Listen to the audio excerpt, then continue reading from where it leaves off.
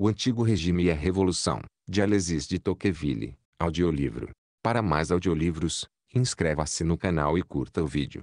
Nota preliminar. Este livro apresenta o texto integral da obra de Tocqueville, em, entre as notas que ele acrescentara no final do volume, não mantivemos as de cunho excessivamente técnico ou especializado. Londres, janeiro de 1964 J. P. Mayer. Introdução.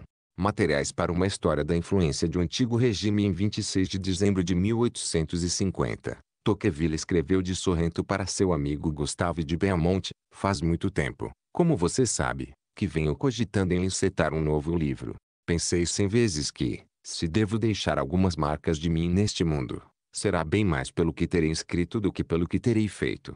Além disso, sinto-me mais em condições de escrever um livro hoje do que há 15 anos. Assim, enquanto percorria as montanhas de Sorrento, pus-me a buscar um tema. Precisava que fosse contemporâneo e que me possibilitasse mesclar os fatos com as ideias, a filosofia da história com a própria história. São essas, para mim, as condições do problema. Freia quentemente havia pensado no Império, esse ato singular do drama ainda sem desfecho que chamamos de Revolução Francesa. Mas sempre fui desencorajado pela visão de obstáculos intransponíveis e sobretudo pela ideia de como seria se eu quisesse reescrever livros célebres já escritos. Mas agora o tema me surgiu sob uma forma nova que me pareceu torná-lo mais abordável. Pensei que não devia empreender a história do Império e sim tentar mostrar e explicar a causa, o caráter, o alcance dos grandes eventos que formavam os elos principais do encadeamento desse período. Então a narração dos fatos já não seria o objetivo do livro. Os fatos, de certa forma, seriam apenas a base sólida e contínua em que se apoiariam todas as ideias que tenho na cabeça, não apenas sobre essa mas sobre a que a precedeu e seguiu, sobre o seu caráter, sobre o homem extraordinário que a realizou, sobre a direção que deu ao movimento da Revolução Francesa, à sorte da nação e ao destino de toda a Europa. Assim seria possível fazer um livro bem curto, um volume ou talvez dois, que ter interesse poderia ter grandeza, minha mente trabalhou nesse novo quadro e encontrou, animando-se um pouco, muitas ideias diversas que de início não lhe haviam causado impressão. Tudo isso ainda é apenas uma nuvem que flutua diante de minha imaginação. O que você acha da ideia mãe? Uma outra carta de Tocqueville, endereçada ao conde Louis de Kergorlai e datada de 15 de dezembro de 1850, também de Sorrento, revela a intenção do autor ainda melhor do que as linhas acima citadas. Já há muito tempo, Lemos nessa carta, e sou tomado, poderia dizer perturbado, pela ideia de intentar novamente uma grande obra. Parece-me que meu verdadeiro valor está sobretudo nesses trabalhos do espírito, que vale mais no pensamento que na ação, e que, se jamais restar algo de mim neste mundo, será muito mais a marca do que escrevi do que a lembrança do que terei feito. Os últimos dez anos, que em muitos aspectos foram bastante estéreis para mim, Deram-me entretanto luzes mais certas sobre as coisas humanas e um senso mais prático dos detalhes, sem fazer-me perder o hábito que minha inteligência adquirira de olhar massas os assuntos dos homens. Portanto me considero mais capacitado do que estava quando escrevia Democracia para tratar bem um grande tema de literatura política. Mas qual tema escolher? Mais de metade das possibilidades de êxito está nisso, não só porque é preciso encontrar um assunto que interesse ao público, mas sobretudo porque é preciso encontrar um que anime a mim mesmo e extraia de mim tudo o que posso dar. Sou no mundo o homem menos capaz de trabalhar com algum proveito a contracorrente de meu espírito e de meu gosto, e caio bem abaixo do medíocre no momento em que não sinto um prazer apaixonado no que faço. Isso há alguns anos venho procurando freia quentemente, venho procurando, dizia eu, qual assunto poderia escolher, e nunca enxerguei algum que me agradasse completamente, ou melhor, que me empolgasse. Enquanto isso, eis que a juventude passou, e o tempo, que caminha, ou mais precisamente, que corre no declive da idade madura, os limites da vida mostram-se mais claramente e mais de perto, e o campo de ação estreita-se. Todas essas reflexões, poderia dizer todas essas agitações mentais, levaram-me naturalmente, na solidão em que vivo, a buscar com mais seriedade e mais profundamente a ideia-mãe de um livro, e senti vontade de comunicar-te o que imaginei e pedir tua opinião. Só posso pensar em um assunto contemporâneo. No fundo, as coisas de nosso tempo são as únicas que interessam ao público e que interessam a mim mesmo. A grandeza e a singularidade do espetáculo que o mundo de nossos dias apresenta absorvem demais atenção para que se possa atribuir muito valor a essas curiosidades históricas que contentam as sociedades ociosas e eruditas. Mas qual assunto contemporâneo escolher? O que teria mais originalidade e conviria melhor à natureza e aos hábitos de minha inteligência seria um conjunto de reflexões e observações sobre a atual, um livre julgamento sobre nossas sociedades modernas e a previsão de seu futuro provável. Mas, quando chego a buscar o nó central de um tema como esse, o ponto em que todas as ideias que ele gera se encontram e se unem, não o acho. Vejo partes de uma obra assim, não enxergo o todo, temos fios, mas falta-me a trama para fazer a tela. Preciso encontrar em algum lugar, para minhas ideias, a base sólida e contínua dos fatos. E isso só posso encontrar escrevendo a história, apegando-me a uma cuja narrativa me sirva de oportunidade para pintar os homens e as coisas de nosso século e me permita fazer de todas essas tintas isoladas um quadro. Apenas o longo drama da Revolução Francesa pode fornecer-me essa é. Desde muito tempo tenho a ideia, que já te contei, creio, de escolher nessa grande extensão de tempo que vai de 1789 até nossos dias, e que continuo a chamar de Revolução Francesa, os dez anos do Império, o nascimento, o desenvolvimento, a decadência e a queda desse prodigioso empreendimento. Quanto mais reflito, mais acredito que a pintar estaria bem escolhida.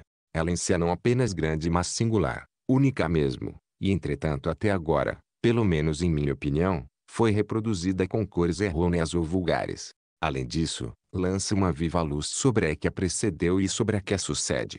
Seguramente é um dos atos da Revolução Francesa que mais ajudam a julgar a peça toda e mais permitem dizer sobre o seu conjunto tudo o que se pode ter a dizer. Minha dúvida recai bem menos na escolha do assunto do que no modo de tratá-lo. Minha ideia havia sido refazer a minha maneira o livro de Thiers, escrever inclusive sobre a atuação do Império, evitando apenas alongar-me na parte militar, que Thiers, ao contrário, reproduziu com tanta complacência e talento. Mas, refletindo, vieram-me grandes dúvidas quanto a tratar o assunto desse modo. Planejada assim, a obra seria um empreendimento de longuíssimo fôlego. Além disso, o mérito principal do historiador é saber fazer bem o tecido dos fatos e ignoro se essa arte está a meu alcance. O que até agora consegui melhor foi julgar os fatos mais do que narrá-los. E nessa história propriamente dita, essa faculdade que reconheço em mim só teria de exercer-se de longe em longe e de modo secundário, a não ser que eu saísse do gênero e sobrecarregasse a narrativa. Fim.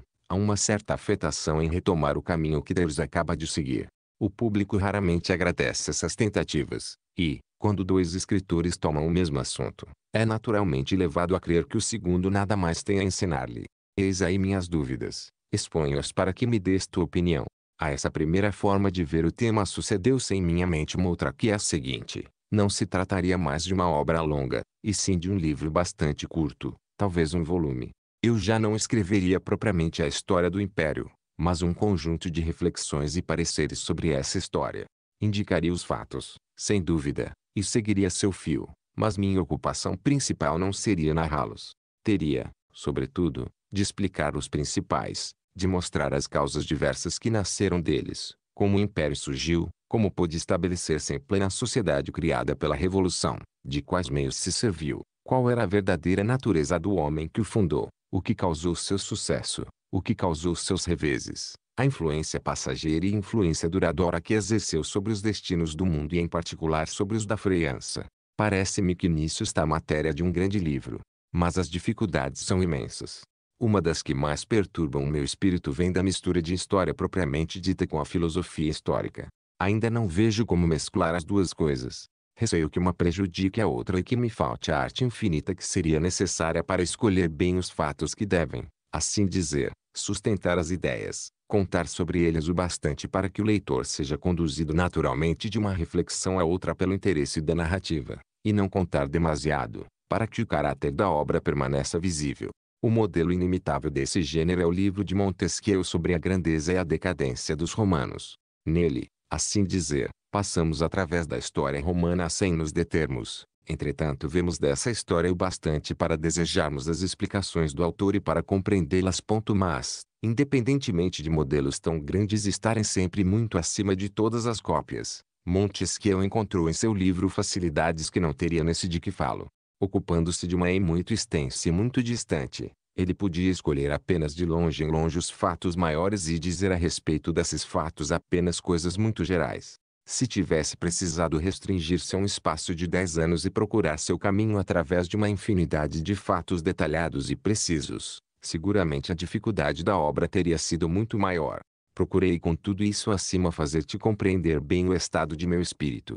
Todas as ideias que acabo de expor fizeram-no trabalhar muito, mas ele ainda se agita em meio às trevas, ou pelo menos só entrevê meias luzes que apenas lhe permitem perceber a grandeza do assunto sem torná-lo capaz de reconhecer o que existe nesse vasto espaço. Gostaria muito que me ajudasses a ver mais claro. Tenho orgulho de acreditar que possuo mais condições que ninguém de colocar em um tema como esse uma grande liberdade de espírito e de falar sem paixão e sem reticência sobre os homens e as coisas.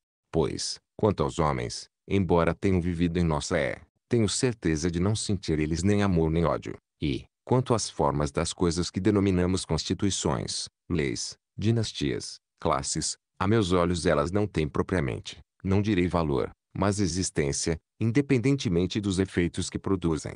Não tenho tradições, não tenho partido, não tenho causa, a não ser a da liberdade e da dignidade humana. Disso estou seguro, e, para um trabalho assim, uma disposição e uma índole dessa espécie são tão úteis quanto costumam ser prejudiciais quando já não se trata de falar sobre os assuntos humanos e sim de tomar parte neles.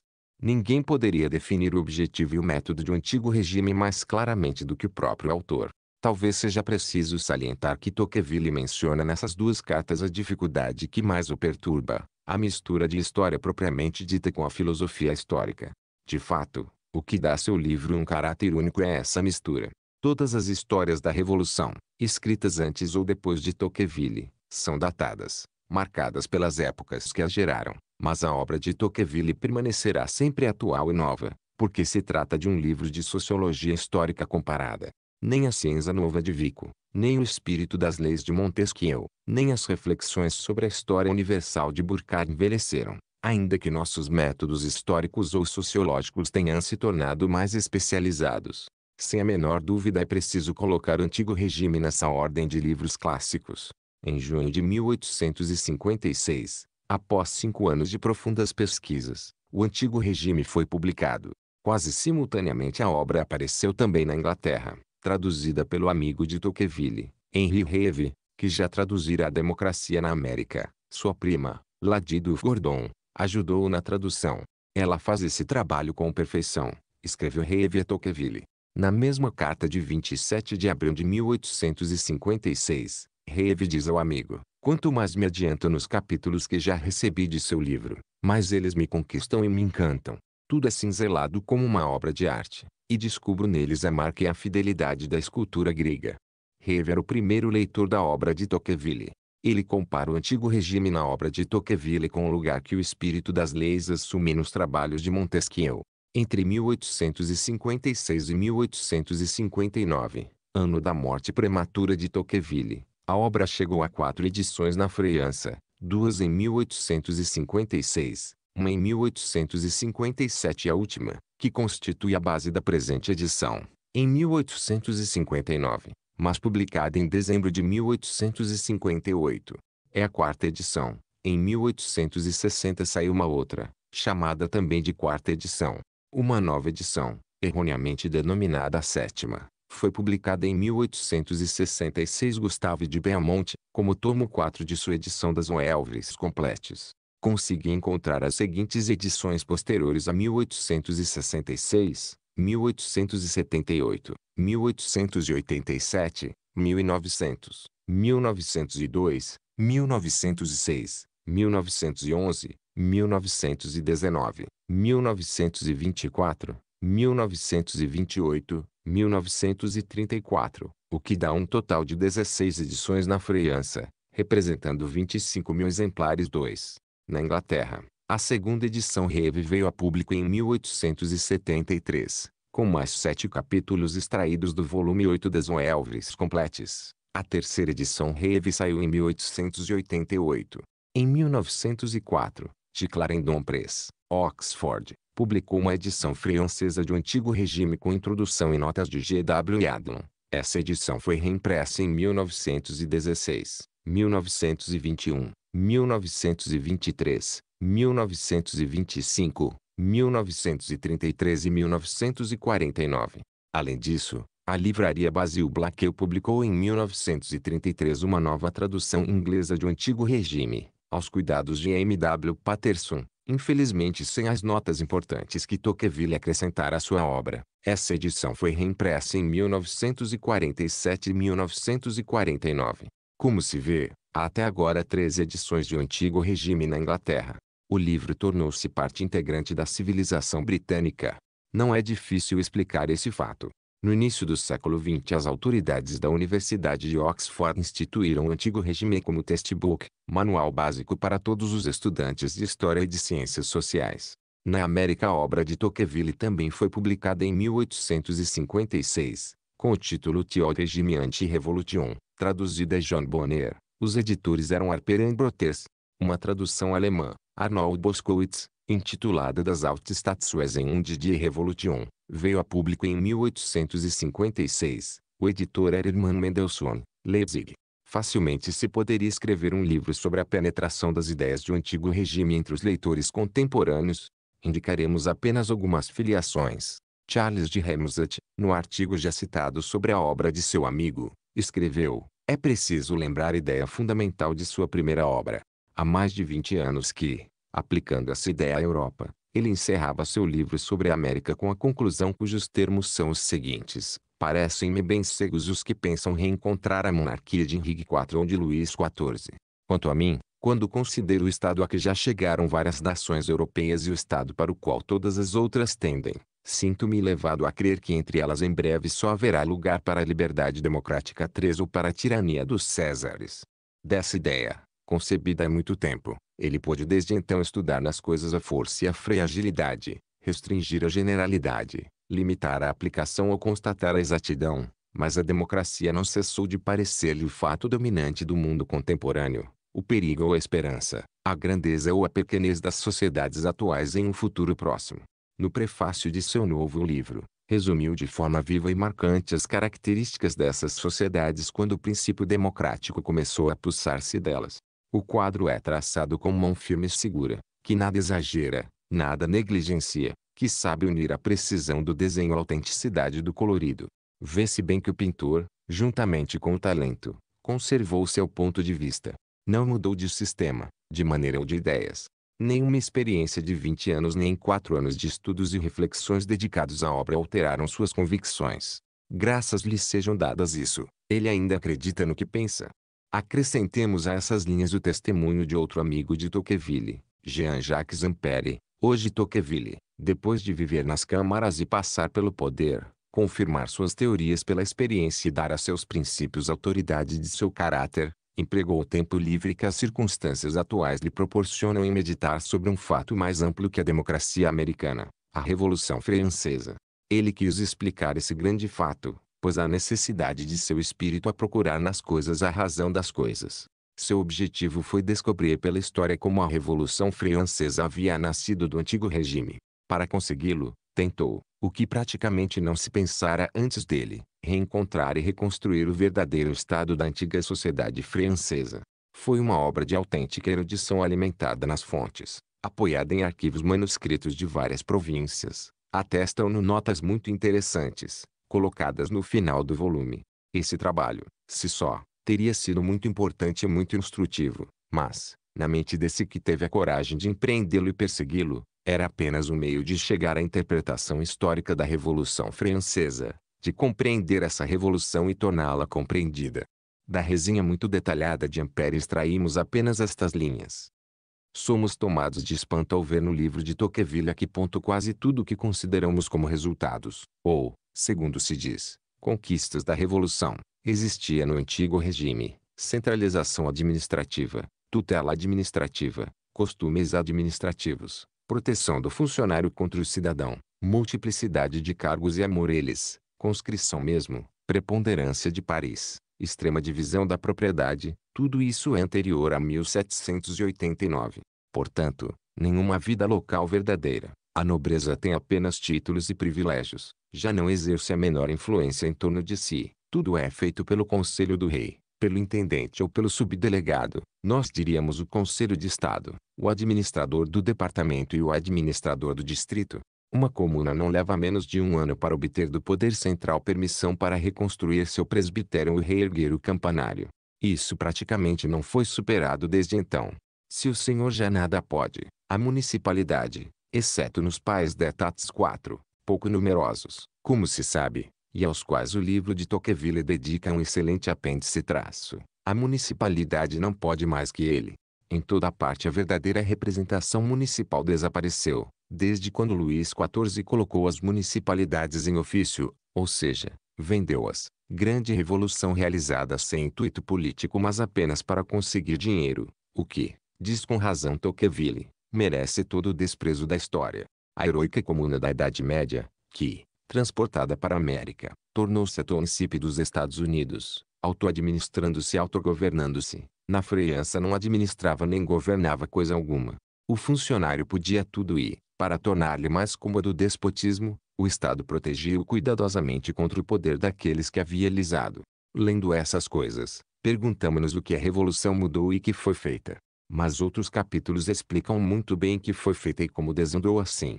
Sobre o estilo da obra de Tocqueville, o eminente historiador da literatura comparada declara, mal ouso avaliar em uma obra tão séria as qualidades puramente literárias. Entretanto não posso deixar de dizer que o estilo do escritor cresceu ainda mais. Esse estilo está ao mesmo tempo mais amplo e mais flexível.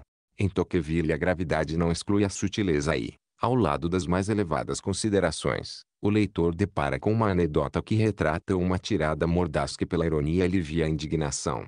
Um fogo interior corre através dessas páginas de uma razão tão nova e tão sábia. A paixão de uma alma generosa anima sempre. Ouve-se como que um tom de honestidade sem ilusão e de sinceridade sem violência que honra o homem no autor e inspira ao mesmo tempo simpatia e veneração.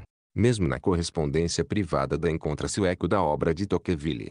Assim, Cuvelier Fleury escreve ao Duque de Almale, o Antigo Regime, de Tocqueville, livro escrito com um grande discernimento, em minha opinião, uma erudição superior e um verdadeiro talento em algumas partes, um pouco vago em suas conclusões, esse livro parece indicar uma falta de simpatia verdadeira pela Revolução Francesa, apesar de repleto da mais significativa aversão pela tirania.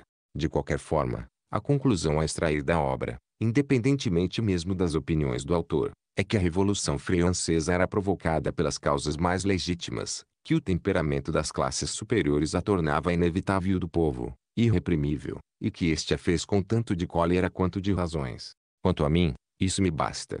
Literariamente, o erro do livro é apresentar como revelações em um tom de iniciador verdades quase todas conhecidas e demonstradas já há muito tempo, algumas principalmente no primeiro e notável volume da Histoire Causes de la Révolution Française, de Granier de Cassagnac.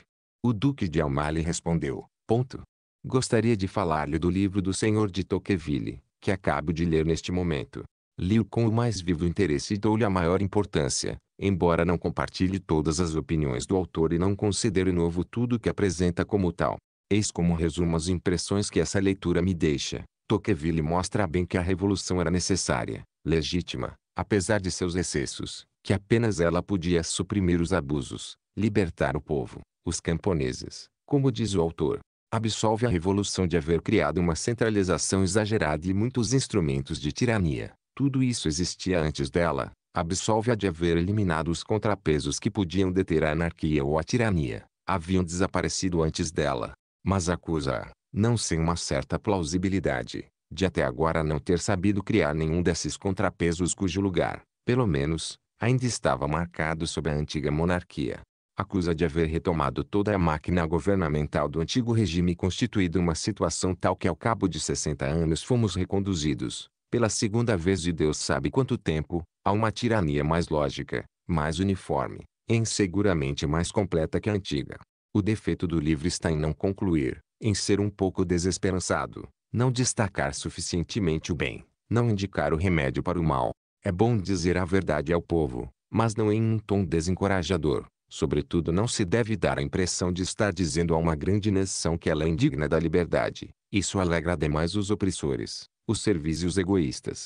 Com tudo isso, é um belo livro, que admiro e que merece ser elogiado, creio eu, tanto pelo fundo como pela forma. Pois, como dizeis, Respira-se nele um horror sincero pela tirania, e é aí que está o inimigo. O antigo regime morreu e não volta mais. E não é possível crer que sobre suas ruínas só se possa reconstruir o despotismo ou a anarquia. Esses são os bastardos da revolução. Apenas a liberdade é sua filha legítima e, com a ajuda de Deus, um dia expulsará os intrusos.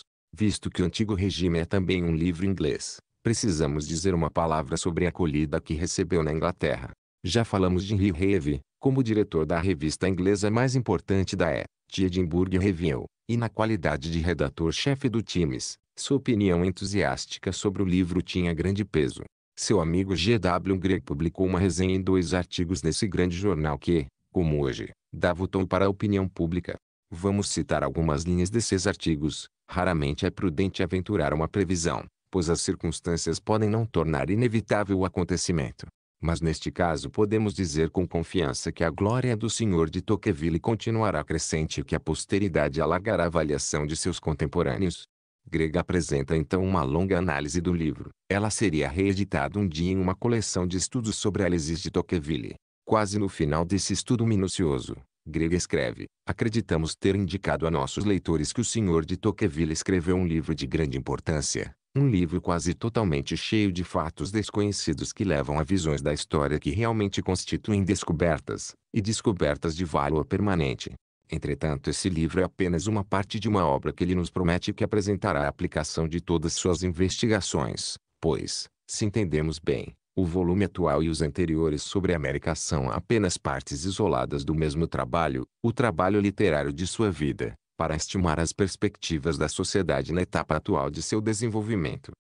Seu amigo Sir George Cornewall Lewis, chanceler das finanças e notável erudito, Agradece a Tocqueville o envio de um exemplar do antigo regime e escreve-lhe em uma carta de 30 de julho de 1856, dos livros que já li, foi o único que satisfez meu espírito, porque dá uma visão totalmente verídica e racional das causas e do caráter da Revolução Francesa.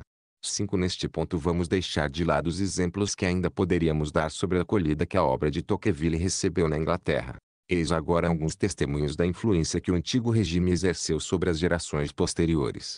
Já indicamos em nossa bibliografia anotada para a Democracia em América que a educação política da geração que fez a Constituição de 1875 estava profundamente impregnada das obras de Tocqueville, Broglie e Prévost Paradol. O livro do Duque de Broglie, Voici le gouvernement de la France, reconstitui a atmosfera do antigo regime, como muitas referências mostram 6. A influência de Tocqueville sobre Taine foi considerável. Quem estudar Les Origines de la France contemporânea encontrará numerosas citações referentes à obra de Tocqueville. Nesse livro Taine escreve, pois não foi a revolução, foi a monarquia que implantou a centralização na França. Taine acrescenta então a seu texto a seguinte nota, de Tocqueville, livro 2. Essa verdade capital foi estabelecida a Tocqueville com uma perspicácia superior. Vê também a condensação das notas preparatórias para Les Origines de la France contemporaine, apêndice da obra Gataine, Saviete sa correspondance, que contém referências à obra de Tocqueville. Sem a menor dúvida a influência da obra de Tocqueville sobre Taine mereceria um estudo aprofundado.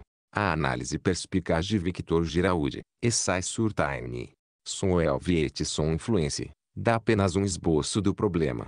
Giraud escreve, ponto. Seguramente seriam necessárias longas páginas para destrinçar com exatidão e a precisão desejáveis todas as informações, indicações fecundas, visões globais e detalhadas que ele pode ter buscado na obra de Tocqueville. Este pretendera tratar justamente todo o assunto que Taine abordar, mas só pudera concluir, em O Antigo Regime e a Revolução, a primeira parte dessa grande obra, da sequência, que prometia ser tão notável. Temos apenas notas, fragmentos, capítulos meio rascunhados, rápidos e poderosos esboços de uma mente que em plena força a morte ceifou. Taine veio utilizar os materiais esparsos, reconstruir recomeçando do princípio e sobre bases mais amplas o edifício inacabado, substituiu as linhas severas, a majestade um tanto nua do monumento primitivo pelos ricos esplendores de seu estilo, mas conservou várias partes importantes e até mesmo o plano geral. A ideia mestra das origens, de que a revolução tem em toda a nossa história anterior as mais profundas raízes, era também a do livro de Tocqueville, e eu quase ousaria afirmar que as tendências descentralizadoras de Taine vêm em grande parte de seu perspicaz e ousado predecessor. Como acabo de dizer, um estudo sobre Tocqueville e Taine ainda está a ser feito. A diferença entre os dois pensadores talvez se explique pela formação intelectual de cada um deles. Tocqueville abordava os problemas sociológicos em primeiro lugar pela experiência prática e um estudo profundo da história administrativa e do direito, ao passo que Taine era formado sobretudo pela literatura, pela filosofia e pela arte.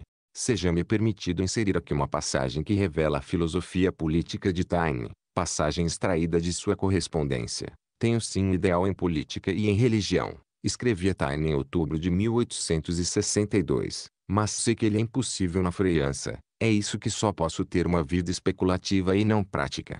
O protestantismo livre, como na Alemanha sob Schleiermacher ou aproximadamente como hoje na Inglaterra, as liberdades locais ou municipais, como hoje na Bélgica, Holanda, Inglaterra, levam a uma representação central.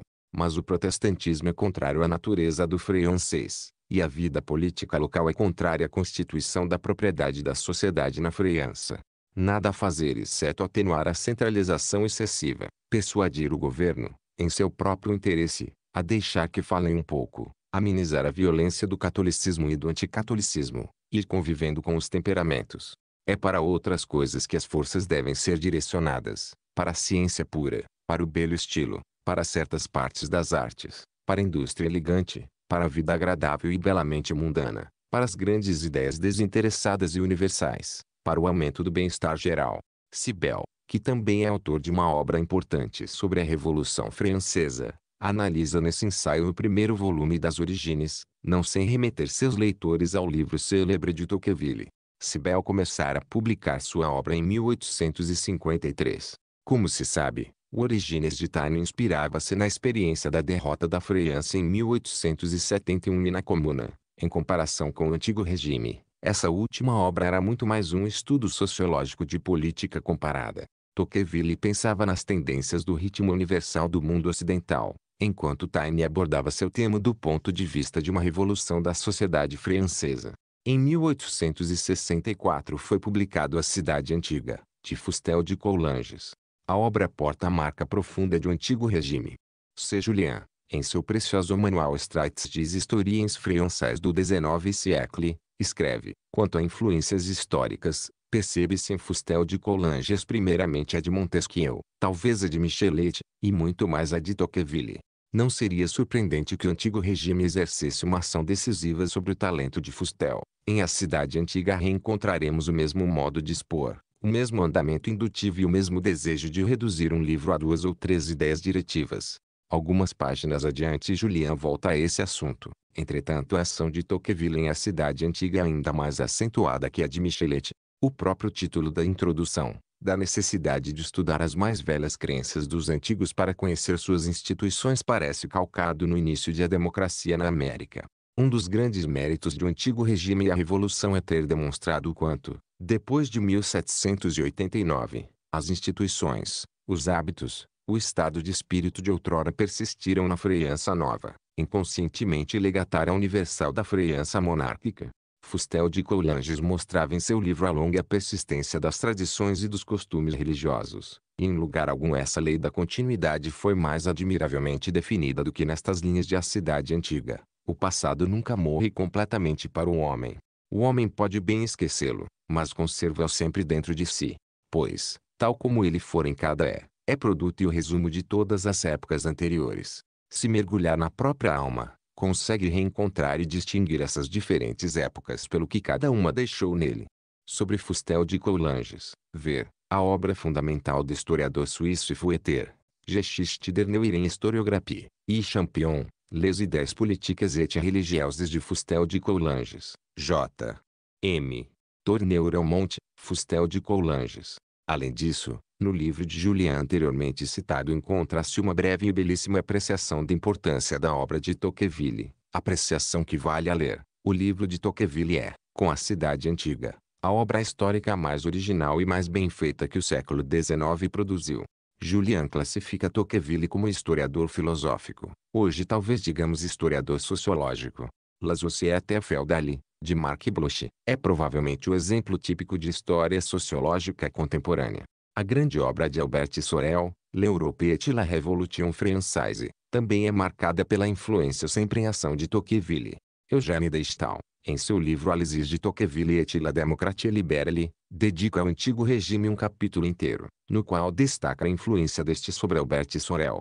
Citamos. É desnecessário lembrar que em sua magistral história sobre l'Europe et la Révolution Française Albert Sorel estendeu brilhantemente para a política externa da Revolução o método e as ideias de Tocqueville e mostrou que lá como internamente a Revolução não trouxe consequências, nem mesmo a mais singular, que não decorressem da história e não se explicassem pelos antecedentes do antigo regime. Ele provou melhor que ninguém a exatidão destas palavras de Tocqueville. Ponto. Quem houver estudado e visto somente a França, ouso dizer que nunca compreenderá coisa alguma da Revolução Francesa. Liplé indiscutivelmente enriqueceu-se com a leitura da obra de Tocqueville. Em La Réforme sociale et en France déduit de l'observation des peuples européens, há uma observação muito característica sobre o antigo regime. Lippmann escreve, a intolerância cruel de Luís XV conservava algumas formas de humanidade e tendia apenas à eliminação dos cristãos protestantes. A intolerância dos jacobinos de 1793 tendia à eliminação absoluta de todas as religiões. Isso é apoiado pela seguinte nota. Alesis de Tocqueville trouxe à plena luz essa verdade em uma obra que seria excelente se tivesse seu título correto e se apresentasse uma conclusão. Não cremos que Liplé faça justiça a Ulisses de Tocqueville. Sua mente casuística e moralista estava longe de compreender a sociologia histórica de Tocqueville. Entre os grandes leitores do antigo regime devemos mencionar Georges Sorel e Jean Jaurès. Les Illusions do Progresso refere-se com muita frequência à obra de Tocqueville e Histoire socialiste de la Révolution française e também mostra as marcas do antigo regime. Poderíamos citar também o eminente historiador do direito francês, Aismain, que, em son Elements de droit constitutionnel français et comparé, revela um conhecimento sutil do pensamento de Tocqueville.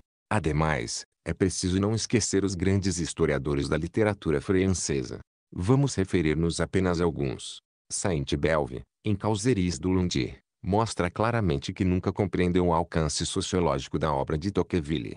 Se lembrarmos com que entusiasmo ele havia saudado em Les Premières Lundis a publicação de A Democracia na América, podemos apenas concluir que seu grande colega da academia francesa certamente lhe pisara nos calos. Mas mesmo em sua maldade Saint-Beuve ainda continua brilhante. Em contraste com Saint-Beuve, Petit de Juleville escreve em sua Histoire de la littérature française, formado na escola de Guizot, Tocqueville publicava em 1835 A Democracia na América, a mais sólida obra de filosofia social já escrita depois de Espírito das Leis, e 20 anos mais tarde, o Antigo Regime e a Revolução, livro totalmente original e novo, cuja influência foi tão grande que, logo em seguida ao ruidoso sucesso de Girondins, de Lamartine, começou a modificar na França, pelo menos entre os espíritos ponderados, o que se poderia chamar de a lenda revolucionária. Em vez de ver na Revolução um ciclone imprevisto, reconheceu-se nela uma resultante de causas numerosas, distantes, profundas. Taine concluirá essa retificação da opinião geral, mas Tocqueville a iniciara. Ferdinand Brunetieri, nessa obra de valor que é o Manuel de l'Histoire de la Littérature Française, dá em forma de notas sua opinião sobre a obra de Tocqueville. Ponto. E que esse livro marcou é na própria maneira de conceber as origens da Revolução, e de representar sua história. Como Tocqueville viu bem, um que a Revolução se ligava a todas suas ruínas ao mais distante passado de nossa história, dois o que ela devia à profundeza de suas causas seu cunho religioso, e três o que, essa razão, abolir-lhe os efeitos não dependia de nenhum poder político. Meio dessas duas obras, ninguém fez mais que Tocqueville para salvar a história da arbitrariedade do julgamento do historiador, preparar a ideia que dela formamos em nossos dias, e dar-lhe tudo o que é possível dar-lhe de características de uma ciência. Em sua obra clássica Histoire de la littérature française, Gustave Lançon também apresenta uma admirável avaliação da obra de Tocqueville. Ponto. O antigo regime e a revolução têm como base uma ideia de historiador. Tocqueville, como os historiadores orleanistas, vê na revolução a consequência, o termo de um movimento social e político que tem seu início nas próprias origens da pátria, ao passo que quase sempre, para os legitimistas e os democratas, a revolução era uma ruptura violenta com o passado, uma explosão miraculosa e súbita que uns maldiziam, outros bendiziam, todos convictos de que a França de 1789 e de 1793 nada tinha em comum com a França de Luís XIV ou de São Luís. Mas os orleanistas faziam sua visão da história servir os interesses de um partido, Tocqueville, Mas filósofo e continuando a ser estritamente historiador, limita-se a estabelecer a continuidade do desenvolvimento das nossas instituições e nossos costumes. A revolução foi feita em 1789 porque já estava meio feita e porque, já há séculos, tudo tendia à igualdade e à centralização. Os últimos entraves dos direitos feudais e da realeza absoluta pareceram incomodar mais, porque eram os últimos. Ele explica a influência da literatura e da religiosidade sobre a revolução e a predominância do gosto pela igualdade sobre a paixão pela liberdade. Depois de assim explicar a destruição das instituições feudais e monárquicas, Tocqueville planejara mostrar como a França nova se reconstruíra sobre os escombros da antiga, e aproximadamente o vasto projeto que Taine realizou em seu Origines de la France Contemporaine.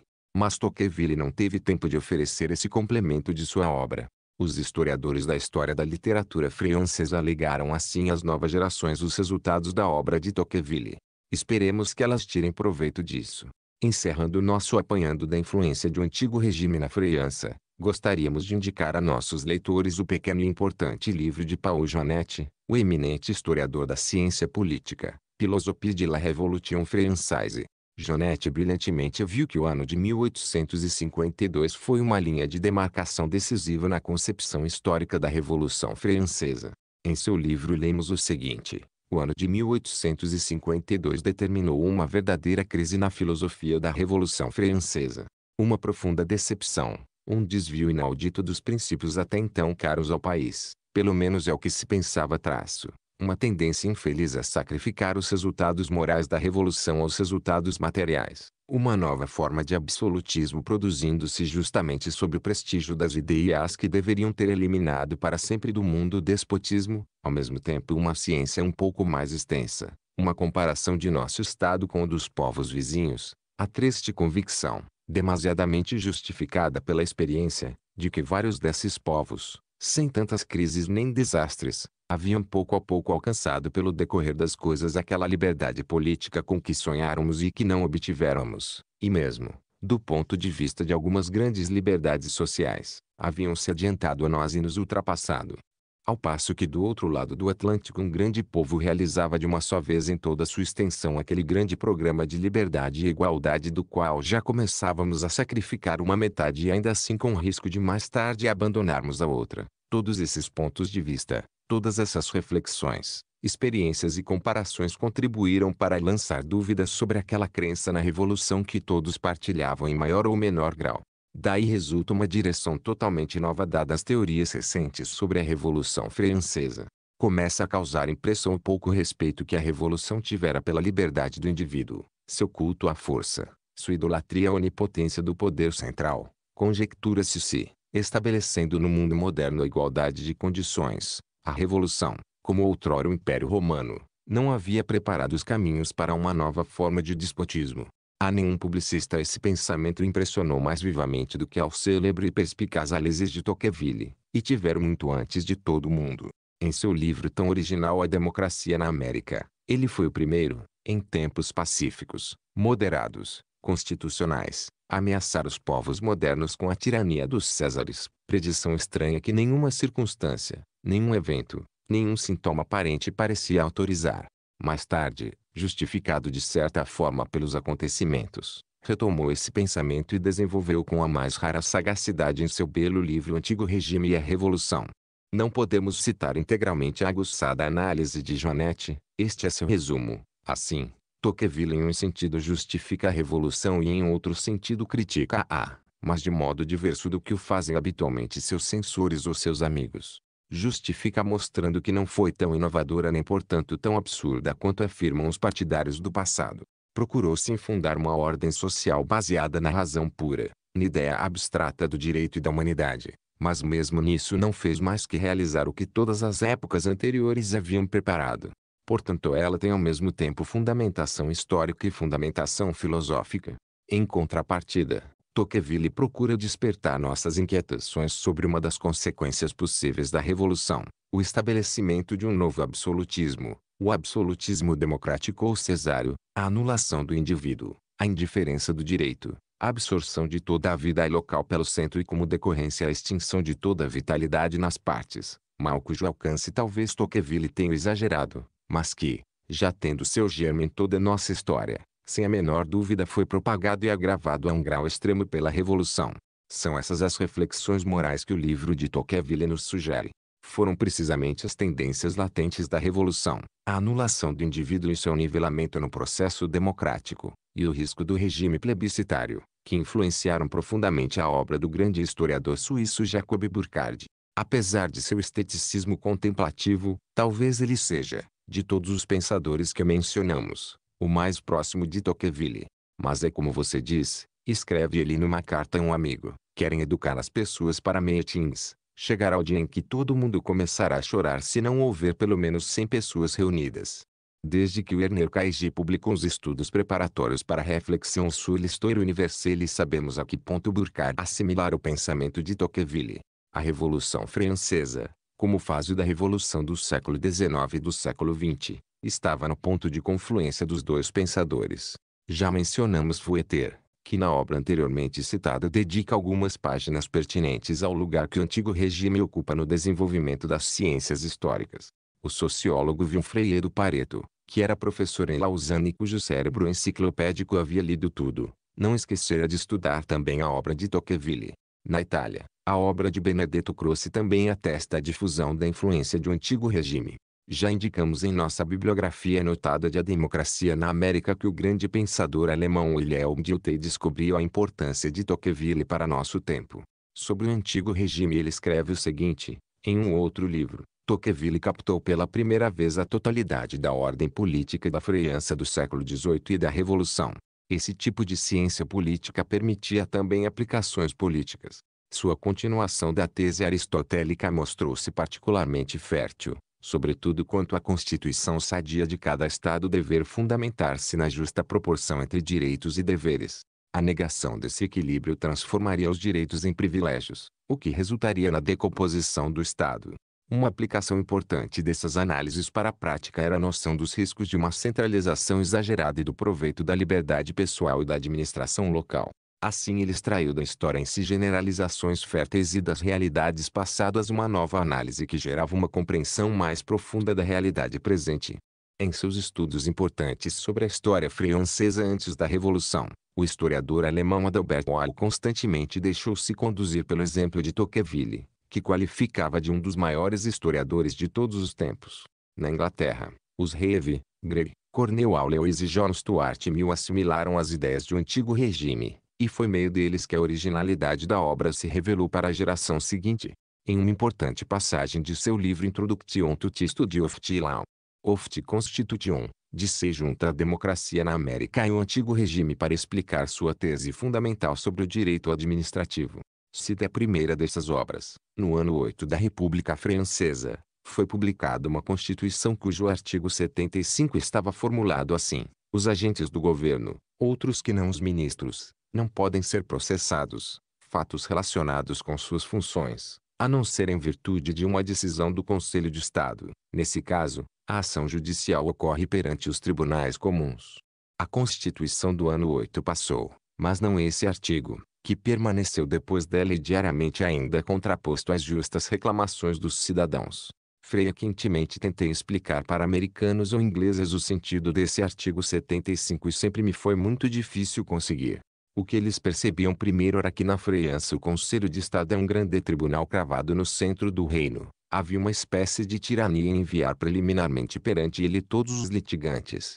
Mas, quando tentava explicar-lhes que o Conselho de Estado não era um corpo judiciário no sentido comum da palavra e sim um corpo administrativo cujos membros dependiam do rei, de tal forma que o rei, depois de ordenar soberanamente a um de seus servidores, denominado prefeito, que cometesse uma iniquidade, podia ordenar soberanamente a um outro servidor seu, denominado conselheiro d'etat, que impedisse que o primeiro fosse punido, quando eu lhes mostrava o cidadão, lesado pela ordem do príncipe, reduzido a pedir ao próprio príncipe autorização para obter justiça. Eles se negavam a crer em semelhantes enormidades e acusavam-me de mentira e ignorância.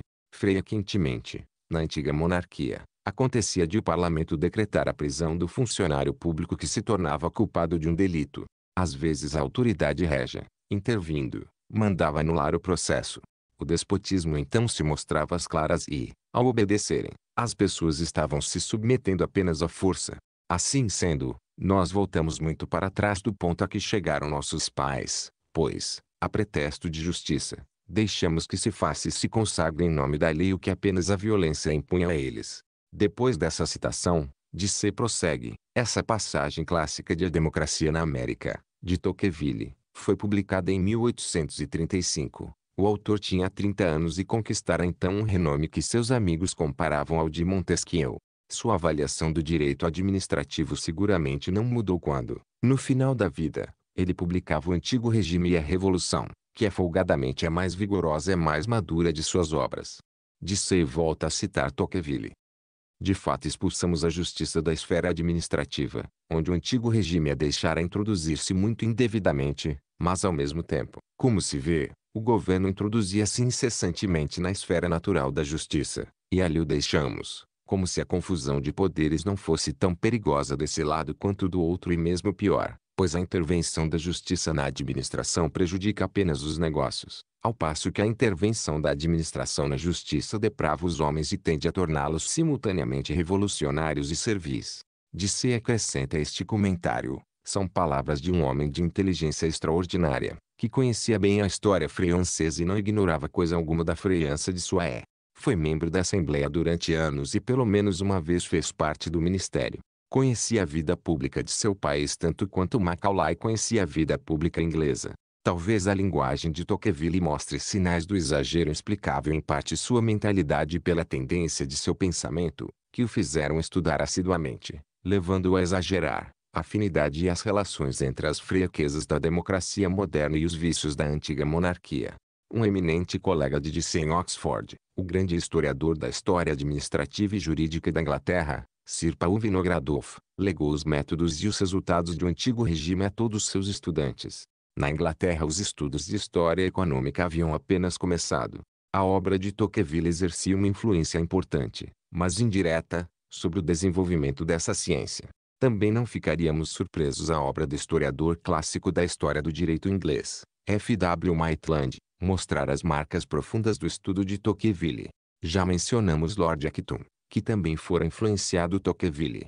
Em sua Lectures Antifrench Revolution, Acton escreve em um apêndice sobre a literatura da Revolução, em meados do século XIX, quando os primeiros volumes de Sibel começavam a ser publicados. Os estudos mais profundos iniciavam-se na freança com Tocqueville. Ele foi o primeiro a estabelecer, se não a descobrir, que a Revolução não foi simplesmente uma ruptura, uma reviravolta, uma surpresa, e sim em parte um desenvolvimento das tendências que trabalhavam a monarquia antiga. De todos os escritores ele é o mais confiável e o mais rigoroso em encontrar defeitos. Na América, o antigo regime foi apreciado somente pela geração mais recente. Uma nação jovem descobre a ciência da história bastante tarde.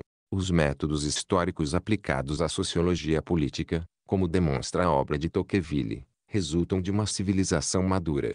O corvo de Minerva começa a voar no crepúsculo, como dizia Hegel, vamos encerrar este esboço da influência do antigo regime com uma frase que fomos buscar em uma bibliografia que o eminente historiador americano Robert Ergang acrescentou à sua obra Europe Front Renaissance to Waterloo, O Antigo Regime e a Revolução, traduzido John Bonner, apresenta a mais profunda análise das causas da Revolução.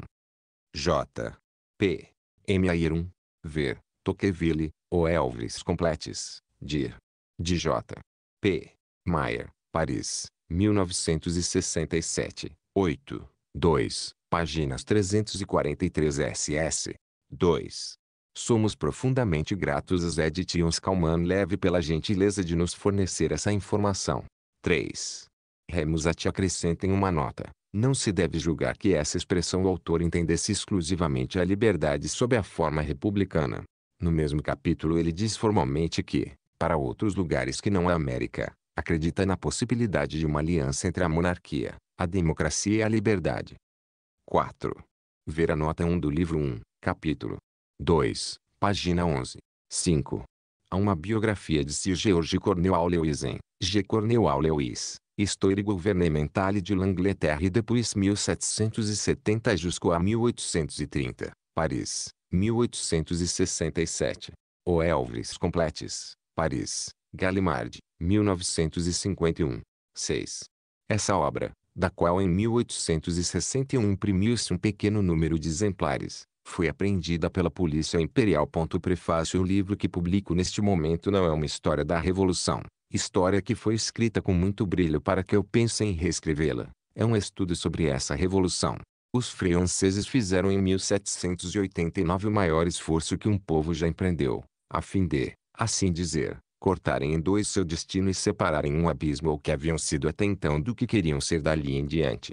Com esse objetivo, tomaram toda a espécie de precauções para não levarem para sua nova condição coisa alguma do passado, impuseram a si mesmos toda sorte de coerções para se moldarem diferentemente de seus pais, enfim, nada esqueceram para se tornarem irreconhecíveis.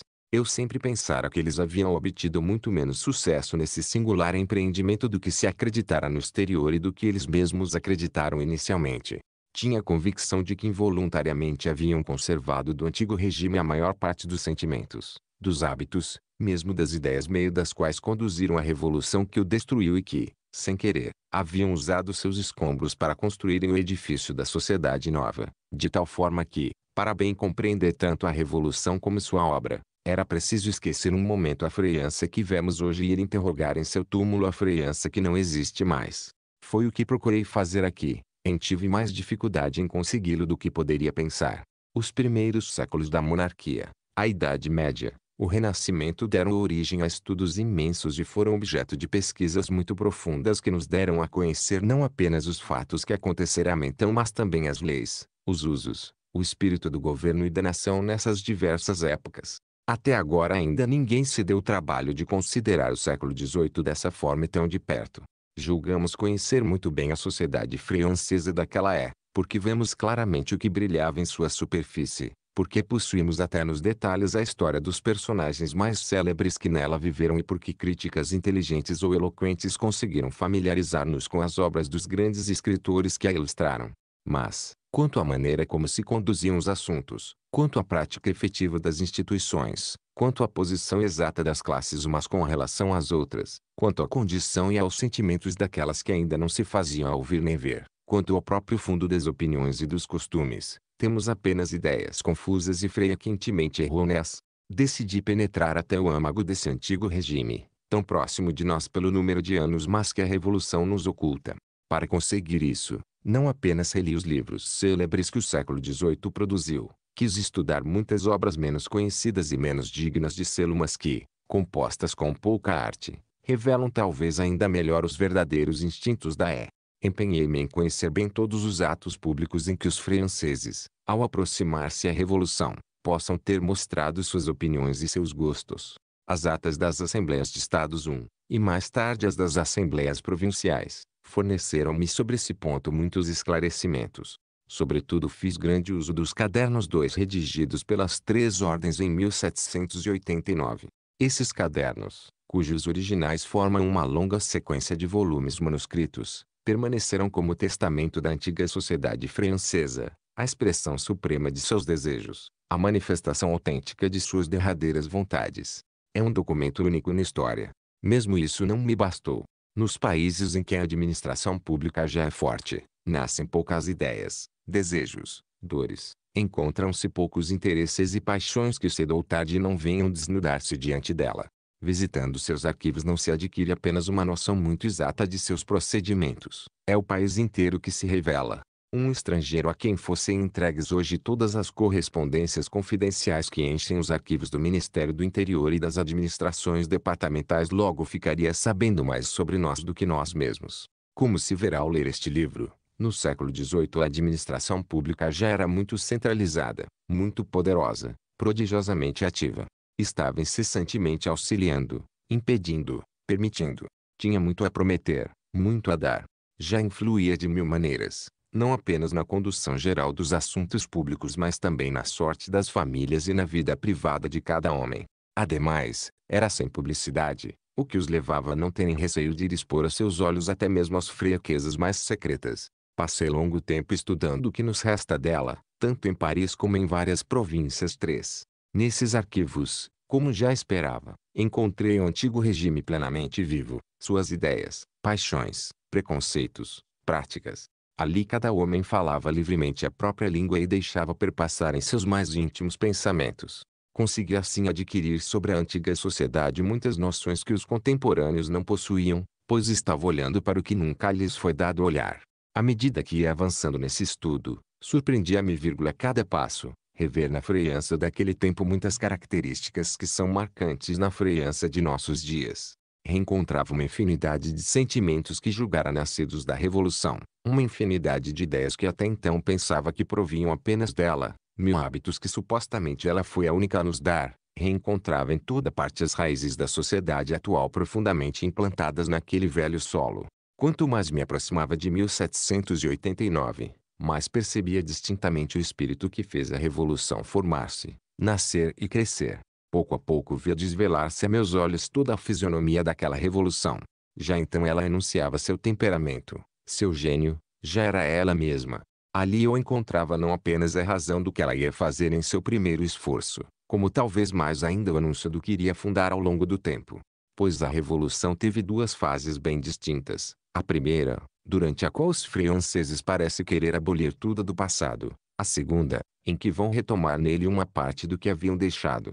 Há um grande número de leis e de hábitos políticos do antigo regime que assim desaparecem subitamente em 1789 e ressurgem alguns anos depois como alguns rios se afundam na terra para reaparecerem um pouco adiante, mostrando as mesmas águas para novas margens.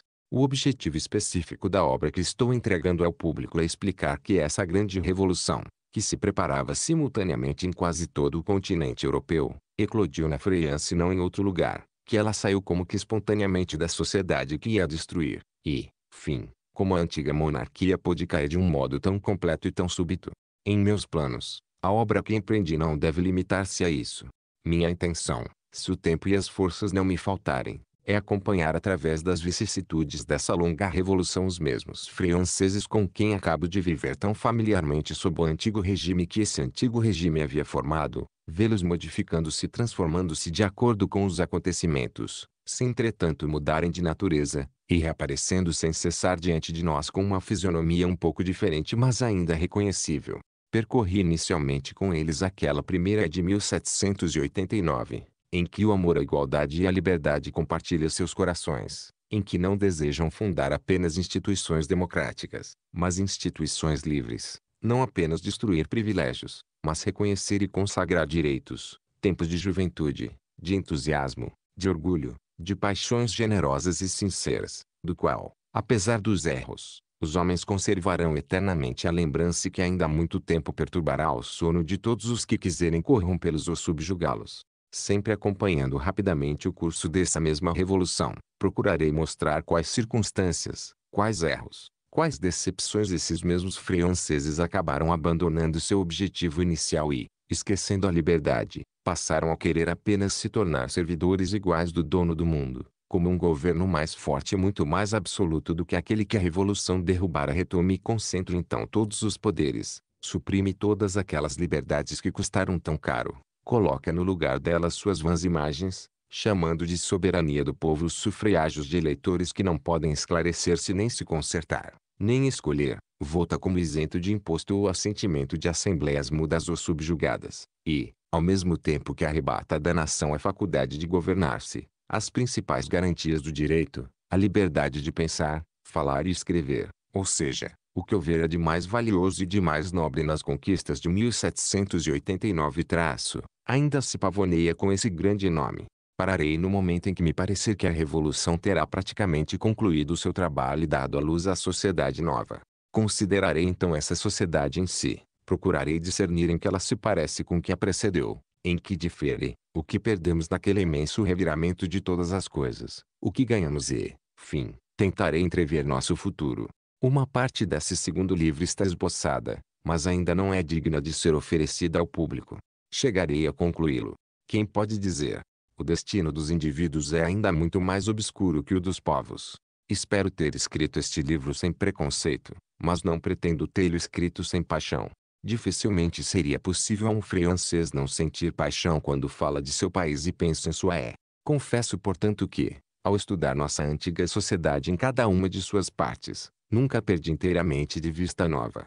Quis ver não apenas de que mal o doente sucumbira, mas também como poderia não ter morrido. Fiz como esses médicos que em cada órgão morto tentam surpreender as leis da vida. Meu objetivo foi pintar um quadro que fosse estritamente exato e que ao mesmo tempo pudesse ser instrutivo. Portanto, todas as vezes que encontrei em nossos pais algumas das virtudes viris que nos seriam mais necessárias e que quase já não temos, um verdadeiro espírito de independência, o gosto pelas grandes coisas, a fé em nós mesmos em uma causa traço, dei-lhes destaque, e do mesmo modo, quando encontrei nas leis, nas ideias, nos costumes daquele tempo a marca de alguns dos vícios que depois de desdourarem a antiga sociedade ainda nos trabalham, cuidei de lançar luz sobre eles, para que, vendo claramente o mal que nos causaram, se compreendesse melhor o mal que ainda podiam causar-nos. Para atingir esse objetivo, confesso que não hesitei em ferir ninguém, nem indivíduos, nem classes, nem opiniões, nem lembranças, mais respeitáveis que pudessem ser. Frequentemente o fiz com tristeza, mas sempre sem remorso. Aqueles a quem eu possa ter assim desagradado queiram perdoar-me, em consideração ao objetivo desinteressado e honesto que persigo. Muitos talvez me acusem de mostrar neste livro um gosto bastante intempestivo pela liberdade, com a qual, segundo me afirmam, quase ninguém mais se preocupa na freança. Aos que me fizerem essa crítica, pedirei apenas que tenham a bondade de considerar que essa tendência é muito antiga em mim. Há mais de 20 anos que, falando de uma outra sociedade, escrevi quase textualmente o que se vai ler. Em meio às trevas do futuro já é possível descortinar três verdades muito claras. A primeira é que todos os homens de nossos dias são arrastados uma força desconhecida que se pode ter a esperança de regular e retardar, mas não de vencer, que ora os impulsiona suavemente, ora os precipita rumo à destruição da aristocracia. O segundo é que, dentre todas as sociedades do mundo, as que sempre terão mais dificuldade para escapar muito tempo do governo absoluto serão precisamente essas sociedades em que a aristocracia não existe mais e não pode mais existir. A terceira, fim, é que em parte alguma o despotismo deve produzir efeitos mais perniciosos do que nessas sociedades, pois, mais que nenhuma outra espécie de governo, ele propicia o desenvolvimento de todos os vícios aos quais essas sociedades estão especialmente sujeitas, e assim as impele justamente para o lado a que, seguindo uma inclinação natural, já pendiam. Como nelas os homens já não estão ligados uns aos outros nenhum laço de castas, de classes, de corporações, de famílias, eles são excessivamente propensos a só se ocupar de seus interesses particulares, sempre muito levados a só pensar em si mesmos e a se recolherem um individualismo estreito em que qualquer virtude pública é sufocada. O despotismo, longe de combater essa tendência, torna-a irreprimível, pois tira dos cidadãos qualquer paixão em comum, qualquer necessidade mútua, qualquer obrigação de se entenderem, qualquer ocasião de agirem juntos, assim dizer, empareda-os na vida privada. Já tendiam a apartar-se, ele os isola, esfreavam-se uns para com os outros, ele os congela. Nesses tipos de sociedades em que nada é fixo, cada qual se sente incessantemente aguilhoado pelo medo de descer e pelo afã de subir, e como nelas o dinheiro, ao mesmo tempo que se tornou a principal marca que classifica e diferencia entre si os homens, adquiriu uma mobilidade singular, passando continuamente de mão em mão, transformando a condição dos indivíduos, elevando ou rebaixando as famílias, praticamente não há quem não seja obrigado a fazer um esforço desesperado e contínuo para conservá-lo ou para adquiri-lo. Assim, o desejo de enriquecer a qualquer custo, o gosto pelos negócios, o amor ao lucro, a busca do bem-estar e dos prazeres materiais são ali as paixões mais comuns. Essas paixões espalham-se facilmente todas as classes, invadem até mesmo as que até então lhes estiveram mais alheias, e em breve acabariam desfibrar e degradar a nação inteira, se nada viesse detê-las. Ora, está na própria essência do despotismo favorecê-las e ampliá-las. Essas paixões debilitantes vêm em seu auxílio, desviam e ocupam longe dos assuntos públicos a imaginação dos homens e os fazem tremer a simples ideia de revolução. Apenas ele pode proporcionar-lhes o segredo e a sombra que deixam à vontade a cupidez e permitem obter lucros desonestos desafiando a desonra. Sem ele, teriam sido fortes. Com ele, imperam. Ao contrário, nesses tipos de sociedade só a liberdade pode combater eficazmente os vícios que lhes são naturais e detê-las no declive em que vão escorregando.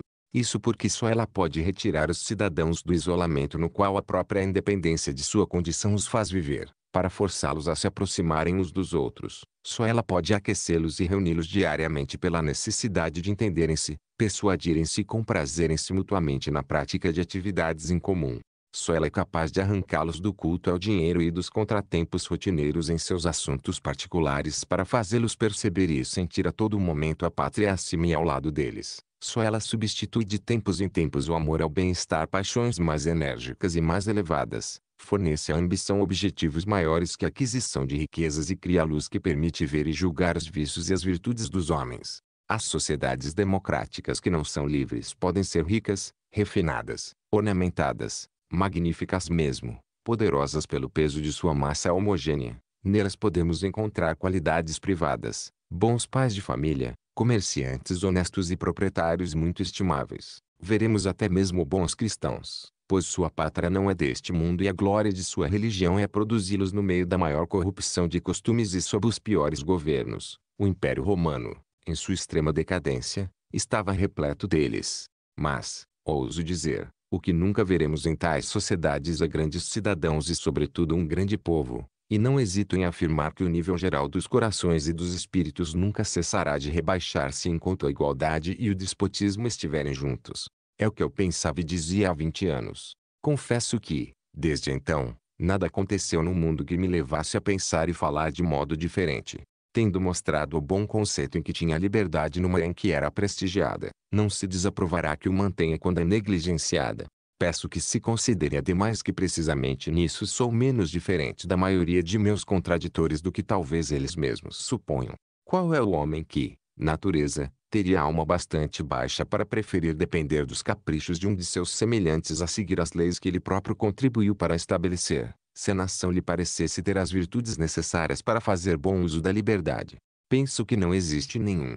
Os próprios déspotas não negam que a liberdade seja excelente, mas a querem apenas para si mesmos e sustentam que todos os outros são totalmente dignos dela.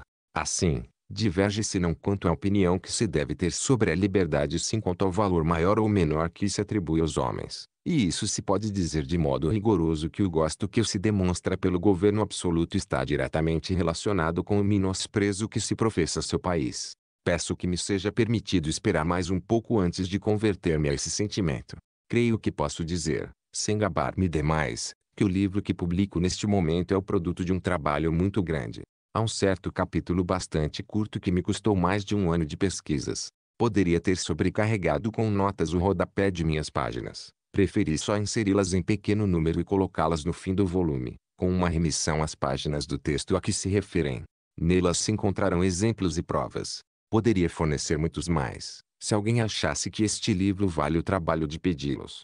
1. Estados ou ordens, sob o antigo regime, as três partes do corpo social, nobreza, clero em terceiro estado. 2. Trata-se de chamados cadernos de queixas, milhares de memoriais redigidos para os Estados Gerais de 1789. Neles cada uma das três ordens expunha suas reclamações, reivindicações e sugestões sobre assuntos de interesse público e, ou específicos de sua classe. Ver as explicações do autor nos dois primeiros parágrafos de sua nota sobre os cadernos da nobreza, página 262. 3. Recorri principalmente aos arquivos de algumas grandes intendências, sobretudo os de Tours, que são muito completos e se referem a uma generalité muito extensa, situada no centro da França e com um milhão de habitantes. Quero expressar aqui meus agradecimentos ao jovem e competente arquivista a quem eles estão confiados, o Sr. Grande Maison. Outras generalités, entre as quais as de Ile de France, mostraram-me que tudo corria do mesmo modo na maior parte do reino, livro e capítulo 1 Pareceres contraditórios que são formulados sobre a Revolução em seu nascimento nada é mais adequado para incitar filósofos e estadistas a modéstia do que a história de nossa Revolução, pois nunca houve eventos maiores, conduzidos de mais longe, mais bem preparados e menos previstos.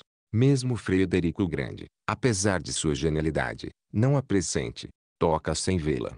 Mas ainda, age antecipadamente de acordo com seu espírito, é seu precursor e já, assim dizer, seu agente, não a reconhece quando se aproxima, e, quando fim ela se mostra, os traços novos e extraordinários que vão caracterizar-lhe a fisionomia no meio da multidão inumerável de revoluções inicialmente passam despercebidos.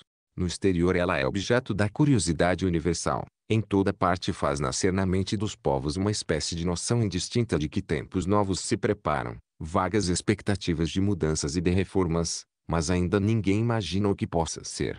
Os príncipes e seus ministros deixam de ter até mesmo aquele pressentimento confuso que cita o povo ao divisá-la. De início eles a consideram tão somente como uma dessas doenças periódicas às quais a constituição de todos os povos está sujeita e cujo único efeito é abrir novos campos para a política de seus vizinhos. Se acaso dizem a verdade sobre ela, não se dão conta disso. Os principais soberanos da Alemanha, reunidos em Pirnitz em 1791, proclamam, é bem verdade, que o perigo que ameaça a realeza na França é comum a todos os antigos poderes da Europa e que todos estão ameaçados juntamente com ela, mas no fundo não acreditam em nada disso. Os documentos secretos da revelam que haviam apenas como hábeis pretextos com os quais mascaravam seus desígnios ou os coloriam para os olhos da multidão. Mas eles pessoalmente sabem muito bem que a Revolução Francesa é um acidente local e passageiro do qual só precisam tirar partido. Com esse intuito concebem planos, fazem preparativos, contraem alianças secretas, brigam entre si ao verem essa presa próxima, dividem-se, reaproximam-se, preparam-se para quase tudo, exceto para o que vai acontecer. Os ingleses, para quem a lembrança de sua própria história e a longa prática da liberdade política dão mais visão e experiência, chegam a entrever, como através de um véu espesso, a imagem de uma grande revolução que avança, mas não conseguem distinguir-lhe a forma, e ação que em breve ela vai exercer sobre os destinos do mundo e sobre o deles mesmos fica-lhes oculta. Arthur Yolne, que está percorrendo a França justamente quando a revolução vai eclodir e que considera iminente essa revolução, desconhece-lhe tão completamente o alcance que se pergunta se não resultará em um aumento dos privilégios. Quanto à nobreza, diz ele, se essa revolução lhes desse ainda mais preponderância, penso que causaria mais mal do que bem. Burke, cujo espírito foi abrasado pelo ódio que já desde o início a revolução lhe inspirou. O próprio Burke alguns momentos fica incerto ao vê-la. O que ele pressagia inicialmente é que a França ficará desfibrada e como que aniquilada. É de crer, diz, que longo tempo as faculdades guerreiras da França estão extintas. Pode até mesmo ser que o estejam para sempre e que os homens da geração que vem a seguir possam dizer, como aquele antigo, galo coque em belis floruisse audivimus, Ouvimos dizer que os próprios gauleses outrora haviam brilhado pelas armas. De perto o evento não é mais corretamente avaliado que de longe. Na França, na véspera do dia em que a revolução vai eclodir, ainda não se tem nenhuma ideia precisa sobre o que ela fará. Em meio à infinidade de cadernos de queixas, encontro apenas dois que mostram uma certa apreensão do povo. O que se teme é a preponderância que o poder régio, a corte, como ainda é chamada, deve conservar. A fragilidade e a curta duração dos estados gerais causam inquietude. Receia-se que sofreiam violência. A nobreza é particularmente atormentada a esse temor. As tropas suíças, dizem vários desses cadernos, deverão prestar o juramento de nunca portar armas contra os cidadãos, mesmo em caso de motim ou de revolta. Que os estados gerais sejam livres e todos os abusos serão facilmente eliminados, a reforma a ser feita é imensa mas é fácil. Enquanto isso a revolução segue seu curso.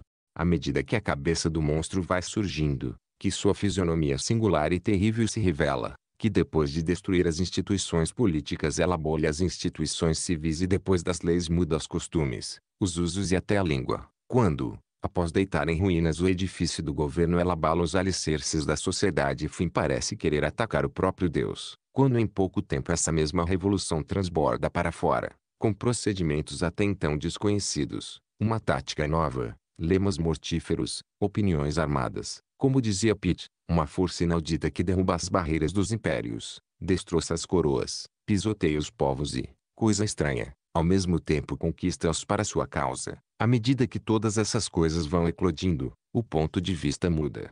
O que para os príncipes da Europa e os estadistas inicialmente parecerá um acidente comum da vida dos povos parece um fato tão novo e mesmo tão contrário a tudo que acontecera anteriormente no mundo, e no entanto tão geral, tão gigantesco, tão incompreensível que ao vê-lo o espírito humano fica como que desnorteado.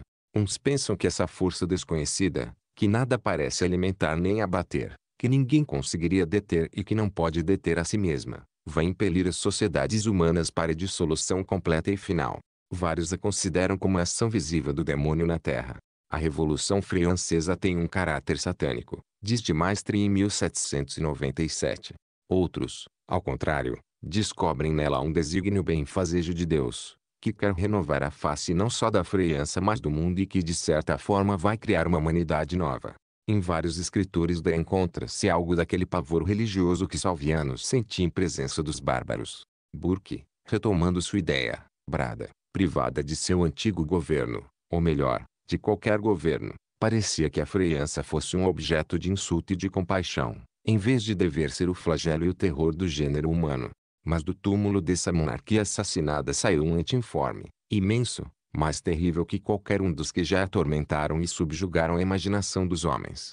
Esse ente horrendo e estranho marcha diretamente para seu objetivo, sem ser atemorizado pelo perigo ou detido pelo remorso, detrator de todos os preceitos correntes e de todos os meios comuns, vai derrubando terra aqueles que não conseguem sequer compreender como ele existe. O evento é efetivamente tão extraordinário como pareceu outrora aos contemporâneos, tão inaudito, tão profundamente perturbador e renovador como eles supunham. Qual foi o verdadeiro sentido? Qual foi o verdadeiro caráter? Quais são os efeitos permanentes dessa revolução estranha e terrível? Ela destruiu precisamente o que? Criou o que? Parece que o momento de pesquisar isso e de dizê-lo chegou, e que hoje estamos colocados no ponto exato de onde melhor se pode ver e julgar esse grande objeto distantes da revolução o bastante para sentirmos apenas friamente as paixões que turvavam a visão dos que a fizeram, estamos bastante próximos dela para podermos entrar no espírito que a conduziu e para compreendê-lo. Em breve isso ficará difícil, pois as grandes revoluções que são bem-sucedidas, fazendo desaparecer as causas que as produziram, tornam-se assim incompreensíveis justamente causa de seu sucesso. Capítulo 2 Que o objetivo fundamental e final da revolução não era, como se acreditou, abolir o poder religioso e debilitar o poder político. Uma das primeiras atitudes da Revolução Francesa foi atacar a igreja e, entre as paixões que nasceram dessa revolução, a primeira a acender-se e a última a extinguir-se foi a paixão pela irreligiosidade. Mesmo quando o entusiasmo da liberdade havia se desvanecido, depois que as pessoas se reduziram a comprar a tranquilidade à custa da servidão, continuavam revoltadas contra a autoridade religiosa. Napoleão, que conseguira vencer o gênio liberal da Revolução Francesa, fez inúteis esforços para domar-lhe o gênio anticristão, e mesmo em nossa vimos homens que acreditavam compensar seu servilismo para com os menores agentes do poder político meio da insolência para com Deus e que, ao passo que abandonavam tudo que havia de mais livre, de mais nobre e de mais altaneiro nas doutrinas da Revolução, ainda se vangloriavam de continuar fiéis a seu espírito ao continuarem ímpios. E entretanto hoje é fácil convencer-se de que a guerra às religiões não era mais que um incidente dessa grande revolução, um traço marcante e fugitivo de sua fisionomia, um produto passageiro das ideias, das paixões, dos fatos particulares que a precederam e prepararam, e não seu gênio próprio. Considera-se, com razão, a filosofia do século XVIII como uma das causas principais da revolução, e é bem verdade que essa filosofia é profundamente religiosa, mas é preciso observar cuidadosamente nela duas partes, que são ao mesmo tempo distintas e separáveis. Em uma encontram-se todas as opiniões novas ou renovadas que se referem à condição das sociedades e os princípios das leis civis e políticas, tais como, exemplo, a igualdade natural dos homens, a abolição de todos os privilégios de castas, de classes, de profissões, que é uma consequência dela, a soberania do povo, a onipotência do poder social, a uniformidade das regras etc. Todas essas doutrinas não são apenas as causas da Revolução Francesa, formam, assim dizer, sua substância, são que suas obras têm de mais fundamental, de mais duradouro, de mais autêntico com relação a é. Na outra parte de suas doutrinas, os filósofos do século XVIII voltaram-se com uma espécie de fúria contra a Igreja, atacaram-lhe o clero, a hierarquia, as instituições, os dogmas, e para melhor derrubá-los quiseram arrancar os próprios fundamentos do cristianismo. Mas essa parte da filosofia do século XVIII, tendo nascido dos fatos que a própria Revolução suprimia, devia pouco a pouco desaparecer com eles e ver-se como que sepultada em seu triunfo. Acrescentarei aqui apenas algumas palavras para fazer-me entender, pois pretendo retomar mais adiante esse grande assunto. Era bem menos como doutrina religiosa do que como instituição política que o cristianismo havia acendido esses ódios furiosos, não porque os sacerdotes pretendessem regulamentar as coisas do outro mundo, mas porque eram proprietários, senhores, dizimeiros, administradores neste, não porque a igreja não pudesse ocupar um lugar na sociedade nova que se ia fundar, mas porque ocupava então o lugar mais privilegiado e mais forte naquela velha sociedade que se tratava de reduzir a pó. Considerar como a passagem do tempo ressaltou esta verdade e continua a ressaltá-la todos os dias. À medida que a obra política da Revolução se consolidava, sua obra religiosa foi se desmantelando. À medida que todas as antigas instituições políticas que ela atacou foram mais bem destruídas, que os poderes, as influências, as classes que lhe eram particularmente odiosos foram vencidos sem retorno e que, como derradeiro sinal de sua derrota, mesmo os ódios que inspiravam enlangueceram. Fim. À medida que o clero se apartou mais de tudo o que havia caído consigo, viu-se gradualmente o poder da igreja reerguer-se nos espíritos e reforçar-se neles. E não julgueis que esse cenário seja uma particularidade da freança. Praticamente não há na Europa igreja cristã que não tenha se reavivado depois da Revolução Francesa. Acreditar que as sociedades democráticas sejam naturalmente hostis à religião é cometer um grande erro, nada no cristianismo, nem mesmo no catolicismo, e absolutamente contrário ao espírito dessas sociedades e várias coisas lhe são muito favoráveis. Aliás, a experiência de todos os séculos mostrou que a raiz mais vivaz do instinto religioso sempre esteve plantada no coração do povo. Todas as religiões que pereceram encontraram ali seu derradeiro asilo, e seria muito estranho que as instituições que tendem a fazer prevalecer as ideias e as paixões do povo tivessem como efeito necessário e permanente impelir o espírito humano para a impiedade. O que acabo de dizer sobre o poder religioso direi com mais razão ainda sobre o poder social. Quando se viu a revolução derrubar simultaneamente todas as instituições e todos os usos que até então haviam mantido uma hierarquia na sociedade circunscrito os homens às normas, pôde-se acreditar que seu resultado seria destruir não apenas uma ordem social específica mas toda e qualquer ordem, não um determinado governo mas o próprio poder social, e julgou-se que sua natureza fosse essencialmente anárquica. E entretanto ouso dizer que também isso não passava de simples aparência.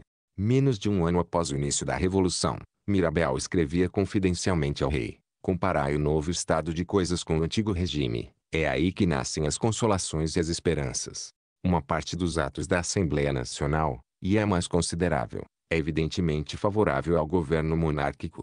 Então não é nada estar sem parlamento, sem paz detatis um, sem corpo de clero, de privilegiados, de nobreza. A ideia de formar apenas uma única classe de cidadãos teria agradado a Richelieu. Essa superfície uniforme facilita o exercício do poder. Vários reinados de um governo absoluto não teriam feito tanto pela autoridade régia quanto esse único ano de revolução. É compreender a revolução como o homem capaz de conduzi-la. Como seu objetivo não foi apenas mudar um governo antigo, e sim abolir a forma antiga da sociedade. A Revolução Francesa teve de atacar simultaneamente todos os poderes estabelecidos, demolir todas as influências reconhecidas, apagar as tradições, renovar os costumes e os usos e, assim dizer, esvaziar o espírito humano de todas as ideias nas quais se haviam fundamentado até então o respeito e a obediência. Daí seu caráter tão singularmente anárquico.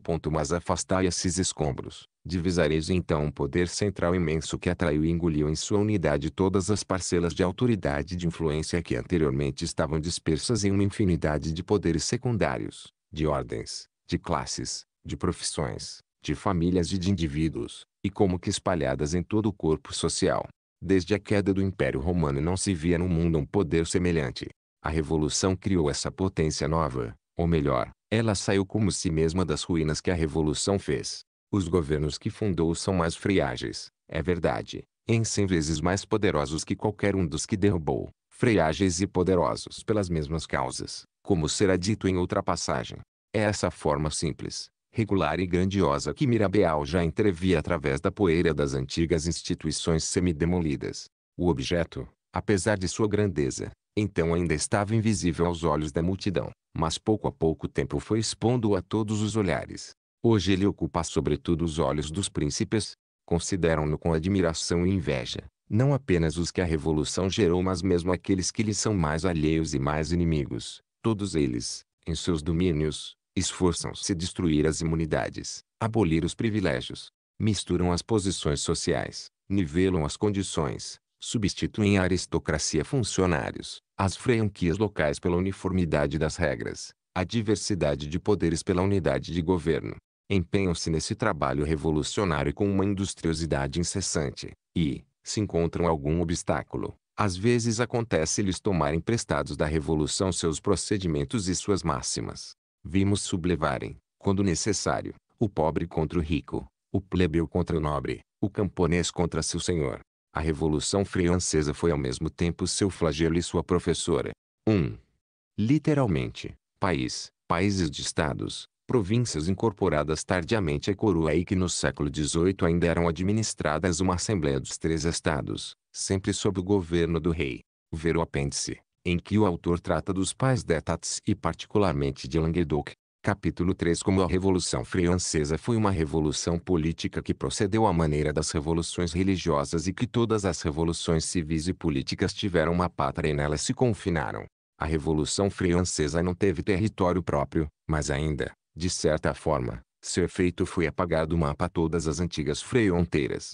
Vimos-la aproximar ou dividir os homens a despeito das leis, das tradições, das características, das línguas, às vezes transformando inimigos em compatriotas e irmãos em estrangeiros. Ou melhor, ela formou, acima de todas as nacionalidades particulares, uma pátria intelectual comum da qual os homens de todas as nações puderam tornar-se cidadãos. Esquadrinhai todos os anais da história, não encontrareis uma única revolução política que tivesse esse mesmo caráter, só o encontrareis em certas revoluções religiosas. Isso é com revoluções religiosas que devemos comparar a Revolução Francesa, se quisermos fazer-nos entender meio da analogia. Schiller, em sua História da Guerra dos 30 Anos, Observa com razão que a grande reforma do século XVI teve o efeito de subitamente aproximar entre si povos que mal se conheciam e uni-los estreitamente simpatias novas. De fato, então vimos franceses lutarem contra franceses, ao passo que ingleses vinham em seu auxílio, homens nascidos nos confins do Báltico penetraram até o centro da Alemanha para defender alemães dos quais até então nunca tinham ouvido falar. Todas as guerras entre países tiraram alguma coisa das guerras civis, em todas as guerras civis apareceram estrangeiros. Os antigos interesses de cada nação foram esquecidos em favor de interesses novos. As questões de território sucederam questões de princípios. Todas as regras da diplomacia encontraram-se misturadas e complicadas, para grande espanto e grande dor dos políticos daquela é. Foi precisamente o que aconteceu na Europa depois de 1789. A Revolução Francesa é portanto uma revolução política que operou a maneira e em certo sentido assumiu o aspecto de uma revolução religiosa. Vê de quais traços particulares e característicos completam sua semelhança com estas. Não apenas se espalha para longe, como elas, também penetra pela pregação e pela propaganda. Uma revolução política que inspira o proselitismo, que os franceses pregam tão ardorosamente para os estrangeiros quanto realizam com paixão em seu próprio país Observai como é novo o cenário. De todas as coisas desconhecidas que a Revolução Francesa mostrou ao mundo, esta é seguramente a mais nova. Mas não nos detenhamos aí, tentemos avançar um pouco mais e descobrir se essa semelhança nos efeitos não estaria ligada a alguma semelhança oculta nas causas. A característica habitual das religiões é considerar o homem em si mesmo, sem se deter no que as leis, os costumes e as tradições de um país possam ter acrescentado de particular a esse fundo comum. Seu objetivo principal é regulamentar as relações gerais do homem com Deus e os direitos e deveres gerais dos homens entre si, independentemente da forma das sociedades. As regras de conduta que elas indicam referem-se menos ao homem de um país onde mais é do que ao filho, ao pai, ao serviçal, ao amo, ao próximo. Buscando assim seu fundamento na própria natureza humana, podem ser adotadas igualmente todos os homens e são aplicáveis em toda parte. É isso que as revoluções religiosas frequentemente tiveram teatros tão vastos e raramente se confinaram, como as revoluções políticas, no território de um único povo, nem mesmo de uma única raça. E, se quisermos examinar ainda mais de perto esse assunto, veremos que, quanto mais as religiões tiveram esse caráter abstrato e geral que acabo de indicar, mais elas se estenderam, a despeito das diferenças de leis, climas e homens. As religiões pagãs da antiguidade, que estavam todas menos ou mais ligadas à constituição política ou ao estado social de cada povo e conservavam até em seus dogmas uma certa fisionomia nacional e frequentemente municipal, em geral ficaram contidas nos limites de um território, de onde praticamente não saíram. Vezes geraram intolerância e perseguição, mas o proselitismo lhes foi quase totalmente desconhecido. Isso não houve em nosso ocidente grandes revoluções religiosas antes da chegada do cristianismo. Ele sim, passando facilmente através de todas as barreiras que haviam detido as religiões pagãs, em pouco tempo conquistou uma grande parcela do gênero humano. Creio que não é faltar com respeito a essa santa religião dizer que, em parte, Ela deveu seu triunfo ao fato de, mais que qualquer outra, ter se desligado de tudo que podia ser específico de um povo, de uma forma de governo, um estado social, uma é, uma raça. A Revolução Francesa operou, com relação a este mundo, precisamente do mesmo modo que as revoluções religiosas agem com vistas ao outro, considerou o cidadão de um modo abstrato, apartado de todas as sociedades particulares, assim como as religiões consideram o homem em geral, independentemente do país e da é. Não indagou apenas qual era o direito particular do cidadão francês, mas quais eram os deveres e os direitos gerais dos homens em matéria política. Foi reportando-se sempre assim ao que havia de menos particular e, digamos, de mais natural em termos de estado social e de governo que ela pôde tornar-se compreensível para todos e imitável em cem lugares ao mesmo tempo. Como parecia tender para a regeneração do gênero humano mais ainda que para a reforma da França, acendeu uma paixão que até então as revoluções políticas mais violentas nunca conseguiram produzir. Inspirou o proselitismo e fez nascer a propaganda. Desse modo, fim, pôde assumir aquele aspecto de revolução religiosa que tanto apavorou os contemporâneos, ou melhor, ela mesma tornou-se uma espécie de religião nova, religião imperfeita, é verdade, sem Deus, sem culto e sem outra vida, mas que ainda assim, como o islamismo, inundou toda a terra com seus soldados, apóstolos e mártires. Aliás, não se deve crer que os processos que empregou fossem absolutamente sem precedentes e que todas as ideias que trouxe à luz fossem inteiramente novas. Houve em todos os séculos e até em plena Idade Média agitadores que, para mudar costumes particulares, invocaram as leis gerais das sociedades humanas e procuraram opor à constituição de seu país os direitos naturais da humanidade. Mas todas essas tentativas fracassaram. A mesma tocha que incendiou a Europa no século XVIII fora facilmente apagada no século XV. Para que argumentos dessa espécie produzam revoluções é preciso que certas mudanças já ocorridas nas condições, nos costumes e nos usos tenham preparado o espírito humano para aceitá-los. Há épocas em que os homens são tão diferentes uns dos outros que a ideia de uma mesma lei aplicável a todos lhes é quase incompreensível. Há outras em que basta mostrar-lhes de longe confusamente a imagem de uma lei dessas para que prontamente a reconheçam e corram para ela. O mais extraordinário não é que a Revolução Francesa tenha empregado os processos que havíamos pôr em prática e concebido as ideias que produziu. A grande novidade é que tantos povos tivessem chegado ao ponto em que tais processos puderam ser eficazmente empregados e tais máximas ser facilmente aceitas. Capítulo 4 Como quase toda a Europa tivera precisamente as mesmas instituições e como em toda parte essas instituições estavam caindo em ruínas os povos que derrubaram o Império Romano e que acabaram formar as nações modernas diferiam pelas raças, pelo país, pela linguagem, só se pareciam pela barbárie. Estabelecidos no solo do Império, Ali se entrechocaram muito tempo em meio a uma confusão imensa, e, quando fim se tornaram estáveis, viam-se separados uns dos outros pelas mesmas ruínas que haviam causado. Com a civilização quase extinta e a ordem pública destruída, as relações dos homens entre si tornaram-se difíceis e perigosas e a grande sociedade europeia fracionou-se em mil pequenas sociedades distintas e inimigas que viveram apartadas umas das outras. Entretanto, do meio dessa massa incoerente surgiram subitamente leis uniformes. Essas instituições não são copiadas da legislação romana, são-lhe tão opostas que foi ao direito romano que se recorreu para transformá-las e aboli-las. Sua fisionomia é original e distingue-as entre todas as leis que os homens elaboraram. Correspondem simetricamente entre si e, juntas, formam um corpo composto de partes tão bem ajustadas que nem os artigos de nossos códigos modernos se interligam mais estreitamente, leis eruditas para uso de uma sociedade semi-rústica. Como uma legislação assim pôde formar-se, espalhar-se e fim generalizar-se na Europa.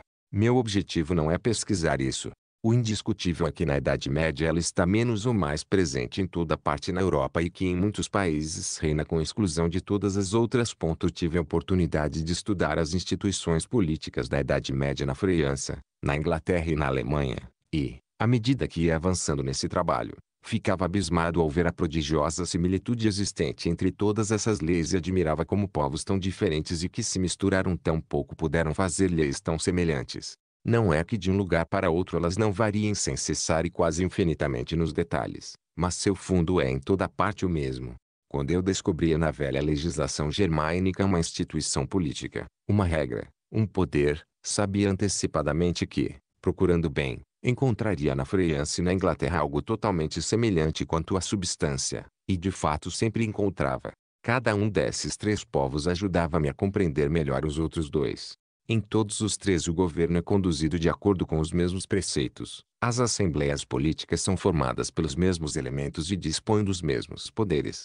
A sociedade está dividida do mesmo modo e a mesma hierarquia aparece entre as diferentes classes. Os nobres ocupam uma posição idêntica, têm os mesmos privilégios, a mesma fisionomia, a mesma índole, não são homens diferentes, são propriamente em toda parte os mesmos homens.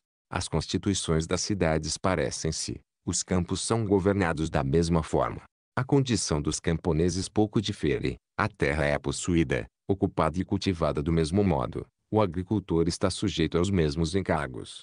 Dos confins da Polônia ao mar da Irlanda, a senhoria, a corte do senhor, o feudo, o censo, os serviços a prestar, os direitos feudais, as corporações, tudo se parece. Às vezes os nomes são os mesmos e, o que é ainda mais notável, um único espírito anima todas essas instituições análogas.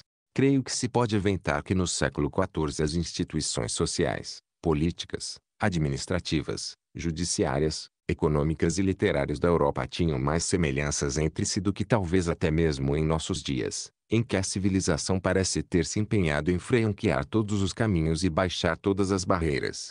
Não faz parte de meu tema contar como essa antiga constituição da Europa foi pouco a pouco enfraquecendo e caindo em ruínas. Limito-me a constatar que, no século XVIII, ela está semi-destruída, em geral o definhamento era menos acentuado na parte oriental do continente mas na ocidental. Em todos os lugares a velhice freia quentemente a decrepitude ficavam evidentes. Essa decadência gradual das instituições próprias da Idade Média pode ser acompanhada em seus arquivos. Sabe-se que cada senhoria possuía cadastros denominados terriers, nos quais, de século em século, eram indicados os limites dos feudos e das propriedades censitárias, os encargos, os serviços a prestar, os usos locais. Seis terriers do século XIV que são obras-primas de método, clareza, ordem e inteligência. À medida que ficam mais recentes, vão se tornando obscuros, indigestos, incompletos e confusos, apesar do avanço geral das luzes. Parece que a sociedade política cai em barbárie no mesmo momento em que a sociedade civil consegue ilustrar-se. Mesmo na Alemanha, em que a antiga Constituição da Europa conservara melhor que na França seus traços primitivos, uma parte das instituições que ela criara já estava destruída em todo o país. Em é menos vendo o que lhe falta do que considerando em que estado se encontra o que lhe resta que podemos avaliar os estragos do tempo. As instituições municipais, que nos séculos 13 e 14 tinham feito das principais cidades alemãs pequenas repúblicas ricas e esclarecidas, ainda existem no século 18, em não oferecem mais que vãs aparências. Suas prescrições parecem em vigor. Os magistrados a que deram postos portam os mesmos nomes e parecem fazer as mesmas coisas. Mas a atividade, a energia, o patriotismo comunal, as virtudes viris e fecundas que haviam inspirado desapareceram. Essas antigas instituições como que o desmoronaram sobre si mesmas sem se deformarem. Todos os poderes da Idade Média que ainda subsistem sofrem da mesma doença. Todos mostram o mesmo depauperamento e a mesma languidez. Mas ainda, tudo que, sem pertencer especificamente à constituição dessa é, se viu ligado a ela e conservou um pouco viva a sua marca, perde prontamente a vitalidade.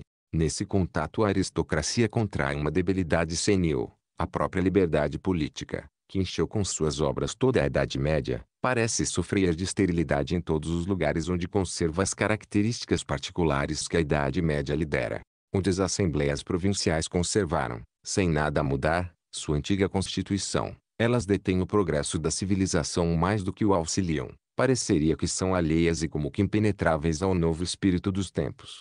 Isso o coração do povo lhes escapa e tende para os príncipes.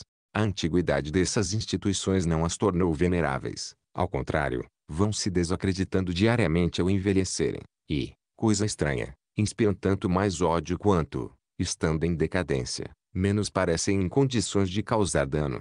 O estado de coisas existente, diz um escritor alemão, contemporâneo e amigo desse antigo regime, parece ter se tornado geralmente ofensivo para todos e às vezes desprezível. É curioso ver como agora se julga desfavoravelmente tudo que é antigo. As impressões novas brotam até no seio de nossas famílias e perturbam-lhes a ordem.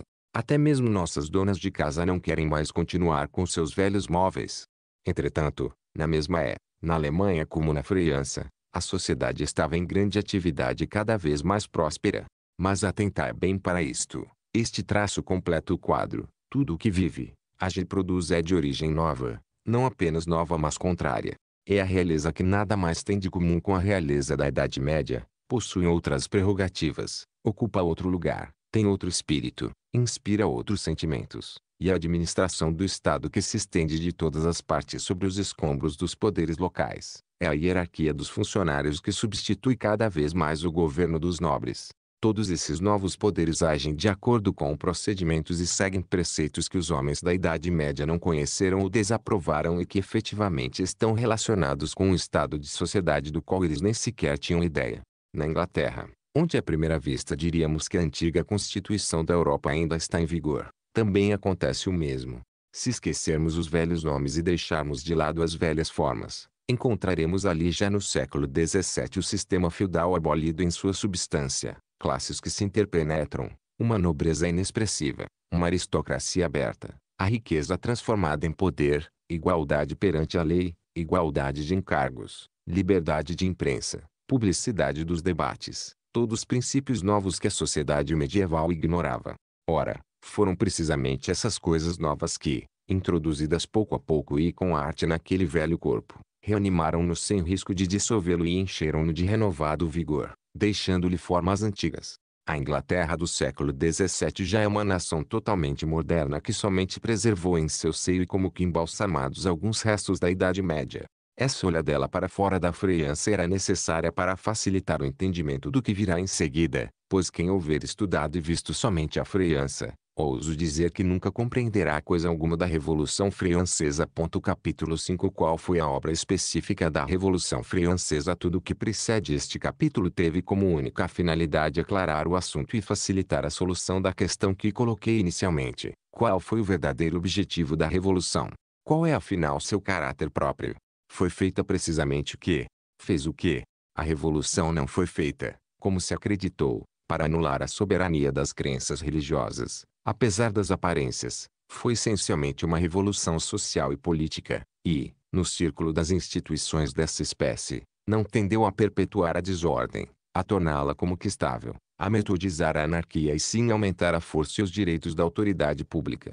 Ela não devia mudar o caráter que nossa civilização tivera até então, deter-lhe os avanços, nem mesmo alterar a essência de nenhuma das leis fundamentais em que se assentam as sociedades humanas em nosso Ocidente. Quando as separamos de todos os acidentes que momentaneamente lhe mudaram a fisionomia em diferentes épocas em diversos países e a consideramos apenas em si mesma, vemos claramente que essa revolução teve como único efeito abolir aquelas instituições políticas que, durante vários séculos, haviam reinado soberanas sobre a maioria dos povos europeus e que habitualmente são chamadas de instituições feudais, para substituí-las uma ordem social e política mais uniforme e mais simples que tinha como base a igualdade de condições. Isso era suficiente para fazer uma revolução imensa, pois, independentemente do fato de ainda estarem misturadas e como que entrelaçadas com quase todas as leis religiosas e políticas da Europa. As instituições antigas tinham ademais sugerido uma infinidade de ideias, de sentimentos, de hábitos, de costumes, que lhes eram como que aderentes. Foi necessária uma terrível convulsão para destruir e extrair bruscamente do corpo social uma parte que estava agarrada assim a todos seus órgãos. Isso fez a revolução parecer ainda maior do que era parecia destruir tudo, pois o que destruía estava ligado a tudo e de certo modo incorporava-se a tudo. Entretanto, mais radical que tenha sido, a revolução inovou muito menos do que geralmente se supõe, é o que mostrarei mais adiante. O que é válido dizer é que destruiu inteiramente ou está destruindo tudo o que na antiga sociedade decorria das instituições aristocráticas e feudais, tudo o que de algum modo se ligava a elas, tudo o que trazia delas, em qualquer grau que fosse, a menor marca, conservou do antigo mundo apenas o que sempre fora alheio a essas instituições ou podia existir sem elas. O que a revolução foi menos que tudo é um acontecimento fortuito. Pegou o mundo de surpresa, é bem verdade, e entretanto era apenas o complemento do mais longo trabalho, o encerramento súbito e violento de uma obra na qual dez gerações de homens haviam trabalhado. Se não tivesse acontecido, o velho edifício social não teria deixado de cair em todo lugar, aqui mais cedo, ali mais tarde, apenas, teria continuado a cair parte parte em vez de desmoronar de uma só vez.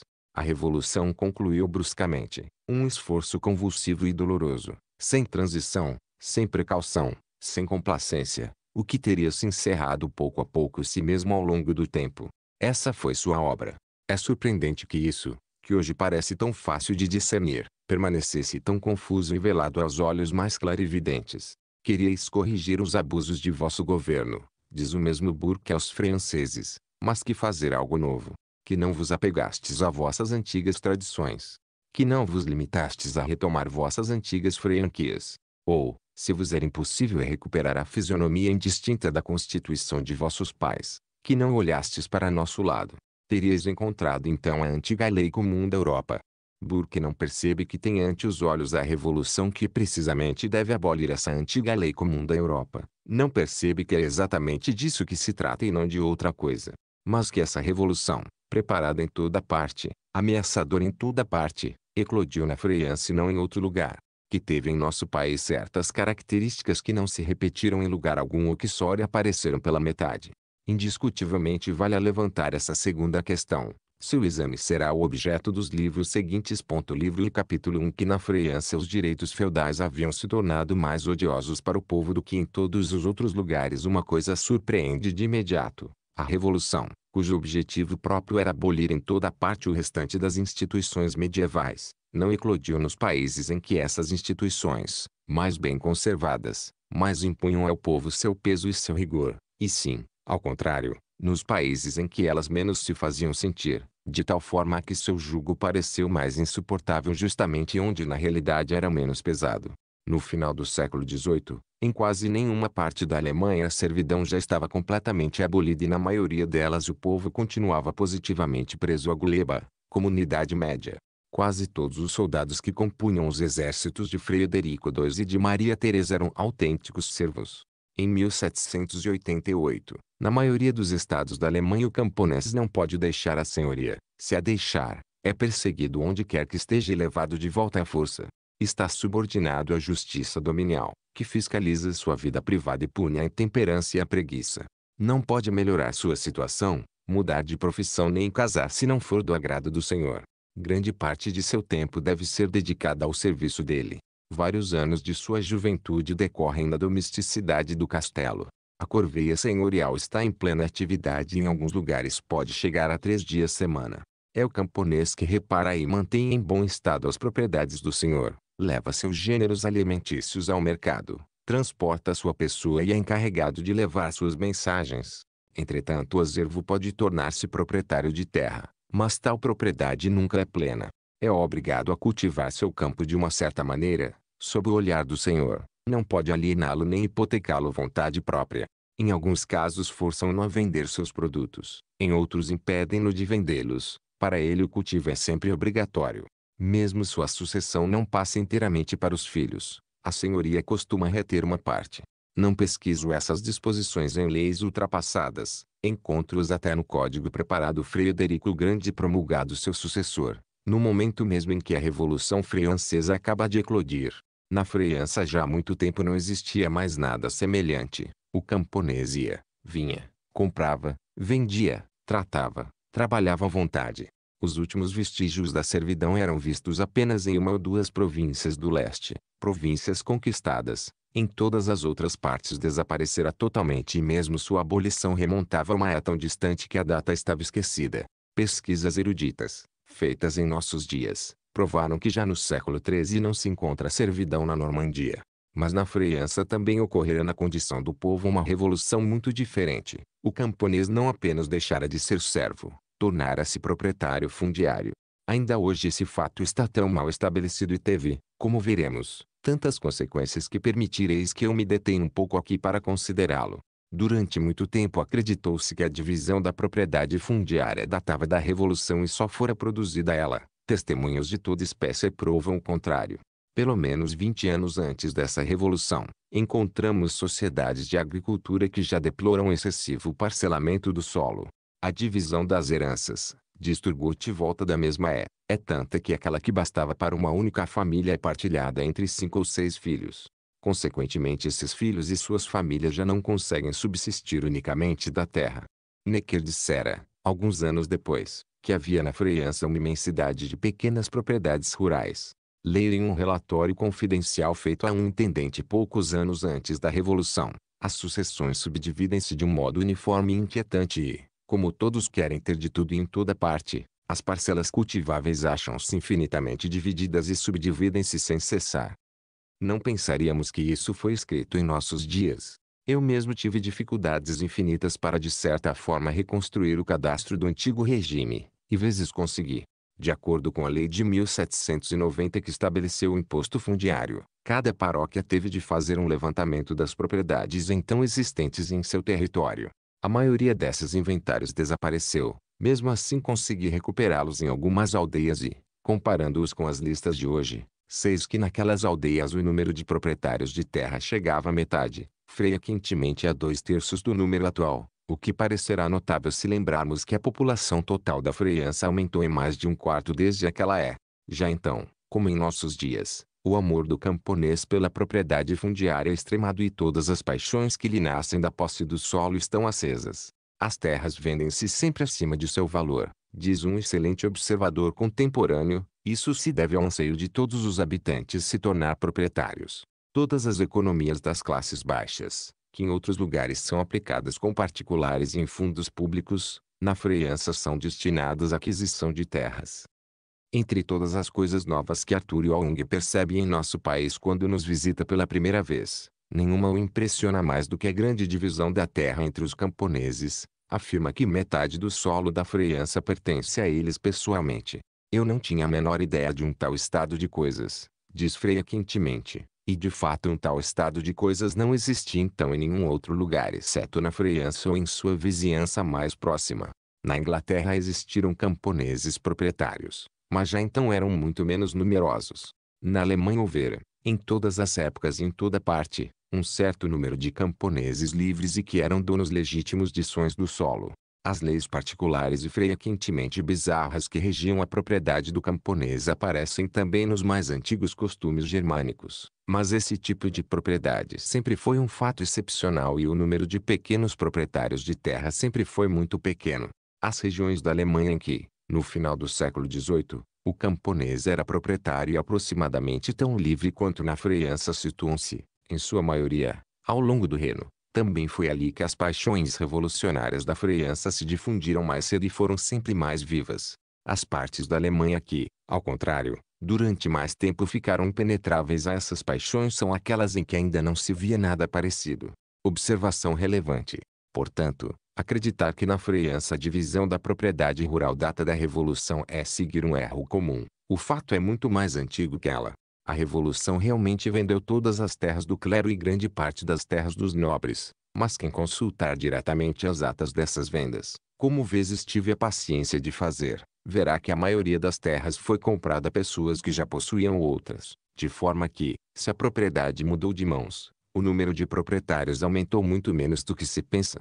Já havia na França uma imensidade deles, de acordo com a expressão temerária, mas correta neste caso, de Necker, a revolução não teve como efeito dividir o solo e sim liberá-lo um momento. De fato, todos esses pequenos proprietários eram muito coibidos na exploração de suas terras e suportavam muitas sujeições das quais não lhes era permitido se libertar.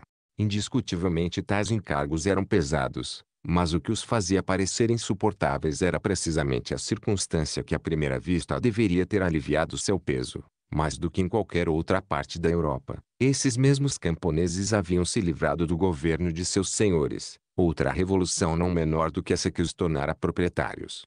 Embora o antigo regime ainda esteja muito próximo de nós, visto que encontramos diariamente homens que nasceram sob suas leis, já parece perder-se na noite dos tempos. A revolução radical que dele nos separa produziu o efeito de séculos, obscureceu tudo que não destruía, Portanto há hoje poucas pessoas que possam responder com exatidão esta simples pergunta. Como eram administrados os campos antes de 1789? E de fato não seria possível responder precisamente com detalhes sem ter estudado não os livros, mas os arquivos administrativos daquela é. Freia ouvi dizerem, a nobreza, que há muito tempo deixara de tomar parte no governo do Estado, conservar até o fim a administração dos campos, seus senhores governavam os camponeses. Na verdade isso é um equívoco. No século XVIII, Todos os assuntos da paróquia eram conduzidos um certo número de funcionários que não eram mais agentes da senhoria que o senhor não mais escolhia. Uns eram nomeados pelo intendente da província, outros eram eleitos pelos próprios camponeses. Cabia a essas autoridades repartir o imposto, reparar as igrejas, construir as escolas, reunir e presidir a assembleia da paróquia. Zelavam pelos bens comunais e regulamentavam seu uso, intentavam e defendiam em nome da comunidade os processos. Não apenas o Senhor já não dirigia a administração de todos esses pequenos assuntos locais como também não a fiscalizava. Todos os funcionários da paróquia estavam sob o governo ou sob o controle do poder central, como mostraremos no próximo capítulo. Mas ainda, já quase não se viu o Senhor agir como representante do rei na paróquia, como intermediário entre ele e os habitantes. Já não está encarregado de aplicar ali as leis gerais do Estado, de reunir as milícias, cobrar as taxas, publicar as ordens do príncipe, distribuir os auxílios. Todos esses deveres e todos esses direitos pertencem a outros. Na realidade o Senhor não é mais que um habitante a quem imunidades e privilégios separam e isolam de todos os outros. Sua condição é diferente, não seu poder. O Senhor não é mais que um primeiro habitante, cuidam de dizer os intendentes nas cartas a seus subdelegados. Se sairdes da paróquia e considerardes o cantão, vereis novamente o mesmo cenário. Em parte alguns nobres administram juntos, não mais que individualmente. E isso era específico da freança. Todos os outros lugares conservavam parcialmente a marca característica da antiga sociedade feudal. A posse da terra e o governo dos habitantes ainda se confundiam. A Inglaterra era tanto administrada quanto governada pelos principais proprietários do solo. Mesmo nas partes da Alemanha em que melhor haviam conseguido subtrair-se a tutela dos nobres nos assuntos gerais do Estado, como na Prússia e na Áustria, os príncipes deixaram-lhes uma grande parcela da administração dos campos, e, se em certos locais chegaram a controlar o senhor, em parte algumas já haviam tomado seu lugar. Na verdade, já há muito tempo os nobres franceses nada mais tinham a ver com a administração pública, a não ser em um único ponto, a justiça. Os principais dentre eles haviam conservado o direito de ter juízes que decidiam em seu nome certos processos, e ainda estabeleciam ocasionalmente regulamentos de polícia dentro da senhoria, mas o poder régio gradualmente encolhera, limitara, subordinara a justiça senhorial, a ponto de os senhores que ainda exerciam considerarem-na menos um poder do que um rendimento. O mesmo acontecia com todos os direitos específicos da nobreza. A parte política havia desaparecido, Apenas a parte pecuniária permanecera e às vezes aumentara fortemente. Agora quero falar apenas daquela parcela de privilégios úteis que portava excelência o nome de direitos feudais, porque são eles particularmente que afetam o povo. É difícil dizer hoje em que esses direitos consistiam ainda em 1789, pois seu número fora imenso, sua diversidade, prodigiosa, e muitos já haviam desaparecido ou tinham se transformado, de forma que o sentido das palavras que os designavam, já confuso para os contemporâneos, tornou-se muito obscuro para nós. Mesmo assim, consultando os livros dos feudistas do século XVIII e pesquisando com atenção os usos locais, percebe-se que todos os direitos ainda existentes podem ser reduzidos a um pequeno número de espécies principais. Todos os outros subsistem, é verdade, e não são mais que espécimes isolados. Em toda parte os vestígios da corveia senhorial estão semi-apagados, a maioria dos direitos de pedágio sobre as estradas moderou-se ou foi eliminada. Mesmo assim, são poucas as províncias em que não existem ainda vários deles. Em todas, os senhores recolhem direitos sobre as feiras e nos mercados. Sabe-se que na freança inteira eles gozavam do direito exclusivo de caça. Em geral, são os únicos a possuírem pombais e pombos. Em quase toda parte obrigam o camponês a moer o cereal em seu moinho e espremer a uva em seu lagar. Um direito universal e muito oneroso é o dos lodesetiventes. É um imposto pago ao senhor cada vez que se vendem ou se compram terras nos limites da senhoria. Fim. Em toda a extensão do território a terra está sobrecarregada de censos, de rendas fundiárias e de prestações em dinheiro ou em produtos que são devidas ao senhor pelo proprietário e das quais este não pode se liberar. Através de todas essas diversidades observa-se uma característica em comum. Todos esses direitos relacionam-se menos ou mais com o solo ou com seus produtos. Todos atingem aquele que o cultiva. Sabe-se que os senhores eclesiásticos gozavam das mesmas vantagens, pois a igreja, que diferia da feudalidade quanto à origem, destinação e natureza, mesmo assim acabara mesclando-se intimamente a ela e, embora nunca tivesse se incorporado totalmente a essa substância distinta, penetrara tão profundamente nela que ali permanecia como que incrustada. Assim, em virtude de suas funções eclesiásticas, bispos, cônegos, abades possuíam feudos ou propriedades censitárias. Geralmente o convento tinha a senhoria da aldeia em cujo território se situava. Tinha servos na única parte da freança onde ainda existiam, empregava corveia, cobrava direitos sobre as feiras e os mercados, tinha seu forno, seu moinho, seu lagar, seu touro banal. Ademais, na freança como em todo o mundo cristão, o clero gozava do direito de dízimo. Mas o que me importa aqui é destacar que, em toda a Europa de então, existiam os mesmos direitos feudais, precisamente os mesmos, e que na maior parte dos países do continente eles eram muito mais pesados. Citarei apenas a corveia senhorial. Na França, ela era rara e leve. Na Alemanha, ainda era universal e pesada. Mas ainda, vários dos direitos de origem feudal que mais revoltaram nossos pais, que eles consideravam contrários não apenas à justiça mas à civilização, o dízimo, as rendas fundiárias inalienáveis, as prestações perpétuas, os lodesetiventes, o que na linguagem um tanto enfática do século XVIII chamavam de a servidão da terra traço. Todas essas coisas também existiam então, em parte, entre os ingleses, várias existem ainda hoje. Elas não impedem a agricultura inglesa de ser a mais aperfeiçoada e a mais rica do mundo, e o povo inglês mal percebe que existem. Assim sendo, que na França os mesmos direitos feudais excitaram no coração do povo um ódio tão forte que sobreviveu a seu próprio objeto e parece inextinguível. A causa desse fenômeno é, um lado, que o camponês francês se tornara proprietário de terra e, outro, que se livrara inteiramente do governo de seu senhor. Há ainda muitas outras causas, sem dúvida, mas penso que estas são as principais. Se não tivesse possuído o solo, o camponês seria como que insensível a vários dos encargos que o sistema feudal fazia pesar sobre a propriedade rural. Que importa o dízimo a quem é apenas arrendatário? Ele o retira do produto do arrendamento que importa a renda fundiária a quem não é proprietário do fundo, que importam até mesmo os problemas da plantação a quem planta para outro. Outro lado, se o camponês francês ainda fosse administrado seu senhor, os direitos feudais teriam lhe parecido bem menos insuportáveis, porque os teria visto apenas como uma consequência natural da constituição do país. Quando a nobreza possui não apenas privilégios mas poderes, quando governa e administra, seus direitos particulares podem simultaneamente ser maiores e menos sentidos. Nos tempos feudais, considerava-se a nobreza mais ou menos com os mesmos olhos com que hoje se considera o governo. Os encargos que ela impunha eram tolerados em vista das garantias que proporcionava. Os nobres tinham privilégios incômodos, possuíam direitos onerosos, mas garantiam a ordem pública, distribuíam justiça, faziam executar a lei, vinham em socorro do friaco, conduziam os assuntos de interesse comum, à medida que a nobreza deixa de fazer essas coisas, o peso de seus privilégios vai parecendo maior e finalmente mesmo sua existência já não é compreendida. Peço que imagineis o camponês francês do século XVIII, ou melhor, esse que conheceis, pois é sempre o mesmo. Sua condição mudou, mas não sua índole. Vede-o tal como os documentos que citei o descreveram, tão apaixonadamente enamorado da terra que destina-o comprá-la todas suas economias e compra a qualquer preço.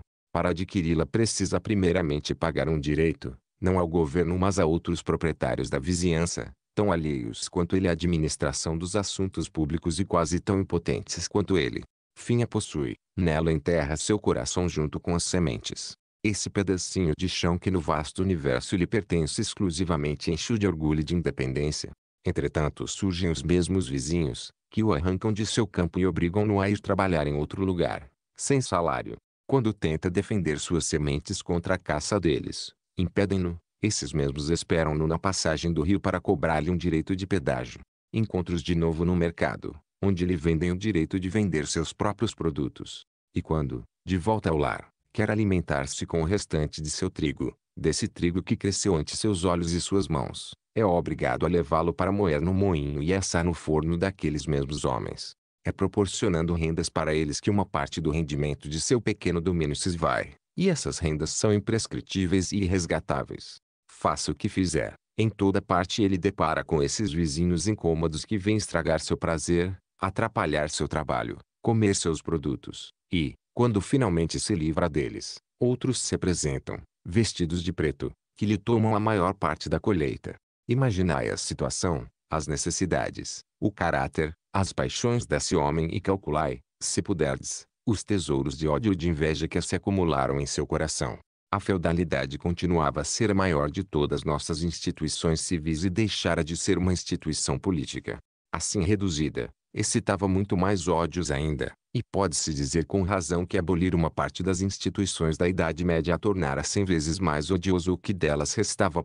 Capítulo 2 Que a centralização administrativa é uma instituição do antigo regime e não uma obra da Revolução nem do Império, como se diz ouvi outrora, no tempo em que tínhamos assembleias políticas na França, um orador dizer, falando da centralização administrativa, essa bela conquista da Revolução, que a Europa nos inveja. Quero crer que a centralização seja uma bela conquista, admito que a Europa inveja de nós, mas afirmo que não é uma conquista da Revolução. Ao contrário, é um produto do antigo regime e, acrescentarei, a única parte da constituição política do antigo regime que sobreviveu à Revolução, porque era a única que podia adaptar-se ao novo estado social que essa revolução criou. O leitor que tiver a paciência de ler com atenção este capítulo talvez venha achar que provei sobejamente minha tese. Peço que me permitam primeiramente deixar de lado os assim chamados pais do etats, isto é, as províncias que se administram, ou melhor, que ainda pareciam, em parte, administrar a si mesmas. Os pais do etats, situados nas extremidades do reino, não continham mais que um quarto da população total da França e, entre eles, havia apenas dois em que a liberdade provincial estava realmente viva. Voltarei posteriormente aos pais detatos e mostrarei a que ponto o poder central havia sujeitado até mesmo eles às regras comuns 1. Quero tratar aqui principalmente dos que a língua administrativa denominava pais da election 2, embora neles houvesse menos eleições que em qualquer outra parte. Envolviam Paris todos os lados, estavam todos interligados e formavam o coração e a melhor parte do corpo da França. Quando lançamos um primeiro olhar sobre a antiga administração do reino, inicialmente tudo parece diversidade de regras e de autoridade, encavalamento de poderes. A França está repleta de corpos administrativos onde funcionários isolados que não dependem uns dos outros e que tomam parte no governo em virtude de um direito que compraram e que não lhes pode ser tomado. Suas atribuições frequentemente são tão entremescladas e tão contíguas que eles se acotovelam e se entrechocam no círculo dos mesmos assuntos. Cortes de Justiça participam indiretamente do poder legislativo, tem o direito de fazer regulamentos administrativos que vigem nos limites de sua competência. Às vezes enfrentam a administração propriamente dita, criticam ruidosamente suas medidas e decretam contra seus agentes. Simples juízes fazem regulamentos de polícia nas cidades e burgos onde residem.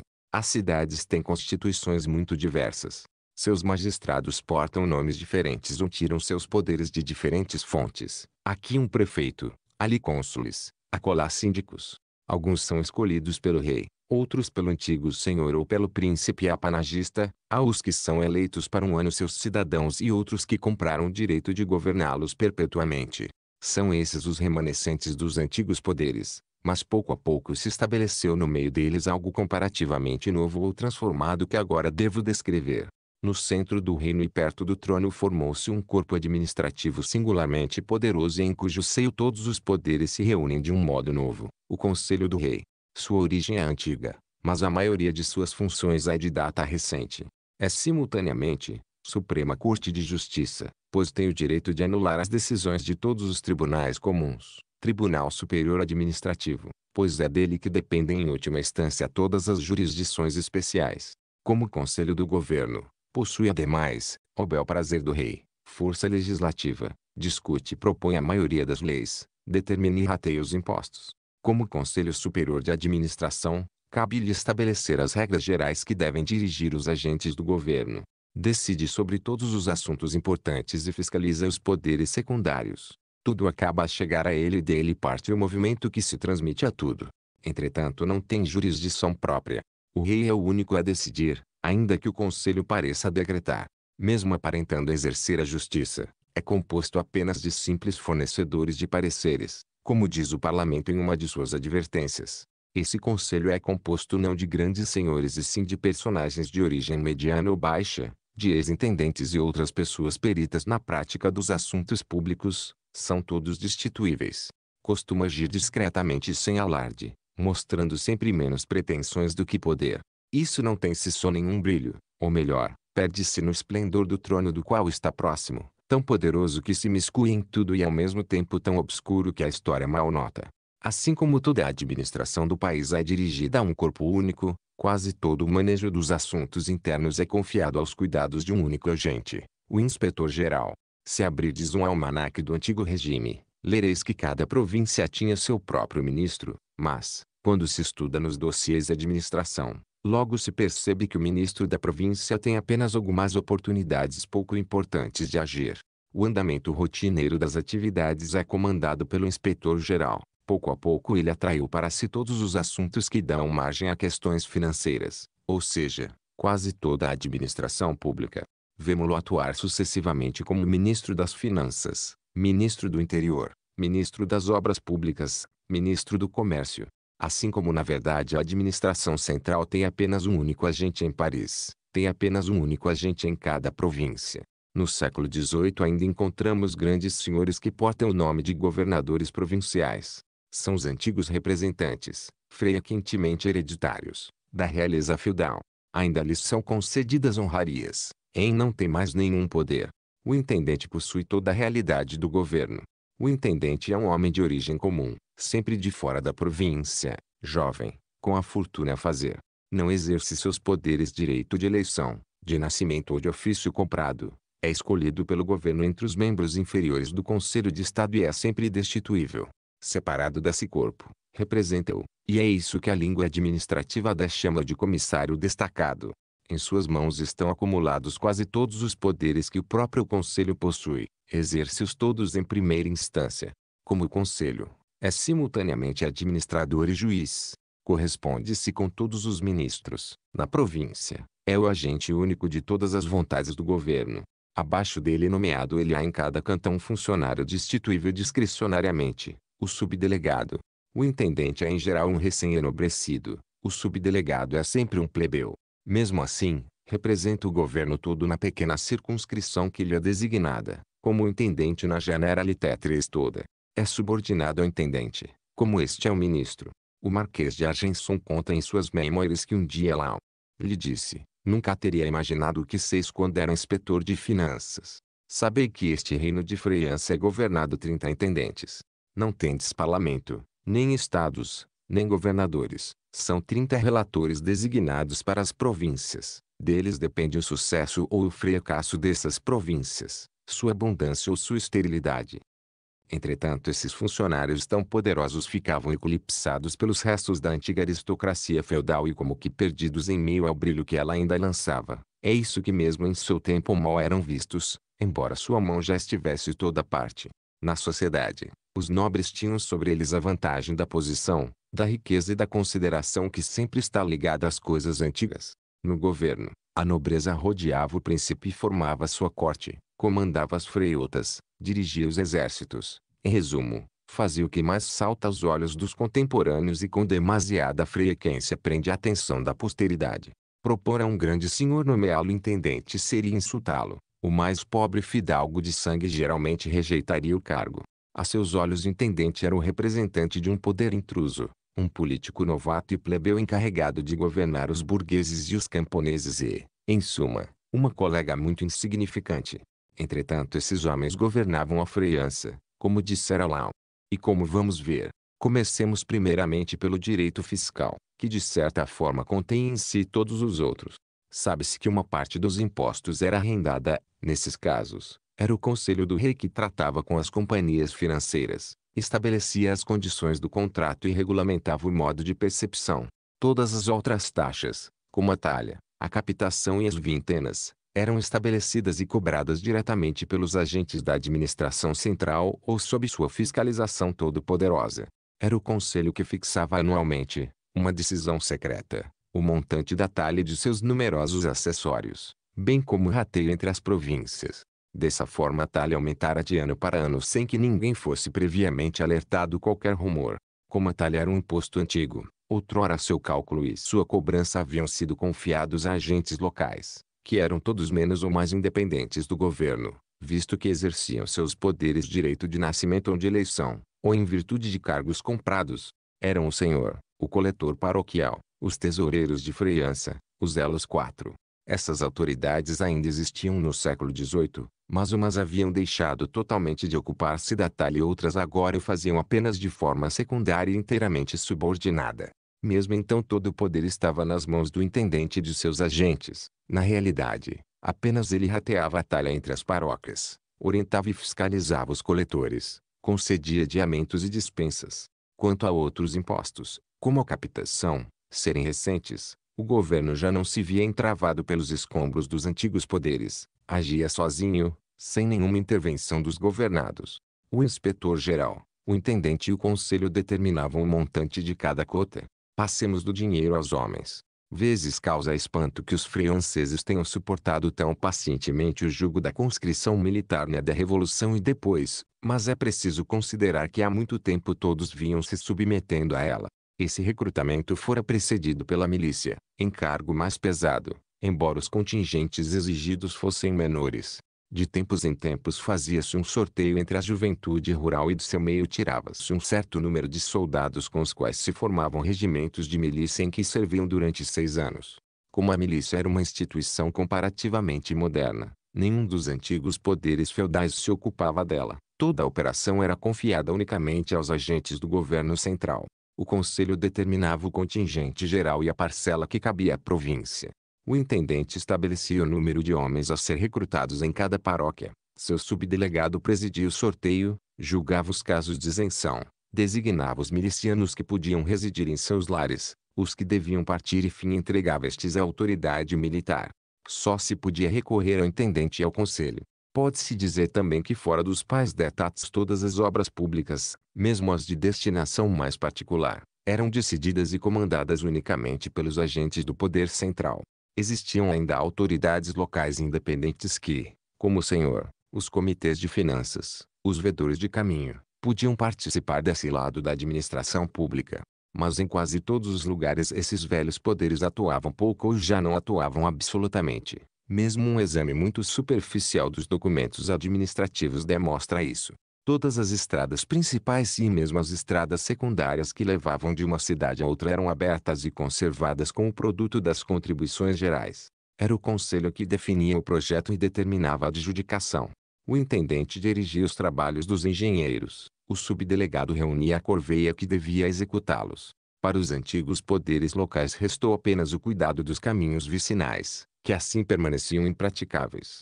O grande agente do governo central em matéria de obras públicas era, como atualmente, o Corpo de Viação e Obras Públicas. Aqui tudo se parece de um modo singular, apesar da diferença de épocas. A administração das obras públicas tem um conselho e uma escola, inspetores que percorrem anualmente toda a freança, engenheiros que residem no local da obra e, sob as ordens do intendente, são encarregados de dirigir todos os trabalhos. As instituições do antigo regime que, em número muito maior do que se supõe, foram transportadas para a nova sociedade e geralmente perderam nessa passagem seus nomes, mesmo quando conservaram as formas, mas estas conservaram ambos, um fato raro. O governo central encarregava-se sozinho, auxiliado seus agentes, de manter a ordem pública nas províncias. A polícia montada cobria em pequenas brigadas toda a área do reino e em toda parte estava sob o comando dos intendentes. Era com auxílio desses soldados e, se necessário, do exército que o intendente enfrentava todos os gritos inesperados, prendia os vagabundos, reprimia a mendicância e sufocava os motins que o preço dos cereais constantemente gerava.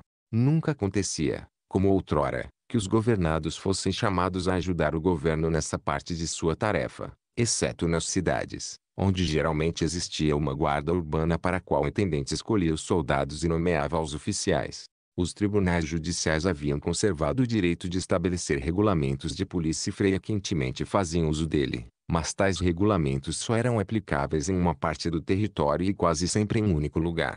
O conselho sempre podia anulá-los e volta e meios anulava, quando se tratava das jurisdições inferiores. Ele, sua vez, fazia cotidianamente regulamentos gerais, aplicáveis a todo o reino, tanto sobre matérias diferentes das que os tribunais haviam regulamentado como sobre as mesmas matérias regulamentadas de modo diferente. O número desses regulamentos ou, como se dizia então, desses decretos do Conselho é imenso e aumenta sem cessar à medida que a Revolução se aproxima. Durante os 40 anos que a precedem não há praticamente nenhuma parte da economia social ou da organização política que não tenha sido remanejada a decretos do Conselho. Na antiga sociedade feudal, o senhor possuía grandes direitos mas tinha também grandes encargos. A ele cabia socorrer os indigentes no interior de seus domínios. Encontramos um último vestígio dessa velha legislação europeia no Código Prussiano de 1795, que reza: o senhor deve zelar para que os camponeses pobres recebam educação. Deve, tanto quanto possível, proporcionar meios de vida para os seus vassalos que não tiverem terra. Se algum deles cair em indigência, é obrigado a socorrê-lo. Na França já desde muito tempo não existia nenhuma lei semelhante a essa. Como haviam tirado do Senhor seus antigos poderes, ele se subtraíra às suas antigas obrigações. Nenhuma autoridade local, nenhum conselho, Nenhuma associação provincial ou paroquial assumira seu lugar. Ninguém mais estava obrigado lei a ocupar-se dos pobres dos campos. O governo central ousadamente decidira prover sozinho as necessidades deles. Todos os anos o conselho destinava a cada província, do produto geral das taxas, certos fundos que o intendente distribuía para socorrer as paróquias. Era ele que o agricultor necessitado devia dirigir-se. Nos períodos de escassez, era o intendente que mandava distribuir trigo ou arroz para o povo. O conselho anualmente publicava decretos ordenando que fossem estabelecidas, em certos lugares que ele mesmo tinha um cuidado de indicar, oficinas de caridade onde os camponeses mais pobres podiam trabalhar mediante um pequeno salário. É fácil concluir que uma caridade feita de tão longe frequentemente era cega ou errática e sempre muito insuficiente. O governo central não se limitava a ir em socorro dos camponeses em suas misérias, pretendia ensinar-lhes a arte de enriquecer, ajudá-los nisso e, se necessário, forçá-los. Com essa finalidade, de tempos em tempos mandava seus intendentes e subdelegados distribuírem pequenos textos sobre a arte agrícola, fundava sociedades de agricultura, prometia prêmios, mantinha com altos custos sementeiras cujos produtos distribuía. Parece que teria sido mais eficaz aliviar o peso e diminuir a desigualdade dos encargos que oprimiam então a agricultura, mas não se vê que ele tenha sequer pensado nisso. Às vezes o conselho resolvia obrigar os particulares a prosperar, quisessem ou não. Os decretos que forçam os artesãos a utilizar determinados métodos e a fabricar determinados produtos são inúmeros, e, como os intendentes não eram suficientes para fiscalizar a aplicação de todas essas regras, existiam inspetores gerais da indústria que percorriam as províncias para fazer isso de perto. Há decretos do Conselho que proíbem certas culturas em terras que esse mesmo Conselho declara pouco apropriadas para elas. Em outros, ordena que se destruam vinhedos que, segundo ele, foram plantados em solo ruim. O governo já havia passado do papel de soberano para o de tutor. 1. Ver o apêndice. 2. Literalmente, país, países de eleição, circunscrições administradas pelos elos, agentes régios cuja principal função era ratear e recolher a talha e alguns outros impostos. 3. Circunscrição financeira inicialmente dirigida a um general de finanças. Como no século XVII as generalités passaram a ser administradas intendentes, o termo tornou-se sinônimo usual de intendance, embora a generalité e a intendência nem sempre coincidissem exatamente. Em 1789 havia na França 36 generalités. 4. Ver a nota 2, página 41. Capítulo 3 Como o que hoje se denomina tutela administrativa é uma instituição do antigo regime na França, a liberdade municipal sobreviveu ao feudalismo. Quando os senhores já não administravam os campos, as cidades ainda conservavam o direito de governar-se. Até volta do final do século XVII encontram-se cidades que continuam a formar como que pequenas repúblicas democráticas, em que os magistrados são livremente eleitos todo o povo e responsáveis perante ele, em que a vida municipal é pública e ativa, em que a cidade ainda se mostra orgulhosa de seus direitos e muito ciosa de sua independência. Só em 1692 as eleições foram indistintamente abolidas pela primeira vez. Então as funções municipais foram colocadas em ofícios, ou seja, em cada cidade o rei vendeu para alguns habitantes o direito de governarem perpetuamente todos os outros. Isso equivalia a sacrificar, junto com a liberdade das cidades, seu bem-estar, pois, se a disponibilização das funções públicas em ofícios frequentemente teve efeitos benéficos quando se tratou dos tribunais, visto que a primeira condição para uma boa justiça é a total independência do juiz, nunca deixou de ser muito funesta sempre que se tratou da administração propriamente dita, em que acima de tudo é preciso encontrar responsabilidade, subordinação e zelo. O governo da antiga monarquia não cometia equívocos quanto a isso. Tomava todo cuidado em não fazer uso para si mesmo do regime que impunha cidades e tratava de não colocar em ofícios as funções de subdelegado e intendente. E, o que merece todo o desprezo da história, essa grande revolução foi realizada sem nenhum objetivo político. Luís XI havia restringido as liberdades municipais porque seu cunho democrático assustava. Luís XIV eliminou-as sem temê-las. Prova disso é que as devolveu a todas as cidades que conseguiram comprá-las de volta. Na realidade, pretendia menos aboli-las do que comerciar com elas. Se as aboliam de fato, foi, assim dizer, sem intenção, puro expediente financeiro. E, coisa estranha, o mesmo jogo prossegue durante 80 anos. Sete vezes nesse período é vendido às cidades o direito de eleger seus magistrados, e, cada vez que elas experimentaram novamente esse doce gosto, tal direito lhes foi novamente tomado para ser-lhes revendido. O motivo da medida é sempre o mesmo e muitas vezes é claramente admitido, as necessidades de nossas finanças, diz o preâmbulo do Edito de 1722, obrigam-nos a procurar os meios mais seguros de aliviá-las. O meio era seguro, em ruinoso para os que arcavam com esse estranho imposto. Estou impressionado com a enormidade dos recursos públicos que foram gastos em todos os tempos para recomprar os ofícios municipais, escreve o intendente ao inspetor-geral em 1764. Empregado em obras úteis, o montante desse dinheiro teria redundado em proveito para a cidade, que, ao contrário, sentiu apenas o peso da autoridade dos privilégios desses ofícios. Não vejo em toda a fisionomia do antigo regime um traço mais vergonhoso que esse.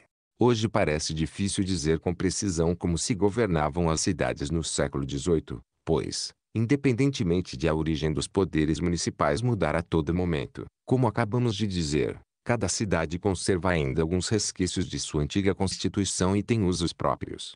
Talvez não haja na França duas cidades em que tudo seja absolutamente igual, mas essa é uma diversidade enganosa que esconde a similitude. Em 1764, o governo decidiu instituir uma lei geral sobre a administração das cidades. Mandou que seus intendentes lhe enviassem relatórios sobre a maneira como se passavam então as coisas em cada uma delas. Encontrei uma parte dessa enquete e, lendo-a, acabei de convencer-me de que os assuntos municipais eram conduzidos mais ou menos do mesmo modo em toda parte. As diferenças são apenas superficiais e aparentes. O fundo é o mesmo em todo lugar. Quase sempre o governo das cidades é confiado a duas assembleias. Todas as grandes cidades estão nesse caso, bem como a maioria das pequenas. A primeira assembleia é composta de oficiais municipais, menos ou mais numerosos de acordo com o lugar. É o poder executivo da comuna, o corpo da cidade, como se dizia então. Seus membros exercem um poder temporário e são eleitos, desde que o rei tenha estabelecido a eleição ou que a cidade tenha conseguido recomprar os ofícios, ocupam seu cargo perpetuamente, mediante pagamento em dinheiro, quando o rei houver restabelecido os ofícios e conseguido vendê-los, o que nem sempre acontece, pois esse tipo de mercadoria vai se depreciando cada vez mais à medida que a autoridade municipal mais se subordina ao poder central. Em todos os casos esses oficiais municipais não recebem salário, mas tem sempre isenções de impostos e privilégios. Não há nenhuma ordem hierárquica entre eles. A administração é coletiva. Não se vê magistrado que a dirija pessoalmente e responda a ela. O prefeito é o presidente da municipalidade, não o administrador da cidade. A segunda Assembleia, denominada Assembleia Geral, elege a municipalidade onde ainda há eleição e em todos os lugares continua a participar dos principais assuntos públicos. No século XV, a Assembleia Geral freia quentemente se compunha de todo o povo. Esse uso, diz um dos relatórios da enquete, estava de acordo com o gênio popular de nossos antepassados. Era o povo todo que então elegia seus oficiais municipais. Ele é que às vezes era consultado, era ele que se prestavam contas. No final do século XVII isso ainda ocorre ocasionalmente. No século XVIII, não é mais o próprio povo agindo em conjunto que forma a Assembleia Geral. Ela é quase sempre representativa. Mas o que se precisa ponderar bem é que em lugar nenhum ela ainda é eleita pela massa do público ou expressa seu espírito. Em todo lugar é composta de notáveis, alguns dos quais estão ali em virtude de um direito que lhes é próprio, os outros são enviados corporações ou companhias e cada qual cumpre um mandato imperativo que essa pequena sociedade particular lhe deu. À medida que se avança no século, o número de notáveis de direito multiplica-se nessa Assembleia, Os deputados das corporações industriais tornam-se menos numerosos ou desaparecem. Agora existem apenas os dos corpos, ou seja, a Assembleia contém somente burgueses e praticamente já não aceita artesãos. Então o povo, que não se deixa enganar tão facilmente quanto se imagina pelas vãs aparências de liberdade, em toda parte deixa de interessar-se pelos assuntos da comuna e vive no interior de seus próprios muros como um forasteiro. Inutilmente seus magistrados de vez em quando tentam despertar-lhe aquele patriotismo municipal que fez tantas maravilhas na Idade Média, ele permanece surdo. Parece que os maiores interesses da cidade já não lhe dizem respeito. Gostariam que fosse votar, nas ocasiões em que julgam conveniente conservar a vã imagem de uma eleição livre. Ele teima em abster-se. Nada mais comum na história que um cenário como esse. Quase todos os príncipes que destruíram a liberdade tentaram inicialmente manter-lhe as formas. É o que se viu desde Augusto até nossos dias. Eles se orgulhavam de assim reunir a força moral que o assentimento público sempre proporciona às comodidades que apenas o poder absoluto pode conferir. Quase todos fracassaram nesse empreendimento e logo descobriram que era impossível fazer durar muito tempo essas aparências mentirosas quando a realidade não existia mais. Assim, no século XVIII, em toda parte o governo municipal das cidades tinha degenerado em uma pequena oligarquia. Algumas famílias conduziam com fins particulares todos os assuntos, longe dos olhos do público e sem serem responsáveis perante ele. É uma doença que atinge essa administração na França inteira. Todos os intendentes apontam-na, mas o único remédio que imaginam é sujeitar cada vez mais os poderes locais ao governo central. Entretanto era difícil fazer isso melhor do que já se havia feito. Independentemente dos éditos que de tempos em tempos modificam a administração de todas as cidades, as leis particulares a cada uma frequentemente são conturbadas regulamentos do conselho não registrados, feitos com base nas propostas dos intendentes, sem enquete prévia e às vezes sem que os próprios habitantes da cidade suspeitem. Essa medida, dizem os habitantes de uma cidade que fora atingido um desses decretos, surpreendeu todas as ordens da cidade, que não esperavam nada parecido.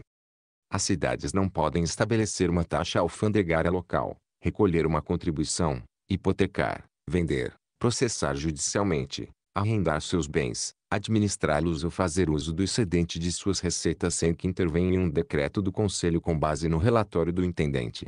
Todas suas obras são executadas de acordo com projetos e orçamentos que o Conselho aprovou decreto. É perante o intendente ou seus subdelegados que são adjudicadas e geralmente é o engenheiro ou o arquiteto do Estado que as dirige. Isso surpreenderá bastante aqueles que pensam que tudo que se vê na França é novo. Mas o governo central invade a administração das cidades ainda muito mais do que essa norma indica. Seu poder ali estende-se muito além de seu direito. Leia em uma circular enviada, em meados do século, pelo inspetor-geral a todos os intendentes, dareis especial atenção a tudo o que acontece nas assembleias municipais. Fareis com que vos apresentem o relato mais exato possível sobre elas e que vos remetam todas as deliberações que forem tomadas, para que os envieis imediatamente a mim com vosso parecer. De fato, a correspondência entre o intendente e seus subdelegados mostra que o governo dá as cartas em todos os assuntos das cidades, nos menores como nos mais importantes consultam-nos sobre tudo e ele tem um parecer decidido sobre tudo, regulamenta até as festas. É ele que, em certos casos, comanda os testemunhos do regozijo público, que manda acender as fogueiras festivas e iluminar as casas. Encontra um intendente que multa em 20 libras membros da milícia burguesa que faltaram ao Tideu. Isso os oficiais municipais têm uma noção adequada de sua nulidade. Muito humildemente vos rogamos, Monsenhor 5, escrevem alguns ao intendente, que nos concedais vossa benevolência e vossa proteção. Tentaremos não nos tornarmos indignos delas, nossa submissão a todas as ordens de vossa grandeza. Nunca opusemos resistência a vossas vontades, Monsenhor, escrevem outros que ainda se intitulam pomposamente pares da cidade. É assim que a classe burguesa se prepara para o governo e o povo se prepara para a liberdade. Se essa estrita dependência das cidades pelo menos tivesse preservado suas finanças, mas não foi o que aconteceu.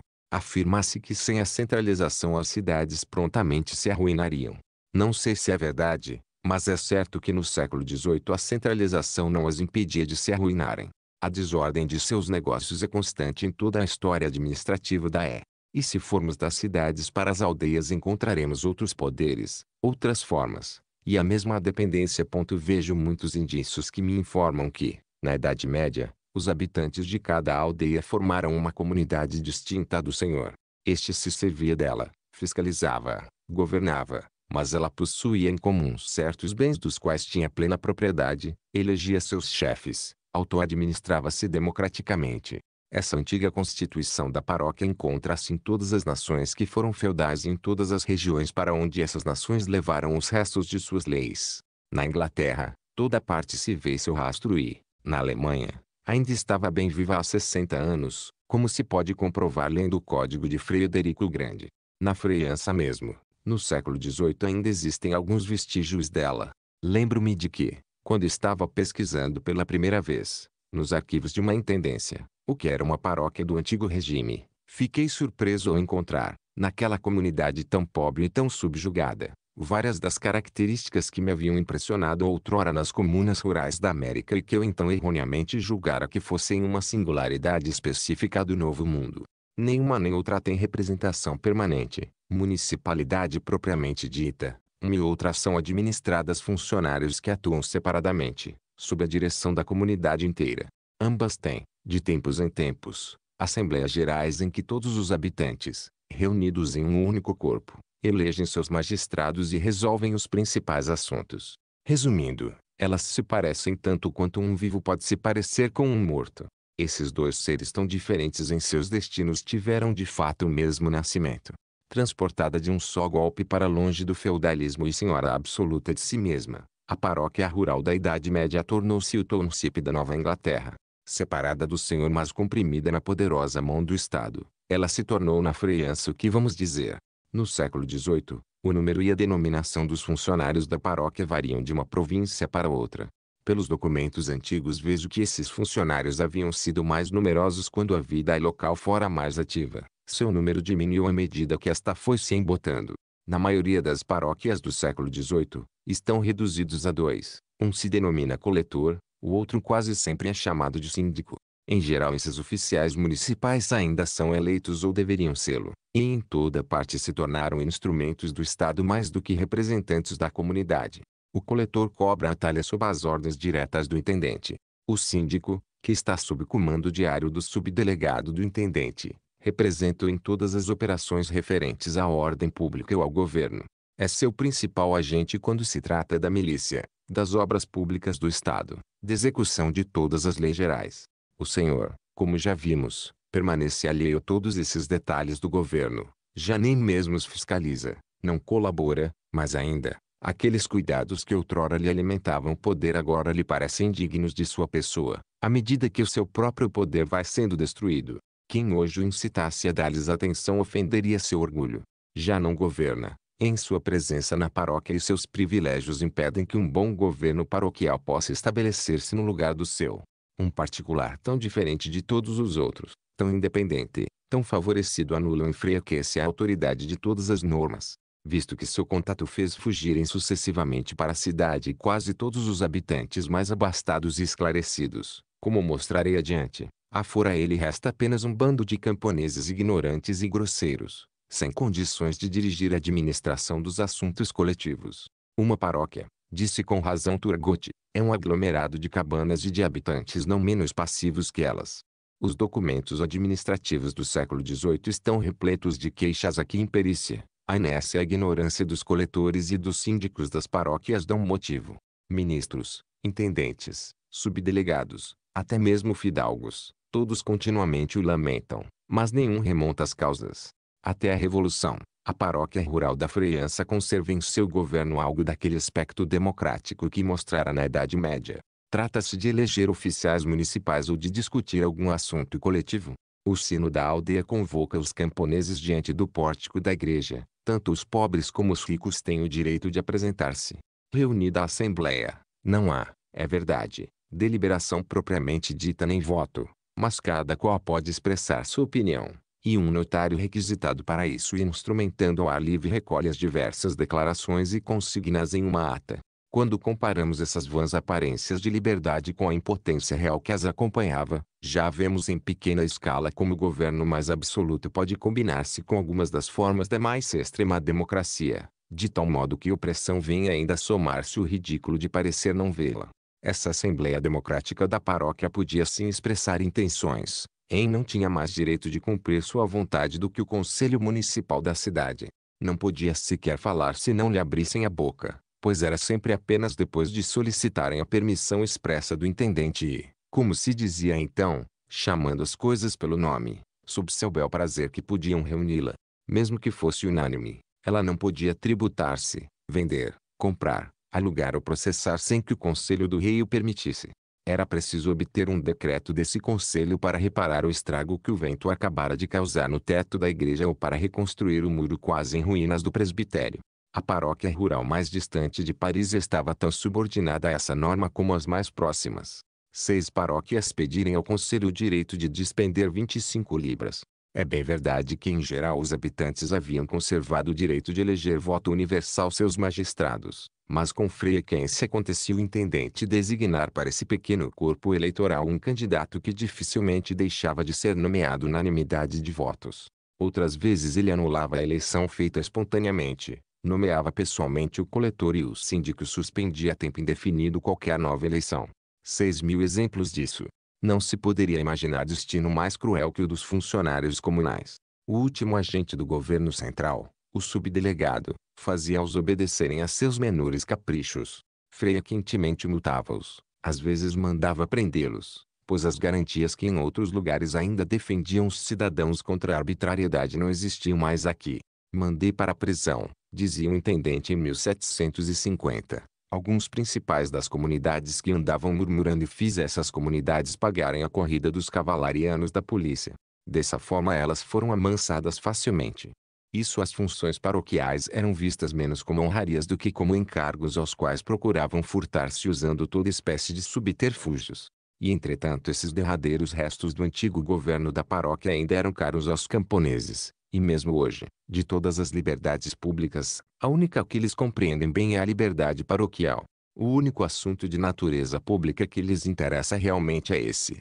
Alguém que de bom grado deixe o governo de toda a nação na mão de um senhor recalcitre ante a ideia de não poder dar opinião na administração de sua aldeia, tanto é o peso que ainda existe nas formas mais vazias.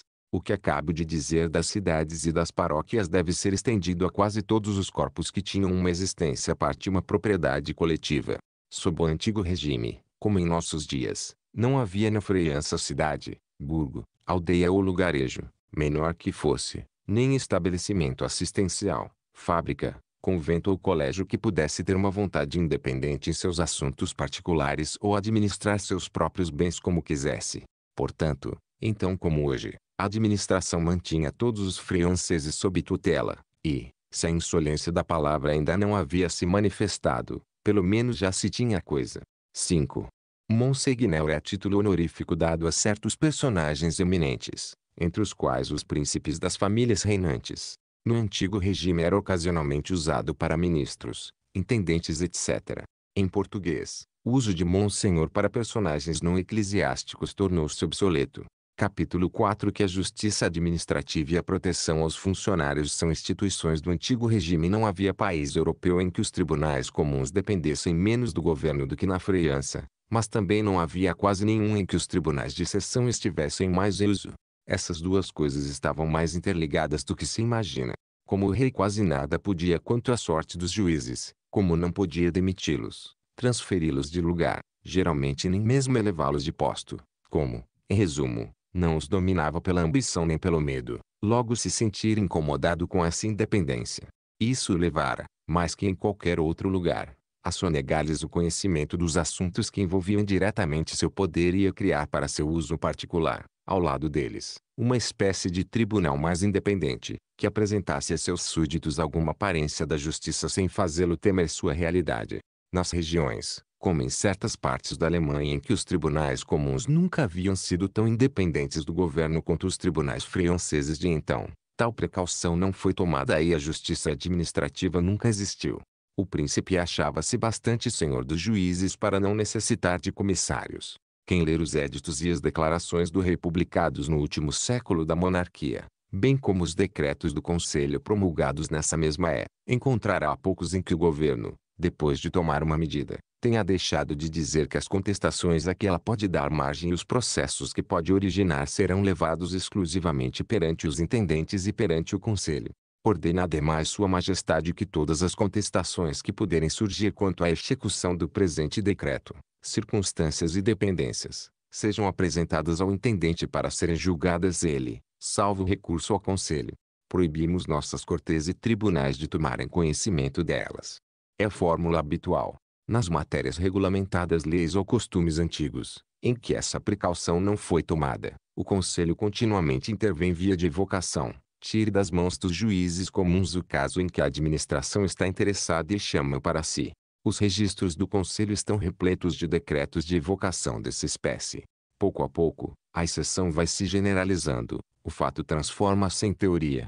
Fica assente, não nas leis mas na mente dos que as aplicam, como preceito de Estado, que todos os processos em que um interesse público entremear-se, ou que nascerem da interpretação de um ato administrativo, não são da alçada dos juízes comuns, cujo único papel é decidir sobre interesses particulares. Nessa matéria não fizemos mais que encontrar a fórmula, a ideia do antigo regime. Já nessa é a maioria das questões litigiosas que surgem a propósito da percepção do imposto é de competência exclusiva do intendente do conselho. O mesmo vale para tudo que se refere ao controle do transporte de mercadorias e dos veículos de uso público, as estradas, a navegação fluvial etc. Em geral, é perante tribunais administrativos que se resolvem todos os processos em que a autoridade pública tem interesse. Os intendentes zelam com empenho para que essa jurisdição excepcional se estenda sem cessar, advertem o inspetor-geral e incitam o conselho. A razão que um desses magistrados apresenta para obter uma evocação merece ser preservada. O juiz comum, diz ele, está subordinado a regras fixas, que obrigam a reprimir um fato contrário à lei, mas o Conselho pode sempre derrogar as regras com um objetivo útil. De acordo com esse princípio, frequentemente se vê o intendente ou o conselho chamar para si processos que só um elo quase invisível se ligam à administração pública, ou mesmo que visivelmente não se ligam a ela de modo algum. Um fidalgo em pendência com o vizinho e descontente com as disposições de seus juízes pede ao conselho que evoque o caso. O intendente consultado responde: embora se trate aqui apenas de direitos particulares, cujo conhecimento cabe aos tribunais, Sua Majestade sempre pode, quando assim quiser, reservar-se o conhecimento de toda espécie de casos, sem que tenha de prestar contas de seus motivos. Em geral é perante o intendente ou preboste da polícia que são enviadas, em decorrência de evocação, todas as pessoas do povo que vierem a perturbar a ordem algum ato de violência. A maioria dos motins que a carestia dos grãos tão frequentemente provoca dá margem a evocações dessa espécie. O intendente então convoca para assisti-lo alguns graduados, uma espécie de conselho da casa improvisado que ele mesmo escolheu, e julga criminalmente. Encontrei sentenças pronunciadas desse modo, condenando pessoas às galés e mesmo à morte. Processos criminais julgados pelo intendente ainda são frequentes no final do século XVII. Em matéria de direito administrativo, os legistas modernos asseguram-nos que foi feito um grande progresso a partir da Revolução. Anteriormente os poderes judiciários e administrativos estavam confundidos, dizem eles. Depois dela separamos-los e recolocamos cada um deles em seu lugar. Para avaliar devidamente o avanço de que se fala aqui, é preciso nunca esquecer que, se um lado poder judiciário no antigo regime continuamente se estendia além da esfera natural de sua autoridade, outro lado nunca a preenchia de todo. Quem vê uma dessas coisas sem a outra tem apenas uma ideia incompleta e falseada do objeto. Ora se permitia que os tribunais fizessem regulamentos de administração pública, o que estava manifestamente fora de sua alçada. Ora se proibia que julgassem processos verdadeiros, o que era excluí-los de seu âmbito próprio. De fato expulsamos a justiça da esfera administrativa, onde o antigo regime a deixara introduzir-se muito indevidamente, mas ao mesmo tempo, como se vê, o governo introduzia-se incessantemente na esfera natural da justiça, e ali o deixamos, como se a confusão de poderes não fosse tão perigosa desse lado quanto do outro e mesmo pior, pois a intervenção da justiça na administração prejudica apenas os negócios, ao passo que a intervenção da administração na justiça deprava os homens e tende a torná-los simultaneamente revolucionários e servis. Entre as nove ou dez constituições perpétuas que foram elaboradas na França nos últimos 60 anos, Há uma que diz expressamente que nenhum agente da administração pode ser processado perante os tribunais comuns sem que a ação judicial tenha sido previamente autorizada. O artigo pareceu tão bem imaginado que, ao derrubar a Constituição do qual fazia parte, cuidou-se de tirá-lo do meio das ruínas e desde então mantê-lo zelosamente a salvo das revoluções. Os administradores ainda costumam classificar como uma das grandes conquistas de 1789 o privilégio que esse artigo lhes concede, mas nisso se enganam igualmente, pois sob a antiga monarquia o governo não tinha menos cuidado que hoje em poupar os funcionários do dissabor de terem de confiar-se à justiça como simples cidadãos. A única diferença essencial entre as duas épocas é esta, antes da Revolução, o governo só podia cobertar seus agentes recorrendo a medidas ilegais e arbitrárias, ao passo que depois ele pôde legalmente deixá-los violar as leis. Quando os tribunais do antigo regime queriam processar um representante qualquer do poder central, geralmente intervinha um decreto do conselho subtraindo o acusado a seus juízes e remetendo-o perante comissários que o conselho nomeava, pois, como escreve um conselheiro de estado daquela é, um administrador assim atacado encontraria prevenção na mente dos juízes comuns e a autoridade do rei ficaria comprometida. Essas evocações não aconteciam apenas de vez em quando e sim todos os dias, com relação tanto aos agentes mais importantes como aos menores. Bastava estar minimamente ligado à administração para nada ter a recear a não ser dela. Um capataz de obras públicas encarregado de dirigir a corveia é processado um camponês a quem maltratou. O conselho evoca o caso e o engenheiro-chefe, escrevendo confidencialmente ao intendente, diz a esse respeito, na verdade o capataz é muito repreensível, mas essa não é uma razão para deixar o processo seguir seu curso, pois é da maior importância para a administração das obras públicas que a justiça comum não ouça nem acolha queixas dos corveáveis contra os capatazes de obras. Se esse exemplo fosse seguido, os trabalhos seriam constantemente conturbados processos que a animosidade pública que se aferra a esses funcionários suscitaria. Em outra circunstância, o próprio intendente ordena ao inspetor-geral, a propósito de um empreiteiro do Estado que havia pegado no campo do vizinho os materiais que utilizara, não sei dar-vos sequer uma ideia de quanto seria prejudicial aos interesses da administração entregar seus empreiteiros ao julgamento dos tribunais comuns, cujos princípios não podem jamais conciliar-se com os dela. Faz precisamente um século que essas linhas foram escritas, e é como se os administradores que as escreveram fossem contemporâneos nossos. Capítulo 5 Como a centralização puder introduzir-se assim no meio dos antigos poderes e suplantá-los sem destruí-los Vamos agora recordar um pouco o que dissemos nos três últimos capítulos. Um corpo único e colocado no centro do reino, regulamentando a administração pública em todo o país. O mesmo ministro dirigindo quase todos os assuntos internos. Em cada província um único agente que a comanda em todos os detalhes ausência de corpos administrativos secundários, ou corpos que não podem agir sem antes ser autorizados a mobilizar-se, tribunais de sessão que julgam os casos em que a administração tem interesse e protegem todos seus agentes. Que é isso senão a centralização que conhecemos? Suas formas são menos nítidas que hoje, seus procedimentos menos regulados, sua existência mais conturbada, mas é o mesmo ser. Desde então não foi preciso acrescentar-lhe nem tirar-lhe nada essencial, Bastou derrubar tudo o que se erguia a seu redor para que ela aparecesse tal como a vemos. A maioria das instituições que acabo de descrever foi imitada depois em cem lugares diversos, mas naquele momento eram específicas da França e logo veremos a grande influência que tiveram sobre a Revolução Francesa e sobre suas consequências. Mas como essas instituições recentes puderam erguer-se na França em meio aos escombros da sociedade feudal? Foi uma obra de paciência, de habilidade de longo tempo, mais que de força e de pleno poder. No momento em que a revolução aconteceu, ainda não se havia destruído quase nada do velho edifício administrativo da França, assim dizer, construíra-se um outro trabalhando na base. Nada indica que, para operar esse difícil trabalho, o governo do antigo regime tenha seguido um plano profundamente meditado de antemão, apenas entregara-se ao instinto que leva todo governo a querer conduzir sozinho todos os assuntos, instinto que permanecia sempre o mesmo ao longo da diversidade de agentes. Ele deixara aos velhos poderes seus nomes antigos e suas honrarias, mas pouco a pouco lhes subtraíra a autoridade. Não os expulsara, despedi-os de seus próprios domínios, aproveitando-se da inércia de um, do egoísmo de outro, para tomar seu lugar, valendo-se de todos seus vícios, jamais tentando corrigi-los mas apenas suplantá-los, acabara substituindo quase todos um agente único, o intendente, do qual não se conhecia sequer o nome quando eles nasceram.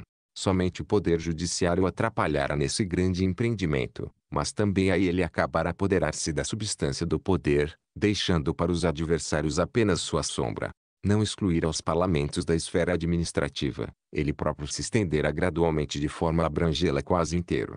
Em certos casos extraordinários e passageiros exemplo nas épocas de escassez, em que as paixões do povo ofereciam um ponto de apoio para a ambição dos magistrados traço, o governo central deixava um momento os parlamentos administrarem e permitia que fizessem um alarde que freia quentemente ecoou na história, mas logo retomava em silêncio seu lugar e discretamente voltava a manejar todos os homens e todos os assuntos. Se observarmos a luta dos parlamentos contra o poder régio, veremos que é quase sempre no terreno da política, e não no da administração, que se defreontam.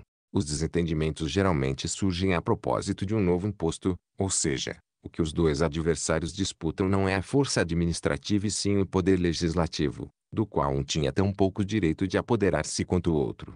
Isso acontece cada vez mais, à medida que a revolução se aproxima. À medida que as paixões populares começam a se inflamar, o parlamento vai se miscuindo mais na política, e como, ao mesmo tempo, o poder central e seus agentes se tornam mais experientes e mais hábeis, esse mesmo parlamento ocupa-se cada vez menos da administração propriamente dita, a cada dia, e menos administrador e mais tribuno. Além disso, a franqueia incessantemente para o governo central novos campos de ação em que os tribunais não têm agilidade para acompanhá-lo, pois se trata de questões novas, sobre as quais eles não têm precedentes e que são alheias à sua rotina. A sociedade, que está em franco progresso, faz surgir a todo instante necessidades novas, e cada uma é para ele uma nova fonte de poder, pois apenas ele tem condições de atendê-las. Enquanto a esfera administrativa dos tribunais permanece fixa, a sua é móvel e amplia-se continuamente junto com a civilização. A revolução que se aproxima e começa a agitar o espírito de todos os franceses sugere-lhes mil ideias novas que só o governo central pode realizar. Antes de derrubá-lo, ela o desenvolve. Ele mesmo se aperfeiçoa como todo o restante. Isso impressiona singularmente quando se estudam seus arquivos. O inspetor-geral e o intendente de 1770 não se parecem mais com o intendente e o inspetor-geral de 1740. A administração está transformada. Seus agentes são os mesmos. Um outro espírito move-os. À medida que foi se tornando mais detalhada, mais extensa, ela se tornou também mais regular e mais bem informada. Moderou-se quando acabou a apoderar-se de tudo, oprime menos, conduz mais. Os primeiros esforços da Revolução haviam destruído a grande instituição da monarquia. Ela foi restaurada em 1800. Diferentemente do que se disse tantas vezes, em matéria de administração não foram os princípios de 1789 que triunfaram nessa era e depois. Muito ao contrário, os do antigo regime é que foram todos postos novamente em vigor e permaneceram. Se me perguntarem como essa parte do antigo regime pôde ser transportada assim inteiriçamente para a sociedade nova e incorporar-se a ela, responderei que, se a centralização não pereceu na Revolução, foi porque ela própria era o começo dessa revolução e seu sinal. E acrescentarei que um povo que houver destruído em seu seio a aristocracia corre rumo à centralização como que conta própria. Então é preciso muito menos esforço para precipitá-lo nesse declive do que para retê-lo.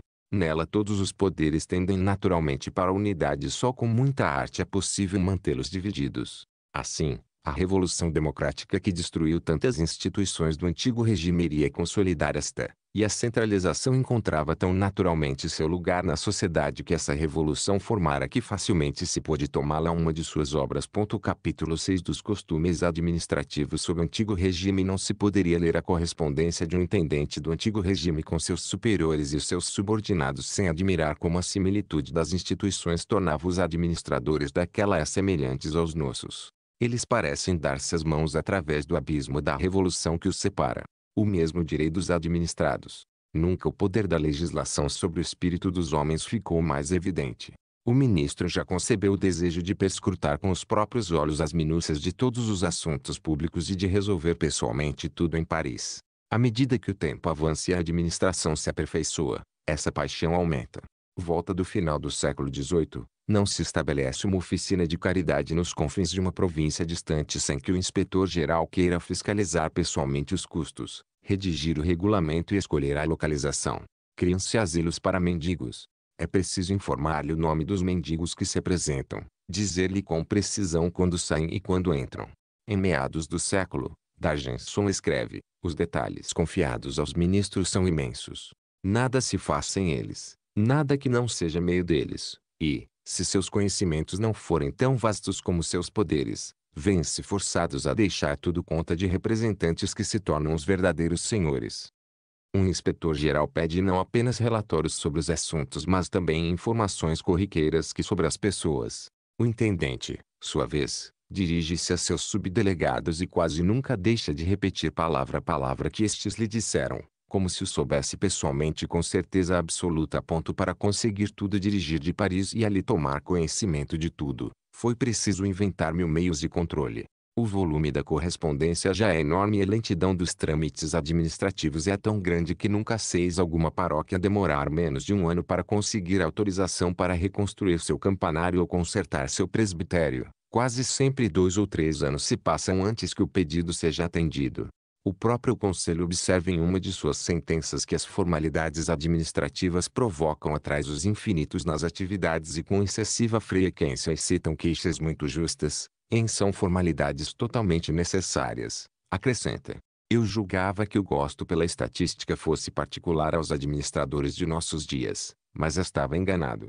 Volta do final do antigo regime, é comum enviarem ao intendente pequenas tabelas impressas que ele tem apenas de mandar seus subdelegados e os síndicos das paróquias preencherem. O inspetor-geral ordena que lhe enviem relatórios sobre a natureza das terras, sobre seu cultivo, a espécie e a quantidade de produtos, o número de animais, a atividade e os costumes dos habitantes. As informações assim obtidas não são menos circunstanciadas nem mais exatas do que as que em nossos dias o administrador do distrito e o prefeito da municipalidade fornecem em tais casos. Nessas ocasiões o julgamento que os subdelegados fazem sobre o caráter de seus administrados geralmente é pouco favorável. Voltam com frequência aquela ideia de que o camponês é naturalmente preguiçoso e não trabalharia se não fosse obrigado a isso para viver. É uma doutrina econômica que parece muito difundida entre esses administradores. Até mesmo a linguagem administrativa das duas épocas se parece de modo surpreendente. Dos dois lados o estilo é igualmente descolorido, fluido, vago e freioxo. A fisionomia particular de cada escritor apaga-se e vai se perdendo em uma mediocridade geral.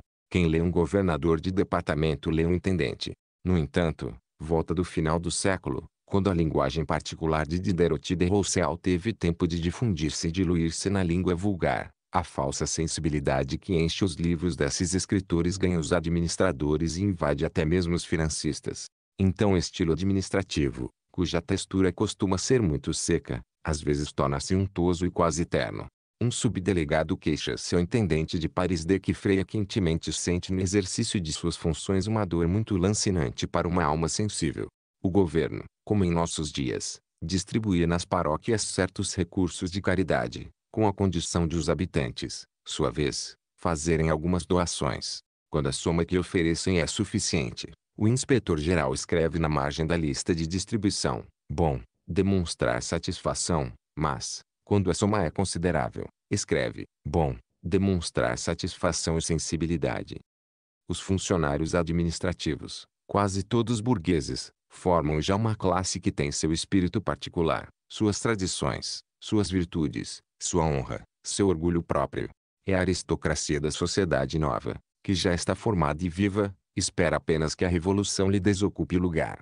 O que já caracteriza a administração na França é o ódio violento que lhe inspiram indistintamente todos aqueles, nobres ou burgueses, que queiram ocupar-se de assuntos públicos sem ela. O menor corpo independente que pareça pretender formar-se sem seu concurso amedronta a, a menor associação livre, qualquer que seja o objetivo, importuna, deixa subsistirem apenas as que compôs arbitrariamente o que preside. Mesmo as grandes companhias industriais pouco lhe agradam. Resumindo, não pretende que os cidadãos se intrometam de nenhum modo que seja no exame de seus próprios assuntos, prefere a esterilidade à concorrência. Mas, como é preciso sempre deixar aos franceses a doçura de um pouco de licença a fim de consolá-los de sua servidão, o governo permite que se discuta muito livremente toda espécie de teorias gerais e abstratas em matéria de religião, filosofia, moral e mesmo política. Admite de bom grado que ataquem os princípios fundamentais em que se assenta então a sociedade e que discutam até mesmo Deus, contanto que não falem mal nem sequer de seus menores agentes. Acha que isso não lhes diz respeito. Embora os jornais do século XVIII, ou, como se dizia naquele tempo, as gazetas, contivessem mais versos do que polêmicas, a administração já via com olhos muito ciosos esse pequeno poder. É indulgente para com os livros, mas já muito dura contra os jornais, não podendo suprimi-los de todo, empenha-se em voltá-los unicamente para seu próprio uso. Encontro, com data de 1761, uma circular dirigida a todos os intendentes do reino, anunciando que o rei decidiu que dali em diante a Gazeta de Freance seria composta sob supervisão do próprio governo. Sua Majestade, diz a circular, deseja tornar interessante essa folha e assegurar-lhe superioridade sobre todas as outras. Conseguinte, acrescenta o ministro, tereis a bondade de enviar-me um boletim de tudo o que acontece em vossa generalité e que possa interessar a curiosidade pública, particularmente o que se refere à física, à história natural, fatos singulares e interessantes.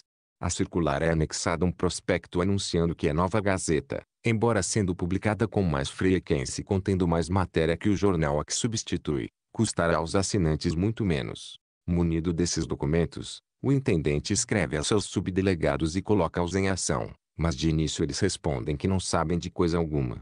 Chega uma nova carta do ministro, que se queixa amargamente da esterilidade da província. Sua Majestade manda-me dizer-vos que sua intenção é que vos ocupeis muito seriamente desse assunto e deis a vossos agentes ordens muito claras. Então os subdelegados tratam de obedecer, um deles comunica que um contrabandista de sal foi enforcado e demonstrou grande coragem. Outro, que uma mulher de seu distrito deu à luz três meninas de uma vez. Um terceiro, que rebentou uma tempestade terrível mas que na verdade não causou o menor dano. Um deles declara que, apesar de todo o empenho, nada encontrou que merecesse ser mencionado, mas que ele pessoalmente assina essa gazeta tão útil e vai convidar todas as pessoas de bem a imitá-lo. Tantos esforços parecem em pouco eficazes pois uma nova carta nos informa que o rei, que tem a bondade, diz o ministro, de descer pessoalmente a todos os detalhes das medidas relativas ao aperfeiçoamento da Gazeta e que deseja dar a esse jornal a superioridade e a celebridade que merece, demonstrou grande descontentamento ao ver que seus planos eram tão mal cumpridos. Vê-se que a história é uma galeria de quadros em que há poucos originais e muitas cópias. Aliás, é preciso reconhecer que na França o governo central nunca imita aqueles governos do sul da Europa, que parecem ter se apoderado de tudo apenas para deixar tudo estéril. Este aqui mostra com frequência um grande entendimento de sua tarefa e sempre uma prodigiosa atividade. Mas tal atividade frequentemente é improdutiva e mesmo prejudicial, porque muitas vezes ele quer fazer o que está acima de suas forças ou faz o que ninguém controla. Quase não empreende ou logo abandona as reformas mais necessárias que para serem bem-sucedidas requerem uma energia perseverante, mas muda sem cessar alguns regulamentos ou algumas leis. Nada fica em repouso um só instante na esfera que ele ocupa. As novas regras sucedem-se com uma rapidez tão singular que os agentes, à força de ser comandados, muitas vezes têm dificuldade para discernir como devem obedecer. Oficiais municipais queixam-se ao próprio inspetor-geral da extrema mobilidade da legislação secundária, só a variação dos regulamentos financeiros, dizem eles, é tanta que não permite a um oficial municipal, ainda que fosse inemovível, fazer outra coisa além de estudar os novos regulamentos à medida que aparecem, a ponto de ser obrigado a negligenciar suas próprias ocupações. Mesmo quando a lei não era mudada, a maneira de aplicá-la variava diariamente. Quem não viu a administração do antigo regime em ação, ao ler os documentos secretos que ela deixou, não conseguiria imaginar o descaso em que a lei acabou caindo, até mesmo no espírito dos que aplicam, quando não há mais assembleia política nem jornais para moderar a atividade caprichosa e limitar o humor arbitrário e volúvel dos ministros e de seus gabinetes. Quase não se encontram decretos do Conselho que não mencionem leis anteriores, frequentemente de data muito recente, que foram promulgadas mas não cumpridas. De fato não há édito, declaração do rei, cartas patentes solenemente registradas que na prática não admitam mil ressalvas. Pela correspondência dos inspetores gerais e dos intendentes vê-se que a todo momento o governo permite que sessão se faça diferentemente do que ordena. Raramente infringe a lei, mas todo dia faz que se cuve mansamente em todos os sentidos, de acordo com cada caso particular e para grande facilidade dos negócios.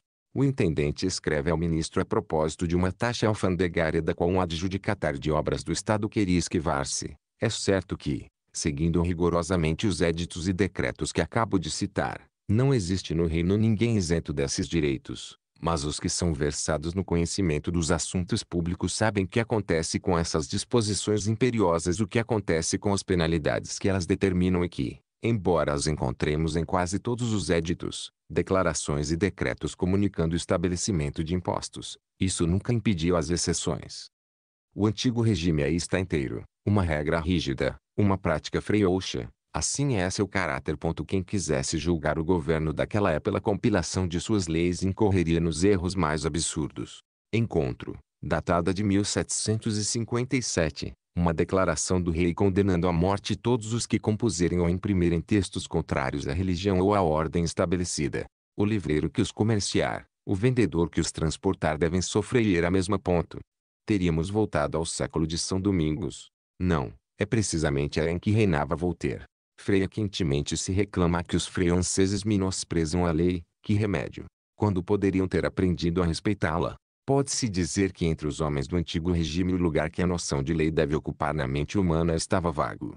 Cada solicitante pede que em seu favor se deixe de lado a regra estabelecida, com tanta insistência e autoridade como se pedisse que a seguissem, e efetivamente ela nunca lhe é contraposta, exceto quando se deseja não atendê-lo. A submissão do povo à autoridade ainda é total, mas sua obediência decorre mais do costume que da vontade, pois, se acaso lhe acontece rebelar-se, a menor emoção leva-o prontamente à violência, e quase sempre é também a violência a arbitrariedade, e não a lei, que o reprimem. O poder central na França ainda não adquiriu no século XVIII essa constituição sadia e vigorosa que lhe vimos desde então. No entanto, como já conseguiu destruir todos os poderes intermediários e como entre ele os particulares não existe mais nada além de um espaço imenso e vazio, já aparece de longe a cada um deles como a única força atuante da máquina social, o agente único e necessário da vida pública. Nada demonstra melhor isso do que os escritos de seus próprios detratores. Quando o longo mal-estar que precede a revolução começa a manifestar-se, vê-se eclodir toda a espécie de sistemas novos em matéria de sociedade e de governo. Os fins que se propõem esses reformadores são diversos, mas seu meio é sempre o mesmo. Querem tomar emprestada a mão do poder central e empregá-la para quebrar tudo e tudo refazer de acordo com um novo plano que conceberam pessoalmente. Apenas ele lhes parece capaz de realizar uma tarefa como essa. O poder do Estado deve ser ilimitado como seu direito, dizem. Trata-se apenas de persuadi-lo a utilizá-lo adequadamente. Mirabel Pai, esse fidalgo tão aferrado aos direitos da nobreza que chama cruamente os intendentes de intrusos e declara que, se a escolha dos magistrados ficasse a cargo unicamente do governo, as cortes de justiça em breve seriam apenas bandos de comissários traço. O próprio Mirabel só confia na ação do poder central para realizar suas quimeras. Essas ideias não se restringem aos livros, invadem todas as mentes, entremeiam-se nos costumes, entram nos hábitos e infiltram-se de todos os lados, até na vivência diária. Ninguém imagina que possa levar a bom termo um assunto importante se o Estado não se imiscuir. Mesmo os agricultores, pessoas geralmente muito avessas aos preceitos, são levados a crer que, se a agricultura não se aperfeiçoa, a culpa é principalmente do governo, que não lhes dá bastantes conselhos nem auxílio suficiente. Um deles escreve a um intendente, em um tom irritado em que já se pressente a revolução, que governo não nomeia inspetores que viajem uma vez ano pelas províncias para verem o estado das culturas, ensinem os agricultores a melhorá-las o mais possível, digam-lhes o que deve ser feito com os animais, o modo de engordá-los, de criá-los, de vendê-los e onde levá-los ao mercado. Esses inspetores deveriam ser bem remunerados. O plantador que desse provas da melhor cultura receberia insígnias honoríficas. Inspetores e insígnias, Eis aí um recurso no qual um fazendeiro do condado de Suffolk jamais pensaria. Aos olhos da maioria, o governo é o único que ainda pode garantir a ordem pública. O povo só tem medo da polícia, os proprietários só nela têm alguma confiança. Para uns e para outros, o cavalariano da polícia não é apenas o principal defensor da ordem, é a própria ordem. Não há, diz a Assembleia Provincial de Guienne, quem não tem observado como a visão de um cavalariano da polícia é apropriada para refrear os homens mais inimigos de qualquer subordinação? Isso cada qualquer ter à sua porta um deles. Os arquivos de uma intendência estão repletos de pedidos dessa natureza. Ninguém parece suspeitar que sob o protetor possa esconder-se o amo. O que mais impressiona os emigrados que voltam da Inglaterra é a ausência dessa milícia. Isso os enche de espanto e às vezes de menosprezo pelos ingleses. Um deles, homem de mérito mas cuja educação não o preparara para o que ia ver, escreve, é rigorosamente verdade que muito inglês se felicita ter sido roubado, dizendo que pelo menos seu país não tem polícia montada. Um outro que se aborrece com tudo que perturba a tranquilidade consola-se em ao ver sediciosos retornarem ao seio da sociedade, pensando que o texto da lei é mais forte que todas as considerações. Essas ideias errôneas, acrescenta ele, não estão absolutamente em todas as cabeças. Há pessoas sensatas que têm ideias contrárias e a sensatez que deve prevalecer com o passar do tempo. Não lhe vem à mente que essas esquisitices dos ingleses possam ter alguma relação com as liberdades deles. Prefere explicar o fenômeno razões mais científicas. Em um país onde a umidade do clima e a falta de energia no ar circulante, diz ele, imprimem no temperamento um tom sombrio, o povo está disposto a dedicar-se de preferência aos assuntos graves. Assim, o povo inglês é levado sua natureza a ocupar-se de matérias de governo. O povo francês está distante delas. Tendo o governo tomado assim o lugar da providência, é natural que cada qual invoque em suas urgências particulares. Isso encontramos um número imenso de requerimentos que, sempre se fundamentando no interesse público, dizem respeito entretanto apenas a pequenos interesses privados. As pastas onde estão guardados talvez sejam os únicos lugares em que todas as classes que compunham a sociedade do antigo regime se encontram misturadas. Sua leitura é melancólica. Camponeses pedem que os indenizem pela perda de seus animais ou de sua casa. Proprietários abastados, que os auxiliem a explorar mais vantajosamente suas terras. Fabricantes solicitam do intendente privilégios que os protejam de uma concorrência incômoda. É muito frequente ver manufatores confidenciando ao intendente a má situação de seus negócios e rogando-lhe que obtenha do inspetor-geral um auxílio ou um empréstimo. Aparentemente um fundo era aberto com esse objetivo. Mesmo os fidalgos às vezes são grandes solicitantes, então sua condição quase não é reconhecível, a não ser mendigar em tom muito alto. Para muitos deles, o elo da dependência é o imposto da vintena. Como sua parcela desse imposto é estabelecida anualmente pelo Conselho com base no relatório do intendente, é a ele que costumam dirigir-se para obter adiamentos e isenções. Li uma infinidade de solicitações desse tipo, feitas nobres, quase todos com títulos de nobreza e frequentemente grandes senhores, em vista, diziam eles, da insuficiência de seus rendimentos ou da má situação dos negócios. Em geral, os fidalgos nunca chamavam o intendente senão de Monsieur, mas observei que nessas circunstâncias sempre o chamam de Monseigneur, como os burgueses. Nessas petições a miséria e o orgulho às vezes misturam-se de um modo engraçado. Um deles escreve ao intendente, Vosso coração sensível jamais consentirá que um pai de minha posição seja taxado em vintenas estritas, como seria um pai do vulgo. Nos períodos de escassez, tão frequentes no século XVIII, a população de cada generalité volta-se inteiro para o intendente e parece esperar alimento unicamente dele. É verdade que cada qual já culpa o governo todas suas misérias. As mais inevitáveis são obra dele. Recriminam-no até mesmo pela intempérie das estações. Não nos surpreendamos mais ao ver com que facilidade espantosa a centralização foi restabelecida na França no início deste século. Os homens de 1789 haviam derrubado o edifício, mas suas fundações permaneceram na alma dos que o destruíram, e sobre essas fundações foi possível reerguê-lo novamente de uma só vez e construí-lo mais sólido do que nunca antes. Capítulo 7 Como, de todos os países da Europa, a França já era aquele cuja capital adquirira mais preponderância sobre as províncias e mais absorvia todo o império não é a localização nem o tamanho ou a riqueza das capitais que causam sua preponderância política sobre o restante do império, e sim a natureza do governo.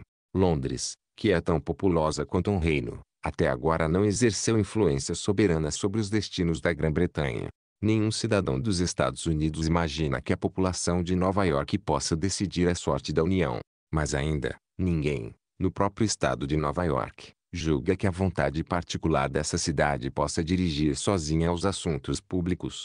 Entretanto Nova York possui hoje tantos habitantes quanto Paris tinha no momento em que a Revolução eclodiu. Na era das guerras religiosas, a própria Paris era, em comparação com o restante do reino, tão populosa quanto podia ser em 1789. Entretanto nada decidiu. Neda Freionda, ainda é tão somente a maior cidade da França. Em 1789, já é a própria França. Em 1740 Montesquieu escrevia a um de seus amigos, Na França há apenas Paris e as províncias distantes, porque Paris ainda não teve tempo de devorá-las. Em 1750, o Marquês de Mirabel, espírito quimérico mas às vezes profundo, diz, falando de Paris sem mencionar-lhe o nome, as capitais são necessárias, em, se a cabeça tornar-se grande demais, o corpo torna-se apoplético e tudo perece.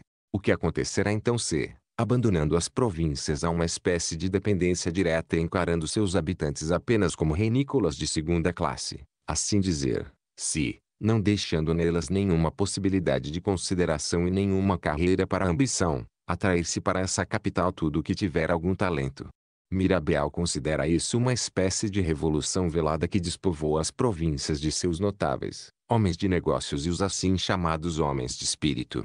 O leitor que houver lido com atenção os capítulos anteriores já conhece as causas desse fenômeno. Seria abusar de sua paciência indicá-las novamente aqui. Para o governo essa revolução não passava despercebida, mas só lhe chamava a atenção sua forma mais material, o crescimento da cidade. Via Paris estender-se mais a cada dia e temia que se tornasse difícil administrar bem uma cidade tão grande. Encontra-se, principalmente nos séculos 17 e 18, um grande número de ordenações de nossos reis com o objetivo de deter tal crescimento. Esses príncipes concentravam cada vez mais em Paris ou às suas portas toda a vida pública da França e queriam que Paris permanecesse pequena. Proíbem a construção de novas casas, ou exigem que sejam construídas apenas do modo mais oneroso e em locais pouco atraentes que são indicados de antemão. Cada uma dessas ordenações, é bem verdade, reconhece que, apesar da anterior, Paris não parou de estender-se. Seis vezes durante seu reinado, Luís XVI, em sua onipotência, tenta deter Paris e fracassa. A cidade cresce sem parar, a despeito dos éditos. Mas sua preponderância aumenta ainda mais rapidamente que suas muralhas, deve não tanto ao que ocorre intramuros quanto ao que está acontecendo fora de seu perímetro. Isso porque no mesmo momento via-se em toda parte as liberdades locais desaparecerem cada vez mais. Em toda parte os sinais de uma vida independente cessavam, mesmo os traços da fisionomia das diferentes províncias tornavam-se indistintos, o último vestígio da antiga vida pública apagava-se. Entretanto isso não significava que a nação estivesse esmorecendo, ao contrário, em toda parte havia movimento, apenas, o motor agora estava só em Paris. Darem um único exemplo entre mil. Nos relatórios feitos ao ministro sobre a situação do comércio de livros, Leio que no século XVI e no início do século XVII havia nas cidades de província grandes gráficas que não têm mais impressores ou cujos impressores não fazem mais nada. Entretanto não há como duvidar que no final do século XVIII se publicassem infinitamente mais escritos de toda a espécie do que no século XVI. Em agora movimento do pensamento partia apenas do centro. Paris conseguia engolir as províncias. No momento em que a Revolução Francesa eclode, essa primeira revolução está totalmente concluída. O célebre viajante Arthur Young deixa Paris pouco depois da reunião dos Estados Gerais e poucos dias antes da tomada da Bastilha. O contraste que percebe entre o que acaba de ver na cidade e o que encontra fora dela surpreende-o. Em Paris, tudo era atividade e alarde. Cada momento produzia um panfleto político. Chegou-se a publicar 92 semana. Nunca fez uma movimentação de publicidade como essa, nem mesmo em Londres, diz ele. Fora de Paris, tudo lhe parece inércia e silêncio. Imprimem-se poucas brochuras e nenhum jornal. As províncias, no entanto, estão excitadas e prontas para pôr-se em movimento. Mas imóveis, se os cidadãos às vezes se reúnem, é para saber das notícias que esperam de Paris. Em cada cidade, Young pergunta aos habitantes o que vão fazer. Em toda parte a resposta é a mesma, diz ele. Somos apenas uma cidade de província. É preciso ver o que farão em Paris. E acrescenta: essas pessoas não ousam sequer ter uma opinião antes de saberem o que se pensa em Paris. Causa espanto a facilidade com que a Assembleia Constituinte pôde eliminar de um só golpe todas as antigas províncias da França, muitas das quais eram mais antigas que a monarquia, e dividir metodicamente o reino em 83 partes distintas, como se fosse o solo virgem do Novo Mundo. Nada surpreendeu tanto e mesmo apavorou o restante da Europa, que não estava preparada para um espetáculo como esse. É a primeira vez, dizia Burke, que vemos homens retalhar sua pátria de um modo tão bárbaro. Realmente, parecia que estavam dilacerando corpos vivos. Estavam apenas esquartejando mortos. No mesmo momento em que Paris chegava assim a se tornar todo-poderosa externamente, em seu próprio interior concluía-se visivelmente uma outra mudança não menos digna da atenção da história. Em vez de ser apenas uma cidade de comércio, negócios, consumo e prazer, tornara-se uma cidade de fábricas e manufaturas. Um segundo fato que dava ao primeiro um caráter novo e mais formidável. O evento vinha de muito longe. Parece que já na Idade Média Paris foi a cidade mais industriosa do reino, assim como era a maior. Ao se aproximarem os tempos modernos isso fica evidente. À medida que todas as atividades administrativas vão sendo atraídas para Paris, as atividades industriais afluem para ela. Como se torna cada vez mais o modelo e o árbitro do gosto, o centro único do poder e das artes, o principal núcleo da atividade nacional, é nela que a vida industrial da nação se retira e se concentra mais. Embora os documentos estatísticos do antigo regime geralmente mereçam pouco crédito, creio que se pode afirmar sem receio que durante os 60 anos que precederam a Revolução Francesa o número de operários mais que duplicou em Paris, ao passo que no mesmo período a população geral da cidade mal aumentava um terço. Independentemente das causas gerais que acabo de mencionar, havia outras muito particulares que, de todos os pontos da França, atraíam os operários para Paris e os aglomeravam pouco a pouco em certos bairros que eles acabavam ser quase os únicos a ocupar. Os entraves que a legislação fiscal da impunha à indústria haviam se tornado menos incômodos em Paris do que em qualquer outro lugar da França. Em nenhum outro era mais fácil escapar do jugo das mestrias. Nesse aspecto, sobretudo alguns bairros periféricos, tais como Faubourg Saint-Antoine do Temple, gozavam de grandes privilégios. Luís XVI ainda ampliou muito essas prerrogativas do Faubourg Saint-Antoine e trabalhou quanto pôde para juntar ali uma imensa população operária, querendo, diz esse infeliz príncipe em um de seus éditos, dar aos operários do Faubourg Saint-Antoine mais uma prova de nossa proteção e liberá-los dos entraves que são prejudiciais tanto a seus interesses como à liberdade de comércio. Ao aproximar-se a Revolução, em Paris o número de fábricas, manufaturas, altos fornos havia aumentado tanto que o governo acabou alarmar-se. A visão desse progresso encheu de diversos temores totalmente imaginários. Encontra-se, entre outros, um decreto do Conselho, de 1782, declarando que o rei, receando que a rápida multiplicação das manufaturas leve a um consumo de lenha que se torne prejudicial ao abastecimento da cidade, proíbe doravante a criação de estabelecimentos dessa espécie em um raio de 15 léguas ao redor dela, Quanto ao perigo real que uma aglomeração como aquela podia gerar, ninguém o receava. Assim Paris se assenhorara da França, e já se reuniu o exército que devia assenhorar-se de Paris. Hoje é um razoável consenso, parece-me, de que a centralização administrativa e onipotência de Paris são grandemente responsáveis pela queda de todos os governos que vimos se sucederem nos últimos 40 anos demonstrarei sem dificuldade que se deve atribuir ao mesmo fato uma grande participação na queda súbita e violenta da antiga monarquia, e que se deve alinhá-lo entre as principais causas dessa revolução primeira que gerou todas as outras. Capítulo 8 Que a França era o país onde os homens haviam se tornado mais semelhantes entre si. Quem considerar atentamente a França do antigo regime encontrará dois cenários bem opostos. Parece que todos os homens que nela vivem, particularmente os que ocupam as esferas intermediárias e altas da sociedade, os únicos que se fazem ver, sejam todos exatamente iguais uns aos outros. Entretanto, no meio dessa multidão enorme ergue-se ainda uma infinidade prodigiosa de pequenas barreiras que a dividem em um grande número de partes, e em cada um desses pequenos espaços fechados aparece uma espécie de sociedade particular que só se ocupa de seus próprios interesses, sem tomar parte na vida de todos. Penso nessa divisão quase infinita e compreendo como, os cidadãos estando menos preparados que em qualquer outro lugar para agir em conjunto e para se apoiar mutuamente em tempo de crise, uma grande revolução pode em um momento subverter de alto a baixo uma tal sociedade. Imagino todas essas pequenas barreiras sendo derrubadas pelo mesmo grande abalo. Diviso prontamente um corpo glacial mais compacto e mais homogêneo do que qualquer um dos que o mundo talvez já tenha visto. Mencionei como, em quase todo o reino, já há longo tempo a vida particular das províncias estava extinta. Isso havia contribuído bastante para tornar todos os franceses muito parecidos entre si. Através das diversidades que ainda existem, a unidade da nação já é transparente, a uniformidade da legislação a revela.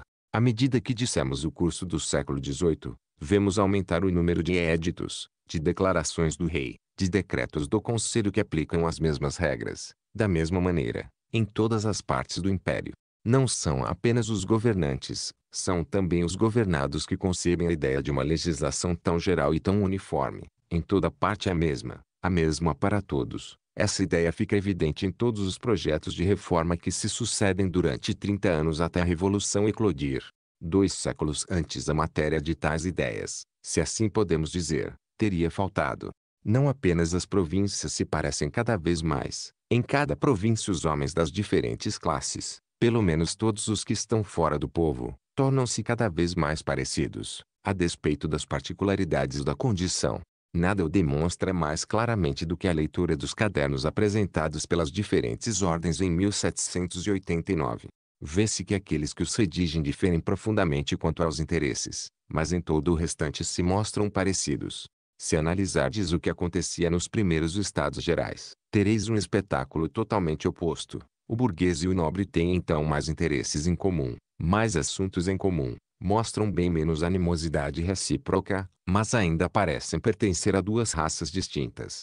O tempo, que mantivera aí sob muitos aspectos agravara os privilégios que separavam esses dois homens, havia trabalhado singularmente em torná-los parecidos em todo o restante. Há muitos séculos os nobres franceses vinham empobrecendo continuamente. Apesar de seus privilégios, a nobreza está cada dia mais arruinada e mais nula e o terceiro estado apodera-se das fortunas, escreve tristemente um fidalgo em 1755. Entretanto, as leis que protegiam a propriedade dos nobres continuavam as mesmas, nada em sua condição econômica parecia mudado. Mesmo assim, em toda parte eles empobreciam na proporção exata em que perdiam seu poder. Poderíamos dizer que, nas instituições humanas como no próprio homem, Independentemente dos órgãos que vemos cumprirem as diversas funções da existência, há uma força central e invisível que é o próprio princípio da vida. Em vão os órgãos parecem agir como antes, tudo define ao mesmo tempo e morre quando essa chama vivificadora vem a se extinguir. Os nobres franceses ainda tinham as substituições, o direito de primogenitura, as rendas fundiárias e perpétuas e todos os chamados direitos úteis, haviam escapado da obrigação tão onerosa de fazer a guerra às próprias expensas e entretanto lhes haviam conservado, aumentando a muito, a imunidade tributária, ou seja, conservavam a indenização ao se livrar do encargo.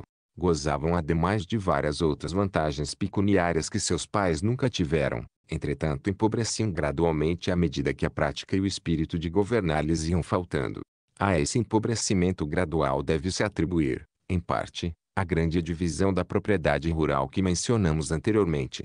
O fidalgo havia cedido pedaço pedaço sua terra aos camponeses, reservando para si apenas as rendas senhoriais, que lhe preservavam mais aparência do que a realidade da antiga posição. Várias províncias da França, como a de Limousin, de que fala Turgot, tinham em toda sua extensão apenas uma pequena nobreza pobre, que quase não possuía mais terras e vivia praticamente só de direitos senhoriais e de rendas fundiárias.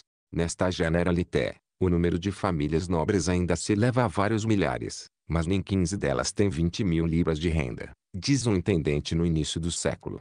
Leia em uma espécie de instrução que um outro intendente dirige a seu sucessor em 1750. A nobreza desta região é bastante boa mas muito pobre, e é tão orgulhosa quanto pobre. Está muito rebaixada em comparação com o que era antes. Não é má política mantê-la nesse estado de pobreza para levá-la à necessidade de servir e de precisar de nós. Forma uma confrearia na qual só são admitidas as pessoas que podem dar prova de quatro custados. Acrescenta ele. Essa confrearia não é patenteada, só é tolerada, e reúne-se apenas uma vez ano em presença do intendente. Depois de almoçar e de assistir à missa juntos, esses nobres voltam cada qual para sua casa, uns em seus rocinantes, outros a pé, Vereis como é cômica essa assembleia. Esse empobrecimento gradual da nobreza era visto em maior ou menor grau não apenas na França mas em todas as partes do continente onde, como na França, o sistema feudal estava acabando de desaparecer, sem ser substituído uma nova forma de aristocracia. Entre os povos alemães que margeiam o Reno a decadência era mais particularmente visível e muito acentuada. O contrário só ocorria entre os ingleses. Lá, as antigas famílias nobres que ainda existiam haviam não apenas conservado mas aumentado muito suas fortunas, continuavam sendo as principais tanto em riqueza como em poder. As famílias novas que haviam ascendido ao lado delas não fizeram mais que imitar-lhes a opulência sem suplantá-la. Na França, Apenas os plebeus pareciam herdar todos os bens que a nobreza perdia. Era como se crescessem somente graças à substância dela. Entretanto nenhuma lei impedia o burguês de arruinar-se nem o ajudava a enriquecer. Mesmo assim, ele enriquecia sem cessar. Em muitos casos tornara-se tão rico quanto e às vezes mais rico que o fidalgo. Além disso, freia quentemente sua riqueza era da mesma espécie. Embora costumasse viver na cidade, muitas vezes era proprietário no campo. Ocasionalmente chegava a adquirir senhorias. A educação e o modo de vida já haviam colocado entre esses dois homens mil outras semelhanças. O burguês tinha tantas luzes quanto o nobre e, o que é preciso notar bem, suas luzes provinham precisamente da mesma fonte. Ambos exibiam a mesma ilustração. Tanto para um como para o outro a educação fora igualmente teórica e literária. Paris, que se tornara cada vez mais o único preceptor da freança, conseguia dar a todos os espíritos uma mesma forma e uma postura em comum. No final do século XVIII, sem dúvida ainda se podia perceber uma diferença entre as maneiras da nobreza e as da burguesia, pois não há nada que se uniformize mais lentamente que essa superfície de costumes denominadas maneiras. Em, no fundo, todos os homens posicionados acima do povo se pareciam, tinham as mesmas ideias, os mesmos hábitos, obedeciam aos mesmos gostos, entregavam-se aos mesmos prazeres, liam os mesmos livros, falavam a mesma língua, já não diferiam uns dos outros, exceto pelos direitos. Duvido que isso ocorresse então no mesmo grau em qualquer outro lugar, nem mesmo na Inglaterra, onde as diversas classes, apesar de solidamente interligadas interesses em comum, geralmente ainda diferiam pelo espírito e pelos costumes, pois a liberdade política, que possui o admirável poder de criar entre todos os cidadãos relações necessárias e laços mútuos de dependência, nem sempre os torna semelhantes causa disso. É o governo de um único que, com o passar do tempo, sempre tem como efeito inevitável tornar os homens semelhantes entre si mutuamente diferentes à sorte do outro. Ponto capítulo 9 Como esses homens tão semelhantes estavam mais separados do que nunca em pequenos grupos mutuamente estranhos e indiferentes consideremos agora o outro lado do quadro e vejamos como aqueles mesmos franceses que tinham entre si tantos traços semelhantes estavam no entanto mais isolados uns dos outros do que talvez acontecesse em qualquer outra parte e mesmo do que jamais se vira anteriormente na França. Tudo indica que, na em que o sistema feudal se estabeleceu na Europa, o que depois se denominou nobreza não formou imediatamente uma casta, mas sim originariamente se compôs de todos os principais da nação e, portanto, de início foi tão somente uma aristocracia. Essa é uma questão que não desejo discutir aqui, basta-me observar que na Idade Média a nobreza passou a ser uma casta, isto é, sua marca distintiva é o nascimento. Ela conserva assim a característica, própria da aristocracia, de ser um corpo de cidadãos que governam, mas é unicamente o nascimento que determina quais estarão no topo desse corpo. Tudo o que não houver nascido nobre está fora dessa classe particular e fechada, e ocupa no Estado apenas uma posição menos ou mais elevada, em sempre subordinada.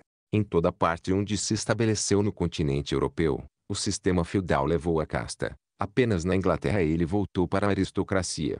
Sempre me surpreendeu que um fato que tanto singulariza a Inglaterra entre todas as nações modernas, e que se só já pode explicar as particularidades de suas leis, de seu espírito e de sua história, não tenha chamado a atenção dos filósofos e dos estadistas mais ainda do que o fez, e que o hábito tenha acabado torná-lo como que invisível para os próprios ingleses. Muitas vezes ele foi entrevisto, parcialmente descrito, nunca, parece-me, foi enxergado de modo completo e claro. Montesquieu, visitando a Grã-Bretanha em 1739, escreve acertadamente: Estou aqui em um país que pouco se parece com o restante da Europa, e não acrescenta mais nada. Era bem menos seu parlamento, sua liberdade, sua publicidade, seu júri que desde então realmente tornavam a Inglaterra tão diferente do restante da Europa, do que algo ainda mais particular e mais eficaz. A Inglaterra era o único país em que se havia não alterado mas efetivamente eliminado o sistema de castas.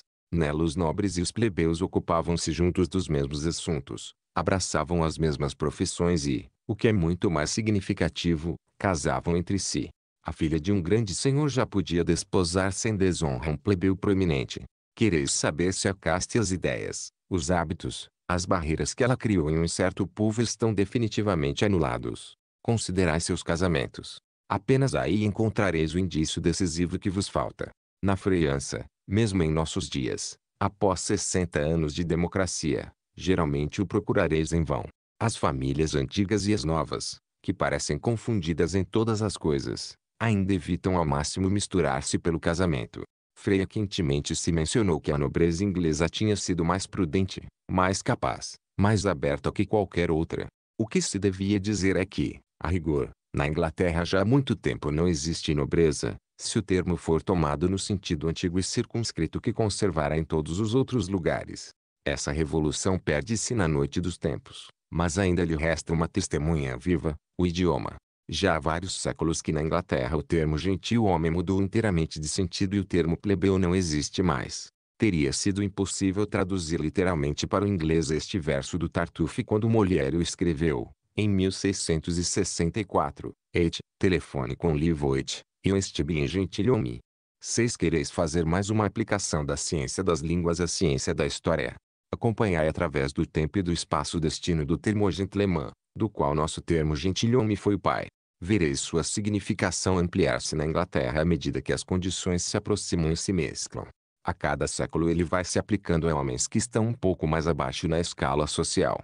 Fim. Viaja com os ingleses para a América, onde é usado para designar indistintamente todos os cidadãos. Sua história é a própria história da democracia. Na França o termo gentilhomem sempre permaneceu rigorosamente restrito a seu sentido primitivo. A partir da Revolução, praticamente saiu de uso, mas nunca se alterou. Conservara-se intacto o termo que servia para designar os membros da casta, porque se conservar a casta em si, tão separada de todas as outras como sempre estivera, mas vou muito além e afirmo que ela se tornará muito mais separada do que no momento em que o termo surgiu, e que houverá entre nós um movimento em sentido inverso do que fora visto na Inglaterra. Embora o burguês e o nobre estivessem mais parecidos, ao mesmo tempo haviam se isolado cada vez mais um do outro, duas coisas que tanto não devemos confundir que uma, em vez de atenuar a outra, freia quentemente agrava. Na Idade Média enquanto o feudalismo continuou a dominar, todos os que viviam como rendeiros em terras do Senhor, e muitos não eram nobres, estavam constantemente associados a ele para o governo da senhoria. Essa era mesmo a principal condição dos mansos ou concessões. Não apenas deviam acompanhar o senhor na guerra mas também, em virtude da concessão, deviam passar um certo tempo do ano em sua corte, ou seja, ajudá-lo a aplicar a justiça e a administrar os habitantes. A corte do senhor era a grande engrenagem do governo feudal, aparece em todas as antigas leis da Europa, e ainda em nossos dias encontrei vestígios muito visíveis dela em várias partes da Alemanha. O erudito feudista Edme de Freyaminville, que 30 anos antes da Revolução Francesa teve a ideia de escrever um volumoso livro sobre os direitos feudais e sobre a renovação dos cadastros fundiários, conta que viu nos títulos de muitas senhorias que os vassalos tinham obrigação de ir cada 15 dias para a corte do senhor, onde, estando reunidos, julgavam conjuntamente com o senhor ou seu juiz comum as decisões e os desacordos que haviam surgido entre os habitantes. Acrescenta que encontrou às vezes 80, 150 e até 200 desses vassalos numa senhoria. Muitos eram plebeus. Citei isso não como uma prova mas como um exemplo da maneira como, originariamente e durante muito tempo, a classe dos campos aproximava-se dos fidalgos e unia-se diariamente a eles na condução dos mesmos assuntos. O que a corte do senhor fazia pelos pequenos proprietários rurais os estados provinciais e mais tarde os estados gerais fizeram pelos burgueses das cidades.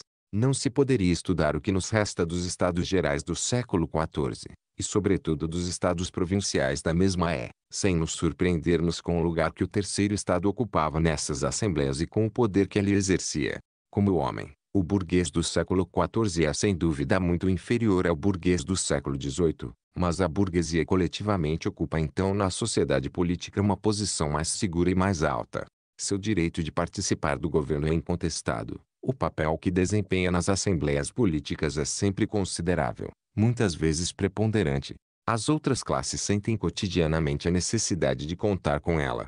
Mas o que impressiona acima de tudo é ver como a nobreza e o terceiro estado encontram então mais facilidades do que tiveram depois para administrar juntos os assuntos públicos ou para resistir em conjunto. Isso não se observa apenas nos estados gerais do século XIV, vários dos quais tiveram um caráter irregular e revolucionário que as agruras deles conferiram, mas também nos estados particulares da mesma é, em que nada indica que os assuntos não seguissem o andamento regular e habitual. É assim que vemos em Alvergne as três ordens tomarem em conjunto as medidas mais importantes e supervisionarem sua execução comissários escolhidos igualmente em todas três. O mesmo cenário é visto na mesma em Champagne. Todo mundo conhece aquele ato célebre pelo qual, no início do mesmo século, os nobres e os burgueses de um grande número de cidades se associaram para defender as franquias da nação e os privilégios de suas províncias contra os ataques do poder régio. Encontram-se naquele momento em nossa história vários desses episódios que parecem extraídos da história da Inglaterra. Tais cenários não voltarão a ser vistos nos séculos seguintes. Efetivamente, à medida que o governo da senhoria se desorganiza, que os estados gerais se tornam mais raros ou cessam e que as liberdades gerais fins sucumbem, arrastando em seu desmoronamento as liberdades locais. O burguês e o fidalgo não têm mais contato na vida pública. Nunca mais sentem necessidade de se aproximar um do outro e de se entender. São cada dia mais independentes um do outro, mas também mais estranhos um ao outro. No século XVIII essa revolução está concluída. Os dois homens então só se encontram acaso na vida privada. As duas classes já não são apenas rivais, são inimigas. E, o que parece muito particular da freança, ao mesmo tempo que a ordem da nobreza perde assim seus poderes políticos, o fidalgo adquire individualmente vários privilégios que nunca possuíra ou aumenta os que já possuía. Parecia que os membros se enriqueciam com os despojos do corpo. A nobreza tem cada vez menos o direito de comandar. Em os nobres tem cada vez mais a prerrogativa exclusiva de ser os principais servidores do amo. Era mais fácil para um plebeu tornar-se oficial sob Luís XIV do que sob Luís XVI. Isso acontecia com frequência na Prússia quando o fato era quase sem exemplo na França. Cada um desses privilégios, uma vez obtido, adere ao sangue, fica inseparável dele. Quanto mais essa nobreza deixa de ser uma aristocracia, mais parece tornar-se uma casta. Tomemos o mais odioso de todos esses privilégios, a isenção tributária. É fácil ver que, Desde o século XV até a Revolução Francesa, ele não parou de crescer. Crescia com o aumento acelerado dos encargos públicos. Quando não se recolhia mais que 1 milhão e 200 mil libras de talha sob Carlos VII, o privilégio de estar isento dela era pequeno. Quando se recolhiam 80 milhões sob Luís XVI, era muito. Quando a talha era o único imposto do plebeu, a isenção do nobre era pouco visível. Mas, quando os impostos dessa espécie se multiplicaram sob mil nomes e mil formas, quando a talha foram assimiladas quatro outras taxas, quando encargos desconhecidos na Idade Média, tais como a corveia régia aplicada a todas as obras e serviços públicos, a milícia etc., foram acrescentados à talha e a seus acessórios e também desigualmente atribuídos, a isenção do fidalgo pareceu imensa. A desigualdade, apesar de grande, era na verdade mais aparente ainda do que real pois com frequência o nobre era atingido em seu arrendatário pelo imposto do qual escapava pessoalmente. Mas nessa matéria a desigualdade que o homem vê prejudica mais do que a desigualdade que sente.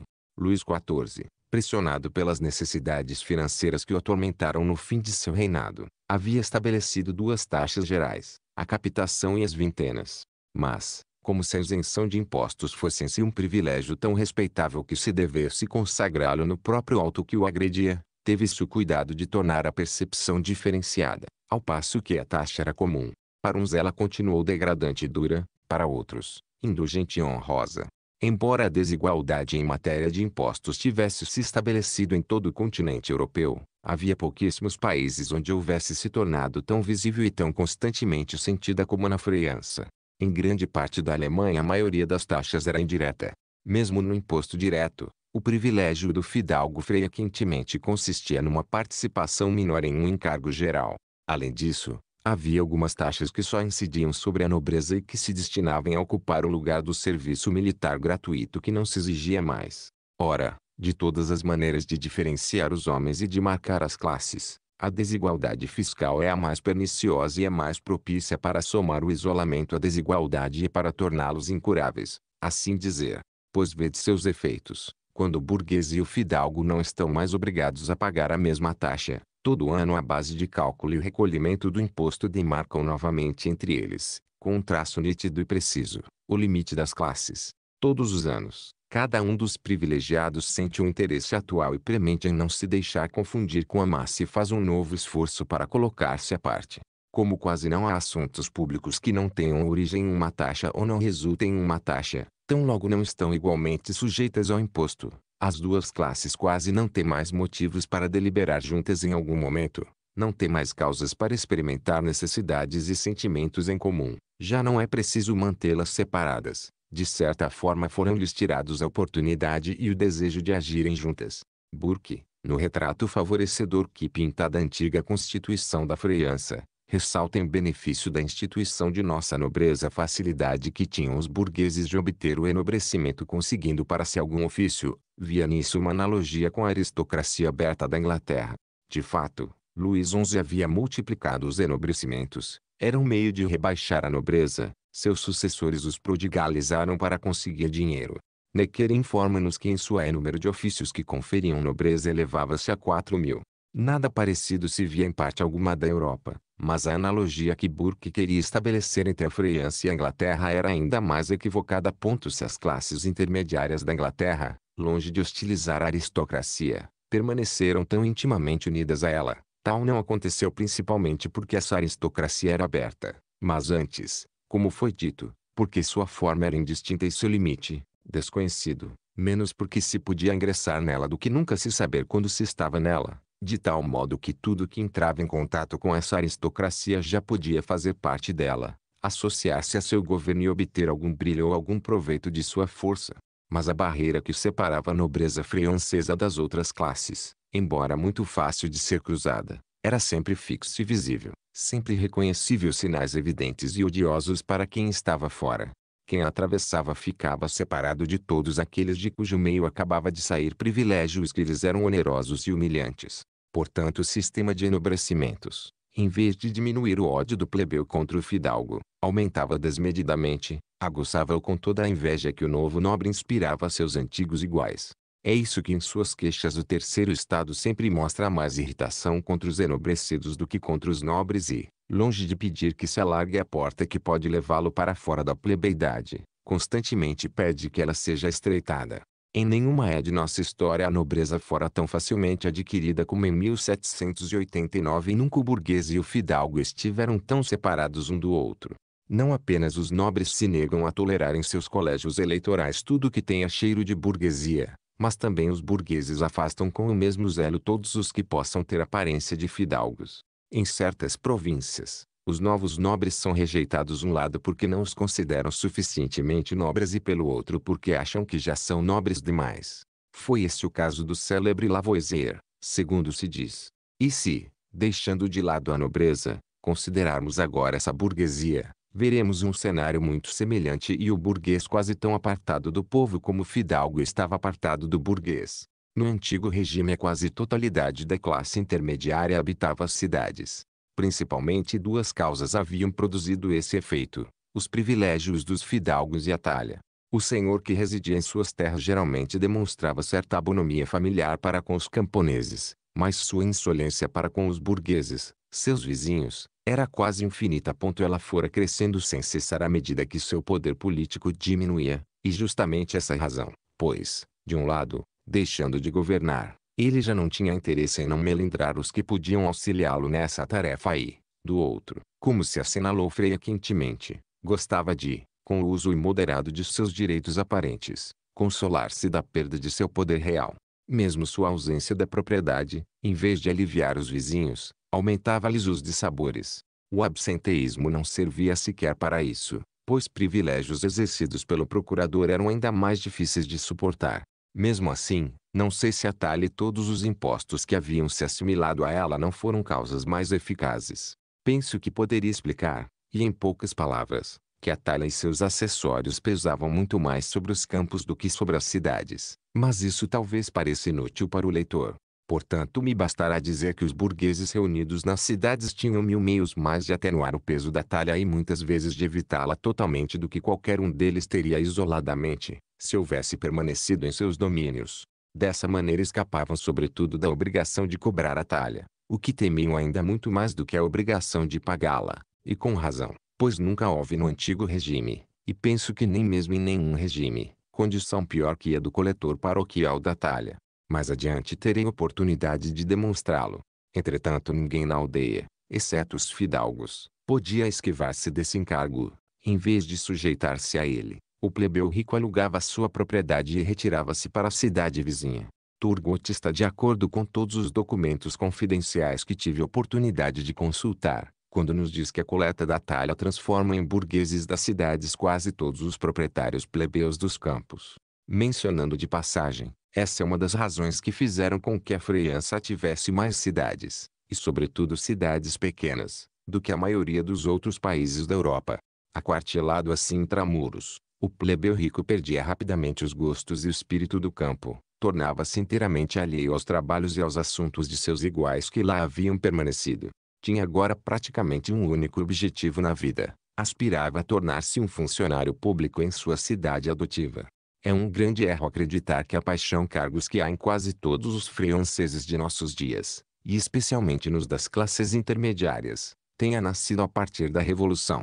Nasceu vários séculos antes e desde então não parou de crescer, graças a mil alimentos novos que se teve cuidado de dar-lhe.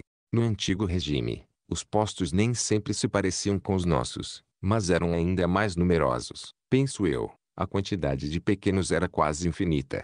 Calcula-se que só entre 1693 e 1709 foram criados 40 mil, quase todos ao alcance dos menores burgueses. Cheguei a contar em 1750, em uma cidade de província de dimensões medianas, 109 pessoas ocupadas em administrar justiça e 126 encarregadas de pôr em execução as decisões das primeiras, todas pessoas da cidade. A ânsia dos burgueses para ocupar esses postos era realmente sem igual. Assim que um deles se via de posse de um pequeno capital, em vez de empregá-lo nos negócios utilizava-o prontamente para comprar uma colocação. Essa lamentável ambição prejudicou mais o avanço da agricultura e do comércio na França do que as mestrias e a própria talha. Quando os postos vinham a faltar, a imaginação dos solicitantes, entrando em ação, prontamente inventava novos. Um certo Lemberville publica um memorial para provar que é totalmente conforme com o interesse público criar inspetores para determinada indústria termina oferecendo a si mesmo para o emprego. Quem de nós não conheceu esse Lemberville? Um homem com algum estudo e certa abastança não julgava decente morrer sem ter sido funcionário público. Cada qual, de acordo com sua situação, quer ser alguma coisa em nome do rei, diz um contemporâneo. Nesse assunto a maior diferença que se vê entre os tempos de que falam aqui os nossos é que então o governo vendia os postos, ao passo que hoje os dá, para adquiri-los um homem já não oferece seu dinheiro, faz melhor, entrega a si mesmo, separado dos camponeses pela diferença de lugares e, mais ainda, de tipo de vida. O burguês geralmente o era também pelo interesse. Reclama-se com muita justiça do privilégio dos nobres em matéria de impostos, mas que dizer dos privilégios dos burgueses? Chegam a milhares os ofícios que os isentam da totalidade ou de parte dos encargos públicos, este, da milícia, aquele, da corveia, um outro, da talha. Qual é a paróquia? Diz um texto da E que não tem em seu meio, além dos fidalgos e dos clérigos, vários habitantes que obtiveram para si, meio de cargos ou de comissão, alguma isenção de imposto. Uma das razões que de quando em quando levam a abolir alguns dos ofícios destinados aos burgueses é a diminuição de receita que a imensa quantidade de indivíduos isentados da talha causa. Não tenho dúvida de que o número de isentos era tão grande na burguesia quanto na nobreza e freia quentemente maior. Essas lamentáveis prerrogativas enchiam de inveja os que delas eram privados e do orgulho mais egoísta os que as possuíam. Nada é mais visível, durante todo o século XVIII, do que a hostilidade dos burgueses das cidades contra os camponeses de seus subúrbios e a inveja do subúrbio contra a cidade. Cada uma das cidades, ocupada com seu interesse particular, diz Turgot, está disposta a sacrificar-lhe os campos e as aldeias de seu distrito. Freia quentemente, diz ele em outro lugar, falando a seus subdelegados, tendes sido obrigados a reprimir a tendência constantemente usurpadora e invasiva que caracteriza a conduta das cidades com relação aos campos e às aldeias de seus distritos. Mesmo o povo que vive com os burgueses no perímetro interno da cidade torna-se estranho a eles, quase seu inimigo. A maioria dos encargos locais que eles estabelecem são direcionados de forma a incidir especialmente sobre as classes baixas. Tive mais de uma oportunidade de comprovar o que o mesmo Turgot diz em outra passagem de suas obras, que os burgueses das cidades haviam encontrado meios de regulamentar as taxas alfandegárias de modo a não recair sobre eles. Em que mais se nota em todos os atos dessa burguesia é o temor de ver-se confundida com o povo e o desejo apaixonado de evitar todos os meios seu controle. Se aprovesse ao rei que o cargo de prefeito voltasse a ser eletivo, dizem os burgueses de uma cidade em um memorando ao inspetor-geral, conviria obrigar os eleitores a escolherem apenas entre os principais notáveis e mesmo no presidial 7. Vimos como fizera parte da política de nossos reis tirarem sucessivamente do povo das cidades o uso de seus direitos políticos. De Luís XI a Luís XV, toda sua legislação revela essa intenção. Freia quentemente os burgueses da cidade associam-se a ela, às vezes sugerem na ocasião da reforma municipal de 1764, um intendente consulta os oficiais municipais de uma pequena cidade sobre a questão de manter ou não o direito de os artesãos e outra gente miúda eleger os magistrados. Esses oficiais respondem que na verdade o povo nunca abusou desse direito e sem dúvida seria gentil conservar-lhe o consolo de escolher os que devem comandá-lo. Em vale mais ainda, para a preservação da boa ordem e da tranquilidade pública, confiar essa incumbência à Assembleia dos Notáveis. O subdelegado, sua vez, informa que reuniu em sua casa, em conferência secreta, os seis melhores cidadãos da cidade, esses seis melhores cidadãos acabaram concordar unanimemente que melhor seria confiar a eleição nem mesmo à Assembleia dos Notáveis, como propunham os oficiais municipais, mas a um certo número de deputados escolhidos nos diferentes corpos que compõem essa Assembleia. O subdelegado, mais favorável às liberdades do povo do que os próprios burgueses, transmite esse parecer mas acrescenta que entretanto para os artesãos é muito duro pagar, sem poder controlar-lhes o uso, somas que foram impostas justamente àqueles concidadãos que, causa de seus privilégios de impostos, talvez sejam os menos interessados na questão. Mas completemos o quadro, consideremos agora a burguesia em si mesma, separada do povo, como já consideramos a nobreza separada dos burgueses. Observamos nessa pequena parcela da nação, apartada do restante, divisões infinitas, Parece que o povo francês é como esses pretensos corpos elementares nos quais a química moderna, à medida que os olha mais de perto, vai descobrindo novas partículas separáveis. Encontrei entre os notáveis de uma pequena cidade nada menos que 36 corpos diferentes. Esses diversos corpos, apesar de minúsculos, estão continuamente empenhados em apequenar-se ainda mais. Diariamente vão se purgando das partes heterogêneas que possam conter, a fim de ficar reduzidos aos elementos simples. Há alguns que esse belo trabalho reduziu a três ou quatro membros. Com isso sua personalidade fica ainda mais viva e seu humor, mais belicoso. Estão todos separados uns dos outros alguns pequenos privilégios, dos quais os menos honestos são também sinais de honra. Há entre eles eternas brigas precedência. O intendente e os tribunais ficam atordoados com o barulho de suas disputas. Finalmente se decidiu que a água benta será oferecida ao presidial antes de sê-lo à municipalidade. O parlamento hesitava, mas o rei evocou o caso em seu conselho e decidiu pessoalmente. Já era tempo. Esse assunto punha em polvorosa toda a cidade. Se for dada a preferência a um dos corpos sobre outro na Assembleia Geral dos Notáveis, este para de comparecer, alega que prefere desistir dos assuntos públicos a ver sua dignidade rebaixada. A corporação de peruqueiros da cidade de La Flèche decide que demonstrará dessa maneira justa mágoa que lhe causa a precedência concedida aos padeiros. Uma parte dos notáveis de uma cidade recusa-se obstinadamente a cumprir sua função porque, diz o intendente, introduziram-se na Assembleia alguns artesãos com os quais os principais burgueses se sentem humilhados de estar associados. Se o lugar de magistrado municipal for dado a um tabelião, diz o intendente de uma outra província, isso desgostará os outros notáveis, pois aqui os tabeliões são pessoas sem berço, que não pertencem a famílias de notáveis e todos foram escreventes.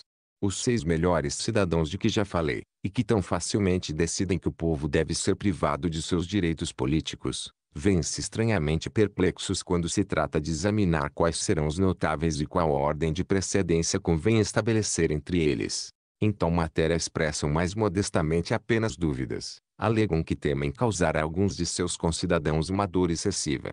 A vaidade natural dos franceses fortalece-se aguça-se no atrito incessante do amor próprio desses pequenos corpos e o legítimo orgulho do cidadão fica esquecido. No século XVI a maioria das corporações de que acabo de falar já existe, mas seus membros, depois de resolverem entre si os assuntos de sua associação particular, sempre se reúnem a todos os outros habitantes para juntos se ocuparem dos interesses gerais da cidade. No século XVIII eles estão quase totalmente fechados em si mesmos, pois os atos da vida municipal se tornaram raros e todos são executados mandatários. Assim, cada uma dessas pequenas sociedades vive apenas para si, apenas de si se ocupa, suas únicas atividades são as que lhe dizem respeito. Nossos pais não tinham a palavra individualismo, que forjamos para nosso uso, porque no tempo deles de fato não havia indivíduo que não pertencesse a um grupo e que pudesse se considerar absolutamente só. Mas cada um dos mil pequenos grupos de que a sociedade francesa se compunha só pensava em si mesmo. Era, se posso expressar-me assim, uma espécie de individualismo coletivo, que preparava as almas para o verdadeiro individualismo que conhecemos hoje. E o mais estranho é que todos os homens que se mantinham tão afastados uns dos outros haviam se tornado tão semelhantes entre si que bastaria fazê-los mudar de lugar para não se conseguir mais reconhecê-los.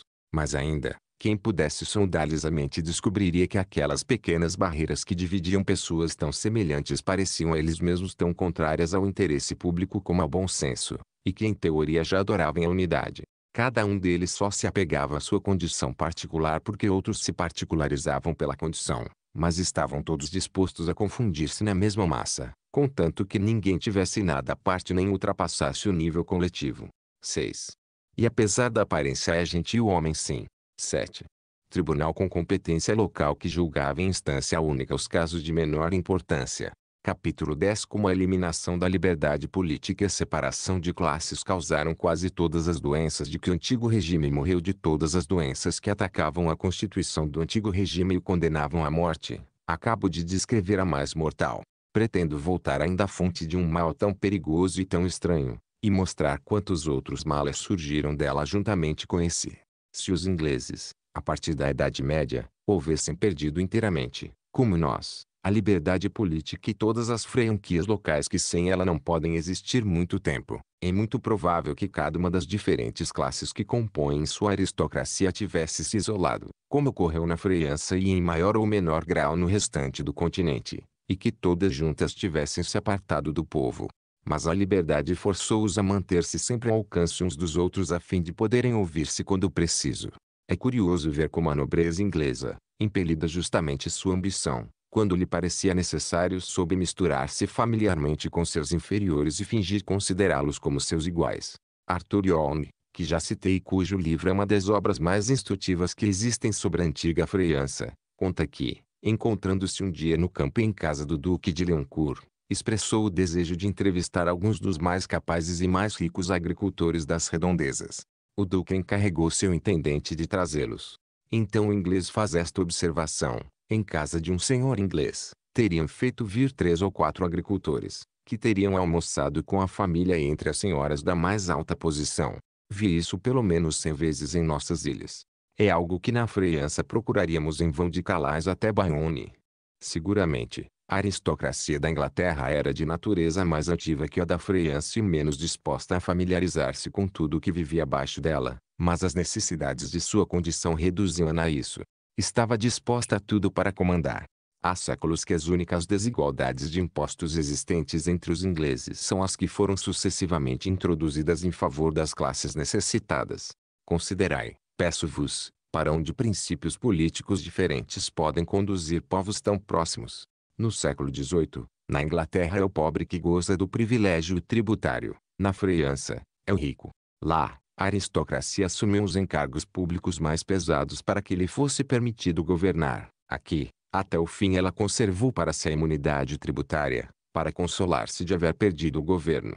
No século XIV, a máxima não taxar quem não aceitar parece tão solidamente estabelecida na França como na própria Inglaterra. É citada com frequência. Transgredi-la parece sempre um ato de tirania. Obedecer-lhe é voltar para o direito. Nessa é, como mencionei, Há uma infinidade de analogias entre nossas instituições políticas e as dos ingleses, mas então os destinos dos dois povos separam-se e vão se tornando cada vez mais dissemelhantes à medida que o tempo avança. São como duas linhas que, partindo de pontos contíguos mas com uma inclinação um pouco diferente, vão se separando indefinidamente à medida que se alongam. Ouso afirmar que, no dia em que a nação, cansada das longas desordens que haviam acompanhado o cativeiro do rei João e a demência de Carlos VI, permitiu que os reis estabelecessem um imposto geral sem sua participação, e em que a nobreza teve a covardia de deixar taxarem o terceiro estado contanto que ela própria fosse isentada, nesse dia foi semeado o germe de quase todos os vícios e de quase todos os abusos que desgastaram o antigo regime durante o resto de sua vida e acabaram causar sua morte violenta, e admiro a rara sagacidade de Comines quando diz, Carlos VII, que lavrou o tento de taxar a talha a seu bel prazer, sem o consentimento dos estados, sobrecarregou fortemente sua própria alma e a de seus sucessores e abriu em seu reino uma ferida que sangrará longo tempo. Considerai como a ferida realmente aumentou com o passar dos anos. Acompanhai passo a passo o fato em suas consequências. Forbominais diz com razão, nas eruditas recherches sur les finanças de La France, que na Idade Média os reis geralmente viviam dos rendimentos de seus domínios, e, como as necessidades extraordinárias eram atendidas meio de contribuições extraordinárias, estas incidiam igualmente sobre o clero, a nobreza e o povo, acrescenta ele. A maioria dos impostos gerais votados pelas três ordens durante o século XIV teve efetivamente esse caráter. Quase todas as taxas estabelecidas nas são indiretas, ou seja, são pagas todos os consumidores indistintamente. Às vezes o imposto é direto, então incide não sobre a propriedade mas sobre o rendimento. Os nobres, os clérigos e os burgueses estão obrigados a dar para o rei, no decurso de um ano, a décima parte, exemplo, de todos seus rendimentos. O que digo sobre os impostos votados pelos Estados Gerais vale também para os que são estabelecidos na mesma época pelos diversos estados provinciais em seus territórios. É verdade que já naquele tempo o imposto direto, conhecido pelo nome de Itália, nunca recaía sobre o fidalgo. A obrigação do serviço militar gratuito dispensava dele, mas a talha, como imposto geral, era então de uso restrito, mais aplicável à senhoria do que ao reino. Quando o rei decidiu pela primeira vez cobrar taxa sua própria iniciativa, compreendeu que era preciso de início uma que não parecesse atingir diretamente os nobres, pois estes, que então constituíam para realizar uma classe rival e perigosa, nunca admitiriam uma novidade que lhes fosse tão prejudicial. Portanto o rei optou um imposto do qual eles estavam isentos, escolheu a talha, a todas as desigualdades particulares que já existiam veio somar-se assim uma mais geral, que agravou e manteve todas as outras. A partir daí, à medida que as necessidades do tesouro público aumentam com as atribuições do poder central, a talha vai se ampliando e se diversificando, logo é decuplicada e todas as novas taxas tornam-se talhas. Assim, todo ano a desigualdade tributária separa as classes e isola os homens mais profundamente do que estiveram isolados até então visto que o imposto visava atingir não os mais capazes de pagá-lo e sim os mais incapazes de defender-se dele, seríamos levados à consequência monstruosa de poupar o rico e onerar o pobre. Afirma-se que Mazarin, com falta de dinheiro, pensou em estabelecer uma taxa sobre as principais casas de Paris, mas, encontrando nos interessados alguma resistência, limitou-se a acrescentar os 5 milhões de que necessitava a patente geral da talha. Queria taxar os cidadãos mais opulentos, acabou taxando os mais miseráveis. Em tesouro nada perdeu com isso. O produto de taxas tão mal distribuídas tinha limites e as necessidades dos príncipes não os tinham mais. Entretanto estes não queriam convocar os estados para deles obter subsídios nem, taxando a nobreza, incitá-la a exigir a convocação dessas assembleias. Disso resultou a prodigiosa e malfazeja fecundidade do espírito financeiro que caracteriza tão singularmente a administração do dinheiro público ao longo dos três últimos séculos da monarquia. É preciso estudar em seus detalhes história administrativa e financeira do antigo regime para compreender a que práticas violentas ou desonestas a necessidade de dinheiro pode reduzir um governo brando mas sem publicidade e sem controle. Quando o tempo houver consagrado seu poder e o tiver libertado do medo das revoluções, essa derradeira salvaguarda dos povos. Nesses anais, a cada passo encontramos bens da coroa vendidos e depois tomados de volta como invendíveis, contratos violados, direitos adquiridos não reconhecidos, o credor do Estado sacrificado em cada crise, a fé pública incessantemente falseada. Privilégios concedidos perpetuamente são perpetuamente retirados. Se pudéssemos compadecer-nos com dissabores que uma tola vaidade causa, lamentaríamos a sorte desses infelizes enobrecidos que, durante todo o correr dos séculos 17 e 18, são obrigados a recomprar de tempos em tempos as honrarias vãs ou os privilégios injustos pelos quais já pagaram várias vezes. Foi assim que Luís XIV anulou todos os títulos de nobreza adquiridos nos últimos 92 anos, títulos quase todos concedidos ele mesmo, só se podia conservá-los mediante um novo pagamento, todos esses títulos tendo sido obtidos de surpresa, diz o édito. Um exemplo que Luís XV não deixa de imitar, 80 anos depois. Proíbe-se o miliciano de apresentar um substituto, medo, alega-se, de encarecer para o estado preço dos recrutamentos. Cidades, comunidades, estabelecimentos assistenciais veem-se forçados a desrespeitar seus compromissos a fim de poderem prestar para o rei. Paróquias são impedidas de empreender obras úteis para evitar que, dividindo assim seus recursos, paguem menos rigorosamente a talha. Conta que o Rietrudain, um deles inspetor-geral e outro diretor-geral das obras públicas, haviam concebido o projeto de substituir a corveia das estradas uma prestação em dinheiro que os habitantes de cada cantão forneceriam para a reparação de seus caminhos. A razão que fez os dois hábeis administradores desistirem de seu intento é instrutiva. Como ficou dito, recearam que, uma vez constituídos os fundos, não se pudesse impedir que o tesouro público os desviasse para aplicá-los em uso próprio, de forma que em breve os contribuintes teriam de arcar ao mesmo tempo com a nova tributação e com as corveias. Não hesito em dizer que nenhum particular conseguiria evitar um mandado de prisão, caso manejasse sua fortuna pessoal do mesmo modo que o grande rei, em toda a sua glória, manejava a fortuna pública. Se encontrardes algum antigo estabelecimento da Idade Média que tenha se mantido agravando seus vícios a contrapelo do espírito da é, ou alguma novidade perniciosa, cavai até a raiz do mal, lá encontrareis um expediente financeiro que se transformou em instituição, para pagar dívidas de um dia vereis criarem-se novos poderes que vão durar séculos. Um imposto particular, o direito de feudo livre, for estabelecido em uma e muito remota, para os plebeus que possuíam bens nobres. Esse direito criava entre as terras a mesma divisão que existia entre os homens e aumentava incessantemente uma meio da outra. Não sei se o direito de feudo livre não serviu mais que todo o restante para manter separado o plebeu do fidalgo, porque os impedia de unirem-se no que assimila mais rapidamente e melhor os homens uns aos outros, a propriedade fundiária. Assim, de tempos em tempos um abismo era reaberto entre o proprietário nobre e o proprietário plebeu, seu vizinho.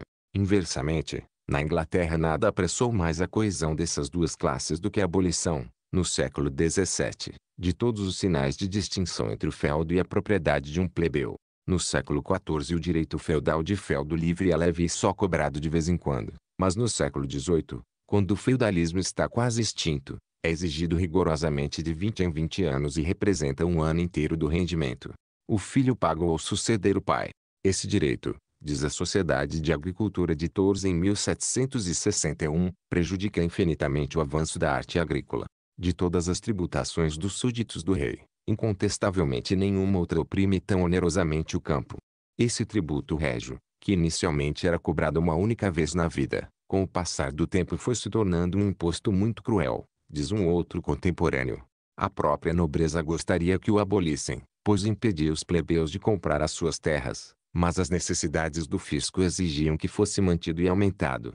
Acusa-se erroneamente a Idade Média de todos os males que as corporações industriais podem ter gerado.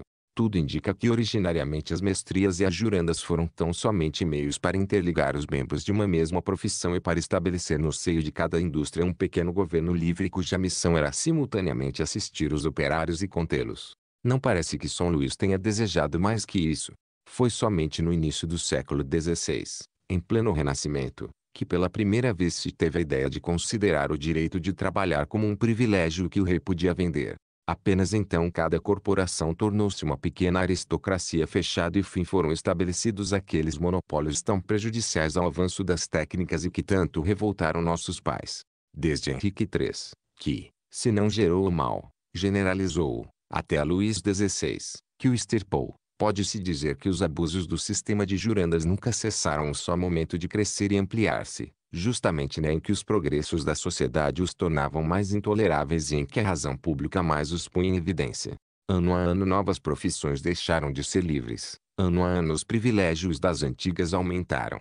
Nunca o mal foi levado mais longe do que nos assim chamados belos anos do reinado de Luís XIV, porque nunca as necessidades de dinheiro haviam sido maiores, nem a resolução de não recorrer à nação fora mais firme. Litrosne dizia com razão em 1775, o Estado estabeleceu as comunidades industriais tão somente para nelas buscar recursos, ora vendendo patentes, ora criando novos ofícios que as comunidades são forçadas a recomprar. O Edito de 1673 veio levar às últimas consequências os princípios de Henrique III, obrigando todas as comunidades a obter cartas de confirmação mediante pagamento em dinheiro, e todos os artesãos que ainda não estavam em comunidade foram forçados a congregar-se em uma. Esse expediente lamentável produziu 300 mil libras. Vimos como toda a constituição das cidades foi subvertida, não com objetivo político, mas na esperança de obter alguns recursos para o tesouro. Foi essa mesma necessidade de dinheiro, somada à intenção de não pedi-lo aos estados, que a venalidade dos cargos deveu sua origem, e pouco a pouco foi se tornando algo tão estranho que nunca se vira no mundo nada parecido. Graças a essa instituição que o espírito fiscal gerara, durante três séculos a vaidade do terceiro estado foi mantida em alerta e direcionada unicamente para a aquisição de funções públicas, e entranhou-se na nação essa paixão universal postos que se tornou fonte comum das revoluções e da servidão. À medida que as dificuldades financeiras aumentavam, iam surgindo novos empregos, todos remunerados com isenções tributárias ou com privilégios, e, como eram as necessidades do tesouro e não as da administração que decidiam, chegou-se dessa maneira a instituir um número quase inacreditável de funções inteiramente inúteis ou mesmo prejudiciais. Em 1664, ocasião da enquete feita a Colbert, verificou-se que o capital envolvido nessa lamentável propriedade elevava-se a cerca de 500 milhões de libras. Richelieu eliminou 100 mil ofícios, segundo se diz. Estes prontamente renasciam com outros nomes, um pouco de dinheiro abdicou-se do direito de dirigir, de fiscalizar e de refrear seus próprios agentes. Desse modo pouco a pouco se construiu uma máquina administrativa tão vasta, tão complicada, tão atravancada e improdutiva que foi preciso deixá-la rodar em falso e construir fora dela um instrumento de governo que fosse simples e de manejo mais fácil, meio do qual realmente se fizesse o que todos aqueles funcionários aparentavam fazer. Pode-se afirmar que nenhuma dessas odiosas instituições poderia ter subsistido durante 20 anos se fosse permitido discuti-las. Nenhuma haveria de estabelecer-se ou agravar-se caso tivessem consultado os estados, ou se tivessem ouvido suas reclamações quando o caso ainda os reuniam. Os raros estados gerais dos últimos séculos não cessaram de protestar contra elas. Vemos repetidamente essas assembleias apontarem como a origem de todos os abusos o poder que o rei se arrogou de cobrar arbitrariamente taxas, ou, para reproduzir as expressões exatas que a linguagem enérgica do século XV utilizava, o direito de enriquecer-se com a substância do povo sem o consentimento e a deliberação dos três estados. Eles não se ocupam somente de seus próprios direitos, pedem com veemência e frequentemente obtêm que sejam respeitados os das províncias e das cidades. Em cada nova sessão há vozes que se erguem contra a desigualdade dos encargos, em várias ocasiões os estados pedem o abandono do sistema de jurandas. De século em século atacam com crescente veemência a venalidade dos ofícios. Quem vende ofício vende justiça, o que é infame, dizem eles. Quando a venalidade dos cargos está estabelecida, continuam a protestar contra o uso abusivo dos ofícios. Erguem-se contra tantos postos inúteis e privilégios perigosos, mas sempre em vão. Essas instituições eram estabelecidas precisamente contra eles, nasciam do desejo de não reuni-los e da necessidade de travestir aos olhos dos franceses o imposto que não se ousava mostrar-lhes em seu aspecto verdadeiro. E observai que os melhores reis recorrem a essas práticas como os piores. É Luís XII que consegue estabelecer a venalidade dos ofícios, é Henrique IV que vende sua hereditariedade. Tantos vícios do sistema são mais fortes que a virtude dos homens que o praticam. Esse mesmo desejo de escapar da tutela dos estados levou a confiar aos parlamentos a maioria de suas atribuições políticas. Isso emaranhará o poder judiciário no governo de um modo muito prejudicial à boa ordem das atividades. Era preciso aparentar que se ofereciam algumas garantias novas no lugar das que eram retiradas, pois os franceses, que suportam com bastante paciência o poder absoluto enquanto não é opressivo, nunca apreciam sua visão. E é sempre prudente erguer diante dele alguma aparência de barreiras que, sem poderem detê-lo, escondam-no pelo menos um pouco. Fim. Esse desejo de impedir que a nação, cujo dinheiro se pedia, pedisse de volta sua liberdade foi o que levou ao zelo incessante em manter as classes apartadas umas das outras, para não poderem reaproximar-se nem se associar em uma resistência conjunta e o governo nunca tivesse de lidar ao mesmo tempo com mais do que um número muito pequeno de homens separados de todos os outros. Em todo o decurso dessa longa história, em que vemos surgirem sucessivamente tantos príncipes notáveis, vários pelo espírito, alguns pelo gênio, quase todos pela coragem, não encontramos um único que se esforce para aproximar as classes e uni-las de outro modo que não submetendo-as a uma mesma dependência. Estou enganado, um único quis isso e mesmo se empenhou de todo o coração, e esse, quem poderia sondar os desígnios de Deus, foi Luís XVI. A divisão de classes foi o crime da antiga realeza e tornou-se mais tarde sua desculpa, pois, Quando todos os que compõem a parte rica e esclarecida da nação não podem mais se entender e auxiliar-se mutuamente no governo, a administração do país si mesmo é praticamente impossível e faz-se preciso que um senhor intervenha. A nação, diz tristemente Turgut em um relatório confidencial ao rei, é uma sociedade composta de diferentes ordens mal unidas e de um povo cujos membros têm entre si apenas pouquíssimos laços, e na qual, conseguinte, todos estão ocupados apenas com seus interesses particulares. Em parte alguma há interesse comum visível. As aldeias e as cidades não mantêm mais relações mútuas do que os distritos a que pertencem. Não conseguem entender-se para executar obras públicas que lhes são necessárias. Nessa guerra perpétua de pretensões e cometimentos, Vossa Majestade é obrigado a decidir tudo pessoalmente ou vossos mandatários. Fica-se à espera de vossas ordens especiais para contribuir para o bem público, para respeitar os direitos de outrem, às vezes para exercer os seus próprios. Não é um pequeno empreendimento aproximar com cidadãos que assim viveram durante séculos como estranhos ou como inimigos e ensiná-los a conduzirem comuns seus próprios assuntos. Foi muito mais fácil dividi-los do que então reuni-los. Damos ao mundo um memorável exemplo disso. Quando as diversas classes que partilhavam a sociedade da antiga França entraram novamente em contato, há 60 anos, depois de estarem isoladas durante tanto tempo tantas barreiras, Inicialmente só se tocaram em seus pontos doloridos e só se reencontraram para se dilacerarem mutuamente. Mesmo em nossos dias suas invejas e seus ódios lhe sobrevivem. Capítulo 11 Da espécie de liberdade que existia sob o antigo regime de sua influência sobre a revolução Quem interrompesse aqui a leitura deste livro teria apenas uma imagem muito imperfeita do governo do antigo regime e compreenderia mal a sociedade que fez a revolução.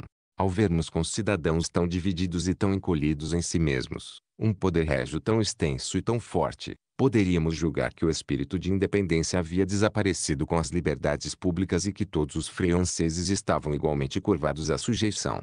Mas não era assim, mesmo quando já conduzia sozinho e de modo absoluto todos os assuntos coletivos, o governo ainda estava longe de ser senhor de todos os indivíduos. No meio de muitas instituições já preparadas para o poder absoluto, a liberdade vivia, mas era um tipo de liberdade singular, que hoje é difícil imaginar e que é preciso examinar de muito perto para compreender o bem e o mal que ela nos pôde fazer. Ao passo que o governo central ocupava o lugar de todos os poderes locais e preenchia cada vez mais toda a esfera da autoridade pública, instituições que deixara viver ou que ele mesmo criara, velhos usos, antigos costumes, mesmo abusos entravavam-lhe os movimentos, alimentavam ainda no fundo da alma de um grande número de indivíduos o espírito de resistência e conservavam em muitos caracteres sua consistência e seu relevo. A centralização já tinha a mesma índole, os mesmos procedimentos, os mesmos objetivos que em nossos dias, mas não ainda o mesmo poder. Tendo o governo, em seu desejo de fazer dinheiro de tudo, posto à venda a maioria das funções públicas, desprover a si mesmo da faculdade de dá-las e tomá-las de volta a seu arbítrio. Assim, uma de suas paixões havia prejudicado grandemente o sucesso da outra. A avidez fizera-lhe contrapeso à ambição. Portanto, para agir, constantemente ele se via reduzido a empregar instrumentos que não moldara de mão própria e que não podia romper. Freia quentemente lhe acontecia ver assim suas vontades mais absolutas debilitarem-se na execução. Essa constituição bizarra e viciosa das funções públicas fazia o papel de uma espécie de garantia política contra a onipotência do poder central. Era como um dique irregular e mal construído que dividia sua força e diminuía seu impacto. O governo também não dispunha ainda dessa quantidade infinita de favores, auxílios, honrarias e dinheiro que pode distribuir hoje. Tinha assim muito menos meios tanto para seduzir quanto para coagir. Aliás, ele próprio não conhecia bem os limites exatos de seu poder. Nenhum de seus direitos estava regularmente reconhecido nem solidamente estabelecido. Sua esfera de ação era imensa, mas ainda palmilhava com passos inseguros, como em um lugar escuro e desconhecido. Essas trevas assustadoras que então ocultavam os limites de todos os poderes imperavam em torno de todos os direitos, favoráveis aos atentados dos príncipes contra a liberdade dos súditos. Frequentemente lhe favoreciam a defesa. A administração, sentindo-se recente de origem modesta, era sempre tímida em seus procedimentos, menos obstáculo que encontrasse no caminho. É um cenário que impressiona. Quando se lê a correspondência dos ministros e intendentes do século XVIII, vê como esse governo, tão invasivo e tão absoluto enquanto a obediência não é contestada, fica desconcertado ante a menor resistência, como a mais leve crítico perturba, Como qualquer rumor o apavora e como então ele se detém, hesita, parlamenta, adota meias medidas e freia quentemente permanece muito aquém dos limites naturais de seu poderio. O freioxo egoísmo de Luís XV e a bondade de seu sucessor prestavam-se a isso. Esses príncipes, aliás, nunca imaginavam que se pensassem destroná-los. Nada tinham dessa índole inquieta e dura que em seguida o medo freia quentemente deu aos que governam. Só calcavam aos pés as pessoas a quem não viam.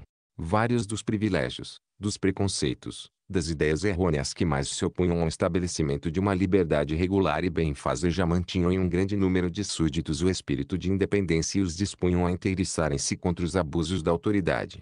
Os nobres tinham grande desprezo pela administração propriamente dita, embora de tempos em tempos a procurassem.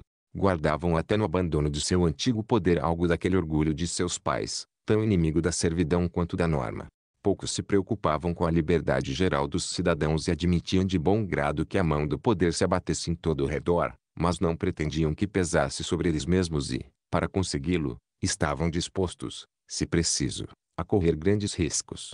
No momento em que a revolução começa, essa nobreza que vai cair com o trono ainda tem para com o rei e sobretudo para com seus agentes uma atitude infinitamente mais altaneira e uma linguagem mais livre que o terceiro estado, que em breve derrubará a realeza. Quase todas as garantias contra os abusos do poder que possuímos ao longo dos 37 anos do regime representativo são ativamente reivindicadas ela. Ao lermos seus cadernos sentimos, no meio de seus preconceitos e manias, o espírito e algumas das grandes qualidades da aristocracia. Será preciso lamentar sempre que em vez de submeter essa nobreza ao império das leis a tenham abatido e erradicado. Ao agir assim, tiraram da nação uma parte necessária de sua substância e infligiram à liberdade um ferimento que nunca cicatrizará. Uma classe que durante séculos caminhou à frente e contraiu, nesse longo uso incontestado da grandeza, uma certa intrepidez de ânimo, uma confiança natural em suas forças, um hábito de ser olhada que a torna o ponto mais resistente do corpo social. Não apenas tem costumes viris, aumenta, exemplo, a virilidade das outras classes, extirpando-a, desfibram até mesmo seus inimigos. Nada poderia substituí-la completamente. Ela mesma jamais poderia renascer. Pode recuperar os títulos e os bens, mas não a alma de seus pais. Os sacerdotes, que depois nas coisas civis muitas vezes se mostraram servilmente submissos ao soberano temporal, qualquer que fosse, e a seus mais audaciosos aduladores, bastando que ele fizesse menção de favorecer a igreja, formavam então um dos corpos mais independentes da nação e o único cujas liberdades particulares teriam forçosamente de ser respeitadas. As províncias haviam perdido suas franquias, as cidades não possuíam mais que a sombra delas. Dez nobres não podiam reunir-se para deliberar juntos sobre um assunto qualquer sem permissão expressa do rei. A igreja francesa mantinha até o fim suas assembleias periódicas. Em seu seio o próprio poder eclesiástico tinha limites respeitados. O baixo clero possuía garantias sólidas contra a tirania de seus superiores e não estava preparado pela arbitrariedade ilimitada do bispo para obediência passiva perante o príncipe. Não pretendo julgar essa antiga constituição da igreja, digo apenas que não preparava a alma dos sacerdotes para o servilismo político. Muitos clérigos, aliás, eram fidalgos de sangue e transportavam para a igreja a altivez e a indocilidade das pessoas de sua condição. Além disso, Todos tinham uma posição elevada no Estado e possuíam privilégios. O uso desses mesmos direitos feudais, tão fatal para a força moral da Igreja, dava a seus membros individualmente um espírito de independência com relação ao poder civil. Mas o que contribuía acima de tudo para dar aos padres as ideias, as necessidades, os sentimentos e freia quentemente as paixões do cidadão era a propriedade fundiária. Tive a paciência de ler a maioria dos relatórios e dos debates que nos deixaram os antigos estados provinciais, e especialmente os de Languedoc, onde o clero estava ainda mais imiscuído que em outros lugares nos detalhes da administração pública traço, bem como as atas das assembleias provinciais que se reuniram em 1779 e 1787, e, levando a essa leitura as ideias de meu tempo, surpreendia-me ver bispos e abades, vários dos quais foram tão eminentes pela santidade quanto pelo saber, fazerem relatórios sobre a construção de um caminho ou de um canal, tratarem da matéria com profundo conhecimento de causa, discutirem com ciência e técnica infinitas quais eram os melhores meios para aumentar a produção da agricultura, assegurar o bem-estar dos habitantes e fazer prosperar a indústria, sempre iguais e frequentemente superiores a todos os laicos que se ocupavam com eles dos mesmos assuntos. Ouso pensar, contrariando uma opinião bastante geral e muito solidamente estabelecida, que os povos que tiram do clero católico toda e qualquer participação na propriedade fundiária e transformam todos seus rendimentos em salários servem apenas aos interesses da Santa Sé e dos príncipes temporais e privam a si mesmos de um imenso elemento de liberdade. Um homem que, pela melhor parte de si mesmo, está subordinado a uma autoridade estrangeira e que no país onde vive não pode ter família está, assim dizer, preso ao solo apenas um único laço sólido, a propriedade fundiária. Cortai esse laço e ele já não pertence particularmente a lugar algum. Naquele onde o acaso o fez nascer, ele vive como forasteiro no meio de uma sociedade civil da qual quase nenhum dos interesses pode afetá-lo diretamente. Para sua consciência, ele depende apenas do Papa, para sua subsistência, apenas do príncipe. Sua única pátria é a igreja, em cada acontecimento político vê praticamente apenas o que é útil a ela ou que pode prejudicá-la. Contanto que seja livre e próspera, que importa o restante. Sua condição mais natural em política é a indiferença. Excelente membro da cidade cristã, medíocre cidadão em qualquer outro lugar.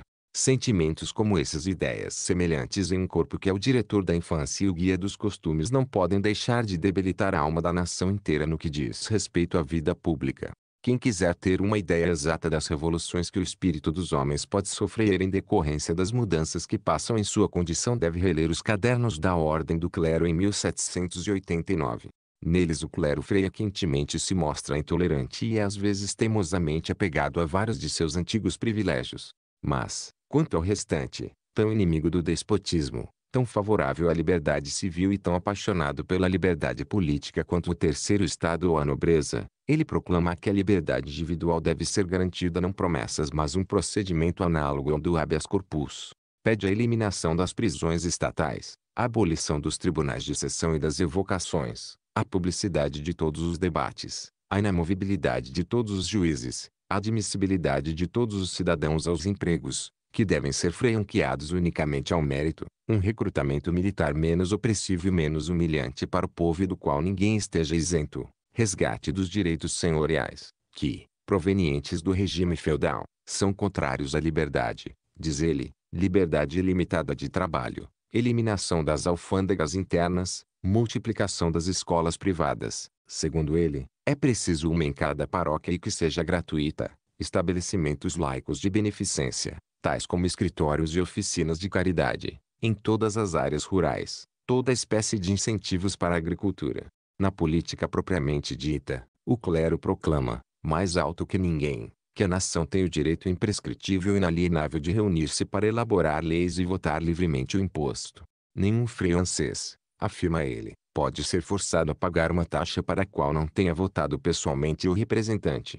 Pede ainda que os Estados Gerais, livremente eleitos, sejam reunidos uma vez ano, que discutam em presença da nação todos os assuntos importantes, que façam leis gerais às quais não se possa opor nenhum uso ou privilégio particular, que preparem orçamento e fiscalizem até mesmo a casa do rei, que seus deputados sejam invioláveis e que os ministros tenham de responder perante eles tudo.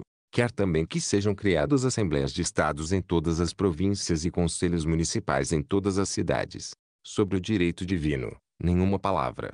Não sei se, no final das contas e apesar dos vícios clamorosos de alguns de seus membros, já houve no mundo um clero mais notável que o clero católico da França no momento em que a Revolução apanhou de surpresa, mais esclarecido, mais nacional, menos entrincheirado unicamente nas virtudes privadas, mais bem provido de virtudes públicas e ao mesmo tempo de mais fé. A perseguição mostrou bem isso. Comecei o estudo da antiga sociedade cheio de preconceitos contra ele, terminei-o cheio de respeito, na verdade, tinha apenas os defeitos que são inerentes a todas as corporações, tanto as políticas como as religiosas, quando estão fortemente unidas e bem constituídas, tendência para invadir, humor pouco tolerante, apego instintivo e às vezes cego aos direitos particulares da classe. A burguesia do antigo regime também estava muito mais preparada que a de hoje para mostrar um espírito de independência. Até mesmo vários dos vícios de sua conformação contribuíam para isso. Vimos que os postos que ocupava eram ainda mais numerosos naquele tempo do que em nossos dias e que as classes intermediárias mostravam a mesma ânsia de adquiri-los. Mas observai a diferença dos tempos. Quase todos esses postos, não sendo dados nem tirados pelo governo, aumentavam a importância do titular sem colocá-lo à mercê do poder, ou seja, o que hoje consuma a sujeição de tantas pessoas era precisamente o que então mais poderosamente lhe servia para se fazerem respeitar. Além disso, as imunidades de toda a espécie que tão nefastamente separavam a burguesia do povo faziam dele uma falsa aristocracia que freia quentemente mostrava o orgulho e o espírito de resistência da verdadeira. Em cada uma dessas pequenas associações particulares que a dividiam em tantas partes, esquecia-se facilmente o bem geral, mas estava-se sempre tratando do interesse e de direitos daquele corpo. Havia ali uma dignidade comum, privilégios comuns a serem defendidos, Ali ninguém podia jamais se perder na multidão e esconder complacências medrosas. Cada homem encontrava-se em um palco muito pequeno, é verdade, mas muito iluminado, e tinha um público que era sempre o mesmo e sempre disposto a aplaudi-lo ou vaiá-lo. A arte de abafar o rumor de todas as resistências estava então bem menos aperfeiçoada que hoje. A freança ainda não se tornara o lugar surdo em que vivemos. Ao contrário, era bastante ressonante. Embora a liberdade política não se fizesse ver, e bastava erguer a voz para ser ouvido ao longe. Naquela é que acima de tudo assegurava aos oprimidos o meio de se fazer ouvir era a Constituição da Justiça. Havíamos nos tornado um país de governo absoluto nossas instituições políticas e administrativas, mas permanecíamos um povo livre nossas instituições judiciárias. A justiça do antigo regime era complicada, atravancada, lenta e onerosa. Eram grandes defeitos, sem dúvida, mas nunca se encontrava nela o servilismo para com o poder, que é simplesmente uma forma de venalidade, e a pior, esse vício capital, que não apenas corrompe o juiz mas logo infecta todo o povo, era ali inteiramente desconhecido. O magistrado era inamovível e não procurava subir de posto, duas coisas igualmente necessárias para sua independência, pois que importa que não se possa coagi-lo quando se tem meios de seduzi-lo. É verdade que o poder régio conseguira subtrair aos tribunais comuns o conhecimento de quase todos os casos em que a autoridade pública estava envolvida, mas, expoliando-os, continuava a temê-los. Se os impedia de julgar, nem sempre ousava impedi-los de receberem as queixas e darem seu parecer, e, como a linguagem judiciária conservava então as maneiras do francês antigo, que gosta de dar às coisas seu nome próprio, Muitas vezes ocorria aos magistrados chamarem cruamente de atos despóticos e arbitrários os procedimentos do governo. Assim a intervenção irregular dos tribunais no governo, que freia quentemente perturbava a boa administração dos assuntos, às vezes servia de salvaguarda para a liberdade dos homens. Era um grande mal que limitava um mal maior. No seio desses corpos judiciários e em toda sua volta o vigor dos antigos costumes conservava-se em meio às ideias novas, os parlamentos estavam sem dúvida mais preocupados consigo mesmos do que com o bem público, mas é preciso reconhecer que, na defesa de sua própria independência e honra, mostravam-se sempre intrépidos e transmitiam sua alma a tudo que entrava em contato com eles. Quando em 1770 o parlamento de Paris foi deposto, os magistrados que dele faziam parte sofreram a perda de posição e de poder sem que se visse um só deles ceder individualmente perante a vontade régia. Bem mais ainda, tribunais de uma espécie diferente, como o Tribunal de Ajudas 8, que não haviam sido afetados nem ameaçados, expuseram-se voluntariamente aos mesmos rigores, no momento mesmo em que esses rigores tinham se tornado inevitáveis. Mas eis algo melhor ainda. Os principais advogados que atuavam perante o parlamento associaram-se de livre e espontânea vontade à sorte dele, renunciaram àquilo que lhes dava glória e riqueza e preferiram condenar-se ao silêncio a se apresentarem perante os magistrados desonrados. Não conheço na história dos povos livres nada maior do que ocorrido nessa ocasião, e entretanto isso aconteceu no século XVIII, ao lado da corte de Luís XV. Sob muitos aspectos os hábitos judiciários haviam se tornado hábitos nacionais. Também se adotara dos tribunais a ideia de que todo assunto está sujeito ao debate e toda decisão à apelação, ao uso da publicidade, ao gosto pelas formas, coisas inimigas da servidão. Essa é a única parte da educação de um povo livre que o antigo regime nos deu. A própria administração copiara muito da linguagem e dos usos da justiça. O rei acreditava-se obrigado a sempre justificar seus éditos e expor suas razões antes de concluir. O conselho pronunciava decisões precedidas de longos preâmbulos. O intendente notificava suas decisões meio de oficial de justiça. No seio de todos os corpos administrativos de origem antiga, como exemplo o corpo de tesoureiros e ou dos elos, os assuntos eram discutidos publicamente e decididos após sustentação oral. Todos esses hábitos, Todas essas formas constituíam barreiras à arbitrariedade do príncipe. O povo se só, sobretudo dos campos, achava-se quase sempre sem condições de resistir à opressão ou outro modo que não a violência. Isso porque a maioria dos meios de defesa que acabo de apontar estava fora de seu alcance. Para pô-los em prática era preciso ter na sociedade uma posição de onde se pudesse ser visto e uma voz capaz de fazer-se ouvir. Mas fora do povo não havia homem na freança que, se tivesse ânimo para isso, não pudesse regatear sua obediência e resistir mesmo curvando-se. O rei falava à nação mais como chefe do que como senhor. Sentimos orgulho de comandar uma nação livre e generosa, diz Luís XVI no início de seu reinado, no preâmbulo de um édito. Um de seus antepassados já expressara a mesma ideia em uma linguagem mais arcaica quando, agradecendo aos Estados Gerais pela ousadia de suas críticas, dissera: Gostamos mais de falar a homens freancos do que a servos. Os homens do século XVIII praticamente não conheciam essa espécie de paixão pelo bem-estar que é como que a mãe da servidão, paixão freocha e tenaz e inalterável, que facilmente se mescla e assim dizer se entrelaça com várias virtudes privadas, com o amor pela família, a observância dos costumes, o respeito pelas crenças religiosas e mesmo a prática morna e assídua do culto estabelecido traço, que permite a honestidade, proíbe o heroísmo e esmera-se em fazer homens corretos e cidadãos timoratos. Eles eram melhores e piores. Os franceses de então amavam a alegria e adoravam o prazer. Eram talvez mais desregrados em seus hábitos e mais desordenados em suas paixões e ideias que os de hoje, mas ignoravam esse sensualismo moderado e decente que vemos. Nas classes altas, ocupavam-se bem mais em embelezar sua própria vida do que em torná-la cômoda, e ilustrar-se do que em enriquecer. Mesmo nas classes intermediárias, nunca se deixavam absorver inteiro na busca do bem-estar, frequentemente o esqueciam para correr atrás de prazeres mais delicados e mais elevados, em toda parte investiam, afora o dinheiro, algum outro bem. Conheço minha nação, hábil em fundir e dissipar os metais. Ela não é feita para honrá-los com o culto habitual e estaria totalmente disposta a retornar para seus antigos ídolos, o valor, a glória e, ouso dizer, a magnanimidade, escreveu um contemporâneo, em um estilo bizarro mas aqui não falta orgulho. É preciso, aliás, ter o cuidado de não avaliar a baixeza dos homens pelo grau de sua submissão para com o poder soberano, seria utilizar uma medida errônea. Mais submissos que fossem os homens do antigo regime às vontades do rei, havia um tipo de obediência que lhes era desconhecido. Não sabiam o que era curvar-se sob um poder ilegítimo ou contestado. Aqui pouco se respeita e freia quentemente se despreza, mas que se tolera de bom grado porque a último pode prejudicar. Essa forma degradante de servidão sempre lhes foi desconhecida.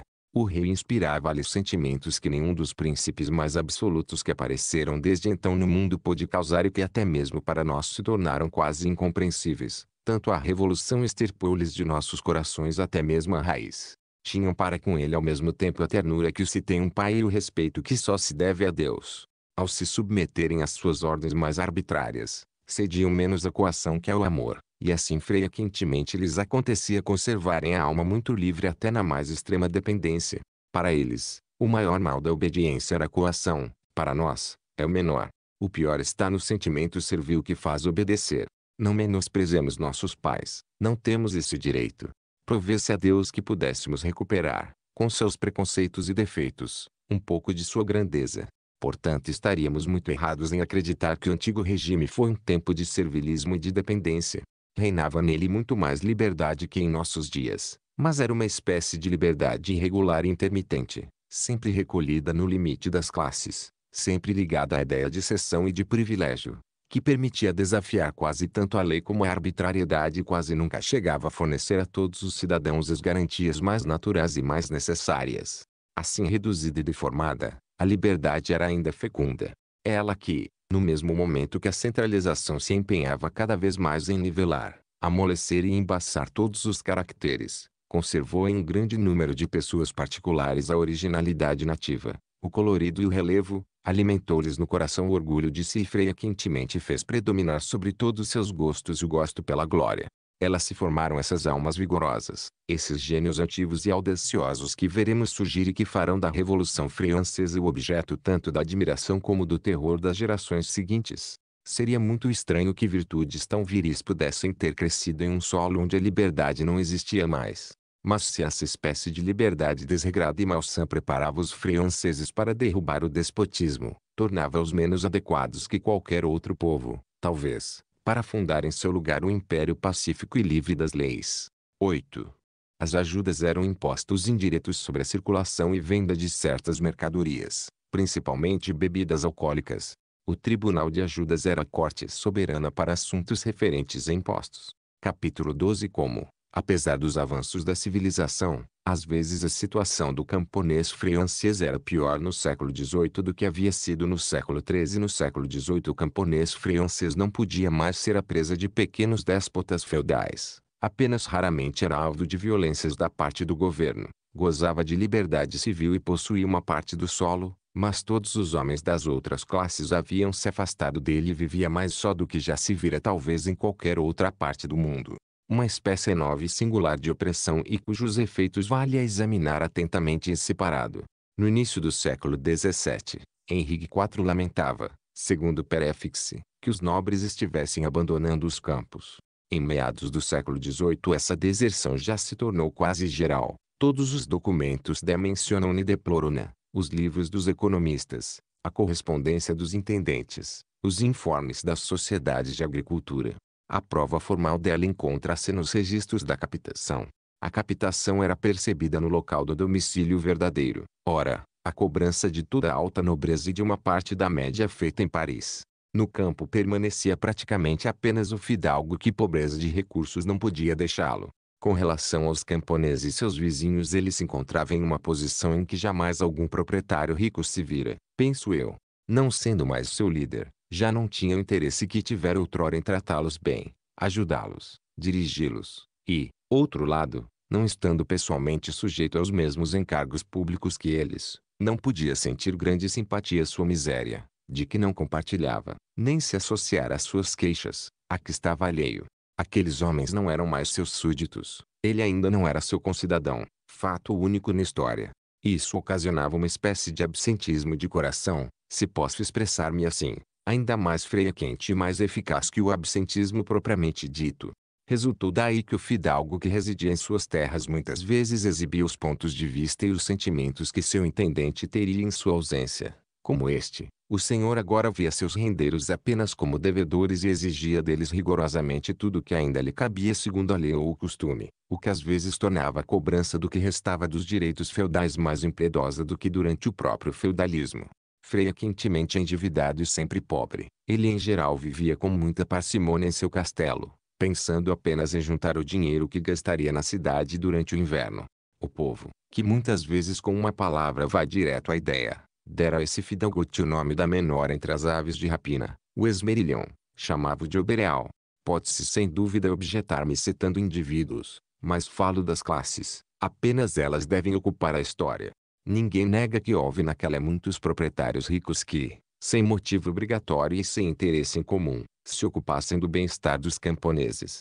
Mas esses lutavam com sucesso contra a norma de sua nova condição, que, a despeito deles mesmos, os impelia para a indiferença, como impelia seus ex-vassalos para o ódio.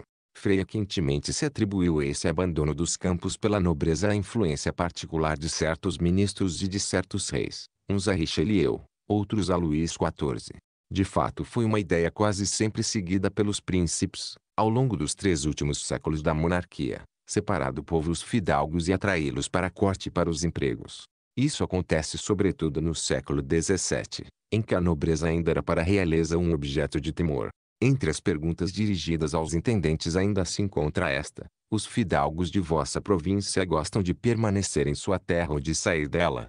Temos a carta de um intendente respondendo sobre esse assunto. Ele se queixa de que os fidalgos de sua província se comprazem em ficar com os camponeses em vez de cumprirem com seus deveres junto ao rei.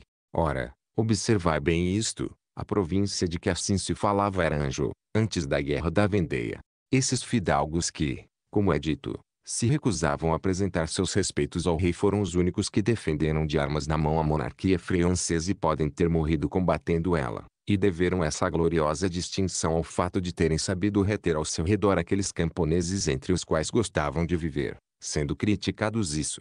Entretanto não se deve atribuir a influência direta de alguns de nossos reis o abandono dos campos pela classe que então formava o topo da nação.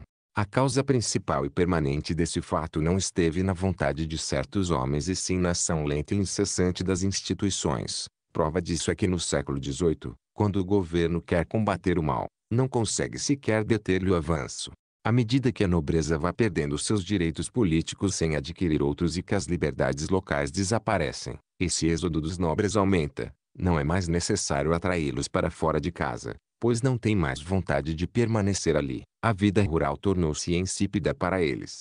O que digo aqui sobre os nobres deve ser entendido, em qualquer região, sobre os proprietários ricos, regiões de centralização, campos vazios de habitantes ricos e esclarecidos. Eu poderia acrescentar, regiões de centralização, regiões de cultura imperfeita e convencional, e comentar as palavras tão profundas de Montesquieu, determinando-lhes o sentido, as terras produzem em razão menos de sua fertilidade que da liberdade dos habitantes. Mas não quero sair de meu assunto. Vimos em outra passagem como os burgueses, deixando sua vez os campos, em toda parte procuravam um asilo nas cidades. Não há um ponto sobre o qual todos os documentos do antigo regime estejam mais de acordo. Quase nunca, dizem eles, se vê nos campos mais que uma geração de camponeses ricos. Um agricultor, graças à sua laboriosidade, consegue fim adquirir algum bem, prontamente manda o filho largar o arado, envia-o para a cidade e compra-lhe um pequeno ofício. É de então que data essa espécie de horror singular que o agricultor francês manifesta frequentemente, mesmo em nossos dias, pela profissão que o enriqueceu. O efeito sobreviveu à causa. Na verdade, o único homem bem educado ou, como dizem os ingleses, o único gentleman que residia de modo permanente no meio dos camponeses e se mantinha em contato contínuo com eles era o pároco. Isso, a despeito de Voltaire, o pároco teria se tornado o senhor das populações rurais se ele próprio não estivesse ligado de um modo tão estreito e tão visível à hierarquia política, possuindo vários dos privilégios desta, inspirava em parte o ódio que ela gerava. Eis portanto o camponês quase inteiramente separado das classes superiores, está distante até mesmo de iguais que poderiam ajudá-lo e orientá-lo. À medida que se tornam esclarecidos ou abastados, estes se põem a evitá-lo. Ele fica como que destacado do meio de toda a nação e posto de parte. Isso não acontecia em tal escala em nenhum dos grandes povos civilizados da Europa, e mesmo na França o fato era recente. O camponês do século XIV era ao mesmo tempo mais oprimido e mais socorrido. A aristocracia às vezes tiranizava mas nunca o abandonava. No século XVIII, uma aldeia era uma comunidade cujos membros são todos pobres, ignorantes e grosseiros. Seus magistrados são tão incultos e tão desprezados quanto ela. O síndico não sabe ler. O coletor não consegue lavrar pessoalmente a contabilidade de que depende a fortuna dos vizinhos e a sua própria. Seu antigo senhor não apenas não tem mais o direito de governá-la como chegou a considerar uma espécie de degradação e miscuir-se em seu governo. Determinar as talhas, recrutar a milícia, regulamentar as corveias, atos servis, tarefas de síndico. Agora apenas o poder central ocupa-se da aldeia e, como está instalado muito longe e ainda nada tem a temer dos que a habitam, ocupa-se dela apenas para tirar proveito. Vede agora em que se transforma uma classe abandonada, que ninguém tem vontade de tiranizar mas que ninguém procura esclarecer e servir. Os encargos mais pesados com que o sistema feudal onerava o habitante dos campos são retirados e diminuídos, sem dúvida, mas o que quase não se sabe é que foram substituídos outros, talvez mais pesados. O camponês não sofria todos os males que seus pais haviam sofrido, mas enfrentava muitas misérias que seus pais nunca conheceram. Sabe-se que era quase unicamente à custa dos camponeses que a talhada complicara nos dois últimos séculos. Aqui é preciso dizer uma palavra sobre a maneira como a cobravam deles para mostrar quais leis bárbaras podem criar-se e manter-se nos séculos civilizados quando os homens mais esclarecidos da nação não têm interesse pessoal em mudá-las. Encontro, em uma carta confidencial que em 1772 o inspetor-geral escreve pessoalmente aos intendentes, esta descrição da talha, que é uma pequena obra-prima de exatidão e concisão. A talha, diz aquele ministro, arbitrária em sua distribuição, solidária na percepção, pessoal e não real, na maior parte da França, está sujeita a variações contínuas em decorrência de todas as mudanças que acontecem a cada ano na fortuna dos contribuintes. Tudo está aí, em três frases. Não se poderia descrever com mais arte o mal do qual se tira proveito. A soma total que a paróquia devia era estabelecida anualmente. Variava sem cessar, como diz o ministro, de modo que nenhum agricultor podia prever um ano antes o que teria de pagar no ano seguinte. No interior da paróquia, cada ano um camponês escolhido ao acaso e nomeado coletor era quem tinha de dividir entre todos os outros o montante do imposto. Prometi que diria qual era a situação desse coletor. Deixemos que fale a Assembleia Provincial de Berry em 1779. Ela não é suspeita, é inteiramente composta de privilegiados que não pagam a talha e que são escolhidos pelo rei. Como todo mundo quer evitar o trabalho do coletor, dizia ela em 1779, é preciso que todos sucessivamente o assumam.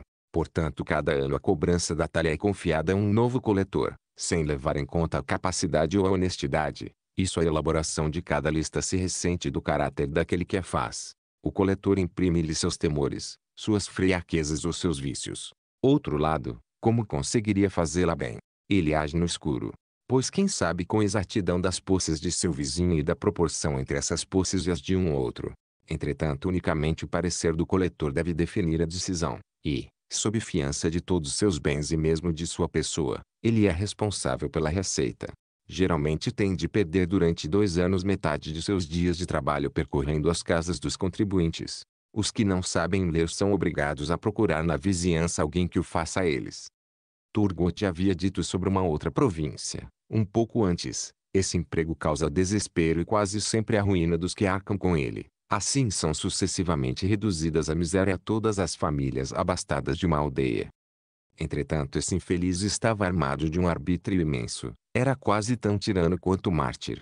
Durante esse exercício no qual ele próprio se arruinava, tinha nas mãos a ruína de todo o mundo. A preferência pelos parentes, e ainda a Assembleia Provincial que fala, pelos amigos e vizinhos, o ódio, a vingança contra os inimigos, a necessidade de um protetor, o medo de desagradar um cidadão abastado que proporciona trabalho remunerado combatem em seu coração os sentimentos de justiça. O terror freia quentemente torna o coletor impiedoso. Há paróquias em que ele só anda acompanhado de beleguins e de oficiais de justiça. Quando anda sem oficiais de justiça, diz um intendente ao ministro em 1764, os que devem pagar a talha se recusam. Apenas na circunscrição de Villefranche, diz-nos ainda a Assembleia Provincial de Guienne, contam-se 110 entregadores de intimações e outros auxiliares judiciais sempre a caminho. Para escapar dessa taxação violenta e arbitrária, o camponês francês, em pleno século XVIII, age como o judeu da Idade Média. Mostra-se miserável na aparência, quando o caso não é na realidade. Sua abastança causa-lhe medo, com razão. Encontro uma prova evidente disso em um documento que consulto não mais em Guiane sim a 100 léguas de lá. A Sociedade de Agricultura de Maine anuncia em seu relatório de 1761 que tivera a ideia de distribuir reses como prêmio e incentivo. Foi impedida, diz ela, pelas consequências perigosas que uma inveja mesquinha poderia atrair contra os que ganhassem esses prêmios e, aproveitando-se da atribuição arbitrária dos impostos, oprimi-los nos anos seguintes. De fato, nesse sistema de imposto cada contribuinte tinha um interesse direto e permanente em espionar os vizinhos e denunciar ao coletor os avanços de sua prosperidade, todos eles iam sendo adestrados para a delação e o ódio, e rivalizavam entre si nisso. Não seria de pensar que tais coisas se passam nos domínios de um rajado hindustã, Entretanto na mesma havia na França regiões onde o imposto era recolhido com regularidade e moderação. Eram certos pais d'etats. É verdade que lhes haviam deixado o direito de eles mesmos cobrá-lo.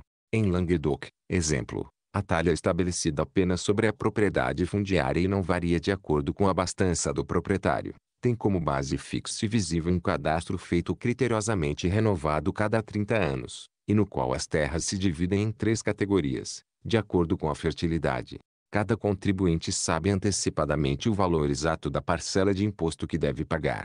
Se não pagar, apenas ele, ou melhor, apenas seu campo responde isso. Caso se considere lesado no rateio, tem sempre o direito de exigir que se compare sua cota com a de um outro habitante da paróquia, escolhido ele mesmo.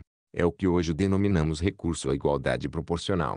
Vê-se que todas essas regras são precisamente as que seguimos agora. Praticamente não foram melhoradas desde então não se fez mais que generalizá-las, pois se deve observar que, embora tenhamos tomado do governo do antigo regime a forma propriamente dita de nossa administração pública, abstivemos-nos de imitá-lo em todo o restante. Foi das assembleias provinciais, e não dele, que copiamos nossos melhores métodos administrativos. Ao adotarmos a máquina rejeitamos o produto. A pobreza habitual do povo dos campos dera origem a máximas que não se prestavam a acabar com ela. Se os povos vivessem à larga, dificilmente se ateriam às regras. Escrevera Richelieu em seu testamento político. No século XVIII não se vai mais tão longe. Em ainda se acredita que o camponês não trabalharia se não fosse constantemente aguilhoado pela necessidade. A miséria parece então a única garantia contra a preguiça. É precisamente a teoria que vezes ouvi professarem a propósito dos negros de nossas colônias. Essa opinião é tão corrente entre os que governam que quase todos os economistas se julgam obrigados a combatê-la formalmente. Sabe-se que o objetivo primitivo da talha fora possibilitar que o rei comprasse soldados que dispensassem do serviço militar os nobres e seus vassalos. Mas no século XVII a obrigatoriedade do serviço militar foi novamente imposta, como vimos, sob o nome de milícia, e dessa vez ela recaiu apenas sobre o povo e quase unicamente sobre o camponês. Basta considerar a infinidade de autos de polícia que lotam os arquivos de uma intendência, e que se referem todos à perseguição a milicianos rebeldes ou desertores, para considerar que a milícia não era recrutada sem dificuldade. De fato, parece que para os camponeses não havia encargo público mais intolerável do que esse. Para evitá-lo, frequentemente fugiam para as matas, onde era preciso persegui-los à mão armada. Isso causa espanto quando se pensa na facilidade com que o recrutamento forçado se opera hoje.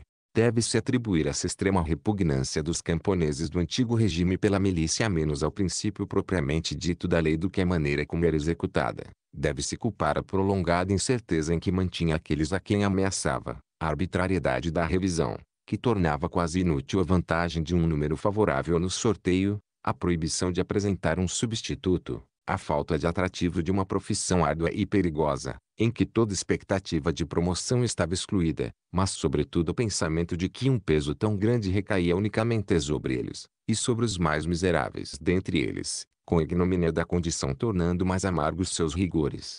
Tive em mãos muitas atas de sorteio, lavradas no ano de 1769 em um grande número de paróquias, Desses documentos constam os isentos de cada paróquia. Este aqui é um criado da casa de um fidalgo, aquele outro é vigia em uma abadia, um terceiro é apenas um valente de um burguês. É verdade, mas esse burguês vive nobremente. A simples abastança isenta, quando um agricultor figura anualmente entre os mais tributados. Seus filhos têm o privilégio de ser isentados da milícia, é o que chamam de incentivar a agricultura. Os economistas, grandes aficionados da igualdade em todo o restante, não se escandalizam com esse privilégio, pedem apenas que seja estendido a outros casos, isto é, que o encargo dos camponeses mais pobres e menos apadrinhados se torne mais pesado. A insignificância do soldo do soldado, diz um deles, a maneira como é alojado, vestido, alimentado, sua total dependência tornariam demasiadamente cruel escolher qualquer homem que não fosse de condição humilde. Até o final do reinado de Luís XIV, as grandes estradas não foram reparadas ou foram às expensas de todos os que as utilizavam, ou seja, o Estado e todos os proprietários das terras às margens, mas volta dessa começou-se a repará-las recorrendo unicamente à corveia, isto é, à custa apenas dos camponeses. Esse expediente para ter boas estradas sem pagar elas pareceu tão oportuno que em 1737 uma circular do inspetor-geral o reaplicou a toda a freança, os intendentes foram munidos com o direito de aprisionar à vontade os recalcitrantes ou de enviar-lhes beleguins. A partir daí, sempre que o comércio cresce, que a necessidade e o prazer de ter boas estradas se espalham, a corveia estende-se a novos caminhos e seu encargo aumenta. No relatório feito em 1779 à Assembleia Provincial de Berry lê-se que os trabalhos executados pela corveia nessa província pobre devem ser avaliados em 700 mil libras anuais. Em 1787, na Baixa Normandia, chegavam aproximadamente a mesma soma. Nada poderia mostrar melhor a triste sorte do povo dos campos, os progressos da sociedade, que enriquecem todas as outras classes, desesperam-no, a civilização volta-se contra ele apenas. Leio, na correspondência dos intendentes volta da mesma é, que convém não permitir que os camponeses façam uso da corveia nas estradas particulares de suas aldeias, visto que ela deve ser reservada unicamente para as grandes estradas ou, como se dizia então, para os caminhos do rei. A estranha ideia de que convém fazer o preço das estradas ser pago pelos mais pobres e pelos que provavelmente menos viajam. Essa ideia, apesar de nova, enraiza-se tão naturalmente no espírito dos que dela tiram proveito que em pouco tempo não imaginam mais que as coisas possam ser diferentes. Em 1776 tentase transformar a corveia em uma taxa local. A desigualdade prontamente se transforma com ela e segue no novo imposto. De senhorial que era, a corveia ao tornar-se régia havia pouco a pouco se estendido a todas as obras públicas. Vejo em 1719 servir para construir casernas. As paróquias devem enviar seus melhores operários. Desordenação, e todas as outras obras devem ceder preferência a esta. A corveia transporta os forçados para os banhos e os mendigos para os asilos de caridade. Carrega os apetrechos militares sempre que as tropas mudam de lugar encargo muito oneroso em uma em que cada regimento levava atrás de si uma pesada bagagem. Era preciso juntar de muito longe um grande número de carroças e de bois para arrastá-la. Esse tipo de corveia, que originariamente tinha pouca importância, tornou-se uma das mais pesadas quando os exércitos permanentes se tornaram numerosos.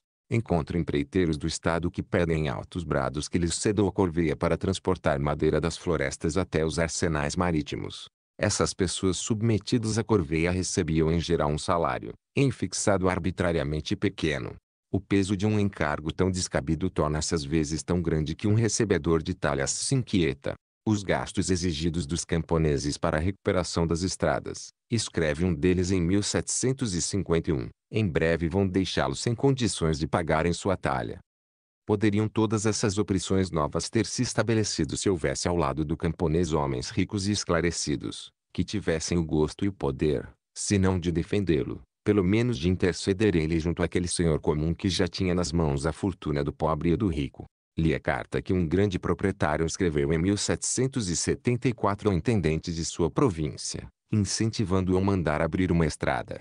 Essa estrada, segundo ele, traria prosperidade à aldeia, e apresentava as razões disso. Em seguida passava para a instalação de uma feira, assegurando que ela duplicaria o preço dos produtos. Esse bom cidadão acrescentava que com um pequeno auxílio financeiro se poderia abrir uma escola que proporcionaria ao rei súditos mais industriosos.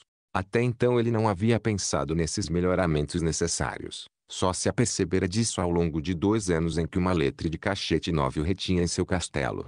Meu exílio em minhas terras nestes últimos dois anos convenceu-me da extrema utilidade de todas essas coisas, diz candidamente. Mas é sobretudo nos períodos de escassez que se percebe que os laços de patronagem e independência que outrora ligavam o grande proprietário rural aos camponeses estão freiochos ou rompidos.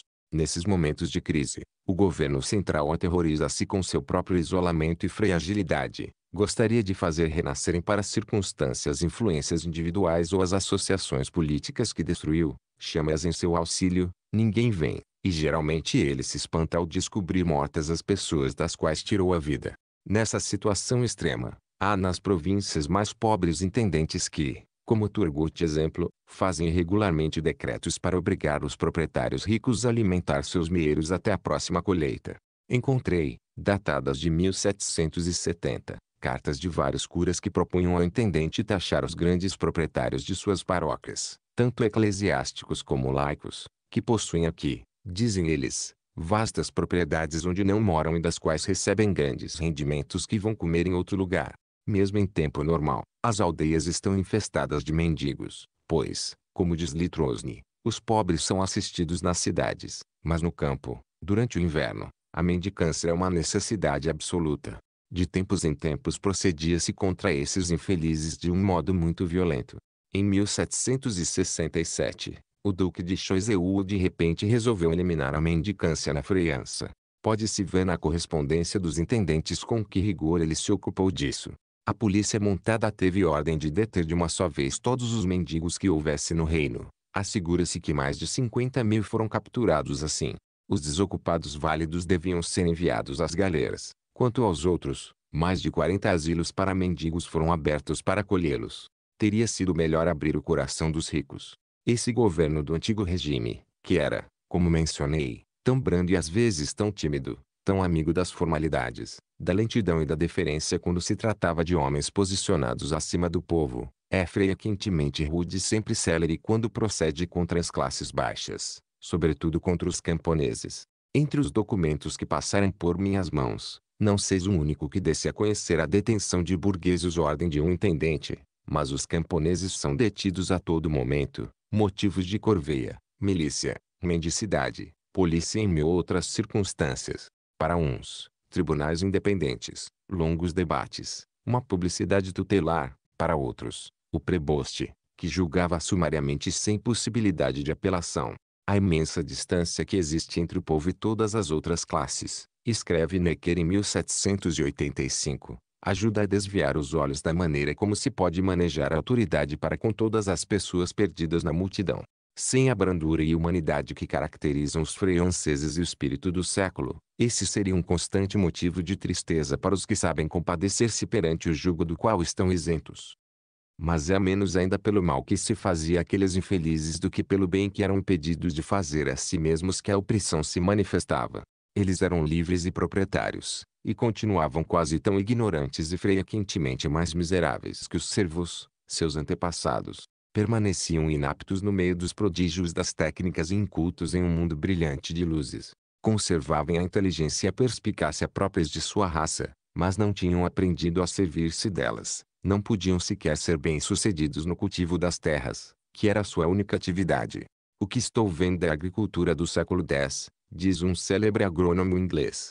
Só se destacavam na profissão militar, então pelo menos tinham um contato natural e necessário com as outras classes. Era nesse abismo de isolamento e miséria que o camponês vivia, em que se mantinha como que fechado e impenetrável. Fiquei surpreso e quase assustado ao perceber que, menos de 20 anos antes de o culto católico ser abolido sem resistência e as igrejas serem profanadas, o método que a administração às vezes adotava para saber qual a população de um cantão era este, os párocos indicavam o número dos que haviam se apresentado na Páscoa à mesa de comunhão. Acrescentava-se o número provável de crianças pequenas e de doentes. A soma representava o total de habitantes. Entretanto as ideias da E já invadiam de todos os lados esses espíritos rudes, penetravam caminhos indiretos e subterrâneos, e assumiam nesses lugares estreitos e escuros formas estranhas. Mesmo assim, externamente ainda nada parecia ter mudado. Os costumes do camponês, seus hábitos, suas crenças pareciam sempre os mesmos. Ele era submisso, era até mesmo alegre. É preciso não se fiar na alegria que frequentemente o francês demonstra nos maiores males. É prova apenas de que, acreditando que sua má fortuna é inevitável, procura escapar-lhe não pensando nela, e não de que não a sente. Franqueai para esse homem uma saída que possa conduzi-lo para fora dessa miséria que parece afetá-lo tão pouco e ele prontamente se precipitará para esse lado com tanta violência que passará sobre vosso corpo sem ver-vos, se estiverdes em seu caminho. Percebemos claramente essas coisas do ponto em que estamos, mas os contemporâneos não as viam. Sempre é só com grande dificuldade que os homens das classes superiores chegam a discernir nitidamente o que se passa na alma do povo e em particular na dos camponeses. A educação e o tipo de vida abrem-lhes sobre as coisas humanas pontos de vista que lhes são próprios e que permanecem fechados para todos os outros. Mas, quando o pobre e o rico quase não têm mais interesses em comum, queixas em comum nem atividades em comum, essa escuridão que esconde o espírito de um ao espírito do outro torna-se insondável, e esses dois homens poderiam viver eternamente lado a lado sem nunca compreender um ao outro. É curioso ver em que estranha segurança viviam todos os que ocupavam os pavimentos superiores intermediários do edifício social no momento mesmo em que a revolução estava começando, e ouvi-los discorrer engenhosamente entre si sobre as virtudes do povo, sobre sua brandura, seu devotamento, seus prazeres inocentes, quando 1793 já está logo abaixo de seus pés. Espetáculo ridículo e terrível. Detenhamos-nos aqui antes de passar adiante e consideremos um momento, através de todos esses pequenos fatos que acabo de descrever, uma das maiores leis de Deus na condução das sociedades. A nobreza francesa obstina-se em permanecer apartada das outras classes. Os fidalgos conseguem isentar-se da maioria dos encargos públicos que pesam sobre elas. Imaginam que conservarão sua grandeza furtando-se a esses encargos, e de início parece ser assim. Mas logo uma doença interna parece ter se aferrado à sua condição, que se reduz pouco a pouco sem que ninguém os toque, vão empobrecendo à medida que suas imunidades aumentam. Inversamente, a burguesia, com a qual tanto temeram misturar-se, vai se tornando mais rica e mais esclarecida ao lado deles, sem eles e contra eles. Não quiseram ter os burgueses como associados nem como concidadãos. Vão tê-los como rivais, em breve como inimigos e fim como senhores. Um poder externo desobrigou-os de conduzir, proteger, assistir seus vassalos, mas, como ao mesmo tempo lhes deixou seus direitos pecuniários e seus privilégios honoríficos, estimam que nada perderam. Como continuam a marchar à frente, acreditam que ainda comandam, e, de fato, continuam a ter em torno de si homens a quem, nas escrituras públicas, chamam de seus súditos, outros denominam-se seus vassalos, seus meeiros, seus arrendatários. Na realidade, ninguém os segue, estão sozinhos e, quando o fim se apresentarem os que querem aniquilá-los, só lhes restará fugir. Embora o destino da nobreza e o da burguesia tenham sido muito diferentes um do outro, assemelharam-se em um ponto, o burguês acabou viver tão apartado do povo quanto o próprio fidalgo. Longe de aproximar-se dos camponeses, ele evitar o contato com suas misérias, em vez de unir-se estreitamente a eles para lutarem em conjunto contra a desigualdade comum, só procurara criar em proveito próprio novas injustiças, viram-no tão ardoroso em obter exceções para si quanto fidalgo em manter seus privilégios. Esses camponeses dos quais viera haviam se tornado para ele não apenas estranhos mas, assim dizer, desconhecidos, e só depois de ter-lhes posto as armas nas mãos ele se deu conta de haver excitado paixões de que nem sequer tinha ideia, que era tão impotente para conter quanto para conduzir e das quais ia tornar-se vítima depois de ter sido instigador. Em todas as épocas as pessoas se espantarão ao ver as ruínas dessa grande casa de freiança que parecera dever estender-se toda a Europa, mas os que lerem atentamente sua história compreenderão sem dificuldade sua queda. De fato, quase todos os vícios, quase todos os erros, quase todos os preconceitos funestos que acabo de descrever nasceram, perduraram ou desenvolveram-se graças à habilidade que a maioria de nossos reis teve para dividir os homens a fim de governá-los mais absolutamente. Mas, quando o burguês ficou assim totalmente isolado do fidalgo, e o camponês do fidalgo e do burguês, quando um trabalho análogo teve prosseguimento no seio de cada classe e formaram-se no interior de cada uma delas pequenas agregações particulares quase tão isoladas umas das outras quanto as classes o eram entre si, sucedeu que o todo formava apenas uma massa homogênea cujas partes em não estavam mais interligadas. Agora nada estava organizado para atrapalhar o governo, nada tampouco para auxiliá-lo de tal modo que o edifício todo da grandeza daqueles príncipes pôde desmoronar inteiro e em um momento, assim que a sociedade que lhe servia de base se agitou. E fim esse povo, que parece o único a ter tirado proveito das faltas e dos erros de todos seus senhores, se de fato escapou do domínio deles, não pôde subtrair seu jugo das ideias equivocadas, dos hábitos viciosos, das más tendências que eles lhe haviam dado ou deixado adquirir, Vimos-lo vezes transportar até mesmo para o uso de sua liberdade os gostos de um escravo, tão incapaz de conduzir a si mesmo quanto se havia mostrado duro para com seus preceptores. 9. Letra de cachete, no antigo regime, documento com o sinete pessoal do rei, transmitindo diretamente ao destinatário uma ordem de prisão, exílio ou confinamento sem julgamento. Livro e capítulo 1 Como, em meados do século XVIII, os literatos tornaram-se os principais homens políticos do país, e dos efeitos que disso resultaram agora perco de vista os fatos antigos e gerais que prepararam a grande revolução que quero retratar. Chegou aos fatos particulares e mais recentes que terminaram determinar-lhe o lugar, o nascimento e o caráter. De todas as nações da Europa, a França era já há muito tempo a mais letrada. Apesar disso, seus literatos nunca haviam mostrado o espírito que mostraram em meados do século XVIII nem ocupado o lugar que assumiram então. Isso nunca se virá entre nós nem, penso eu, em qualquer outro lugar. Eles não se envolviam cotidianamente nas atividades públicas, como na Inglaterra. Ao contrário, nunca haviam vivido mais longe delas, não se revestiam de nenhuma autoridade que fosse e não cumpriam nenhuma função pública em uma sociedade já repleta de funcionários. Entretanto não permaneciam, como a maioria de seus congêneres na Alemanha, inteiramente alheios à política e isolados no mundo da filosofia pura e das belas letras.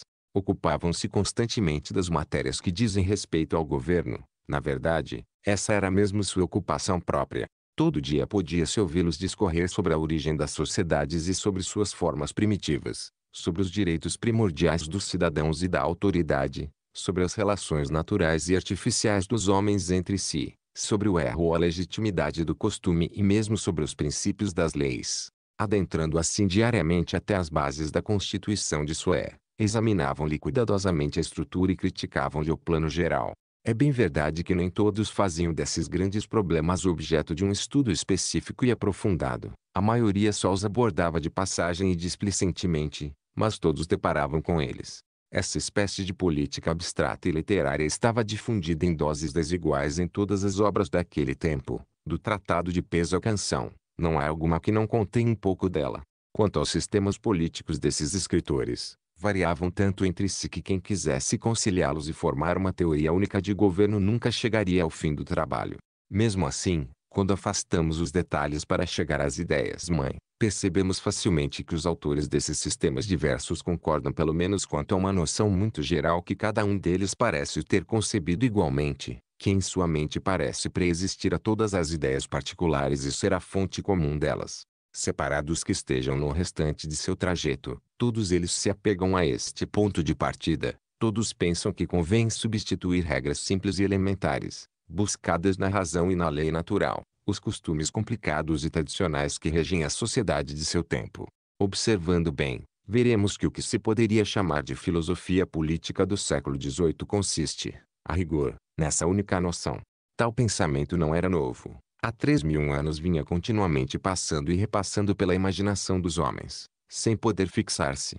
Como dessa vez conseguiu apossar-se do espírito de todos os escritores, que em vez de deter-se, como já fizera Freia quentemente, na cabeça de alguns filósofos, descer até a multidão e ali assumir a consistência e o calor de uma paixão política, de forma tal que teorias gerais e abstratas sobre a natureza das sociedades passassem a ser assunto das conversas cotidianas dos ociosos e inflamassem até a imaginação das mulheres e dos camponeses.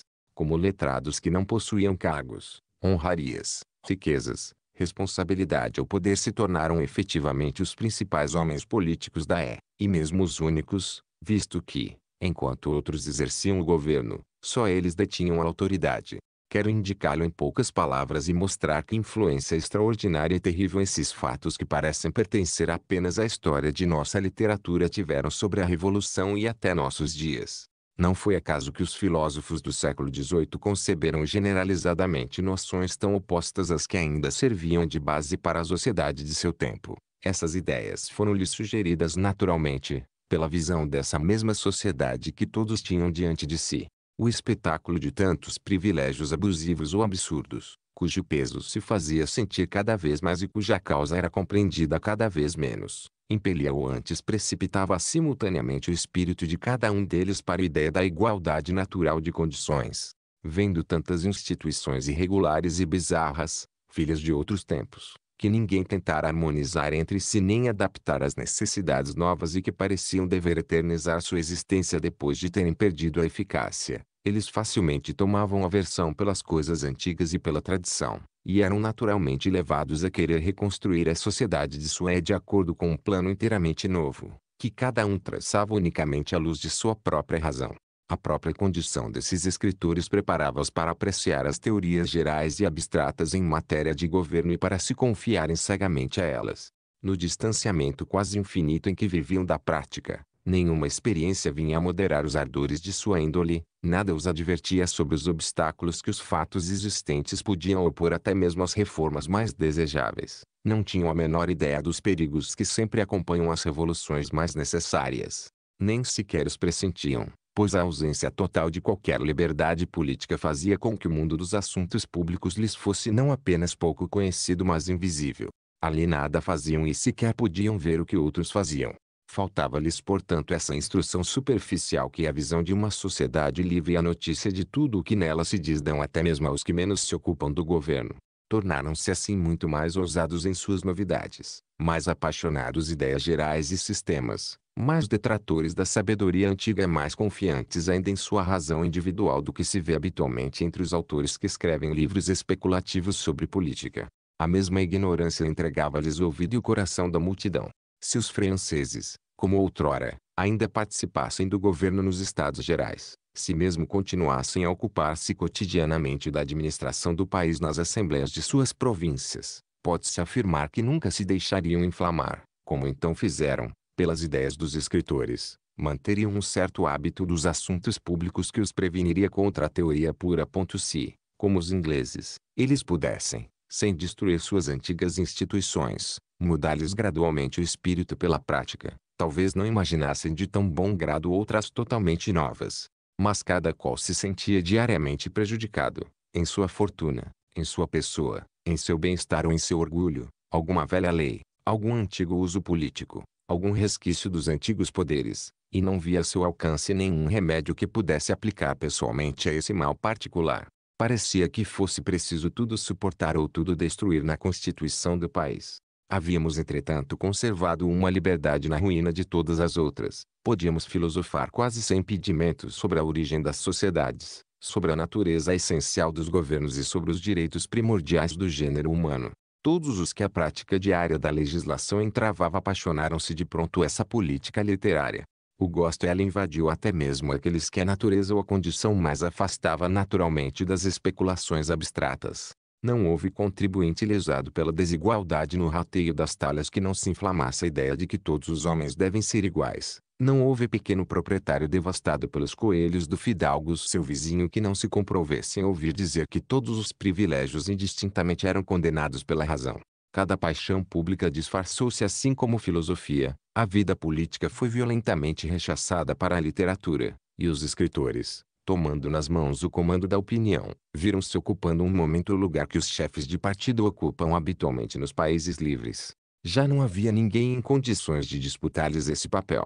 Uma aristocracia vigorosa não apenas conduz os assuntos públicos, dirige também as opiniões, dá o tom aos escritores e autoridade às ideias. No século XVIII, a nobreza francesa havia perdido inteiramente essa parte de seu império. Seu crédito havia seguido o destino de seu poder, o lugar que ela ocupara no governo dos espíritos estava vago e os escritores podiam invadi-lo à vontade e preenchê-lo sozinhos. Mas ainda, a própria aristocracia cujo lugar ocupavam favorecia-lhes o empreendimento. Ela esquecerem tão bem como teorias gerais, uma vez aceitas, chegam inevitavelmente a transformar-se em paixões políticas e em atos que as doutrinas mais contrárias a seus direitos particulares e mesmo a sua existência lhe pareciam engenhosos jogos mentais, de bom grado participava pessoalmente deles para passar o tempo e desfreitava tranquilas suas imunidades e privilégios, dissertando serenamente sobre o absurdo de todos os costumes estabelecidos. Muitos se espantam ao ver a estranha cegueira com que as classes altas do antigo regime contribuíram assim para sua própria ruína, mas onde iriam elas encontrar esclarecimento? As instituições livres não são menos necessárias aos principais cidadãos para informá-los sobre seus riscos do que aos menores para assegurar seus direitos. Durante mais de um século em que os últimos vestígios da vida pública haviam desaparecido entre nós, nenhum abalo, nenhum ruído alertara as pessoas mais diretamente interessadas na manutenção da antiga Constituição sobre a decadência desse antigo edifício. Como exteriormente nada mudara, elas supunham que tudo permanecia exatamente igual. Assim, seu espírito estava parado no ponto de vista em que se colocara o de seus pais. A nobreza mostra-se tão preocupada com as usurpações pelo poder régio nos cadernos de 1789 como poderia ter se mostrado nos do século XV. Sua vez, o infortunado Luís XVI, um momento antes de perecer no desenfreamento da democracia, Burke observa com razão traço, continuava a ver na aristocracia principal rival do poder régio, desconfiava dela como se ainda estivessem neda freionda. A burguesia e o povo, ao contrário, pareciam-lhe, como a seus antepassados, o apoio mais seguro do trono. Mas o que nos parecerá mais estranho, a nós que temos ante os olhos os escombros de tantas revoluções, é que a própria noção de uma revolução violenta estava ausente da mente de nossos pais.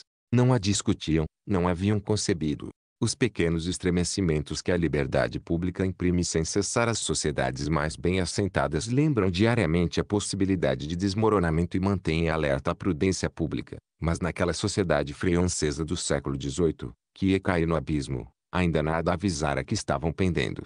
Leio atentamente os cadernos que as três ordens redigiram antes de se reunirem em 1789. Digo as três ordens, as da nobreza e do clero tanto quanto a terceira. Vejo que aqui se pede a mudança de uma lei, ali de um uso, e tomo nota. Vou prosseguindo esse imenso trabalho até o final e, quando termino de reunir todos esses desejos particulares, percebo com uma espécie de terror que o que se exige é a abolição simultânea e sistemática de todas as leis e de todos os usos em curso no país. Vejo prontamente que se tratará de uma das mais vastas e mais perigosas revoluções que jamais terão surgido no mundo. Os que amanhã serão suas vítimas nada sabem dela, acreditam que a transformação total e súbita de uma sociedade tão complicada e tão velha pode operar-se sem convulsões, meio da razão e apenas sua eficácia. Que infelizes! Esqueceram até aquela máxima que 400 anos antes seus pais haviam assim expressado, no francês simples e enérgico daquela é, exigir franquia desmedida e liberdades, homem cai em servidão desmedida. Não é de surpreender que a nobreza e a burguesia, tanto tempo excluídas de toda e qualquer vida pública, mostrassem essa singular inexperiência. Em mais espantoso é que mesmo aqueles que conduziam os assuntos públicos, os ministros, os magistrados, os intendentes, praticamente não demonstravam maior antevisão. Entretanto vários eram pessoas muito capacitadas em seu trabalho, conheciam a fundo todos os detalhes da administração pública da E, mas quanto à grande ciência do governo, que ensina a compreender o movimento geral da sociedade, a julgar o que se passa no espírito das massas e a prever os resultados, eram tão novatos quanto o próprio povo. De fato, apenas o jogo das instituições livres pode ensinar plenamente aos estadistas essa parte principal de sua arte. Isso se vê bem no memorando que Turgot dirigiu ao rei em 1775, em que lhe aconselhava, entre outras coisas, que fizesse toda a nação eleger livremente uma assembleia representativa que anualmente a reunisse durante seis semanas em torno de sua pessoa, mas que não lhe concedesse nenhum poder efetivo. Ela só se ocuparia de administração e nunca de governo, teria pareceres a dar e não vontades a expressar e, na verdade, seria encarregada apenas de discorrer sobre as leis, sem fazê-las. Desse modo o poder régio seria esclarecido e não entravado, dizia ele, e a opinião pública seria contentada sem risco. Pois essas assembleias não teriam nenhuma autoridade para se oporem às operações indispensáveis e se, impossível, não chegassem a tanto, Sua Majestade continuaria sempre no comando. Não poderia haver um desconhecimento maior do alcance de uma medida e do espírito da E. É bem verdade que, volta do final das revoluções, Muitas vezes foi possível fazer impunemente o que Turgot propunha e, sem conceder liberdades reais, oferecer um arremedo delas. Augusto tentou isso com sucesso. Uma nação fatigada de longos debates concorda facilmente em ser enganada, contanto que a deixem repousar. E a história ensina que então para contentá-la basta coletar todo o país um certo número de homens obscuros ou dependentes e fazê-los desempenhar diante dela o papel de uma assembleia política, mediante salário, Houve vários exemplos disso. Mas no início de uma revolução tais empreendimentos sempre fracassam e nunca fazem mais que inflamar o povo sem contentá-lo. O menor cidadão de um país livre sabe disso. Turgot, grande administrador que era, ignorava-o. Se pensarmos agora que essa mesma nação francesa, tão alheia a seus próprios assuntos e tão desprovida de experiência, tão entravada às suas instituições e tão impotente em melhorá-las, também era então, de todas as nações da terra, a mais culta e a mais apaixonada pelo belo espírito, compreenderemos facilmente como seus escritores se tornaram uma potência política e acabaram sendo a principal. Enquanto na Inglaterra os que escreviam sobre o governo e os que governavam estavam juntos, uns introduzindo na prática as ideias novas e os outros retificando e circunscrevendo as teorias meio dos fatos. Na França o mundo político permaneceu como que dividido em duas províncias separadas e sem contato entre si. Na primeira administrava-se, na outra estabeleciam-se os princípios abstratos nos quais toda a administração deveria fundamentar-se. Aqui se tomavam medidas particulares que a rotina indicava, lá proclamavam-se leis gerais, sem nunca pensar nos meios de aplicá-las, para uns, a condução dos assuntos, para outros, a direção das inteligências. Acima da sociedade real, cuja constituição era ainda tradicional, confusa e irregular, onde as leis continuavam diversas e contraditórias, as posições sociais nitidamente demarcadas, as condições fixas e os encargos desiguais, construía-se assim pouco a pouco uma sociedade imaginária na qual tudo parecia simples e coordenado, uniforme, equitativo e conforme com a razão. Gradualmente, a imaginação da multidão desertou a primeira para recolher-se à segunda. Desinteressaram-se do que era e puseram-se a pensar no que podia ser, e fim viveram pelo espírito naquela cidade ideal que os escritores haviam construído. Freia quentemente se atribuiu nossa Revolução à da América. De fato esta teve muita influência sobre a Revolução Francesa. Em a deveu não tanto ao que se fez então nos Estados Unidos quanto ao que se pensava na França no mesmo momento.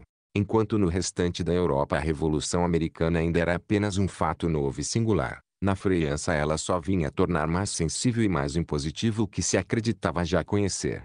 Fora ela surpreendia, aqui, terminava de convencer, os americanos pareciam não fazer mais que executar o que nossos escritores haviam concebido, davam a substância da realidade àquilo que estávamos sonhando. Era como se Fenelon subitamente se visse em sua salente um. Essa circunstância, tão nova na história, de toda a educação política de um grande povo inteiramente feita a literatos, talvez tenha sido o que mais contribuiu para dar à Revolução Francesa seu gênio próprio e para fazer nascer dele o que estamos vendo. Os escritores não forneceram apenas suas ideias ao povo que a fez, deram-lhe seu temperamento e seu humor. Sob sua longa disciplina, na ausência de quaisquer outros condutores, em meio à profunda ignorância em que se vivia da prática, toda a nação, ao lê-los, acabou contraindo os instintos, o modo de pensar, os gostos e até as manias naturais aos que escrevem, de tal forma que, quando o fim teve de agir, ela transportou para a política todos os hábitos da literatura. Quando se estuda a história de nossa Revolução, vê-se que foi feita precisamente com o mesmo espírito que gerou tantos livros abstratos sobre o governo. A mesma atração pelas teorias gerais, pelos sistemas completos de legislação e pela exata simetria nas leis, o mesmo desdém pelos fatos existentes, a mesma confiança na teoria, o mesmo gosto pelo original, pelo engenhoso e pelo novo nas instituições, o mesmo desejo de refazer de uma só vez a Constituição inteira, seguindo as regras da lógica e de acordo com um plano único, em vez de procurar melhorá-la em suas partes. Espetáculo assustador, pois o que é qualidade no escritor às vezes é vício no estadista e as mesmas coisas que Freia quentemente levaram a escrever belos livros podem levar a grandes revoluções.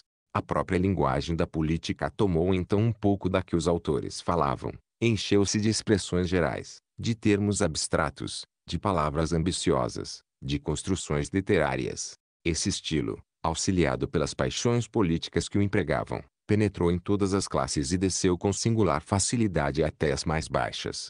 Bem antes da Revolução, os éditos de Luís XVI frequentemente falam da lei natural e dos direitos do homem. Encontro camponeses que em suas solicitações chamam os vizinhos de concidadãos, o intendente, de um respeitável magistrado, o cura da paróquia, de ministro dos altares e o bom Deus, de ser supremo, e aos quais, para se tornarem maus escritores, só falta saberem ortografia. Essas qualidades novas incorporaram-se tão bem ao antigo fundo do caráter francês que frequentemente se atribuiu à nossa índole o que provinha tão somente dessa educação singular. Ouvi afirmar que o gosto ou antes a paixão que temos mostrado há 60 anos pelas ideias gerais, pelos sistemas e pelas expressões solenes em matéria política se devia não sei qual atributo específico de nossa raça, ao qual chamavam tanto enfaticamente de o espírito francês, como se esse suposto atributo pudesse ter aparecido subitamente em fins do século passado, depois de ficar oculto durante todo o restante de nossa história. Realmente singular é termos conservado os hábitos que adquirimos da literatura e perdido quase completamente nosso antigo amor pelas letras. Ao longo de minha vida pública, muitas vezes surpreendi-me ao ver pessoas que não liam os livros do século XVIII nem os de nenhum outro, e que menosprezavam os autores, reterem tão fielmente alguns dos principais defeitos que, antes do nascimento delas, o espírito literário apresentara. 1. Salente é a cidade ideal em Aventuras de Telemaque romance didático que Fenelon escreveu para instruir o Duque de Borgonha, de quem era preceptor, sobre a arte de reinar. Em Salente o poder régio é moderado conselhos e o povo caracteriza-se pela virtude cívica. Capítulo 2 Como a irreligiosidade pôde tornar-se uma paixão geral e dominante entre os franceses do século XVIII e que espécie de influência isso teve sobre o caráter da Revolução desde a Grande Revolução do século XVI em que o espírito analítico se empenhara em destrinçar entre as diversas tradições cristãs quais eram as falsas e quais as verdadeiras, nunca deixaram de surgir gênios mais curiosos ou mais ousados que contestaram ou rejeitaram todas elas. O mesmo espírito que, na é Lutero, tirara de uma só vez do catolicismo vários milhões de católicos, todo ano impelia isoladamente alguns cristãos para fora do próprio cristianismo, a heresia suceder à incredulidade. Pode-se dizer de modo geral que no século XVIII o cristianismo perdera em todo o continente europeu uma grande parte de sua força, mas na maioria dos países ele era mais abandonado do que violentamente combatido. Mesmo os que o abandonavam deixavam-no como que a contragosto. A irreligião estava difundida entre os príncipes e os espíritos refinados, ainda quase não penetrava no seio das classes intermediárias e do povo, continuava a ser um capricho de certos espíritos, não uma opinião comum. É um preconceito geral na Alemanha, diz Mirabeau em 1787, que as províncias prussianas estariam repletas de ateus. A verdade é que, Embora se encontrem nelas alguns livre-pensadores, seu povo é tão apegado à religião quanto nas regiões mais devotas, e até mesmo existe ali um grande número de fanáticos. Acrescenta que é muito lamentável que Frederico II não autorize o casamento dos padres católicos e sobretudo se recuse a deixar aos que se casam os rendimentos de seu benefício eclesiástico, medida que ousaríamos julgar digna desse grande homem, diz. Em lugar nenhum a irreligião já se tornar uma paixão geral, ardente, intolerante ou opressiva, a não ser na França. Aqui acontecia algo que ainda não se vira. Em outros tempos os homens haviam atacado com violência religiões estabelecidas, mas o ardor que mostravam contra elas sempre tivera origem no zelo que religiões novas inspiravam. Mesmo as religiões falsas e detestáveis da antiguidade só tiveram adversários numerosos e apaixonados quando o cristianismo surgiu para suplantá-las. Até então se extinguia mansamente sem alarde na dúvida e na indiferença. É a morte senil das religiões. Na França, atacaram com uma espécie de furor a religião cristã, sem sequer tentarem colocar outra religião em seu lugar trabalharam ardorosa e continuamente em tirar das almas a fé que as enchera e deixaram-nas vazias. Uma multidão de homens inflamou-se nesse ingente empreendimento. A incredulidade absoluta em matéria de religião, que é tão contrária aos instintos naturais do homem e coloca a sua alma em uma posição tão dolorosa, pareceu atraente para a multidão. O que até então produzira apenas uma espécie de langor doente dessa vez engendrou o fanatismo e o espírito de propaganda. A confluência de vários grandes escritores dispostos a negar as verdades da religião cristã não parece suficiente para explicar um acontecimento tão extraordinário, pois que todos os escritores, todos, direcionaram a mente para esse lado e não para outro. Que entre eles não se viu um único que tenha pensado em escolher a tese contrária. E finalmente, que encontraram, mais que todos seus predecessores, o ouvido da multidão totalmente receptivo para ouvi-los e seu espírito tão propenso a dar-lhes crédito. Apenas causas muito particulares ao tempo e ao país desses escritores podem explicar tanto seu empreendimento como sobretudo seu êxito. O espírito de Voltaire estava há muito tempo no mundo, mas o próprio Voltaire só podia imperar de fato no século XVIII e na França. Devemos primeiro reconhecer que a Igreja nada tinha de mais censurável entre nós do que em outros lugares. Ao contrário, os vícios e os abusos que lhe haviam introduzido eram bem menores que na maioria dos países católicos. Ela era infinitamente mais tolerante do que fora até então e do que era ainda entre outros povos. Isso é muito menos no estado da religião que no da sociedade que devemos procurar as causas particulares do fenômeno. Ponto para compreendê-lo é preciso nunca perder de vista o que mencionei no capítulo anterior, ou seja, que todo o espírito de oposição política que os vícios do governo faziam surgir, não podendo manifestar-se nos assuntos públicos, refugiara-se na literatura, e que os escritores haviam se tornado os verdadeiros chefes do grande partido que tendia a derrubar todas as instituições sociais e políticas do país. Bem compreendido isso, a questão muda de objeto. Já não se trata de saber em que a igreja daquela época podia pecar como instituição religiosa, mas em que ela era um obstáculo à revolução política que se preparava e devia ser particularmente incômoda para os escritores que eram seus principais promotores. A igreja, pelos próprios princípios de seu governo, opunha-se aos princípios que esses escritores queriam fazer prevalecer no governo civil. Ela se apoiava principalmente na tradição. Eles professavam um grande desprezo todas as instituições que se fundamentam no respeito pelo passado. Ela reconhecia uma autoridade superior à razão individual. Eles recorriam apenas a essa mesma razão. Ela se assentava sobre uma hierarquia. Eles tendiam à confusão das posições. Para poder entender-se com ela, seria preciso que ambos os lados reconhecessem que a sociedade política e a sociedade religiosa, sendo natureza essencialmente diferentes, não podem pautar-se princípios iguais. Mas naquela hora se estava muito longe disso e parecia que para conseguir atacar as instituições do Estado fosse necessário destruir as da Igreja, que lhes serviam de fundamento e de modelo. Além disso, a própria Igreja era então o primeiro entre os poderes políticos e o mais detestado de todos, embora não fosse o mais opressor pois viera misturar-se a eles sem ser levada a isso sua vocação ou sua natureza. Freia quentemente consagrava neles vícios que reprovava em outras partes, cobria-os com sua inviolabilidade sagrada e parecia querer torná-los imortais como ela mesma. Atacando-a, tinha-se antes de tudo certeza de entrar na paixão do público. Mas, além dessas razões gerais, os escritores tinham outras mais particulares, e, assim dizer, pessoais, para se voltarem primeiro contra ela. A igreja representava precisamente a parte do governo que lhes era mais próxima e mais diretamente oposta. Os outros poderes só de tempos em tempos exerciam-se sobre eles, mas aquele, estando especialmente encarregado de vigiar os passos do pensamento e de censurar os escritos, incomodava-os diariamente. Defendendo contra a igreja as liberdades gerais do espírito humano, combatiam também em causa própria e começavam a quebrar entrave que os coibia mais estreitamente. Ademais, de todo o vasto edifício que atacavam, a igreja parecia-lhes ser, e efetivamente era, o lado mais exposto e menos defendido. Sua força se debilitara ao mesmo tempo que o poder dos príncipes temporais se consolidava.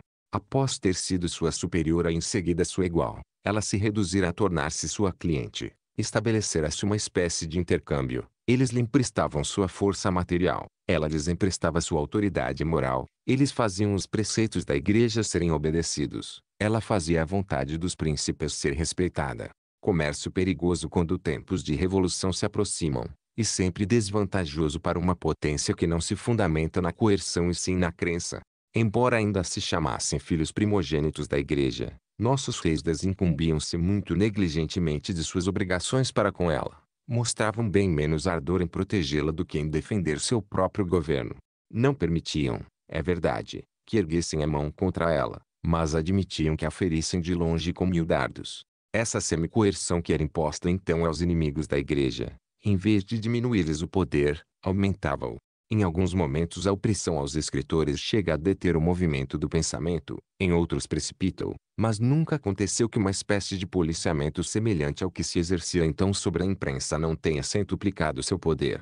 Os autores eram perseguidos apenas na proporção que faz reclamar, não na que faz tremer sofriam a espécie de embaraço que anima a luta e não o jugo pesado que prostra. As acusações de que eram alvo, quase sempre lentas, ruidosas e vãs, pareciam ter como objetivo menos desviá-los de escrever do que citá-los a isso. Uma total liberdade da imprensa teria sido menos prejudicial à Igreja. Considerais nossa intolerância mais favorável ao progresso do espírito do que vossa liberdade ilimitada, escrevia Diderot a Davi Hume em 1768, do Bage, Helvetius. Morelete e Suar não são de vossa opinião. Entretanto o escocês é que tinha razão. Habitante de um país livre, possuía experiência no assunto. Diderot julgava-o como literato, o me julgava-o como político. Detém o primeiro americano que encontro, seja em seu país ou em outro, e pergunto-lhe se considera a religião útil para a estabilidade das leis e para a boa ordem da sociedade. Ele me responde sem hesitar que uma sociedade civilizada, mas sobretudo uma sociedade livre, não pode subsistir sem religião. O respeito à religião é, a seu ver, a maior garantia da estabilidade do Estado e da segurança dos particulares. Os menos versados na ciência de governar sabem pelo menos isso. Entretanto não há no mundo país em que as mais ousadas doutrinas dos filósofos do século XVIII, em matéria de política, sejam mais aplicadas que na América. Apenas suas doutrinas antirreligiosas nunca puderam manifestar-se ali mesmo com o favor da liberdade ilimitada da imprensa. Direi o mesmo dos ingleses. Nossa filosofia religiosa foi-lhes pregada antes mesmo que a maioria de nossos filósofos viesse ao mundo. Foi Bolingbroke que terminou de instruir Voltaire. Durante todo o correr do século XVIII, a incredulidade teve na Inglaterra representantes célebres. Escritores talentosos, pensadores profundos assumiram sua causa. Nunca conseguiram fazê-la triunfar como na França, porque todos os que tinham algo a temer nas revoluções apressaram-se a vir em socorro das crenças estabelecidas. Mesmo aqueles que estavam mais envolvidos com a sociedade francesa daí que não julgavam errôneas as doutrinas de nossos filósofos repudiaram-nas como perigosas. Grandes partidos políticos, como sempre acontece entre os povos livres, viram interesse em ligar sua causa à da igreja. O próprio Bolingbroke chegou a tornar-se aliado dos bispos. O clero, animado esses exemplos e nunca se sentindo sozinho, combatia energicamente em causa própria. A Igreja da Inglaterra, apesar do vício de sua constituição e dos abusos de toda a espécie que fervilhavam em seu seio, aparou vitoriosamente o choque. De suas fileiras saíram escritores e oradores que acorreram com ardor em defesa do cristianismo. Depois de discutidas e refutadas, as teorias que eram hostis a ele foram fim rejeitadas pelo esforço da própria sociedade, sem que o governo se imiscuísse mas que buscar exemplos fora da França. Hoje qual francês pensaria em escrever os livros de Diderot ou de Helvetius? Quem desejaria lê-los? Direi mesmo, quem conhece seus títulos. A experiência incompleta que adquirimos nos últimos 60 anos de vida pública bastou para desgostar-nos dessa literatura perigosa. Podeis ver como o respeito à religião reassumiu gradualmente seu domínio nas diversas classes da nação, à medida que cada uma delas adquiria essa experiência na dura escola das revoluções. A antiga nobreza, que era a classe mais irreligiosa antes de 1789, tornou-se a mais fervorosa depois de 1793, primeira a ser atingida, foi a primeira a converter-se. Quando a própria burguesia se sentiu atacada em seu triunfo, vimos-la sua vez reaproximar-se das crenças. Pouco a pouco o respeito pela religião penetrou em toda parte onde os homens tinham algo a perder na desordem popular, e a descrença desapareceu, ou pelo menos escondeu-se, à medida que o medo das revoluções se manifestava. Não acontecia o mesmo no final do antigo regime. Tínhamos perdido tão completamente a prática dos grandes assuntos humanos e ignorávamos tão bem a parcela que a religião assume no governo dos impérios que a descrença se estabeleceu primeiro no espírito justamente daqueles que tinham um interesse mais pessoal e mais premente em manter o Estado na ordem e o povo na obediência. Não apenas acolheram como em sua cegueira difundiram-na abaixo deles, fizeram da impiedade uma espécie de passatempo de sua vida ociosa. A igreja de Freiança, até ali tão fértil em grandes oradores, Sentindo-se assim desertada de todos os que o interesse em comum devia unir à sua causa, tornou-se muda. Um momento pareceu que, contanto que lhe conservassem as riquezas e a posição, ela estava disposta a condenar sua crença. Como os que negavam o cristianismo erguiam a voz e os que ainda acreditavam faziam silêncio, aconteceu que desde então se viu tão freia quentemente entre nós, não apenas em matéria de religião mas em qualquer outra matéria, os homens que conservavam a antiga fé temeram ser os únicos a permanecer fiéis e, receando mais o isolamento do que o erro, juntaram-se à multidão sem pensar como ela. Assim, o que ainda era o sentimento de apenas uma parte da nação aparentou ser a opinião de todos e isso pareceu irresistível justamente aos olhos dos que lhe davam essa falsa aparência. O descrédito universal em que caíram todas as crenças religiosas no final do século passado exerceu indiscutivelmente a maior influência sobre toda a nossa revolução marcou-lhe o caráter. Nada contribuiu mais para dar à sua fisionomia a expressão terrível que mostrou. Quando procuro discernir os diferentes efeitos que a irreligião produziu então na freança, percebo que foi muito mais desregrando os espíritos do que degradando os corações ou mesmo corrompendo os costumes que ela dispôs os homens daquele tempo a entregarem-se a extremos tão singulares. Quando a religião desertou as almas, não as deixou, como acontece com Freia Quência, vazias e debilitadas, viram-se momentaneamente preenchidas sentimentos e ideias que durante algum tempo ocuparam o lugar dela e inicialmente impediram que desmoronassem. Se os franceses que fizeram a revolução eram mais incrédulos que nós em matéria de religião, restava-lhes pelo menos uma crença admirável que nos falta. Acreditavam em si mesmos. Não duvidavam da perfectibilidade, do poder do homem. Apaixonavam-se facilmente sua glória. Tinham fé em sua virtude depositavam em suas próprias forças essa confiança orgulhosa que muitas vezes leva ao erro, mas sem a qual um povo só é capaz de servir. Não duvidavam absolutamente que estivessem destinados a transformar a sociedade e a regenerar nossa espécie. Esses sentimentos e paixões haviam se tornado para eles como uma espécie de religião nova que, produzindo alguns dos grandes efeitos que se viu as religiões produzirem, arrancava-os do egoísmo individual, impelindo-os para o heroísmo e o devotamento, e freia quentemente tornava-os como que insensíveis a todos esses pequenos bens que nos possuem. Estudei muito a história e ouso afirmar que nela nunca encontrei revolução em cujo início se pudesse ver, em um número tão grande de homens, um patriotismo mais sincero, mais desinteresse, mais grandeza verdadeira. A nação mostrou ali o principal defeito mas também a principal qualidade que a juventude tem, inexperiência e generosidade. E entretanto a irreligião produziu então um imenso mal público, na maioria das grandes revoluções políticas que até ali haviam surgido no mundo, os que atacavam as leis estabelecidas haviam respeitado as crenças, e na maioria das revoluções religiosas os que atacavam a religião não haviam pretendido simultaneamente mudar a natureza e a ordem de todos os poderes e abolir de cima a baixo a antiga constituição do governo. Portanto, nos maiores abalos das sociedades sempre houver um ponto que continuava sólido. Mas na Revolução Francesa, como as leis religiosas haviam sido abolidas ao mesmo tempo em que as leis civis eram derrubadas, o espírito humano perdeu completo sua estabilidade, não soube mais a que se agarrar nem onde se deter, e viu-se aparecerem revolucionários de uma espécie desconhecida, que levaram a audácia até a loucura, que nenhuma novidade pôde surpreender, nenhum escrúpulo pôde moderar e que nunca hesitaram ante a execução de um desígnio. E não se deve acreditar que esses seres novos tenham sido a criação isolada e efêmera de um momento, destinada a passar com ele. Formaram desde então uma linhagem que se perpetuou e se espalhou em todas as partes civilizadas da Terra, que em toda parte conservou a mesma fisionomia, as mesmas paixões, o mesmo caráter. Encontramo-la no mundo ao nascermos, ainda está ante nossos olhos. Capítulo 3 Como os franceses quiseram reformas antes de querer liberdades Uma coisa digna de nota é que, entre todas as ideias e todos os sentimentos que prepararam a Revolução, a ideia e o gosto da liberdade pública propriamente dita tenham sido os últimos a apresentar-se, como foram os primeiros a desaparecer. Desde muito tempo começara -se a abalar o velho edifício do governo. Ele já oscilava e ainda não a mencionavam. Voltaire raramente pensava nela. Em seus três anos de permanência na Inglaterra conheceu-a mas não a amou. A filosofia cética que é livremente pregada entre os ingleses encantam. Suas leis políticas pouco impressionam. Nota-lhes mais os vícios que as virtudes. Em Lettres sur l'Angleterre, uma de suas obras-primas, o parlamento é o que menos menciona. Na realidade, inveja os ingleses sobretudo sua liberdade literária, mas praticamente não se ocupa de sua liberdade política como se a primeira pudesse existir muito tempo sem a segunda.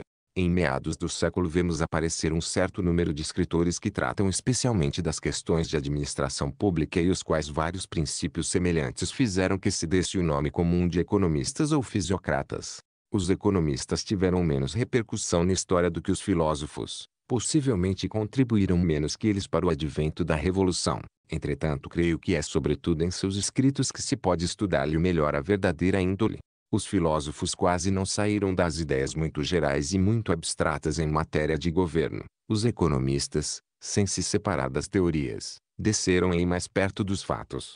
Uns disseram o que se podia imaginar, os outros vezes indicaram o que havia a fazer. Todas as instituições que a Revolução devia abolir sem retorno foram objeto particular de seus ataques. Nenhuma mereceu sua indulgência.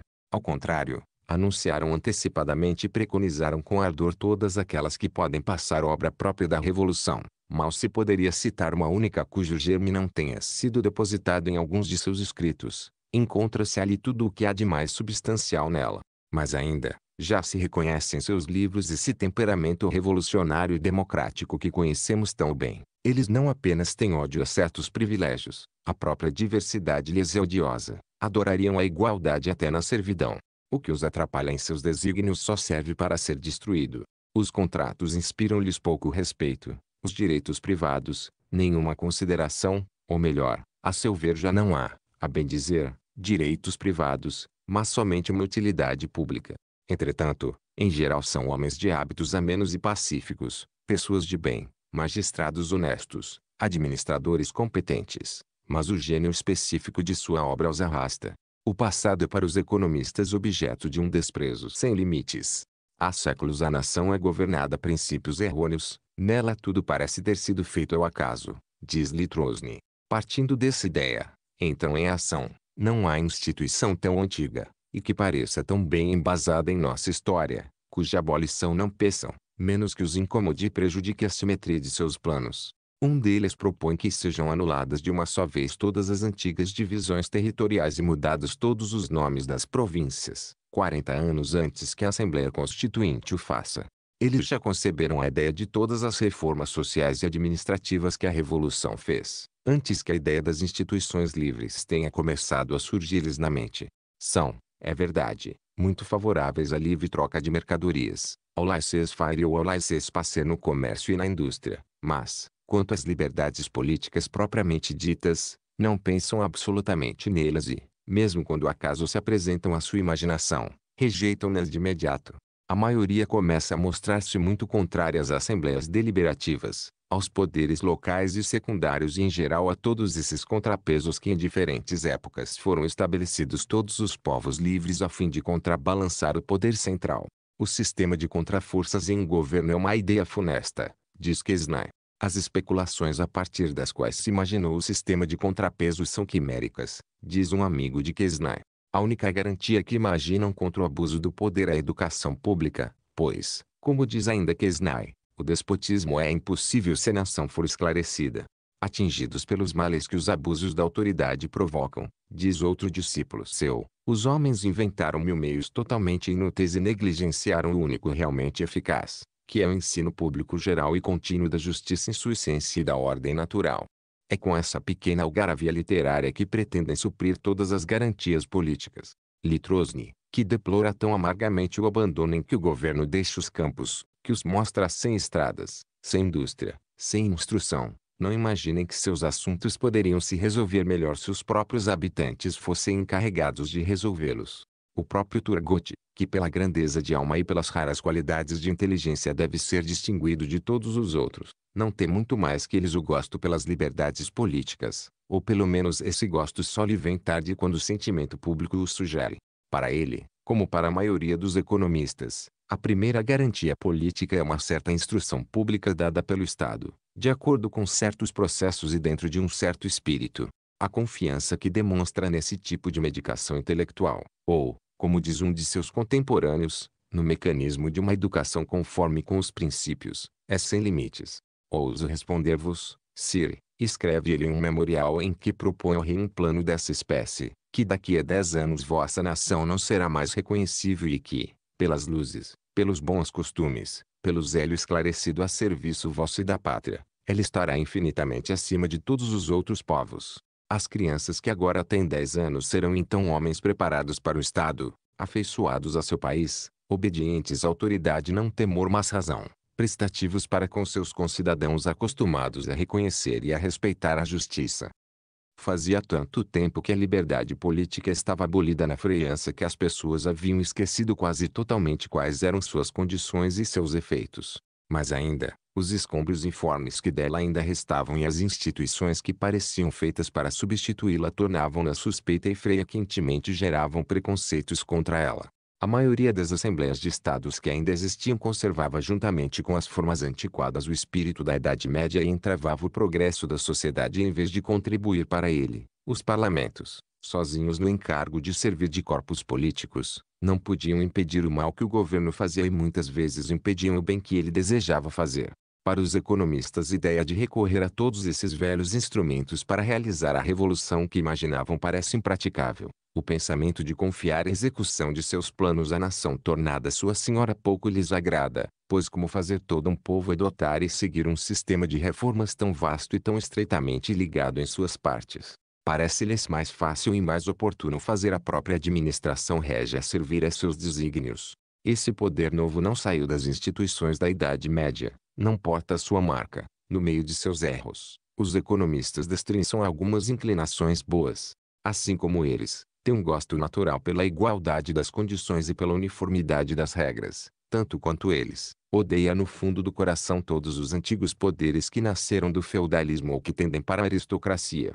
Em vão se procuraria no restante da Europa uma máquina governamental tão bem montada, tão grande e tão forte. A existência de um governo como esse entre nós parece-lhes uma circunstância singularmente feliz. Haveriam de chamá-la de providencial, se então estivesse na moda, como hoje fazer a providência intervir a cada passo. A situação da França, diz Litrosny, é infinitamente melhor que a da Inglaterra, pois aqui é possível realizar reformas que em um instante mudam toda a situação do país, ao passo que entre os ingleses tais reformas podem sempre ser entravadas pelos partidos. Portanto não se trata de eliminar esse poder absoluto e sim de convertê-lo. É preciso que o Estado governe de acordo com as regras da ordem essencial, diz Mercier de la Rivière, e quando assim acontecer, é preciso que ele seja todo-poderoso. Que o Estado compreenda bem seu dever, diz um outro, e que então o deixem livre. Ide de Quesnael Abade Bodeal e em todos encontrareis o mesmo estado de espírito. Eles não contam apenas com a administração régia para reformar a sociedade de seu tempo. Tomam-lhe emprestada, em parte, a ideia do governo futuro que desejam fundar.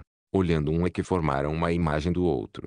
O Estado, segundo os economistas, não tem unicamente de comandar a nação, tem também de mudá-la de uma certa maneira. Cabe a ele formar o espírito dos cidadãos de acordo com um determinado modelo que estabeleceu previamente. Seu dever é prover-lhes a mente de certas ideias e fornecer-lhes ao coração certos sentimentos que julgar necessários. Na realidade, não há limites para seus direitos nem fronteiras para o que pode fazer. Não apenas reforma os homens, transforma-os, Possivelmente estaria unicamente em suas mãos fazer outros. O Estado faz dos homens tudo o que quiser, diz Bodeal.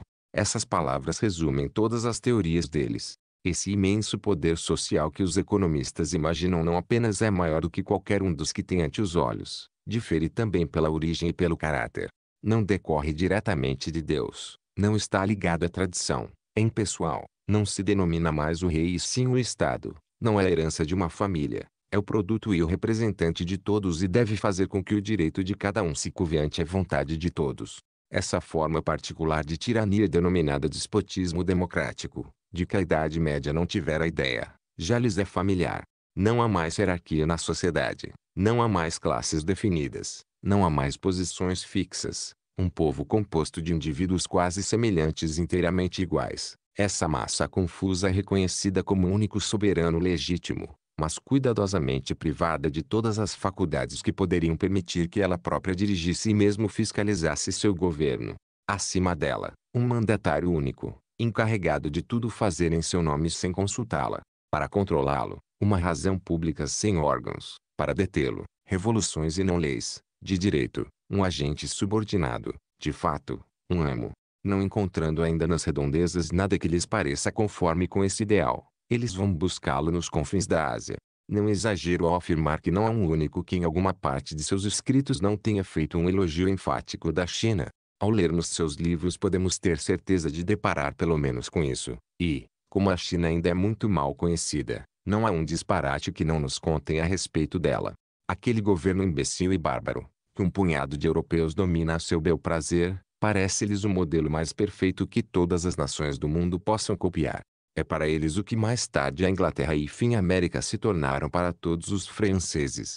Sentem-se comovidos e como que fascinados ao ver um país cujo soberano absoluto, mas isento de preconceitos, uma vez ano lavra a terra com as próprias mãos para honrar as artes úteis, em que todos os cargos são obtidos em concursos literários, que tem como religião unicamente uma filosofia e como aristocracia unicamente letrados, Acredita-se que as teorias destrutivas que em nossos dias são designadas pelo nome de socialismo sejam de origem recente. É um erro. Essas teorias são contemporâneas dos primeiros economistas. Enquanto esses empregavam o governo todo-poderoso com que sonhavam para mudar as formas da sociedade, os outros apossavam-se em imaginação do mesmo poder para demolir-lhe as bases.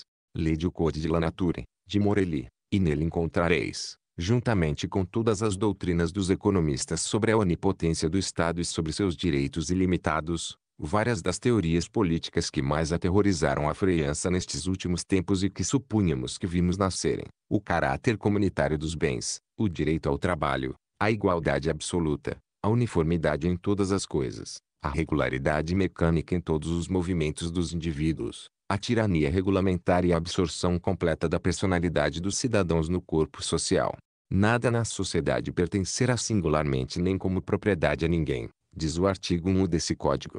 A propriedade é odiosa e quem tentar restabelecê-la ficará aprisionado toda a vida, como louco furioso e inimigo da humanidade.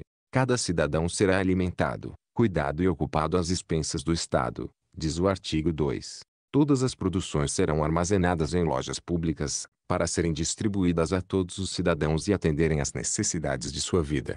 As cidades serão construídas seguindo a mesma planta. Todos os edifícios para uso dos particulares serão iguais. Aos cinco anos, todas as crianças serão retiradas da família e educadas em conjunto, às custas do Estado, de um modo uniforme. Esse livro que vos parece escrito ontem tem 100 anos. Foi publicado em 1755, no momento em que Quesnay fundava sua escola. Tanto é verdade que a centralização e o socialismo são produtos do mesmo solo um para com outro que o freio cultivado é para com a arvorezinha selvagem. De todos os homens de sua é, os economistas são os que pareceriam menos deslocados na nossa. Sua paixão pela igualdade é tão resoluta e seu gosto pela liberdade é tão incerto que eles têm um falso ar de contemporâneos. Quando leio os discursos e os escritos dos homens que fizeram a revolução, sinto-me subitamente transportado para um lugar e uma sociedade que não conheço. Mas, quando percorro os livros dos economistas, parece-me que vive com aquelas pessoas e que acabo de discutir com elas. Volta de 1750. A nação inteira não se teria mostrado mais exigente do que os próprios economistas em matéria de liberdade política. Ao perder seu uso ela lhe perderá o gosto e até a ideia. Desejava reformas mais que direitos e, se estivesse então no trono um príncipe com o porte e o temperamento de Frederico o Grande, não tenho a menor dúvida de que ele teria realizado na sociedade e no governo muitas das maiores mudanças que a Revolução fez, não apenas sem perder sua coroa mas aumentando muito seu poder. Assegura-se que Machaut d'Arnouville, um dos ministros mais competentes que Luís XV teve, entreviu essa ideia e indicou a seu senhor, mas empreendimentos como esse não se aconselham, só é feito para realizá-los quem for capaz de concebê-los.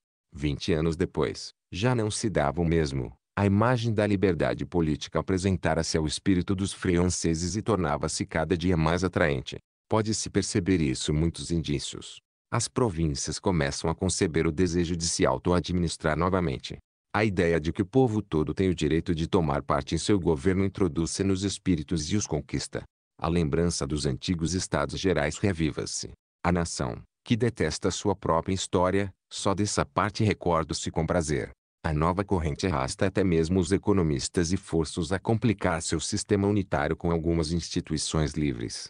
Quando em 1771 os parlamentos são abolidos, o mesmo público que tão frequentemente tivera de suportar seus preconceitos comove-se profundamente ao vê-los cair.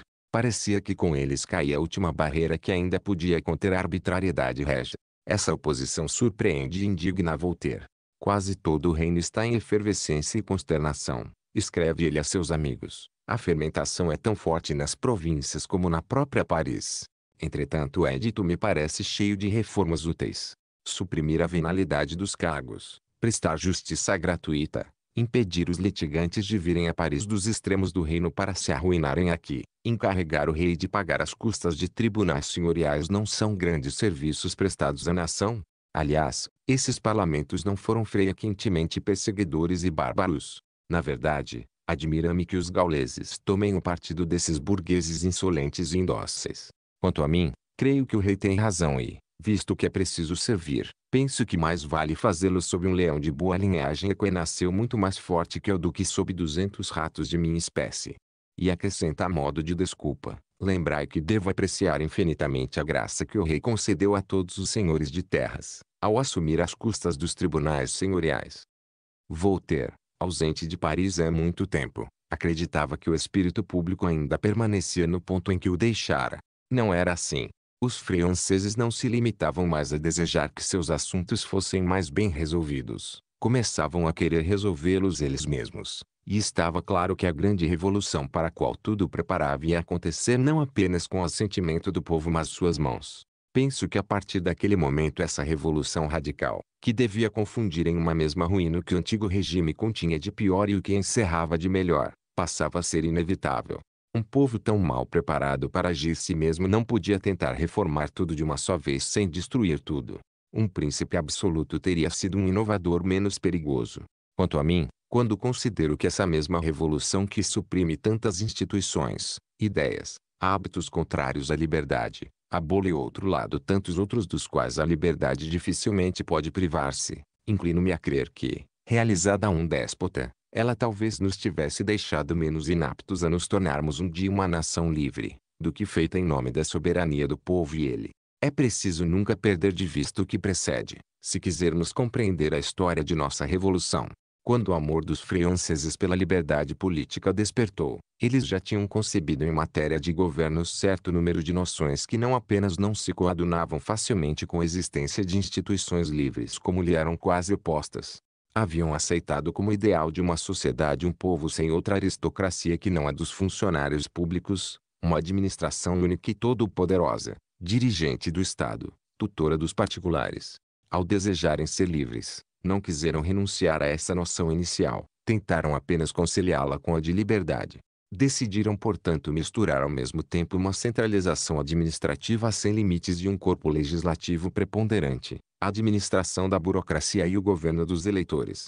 A nação como tal teve todos os direitos da soberania. Cada cidadão em particular foi restringido à mais estreita dependência. A uma pediram a experiência e as virtudes de um povo livre, ao outro, as qualidades de um bom servidor.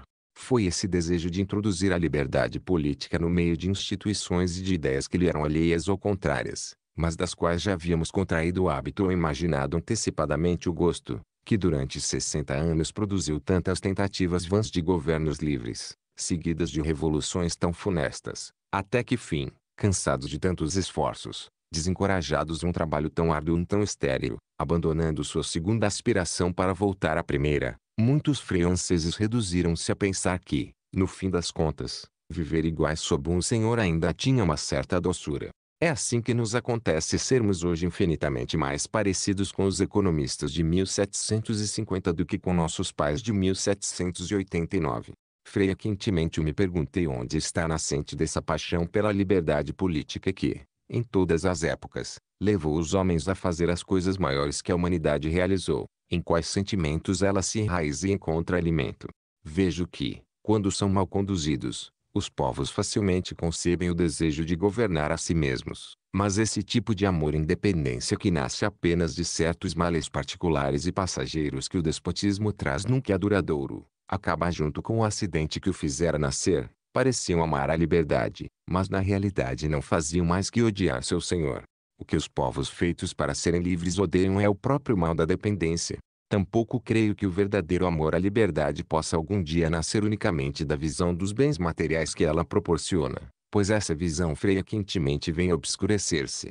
É bem verdade que com o passar do tempo a liberdade sempre traz, aos que sabem conservá-la, abastança, bem-estar e muitas vezes riqueza. Mas há períodos em que ela conturba momentaneamente o uso de tais bens, há outros em que apenas o despotismo pode proporcionar seu gozo passageiro, os homens que nela valorizam apenas esses bens nunca conservaram muito tempo.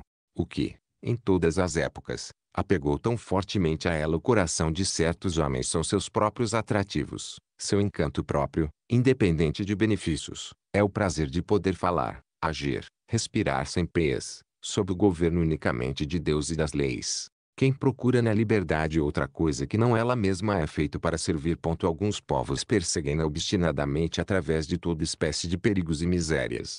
O que amam nela não são os bens materiais que lhes proporciona. Consideram-na em si mesma como um bem tão precioso e tão necessário que nenhum outro poderia consolá-los de sua perda e, desfreitando-a, se consolam de tudo. Outros se cansam dela em meio à prosperidade, deixam que lhe seja arrancada das mãos sem resistir temendo comprometer um esforço e mesmo bem-estar que lhe devem. O que falta a esses para continuarem livres? O que? O próprio gosto de sê-lo. Não me peçais para analisar esse gosto sublime, é preciso experimentá-lo. Ele entra a si mesmo nos grandes corações que Deus preparou para recebê-lo, invade-os, incendeia-os, é inútil tentar explicá-lo às almas medíocres que nunca o sentiram. Capítulo 4 Que o reinado de Luís XVI foi a mais próspera da antiga monarquia e como essa mesma prosperidade apressou a revolução não se poderia duvidar que o esgotamento do reino sob Luís XIV tenha começado no tempo mesmo em que esse príncipe ainda triunfava sobre toda a Europa. Encontram-se os primeiros indícios disso nos anos mais gloriosos do reinado.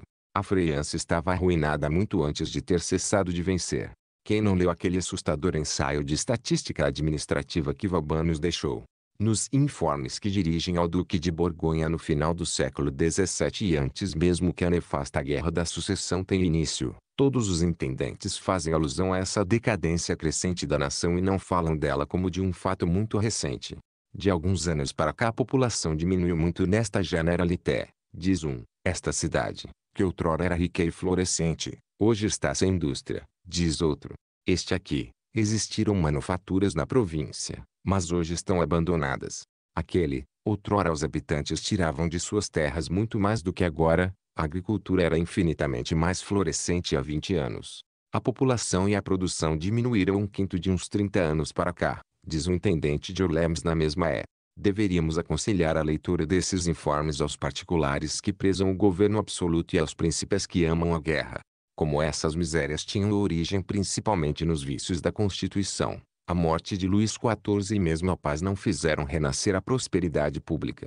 É um parecer comum a todos os que escrevem sobre a administração ou sobre a economia social na primeira metade do século XVI que as províncias não se restabelecem. Muitos chegam a pensar que continuam a arruinar-se. Apenas Paris enriquece e cresce, dizem eles. Intendentes, antigos ministros, Homens de negócios concordam com a literato sobre esse ponto. Quanto a mim, confesso que não creio nessa decadência contínua da França ao longo da primeira metade do século XVIII, mas uma opinião tão geral, que pessoas tão bem informadas compartilham, prova pelo menos que não se fazia então nenhum progresso visível.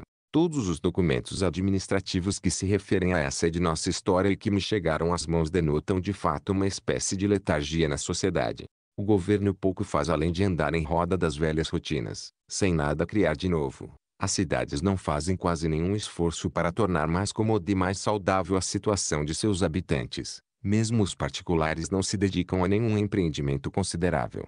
Cerca de 30 ou 40 anos antes de a Revolução eclodir, o cenário começa a mudar. Julgamos discernir então em todas as partes do corpo social uma espécie de estremecimento interior que ainda não se havia observado.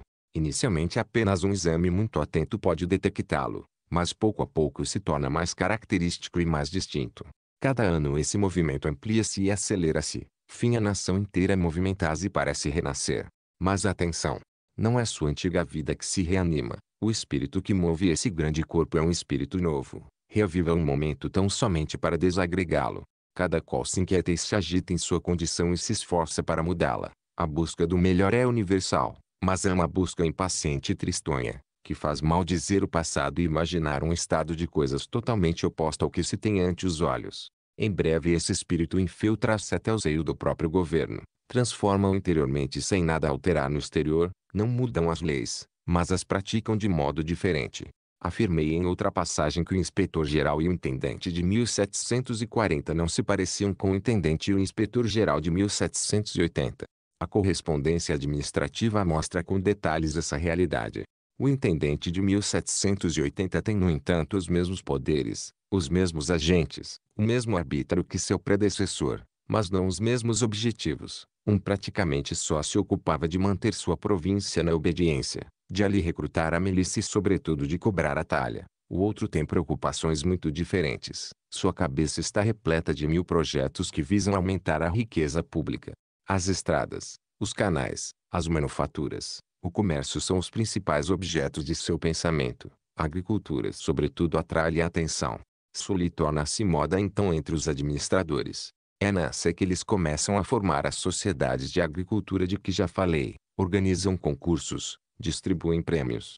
Há circulares do inspetor-geral que parecem menos comunicados oficiais do que tratados sobre a arte agrícola. É principalmente na cobrança de todos os impostos que melhor se vê a mudança operada no espírito dos que governam. A legislação continua a ser tão desigual, tão arbitrária e tão dura quanto no passado, mas todos os vícios se moderam na execução. Quando comecei a estudar as leis fiscais, diz Molly em suas memórias, fiquei assustado com o que encontrei, multas, aprisionamentos, castigos corporais postos à disposição de tribunais especiais para simples omissões, cobradores dos impostos régios mantendo quase todas as propriedades e as pessoas à mercê de seus juramentos etc. Felizmente, não me limitei à simples leitura desse código e logo tive de reconhecer que entre o texto e sua aplicação havia a mesma diferença que entre os hábitos dos antigos financistas e os dos novos. Os jurisconsultos tendiam sempre a atenuar os delitos e a moderar as penas. A quantos abusos e vexações a cobrança dos impostos pode dar margem? Diz a Assembleia Provincial da Baixa Normandia em 1787. Entretanto devemos prestar justiça à brandura e aos cuidados de que se vem fazendo uso há alguns anos. O exame dos documentos justifica plenamente essa asserção. Neles o respeito à liberdade e à vida dos homens manifesta-se com frequência. Percebe-se sobretudo uma preocupação autêntica com os males dos pobres. Até então teríamos procurado em vão ela. As violências do fisco para com os miseráveis são raras, os adiamentos e reduções de impostos, mais frequentes, os auxílios, mais numerosos. O rei aumenta todos os fundos destinados a criar oficinas de caridade nos campos ou a socorrer os indigentes e frequentemente estabelece novos. Leio que mais de 80 mil libras foram distribuídas pelo Estado dessa maneira unicamente na Generalité da Alta Guiana em 1779, 40 mil em 1784 na Editors, 48 mil na da Normandia em 1787. Luís XVI não queria deixar unicamente com seus ministros essa parte do governo, às vezes assumia pessoalmente. Quando em 1776 um decreto do Conselho veio determinar as indenizações que seriam devidas aos camponeses cujos campos a caça do rei devastava nas proximidades das capitanias e indicou meios simples e garantidos de recebê-las, o rei redigiu pessoalmente os considerandos. Turgot conta-nos que esse bom e infeliz príncipe entregou-os a ele, escritos de próprio punho, dizendo, podeis ver que eu de minha parte também trabalho. Quem descrevesse o antigo regime tal como era nos últimos anos de sua existência faria dele um retrato muito lisonjeiro e pouco fiel. À medida que essas mudanças se operam no espírito de governados e governantes, a prosperidade pública desenvolve-se com uma rapidez até então sem exemplo. Todos os sinais anunciam, a população aumenta, as riquezas crescem mais depressa ainda. A guerra da América não retarda esse avanço, o Estado endivida-se com ela, mas os particulares continuam a enriquecer, tornam-se mais industriosos, mais empreendedores, mais inventivos. Desde 1774, diz um administrador da E, os diversos gêneros de indústria, desenvolvendo-se, haviam aumentado a matéria de todas as taxas de consumo. De fato, quando se comparam os tratados feitos, nas diferentes épocas do reinado de Luís XVI, entre o Estado e as companhias financeiras encarregadas do recolhimento dos impostos, vê-se que o valor dos arrendamentos está sempre aumentando a cada renovação, com uma rapidez crescente. O contrato de arrendamento de 1786 dá 14 milhões a mais que o de 1780. Pode-se contar que o produto de todos os direitos de consumo aumenta 2 milhões ano, diz Necker no relatório de 1781. Arthur Young afirma que em 1788 Bordeaux comerciava mais que Liverpool, e acrescenta, nestes últimos tempos, os avanços do comércio marítimo foram mais rápidos na França que na própria Inglaterra. Na França esse comércio duplicou nos últimos 20 anos. Se atentarmos para a diferença das épocas, vamos convencer-nos de que em nenhuma das épocas que se seguiram a Revolução a prosperidade pública se desenvolveu mais rapidamente do que durante os 20 anos que a precederam. Os 37 anos de monarquia constitucional, que foram para nós tempos de paz e de progressos rápidos, só se podem comparar, sob esse aspecto, ao reinado de Luís XVI. A visão dessa prosperidade já tão grande e tão crescente pode causar surpresa, quando se pensa em todos os vícios que o governo ainda comportava e em todos os entraves com que a indústria ainda deparava. É até mesmo possível que muitos políticos neguem o fato porque não conseguem explicá-lo, julgando, como o médico de Molière, que um doente não poderia sarar contrariando as normas. De fato, como acreditar que a França pudesse prosperar e enriquecer com a desigualdade de encargos, a diversidade de costumes, as alfândegas internas, os direitos feudais, as jurandas, os ofícios etc. Entretanto, a despeito de tudo isso ela começava a enriquecer e a desenvolver-se de todos os lados, porque fora de todas essas engrenagens mal construídas e mal ajustadas, que pareciam destinar-se mais a retardar a máquina social do que a impulsioná-la, escondiam-se duas molas muito simples e muito fortes, que já bastavam para manter tudo coeso e fazer tudo caminhar para o objetivo da prosperidade pública, um governo que permanecera muito poderoso deixando de ser despótico, que mantinha a ordem em toda parte, uma nação que, em suas classes superiores, já era mais esclarecida e é mais livre do continente, e em cujo seio cada qual podia enriquecer à vontade e conservar sua fortuna depois de adquiri-la. O rei continuava a falar como senhor, mas na realidade obedecia pessoalmente a uma opinião pública que o inspirava ou o arrastava todos os dias, que ele consultava, temia, adulava sem cessar, absoluto pela letra das leis, limitado sua prática. Em 1784, Necker dizia em um documento público, como um fato inconteste, a maioria dos estrangeiros tem dificuldade em formar uma ideia da autoridade que a opinião pública exerce hoje na França. Dificilmente compreendem o que é esse poder invisível que manda até no Palácio Real. Entretanto é assim. Nada é mais superficial do que atribuir a grandeza e a força de um povo unicamente ao mecanismo de suas leis, pois nessa matéria é menos a perfeição do instrumento do que a força dos motores que faz o produto. Veja a Inglaterra, quanto ainda hoje suas leis administrativas parecem mais complicadas, mais diversas, mais irregulares que as nossas. Haverá entretanto na Europa um único país em que a fortuna pública seja maior, a propriedade particular seja mais ampla, mais garantida e mais variada, a sociedade mais sólida e mais rica. Isso não provém da excelência de tais leis em particular, mas do espírito que anima a legislação inglesa inteira. A imperfeição de alguns órgãos nada impede, porque a vida é poderosa, à medida que se desenvolve na França a prosperidade que acabo de descrever, os espíritos parecem entretanto mais desconfortáveis e mais inquietos, o descontentamento público exaspera-se, o ódio contra todas as instituições antigas vai crescendo. A nação caminha visivelmente para uma revolução.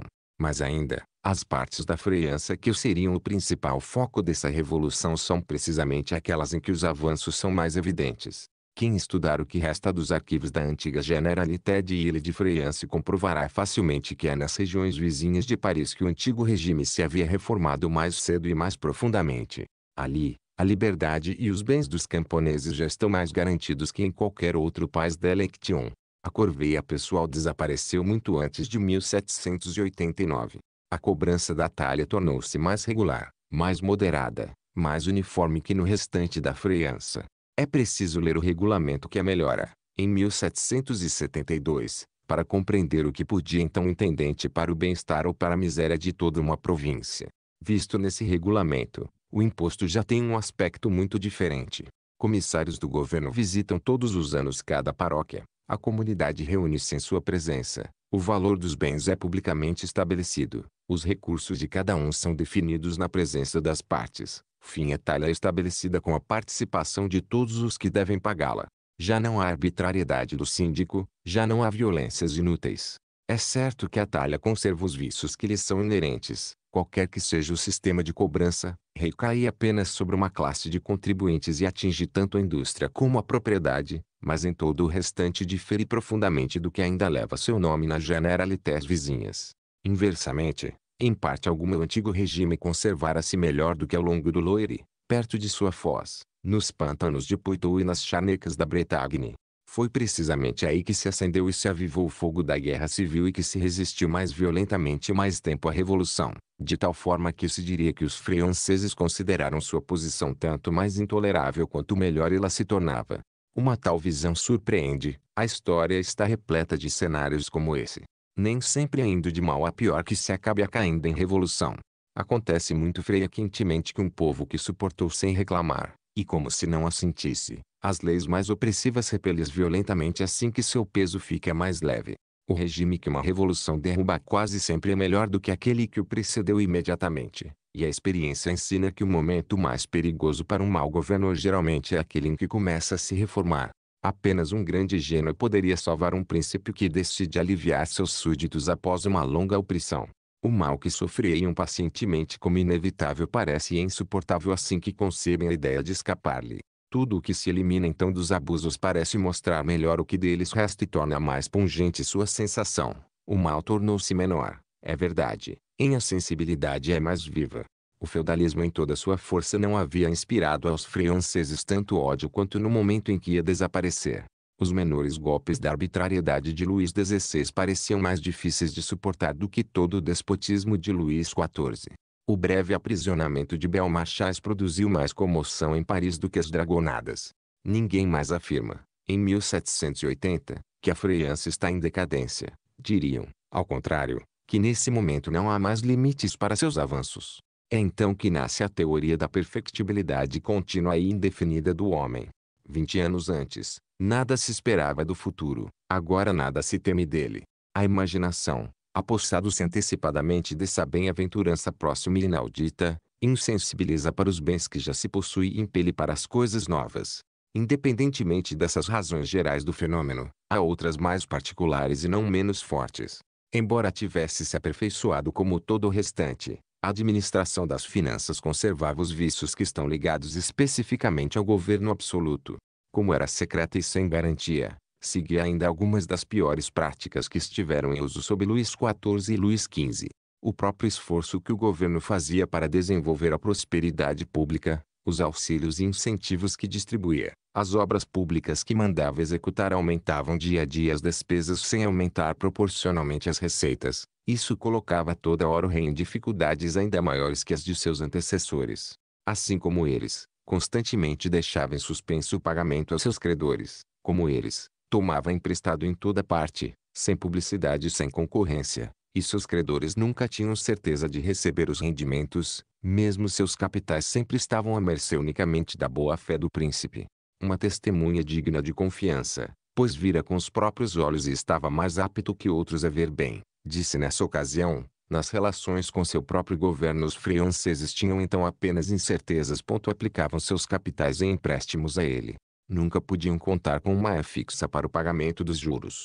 Construíam seus navios, reparavam suas estradas, vestiam seus soldados, permaneciam sem garantias para tais investimentos, sem data para o reembolso, reduzidos a calcular os resultados de um contrato com os ministros como de um empréstimo de alto risco.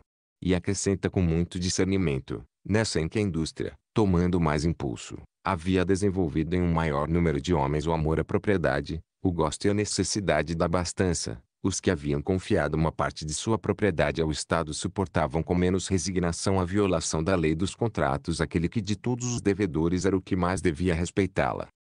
De fato, os abusos criticados aqui à administração francesa não eram novos, nova era a impressão que causavam. Os vícios do sistema financeiro chegaram mesmo a ser muito mais gritantes nos períodos anteriores, mas desde então haviam ocorrido no governo e na sociedade mudanças que os tornavam infinitamente mais sentidos que antes.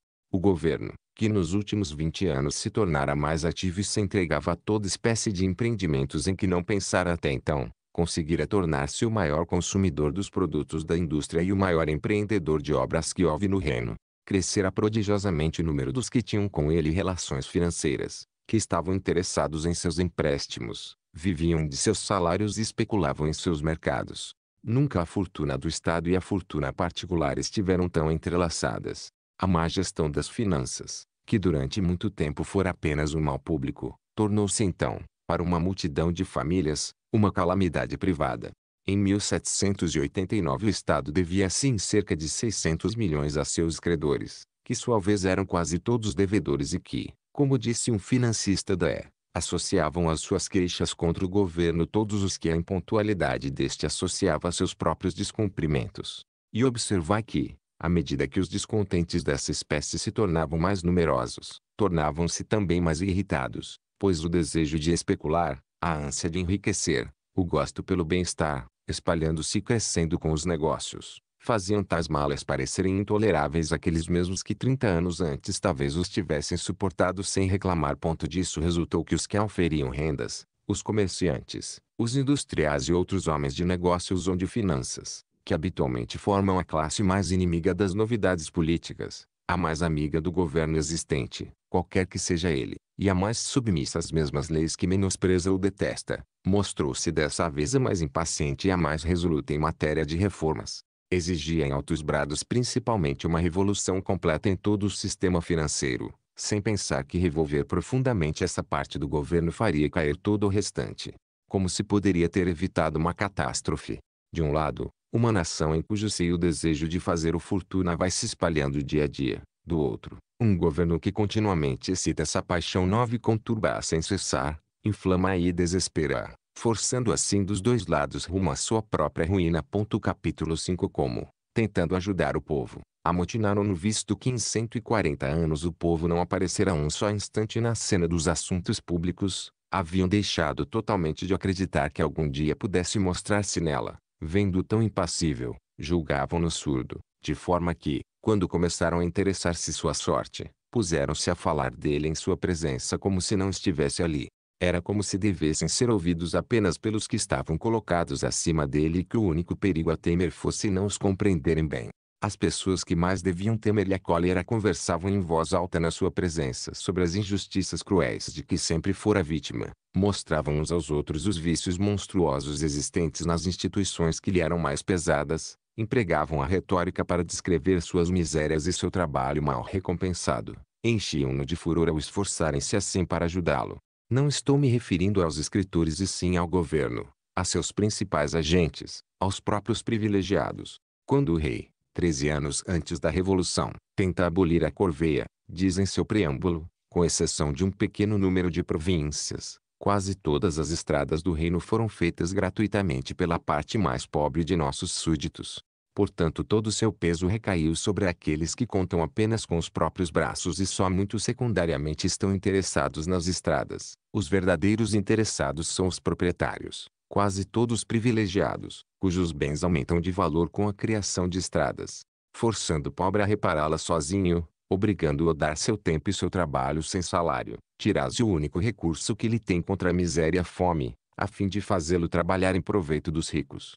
Quando se decide, na mesma é, eliminar os entraves que o sistema de corporações industriais impunha aos operários. Proclama-se em nome do rei que o direito de trabalhar é a mais sagrada de todas as propriedades, que toda lei que o prejudique viola o direito natural e deve ser considerada naturalmente nula, que as corporações existentes são, ademais, instituições bizarras e tirânicas, frutos do egoísmo, da cupidez e da violência. Palavras como essas eram perigosas. Mais perigoso ainda era pronunciá-las em vão. Alguns meses mais tarde restabeleciam-se as corporações e a corveia. Disse que Turgot era quem colocava tal linguagem na boca do rei. A maioria de seus sucessores não o faz falar de outro modo. Quando em 1780 o rei anuncia a seus súditos que dali em diante os aumentos da talha estarão sujeitos à publicidade do registro, tenho cuidado de acrescentar à guisa de comentário, os tributáveis, já atormentados pelas vexações da cobrança das talhas, estavam também expostos, até hoje, aumentos inesperados, de tal modo que o tributo da parte mais pobre de nossos súditos aumentou numa proporção bem superior à de todos os outros. Quando, não ousando ainda tornar iguais todos os encargos, o rei decide pelo menos estabelecer a igualdade de cobrança dos que já são comuns. Diz, Sua Majestade espera que as pessoas ricas não se considerem lesadas quando, reconduzidas ao nível geral, não farão mais que saudar o encargo que há muito tempo deveriam estar compartilhando mais igualitariamente. Mas é sobretudo nos períodos de escassez que se parece ter a intenção de inflamar as paixões do povo mais do que atender às suas necessidades. Um intendente, para estimular a caridade dos ricos, fala então da injustiça e insensibilidade desses proprietários que devem aos trabalhos do pobre tudo o que possuem e que o deixam morrer de fome no momento em que ele se extenua para valorizar-lhes os bens. O rei, sua vez, diz em uma ocasião análoga, Sua Majestade quer defender o povo contra as manobras que o expõem à falta do alimento de primeira necessidade e forçam-no a trabalhar qualquer salário que apraz aos ricos dar-lhe. O rei não admitirá que uma parte dos homens fique entregue à avidez da outra. Até o final da monarquia, a luta que existia entre os diferentes poderes administrativos dava lugar às mais variadas manifestações dessa espécie. Os dois contendores costumavam culpar-se mutuamente pelas misérias do povo. Isso fica evidente sobretudo na contenda que surgiu em 1772 entre o parlamento de Toulouse e o rei, a propósito da circulação dos cereais. O governo, com suas medidas errôneas, arrisca-se a fazer o pobre morrer de fome, diz esse parlamento. A ambição do parlamento e a avidez dos ricos causam aflição pública, replica o rei. Os dois lados trabalham assim para introduzir no espírito do povo a ideia de que é sempre aos superiores que ele deve culpar seus males. Essas coisas não se encontram em correspondências confidenciais e sim em documentos públicos que o governo e o parlamento têm eles mesmos o cuidado de mandar imprimir e publicar aos milhares. De passagem, o rei diz sobre seus predecessores e sobre si mesmo verdades muito duras. O tesouro do Estado, outrora, foi onerado pelas prodigalidades de vários reinados. Muitos de nossos domínios inalienáveis foram cedidos a preço vil.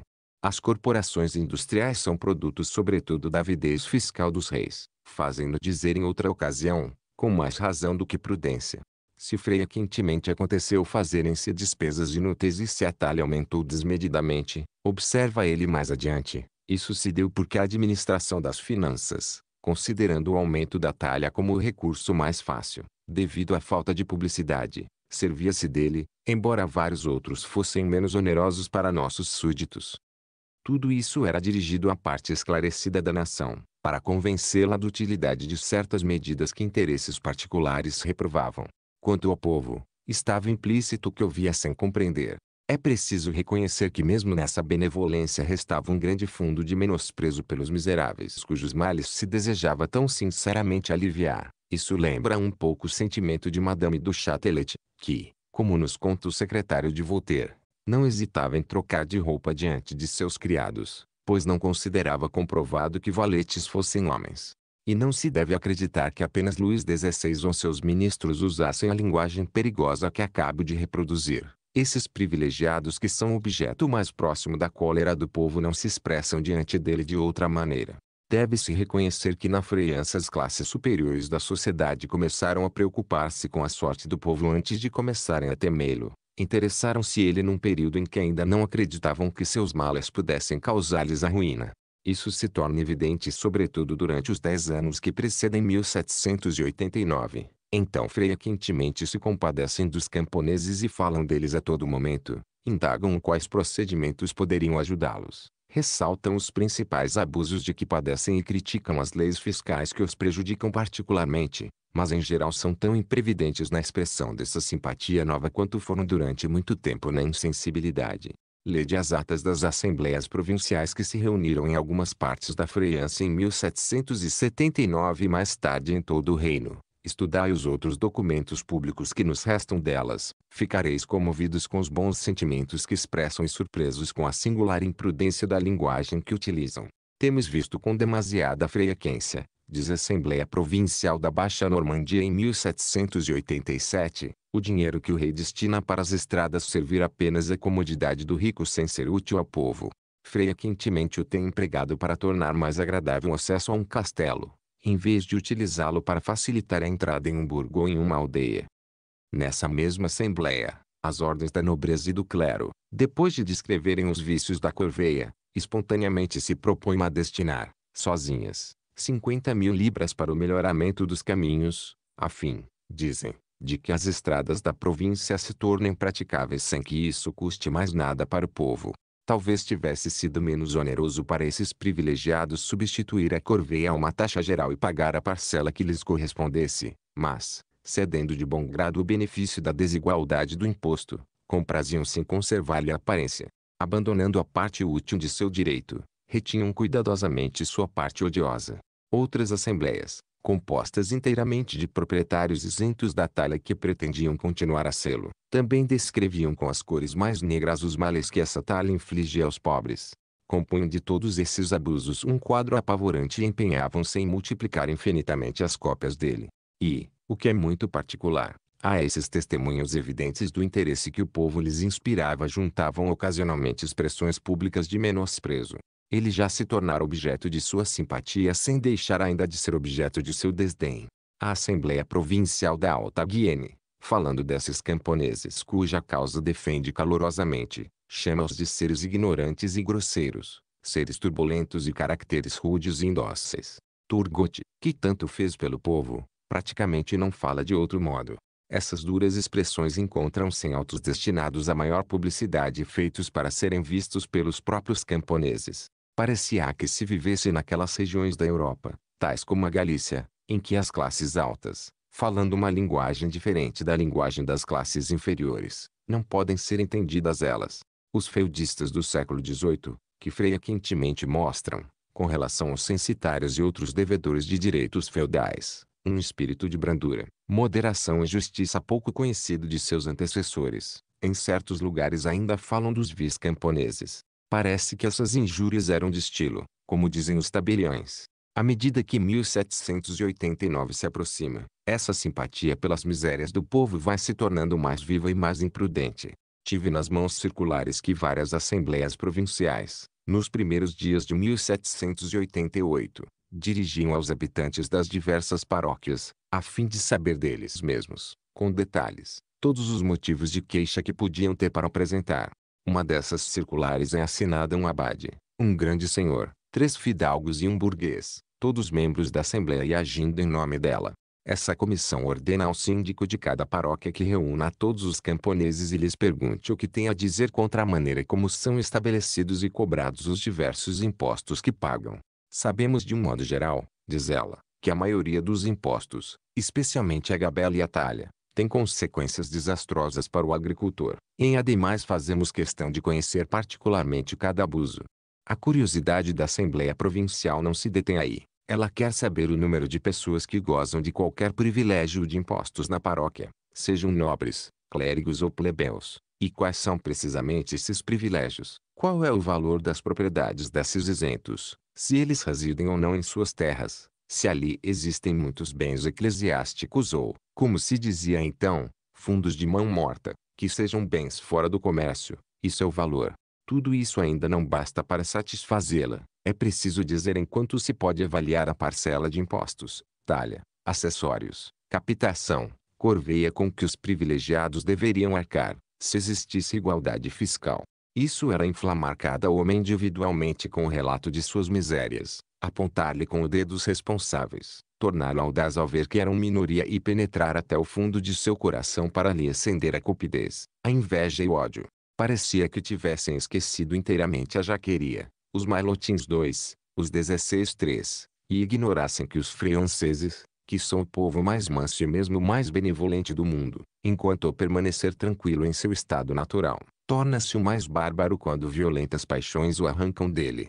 Infelizmente não consegui obter todos os relatórios que foram enviados pelos camponeses em resposta a essas perguntas mortíferas, mas encontrei alguns, o bastante para conhecer o espírito geral que os ditou.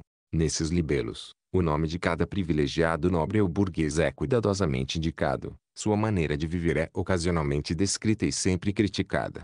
Pormenorizam criteriosamente o valor de seus bens, alongam-se sobre o número e a natureza de seus privilégios, e principalmente sobre o mal que estes causam a todos os outros habitantes da aldeia.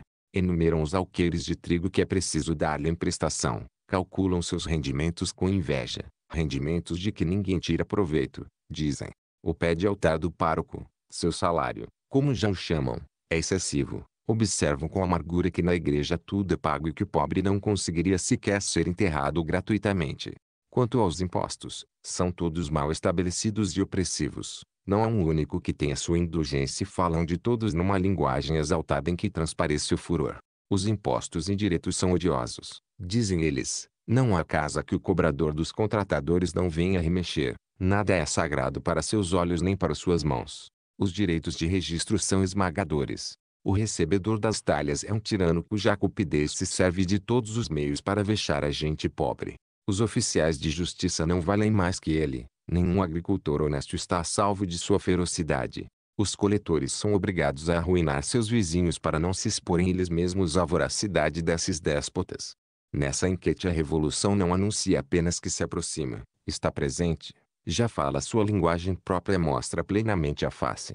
De todas as diferenças que se observam entre a Revolução Religiosa do século XVI e a Revolução Francesa, há uma que impressiona. No século XVI a maioria dos grandes atirou-se à mudança de religião calculismo de ambição ou cupidez. O povo, ao contrário, abraçou a convicção sem nenhuma expectativa de proveito.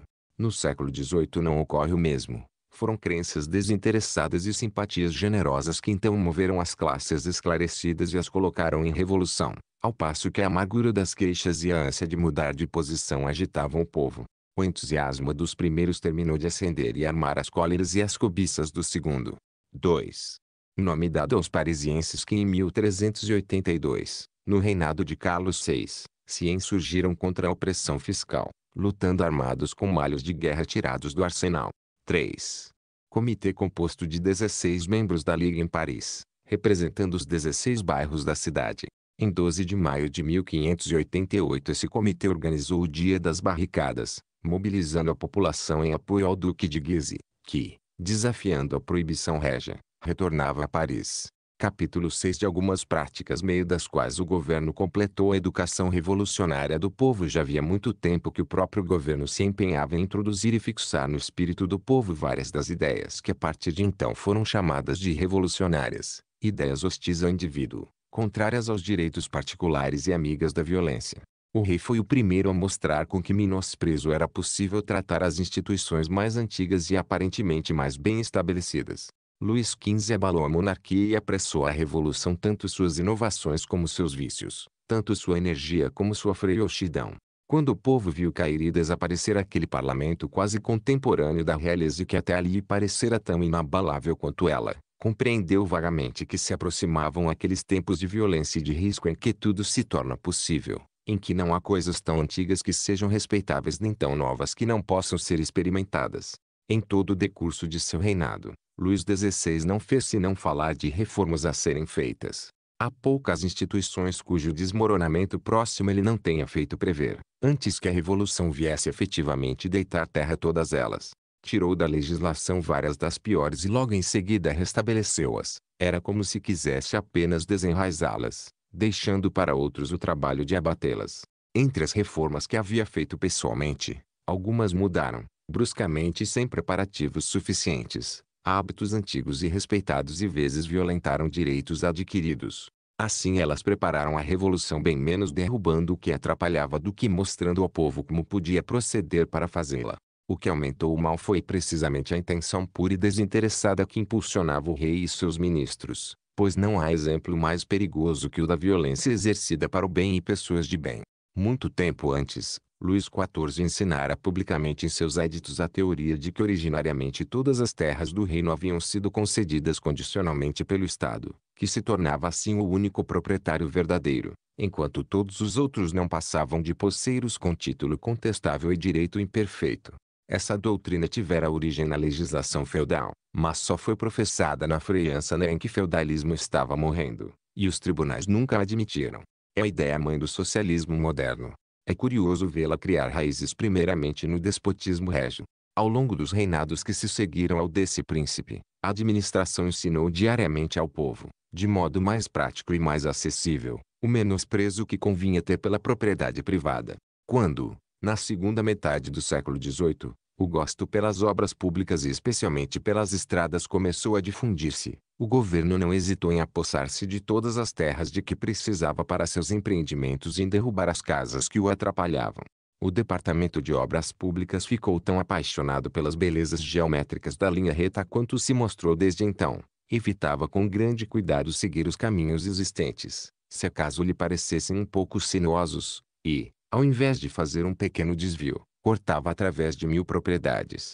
Os bens assim devastados ou destruídos eram sempre arbitrária e tardiamente pagos, e muitas vezes não o eram em absoluto. Quando a Assembleia Provincial da Baixa Normandia tomou das mãos do intendente a administração, constatou que, em matéria viária, o preço de todas as terras desapropriadas arbitrariamente nos últimos 20 anos ainda não fora pago, a dívida assim contraída e ainda não saldada pelo Estado naquele pedacinho da França elevava-se a 250 mil libras. O número de grandes proprietários afetados era restrito, mas o número de pequenos proprietários lesados era grande, pois a terra já estava dividida. Cada um deles aprendera a experiência própria e pouco o respeito que o direito do indivíduo merece quando o interesse público requer a sua violação doutrina que cuidou de não esquecer quando se tratou de aplicá-la a outros em proveito próprio. Ponto haviam existido outrora, em um grande número de paróquias, fundações de caridade que, na intenção de seus criadores, tinham como objetivo socorrer os habitantes em certos casos e de uma certa maneira que o testamento indicava. Nos últimos tempos da monarquia a maioria dessas fundações foi abolida ou desviada de seu propósito primitivo simples decretos do conselho, ou seja, puramente arbítrio do governo. Geralmente esses fundos concedidos às aldeias foram confiscados em proveito de hospitais e asilos vizinhos. Sua vez, mais ou menos na mesma é a propriedade desses hospitais e asilos foi alterada com desígnios que o fundador não tivera e que sem dúvida não teria adotado.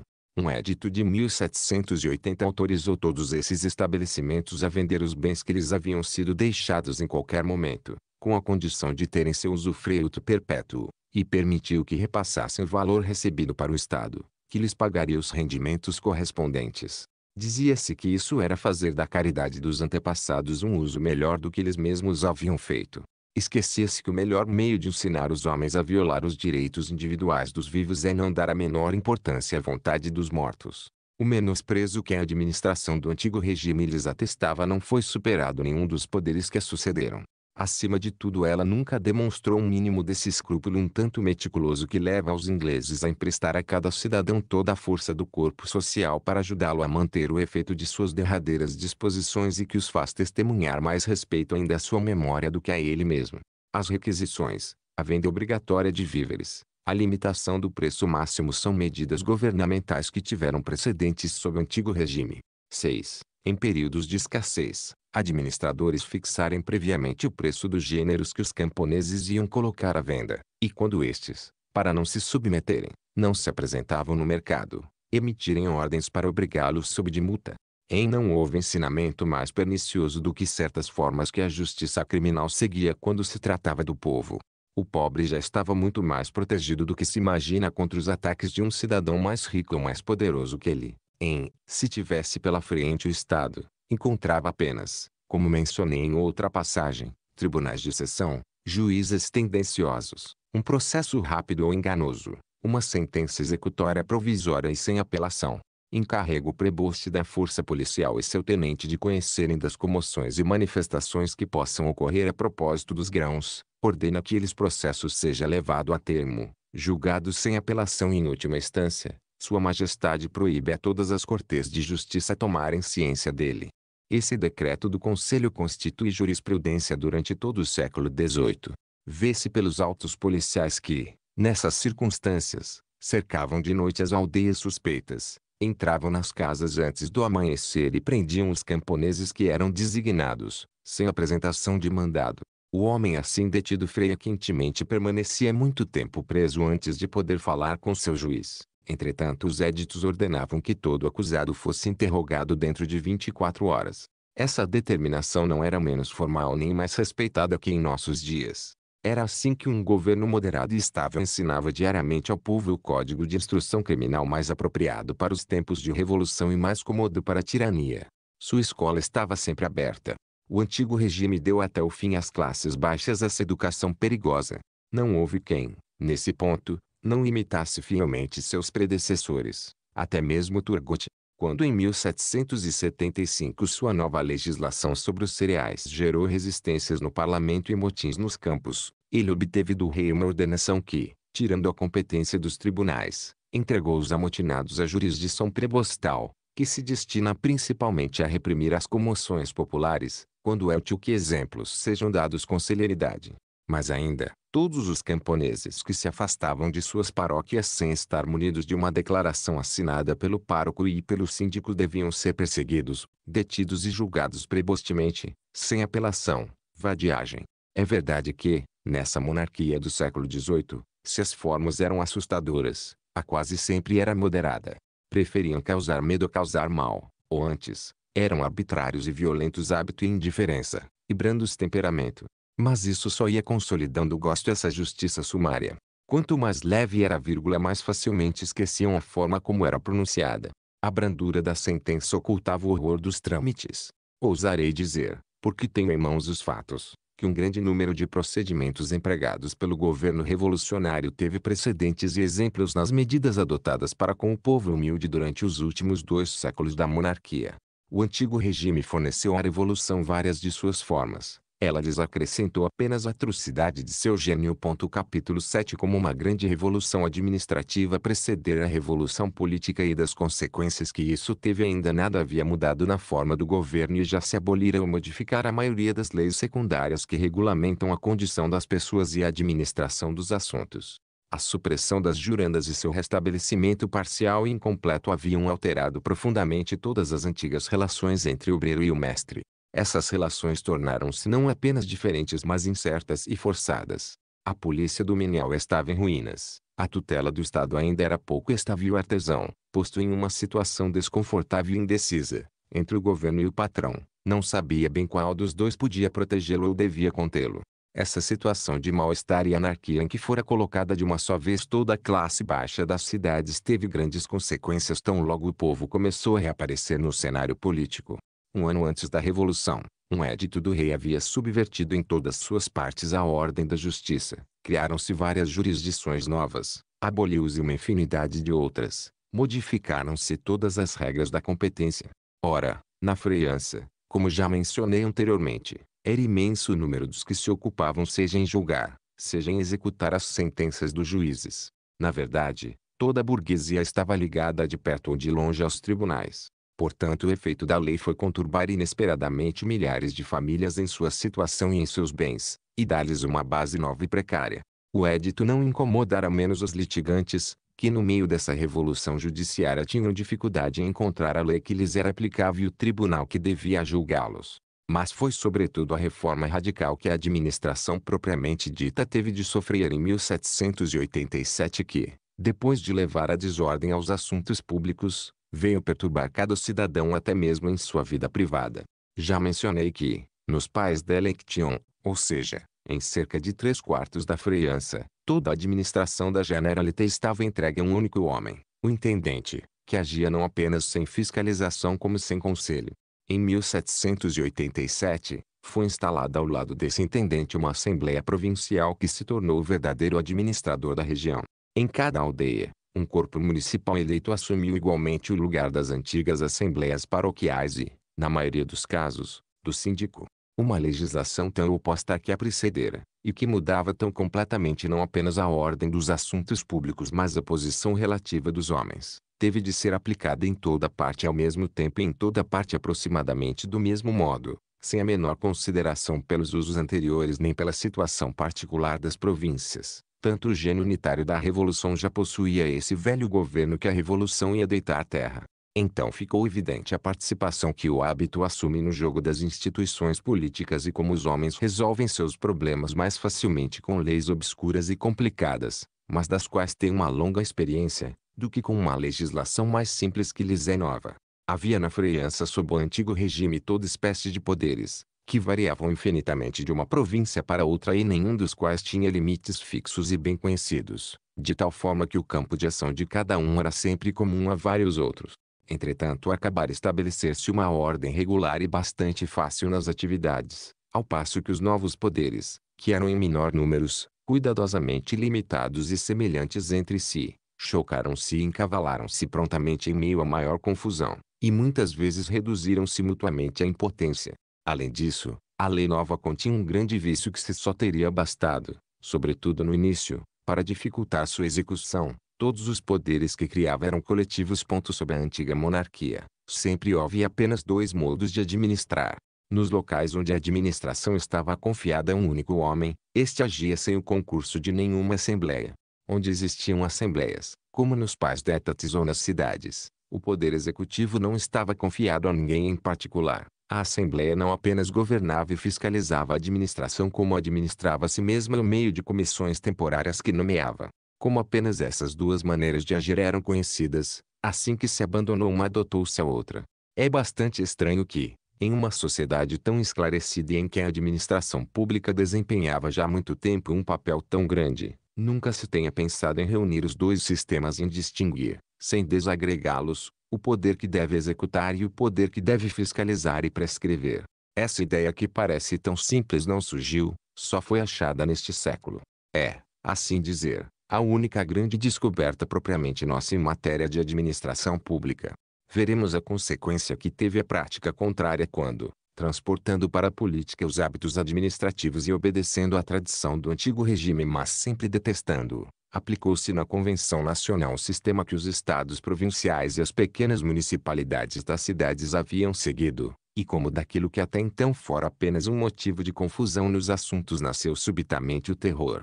As Assembleias Provinciais de 1787 receberam portanto o direito de elas mesmas administrarem, na maioria das circunstâncias em que até então o intendente fora o único a agir, foram encarregadas, sob a autoridade do governo central, de definir a base da talha e supervisionar seu recolhimento, de decidir quais as obras públicas a serem empreendidas e de mandar executá-las. Tiveram sob suas ordens imediatas todos os agentes das obras públicas, desde o inspetor até o capataz. Tiveram de prescrever-lhes o que julgavam conveniente, prestar contas do serviço desses agentes ao ministro e sugerir-lhe as gratificações que mereciam. A tutela das comunas foi quase totalmente entregue a essas assembleias, tiveram de julgar em primeira instância a maior parte dos litígios, que até então eram levados ao intendente etc. Funções das quais várias não se adequavam a um poder coletivo e irresponsável e que ademais seriam exercidas pessoas que administravam pela primeira vez. Ponto que terminou de confundir tudo foi que, apesar de reduzir assim o intendente à impotência, deixaram-no subsistir. Depois de tirar-lhe o direito absoluto de tudo fazer, impuseram-lhe o dever de auxiliar a Assembleia e de fiscalizar o que ela fizesse como se um funcionário destituído pudesse jamais entrar no espírito da legislação que o afasta e facilitar sua prática. O que fizeram com o intendente foi feito com seu subdelegado. Ao lado dele no lugar que ocupara até então, colocaram uma Assembleia Distrital que devia atuar sob a direção da Assembleia Provincial e seguindo princípios análogos. Tudo o que se sabe sobre os atos das Assembleias Provinciais criadas em 1787, e suas próprias atas, mostram que imediatamente depois de nascerem elas entraram em guerra velada e freia quentemente aberta com os intendentes, pois estes empregavam unicamente em entravar os movimentos de seus sucessores experiência superior que haviam adquirido. Aqui, uma assembleia queixa-se de que só com muito esforço consegue arrancar das mãos do intendente os documentos que lhe são mais necessários. Ali, é o intendente que acusa os membros da assembleia de querer usurpar atribuições que, segundo ele, os éditos lhe deixaram, Apela para o ministro, que muitas vezes nada responde ou fica em dúvida, pois a matéria lhe é tão nova e obscura quanto para todos os outros. Às vezes a Assembleia delibera que o intendente não administrou bem, que as estradas que mandou construir estão mal traçadas ou mal conservadas, que deixou comunidades de que era o tutor se arruinarem. Com frequência essas assembleias hesitam em meio às obscuridades de uma legislação tão pouco conhecida, consultam-se mutuamente de longe e continuamente enviam e recebem pareceres. O intendente de Alcha afirma que pode se opor à vontade da Assembleia Provincial, que autorizar uma comuna a lançar um imposto. A Assembleia alega que nessa matéria o intendente agora só tem pareceres e não ordens a dar, e pergunta à Assembleia Provincial de Lide Freiancio o que pensa do assunto. Em meio a essas recriminações e consultas o andamento da administração frequentemente se retarda e às vezes se detém. A vida pública fica então como que suspensa. A estagnação das atividades é total, diz a Assembleia Provincial de Lorraine, fazendo eco a várias outras. Todos os bons cidadãos afligem-se com isso. Outras vezes, é excesso de atividade e de confiança em si mesmas que essas novas administrações pecam. Estão totalmente tomadas um zelo inquieto e perturbador que as leva a querer mudar de imediato os antigos métodos e corrigir às pressas os mais velhos abusos. Com o pretexto de que doravante cabe a elas exercer a tutela das cidades, dispõem-se a gerir diretamente os assuntos comunais. Em resumo, terminam confundir tudo ao tentar melhorar tudo. Se considerarmos agora o lugar imenso que a administração pública vinha ocupando já há muito tempo na França, a infinidade de interesses com que se envolvia diariamente, tudo o que dependia dela ou necessitava de sua participação, se pensarmos que os particulares já contavam com ela mais do que consigo mesmos para levar a cabo seus negócios pessoais, desenvolver sua indústria, assegurar a subsistência própria, abrir e conservar as estradas, preservar sua tranquilidade e garantir seu bem-estar, teremos uma ideia do número infinito de indivíduos que se viram pessoalmente afetados pelo mal de que ela sofreia. Mas foi sobretudo nas aldeias que os vícios da nova organização se fizeram sentir. Nesses locais ela não conturbou apenas a ordem dos poderes, mudou bruscamente a posição relativa dos homens e colocou frente a frente em conflito todas as classes. Quando Turgot, em 1775, propôs ao rei reformar a administração dos campos, o maior obstáculo que encontrou, ele mesmo que nos informa, proveio da desigualdade de atribuição dos impostos, pois, como fazer agir em comum e deliberar juntas sobre os assuntos da paróquia, dos quais os principais são a determinação, o recolhimento e o emprego dos tributos, pessoas que não estão todas obrigadas a pagá-los da mesma maneira e algumas estão totalmente dispensadas de arcar com eles. Cada paróquia tinha fidalgos e clérigos que não pagavam a talha, camponeses que estavam parcial ou totalmente isentos e outros que pagavam integralmente. Era como três paróquias distintas, cada uma das quais requeresse uma administração à parte. A dificuldade era insolúvel.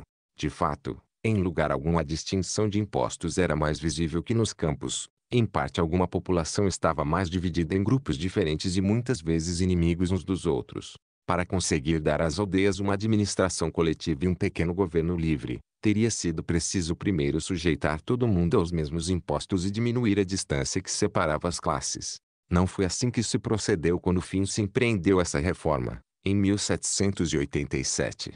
No interior da paróquia, manteve-se a antiga separação das ordens e a desigualdade em matéria de impostos, que era sua marca principal, e mesmo assim entregou-se toda a administração a corpos eletivos. Isso levou imediatamente às mais singulares consequências. Tratava-se da Assembleia Eleitoral que o devia escolher os oficiais municipais.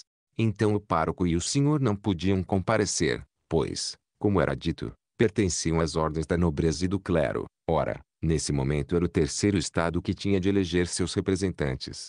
Uma vez eleito o conselho municipal, o pároco e o senhor eram, ao contrário, membros de direito, pois não pareceria correto tornar totalmente alheios ao governo da paróquia dois habitantes tão notáveis. O senhor até mesmo presidia esses conselheiros municipais que não ajudara a eleger, mas não era preciso que se ingerisse na maioria de seus atos. Quando se procedia à definição e distribuição da talha, exemplo, o cura e o senhor não podiam votar. Não estavam ambos isentos desse imposto. Sua vez, o conselho municipal nada tinha a ver com a captação deles, que continuava a ser regulamentada pelo intendente, de acordo com formas particulares temendo que esse presidente, assim isolado do corpo que supostamente dirigia, nele ainda exercesse indiretamente uma influência contrária ao interesse da ordem de que não fazia parte, requereu-se que os votos de seus rendeiros não contassem, e as assembleias provinciais, consultadas sobre esse ponto, acharam tal exigência muito justa e totalmente conforme com os princípios. Os outros fidalgos que moravam na paróquia não podiam entrar nesse mesmo corpo municipal plebeu, a menos que fossem eleitos pelos camponeses, e nesse caso, como o regulamento trata de salientar, tinham direito a representar apenas o terceiro estado. Portanto o senhor comparecia ao conselho municipal apenas para ficar totalmente submisso aos seus antigos súditos, que de repente se tornaram seus senhores. Era mais prisioneiro do que chefe deles.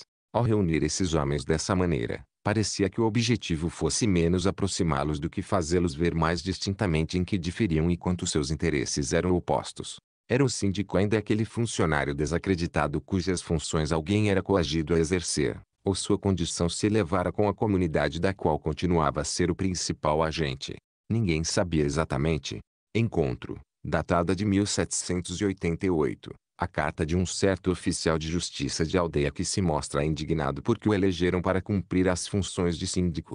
Isso é contrário a todos os privilégios de seu cargo, diz ele. O inspetor-geral responde que é preciso corrigir as ideias desse particular e fazê-lo compreender que deveria considerar uma honra ser escolhido seus concidadãos, que ademais os novos síndicos não se parecerão com os funcionários que até então portavam o mesmo nome, e que eles devem contar com mais atenções da parte do governo. Outro lado, vê-se habitantes importantes da paróquia, e mesmo fidalgos, de repente se aproximarem dos camponeses quando estes se tornam um poder, nas redondezas de Paris o senhor responsável pela alta justiça queixa-se de que o édito impede de participar, mesmo como simples habitante, das atividades da Assembleia Paroquial. Outros concordam, devotamente ao bem público, em cumprir mesmo as funções de síndico, dizem eles. Era tarde demais. À medida que os homens das classes ricas se aproximam assim do povo dos campos e procuram misturar-se com ele, este se refugia no isolamento que lhe haviam imposto e ali se defende. Há assembleias municipais de paróquias que se recusam a receber em seu meio o senhor. Outras opõem toda espécie de chicanas antes de admitir até mesmo os plebeus, quando são ricos. Estamos a par, diz a Assembleia Provincial da Baixa Normandia, de que várias assembleias municipais recusaram-se a admitir em seus seios proprietários plebeus da paróquia que não estão domiciliados nela, embora não haja dúvida de que têm direito de participar. Outras assembleias até mesmo recusaram-se a admitir os arrendatários que não tinham propriedades em seu território. Portanto, tudo já era novidade, obscuridade, conflito nas leis secundárias, antes mesmo de se mexer nas leis principais que regulavam o governo do Estado. O que permanecia em pé estava abalado e já não existia, assim dizer, um único regulamento cuja abolição ou modificação iminente o próprio poder central não houvesse anunciado. Essa renovação súbita e imensa de todas as regras e de todos os hábitos administrativos, que na França precedeu a Revolução Política e de que hoje quase não se fala, já era entretanto uma das maiores turbulências que jamais ocorreram na história de um grande povo. Essa primeira revolução exerceu uma influência prodigiosa sobre a segunda e fez dela um acontecimento diferente de todos os da mesma espécie que tiveram lugar até então no mundo e dos que tiveram lugar depois. A primeira revolução da Inglaterra, que subverteu toda a constituição política daquele país e aboliu até sua realeza, só tocou muito superficialmente nas leis secundárias e mudou quase nada nos costumes e nos usos. A justiça e a administração conservaram suas formas e seguiram as mesmas rotinas que no passado. No auge da Guerra Civil os doze juízes da Inglaterra, segundo se diz, continuaram a fazer duas vezes ano a ronda dos tribunais criminais. Portanto nem tudo foi agitado ao mesmo tempo. A revolução viu-se circunscrita em seus efeitos e a sociedade inglesa, embora sacudida no topo, permaneceu firme na base. Nós mesmos vimos na França, de 1789 em diante, várias revoluções que mudaram de cima a baixo toda a estrutura do governo. A maioria foi muito súbita e realizou-se pela força, violando abertamente as leis existentes.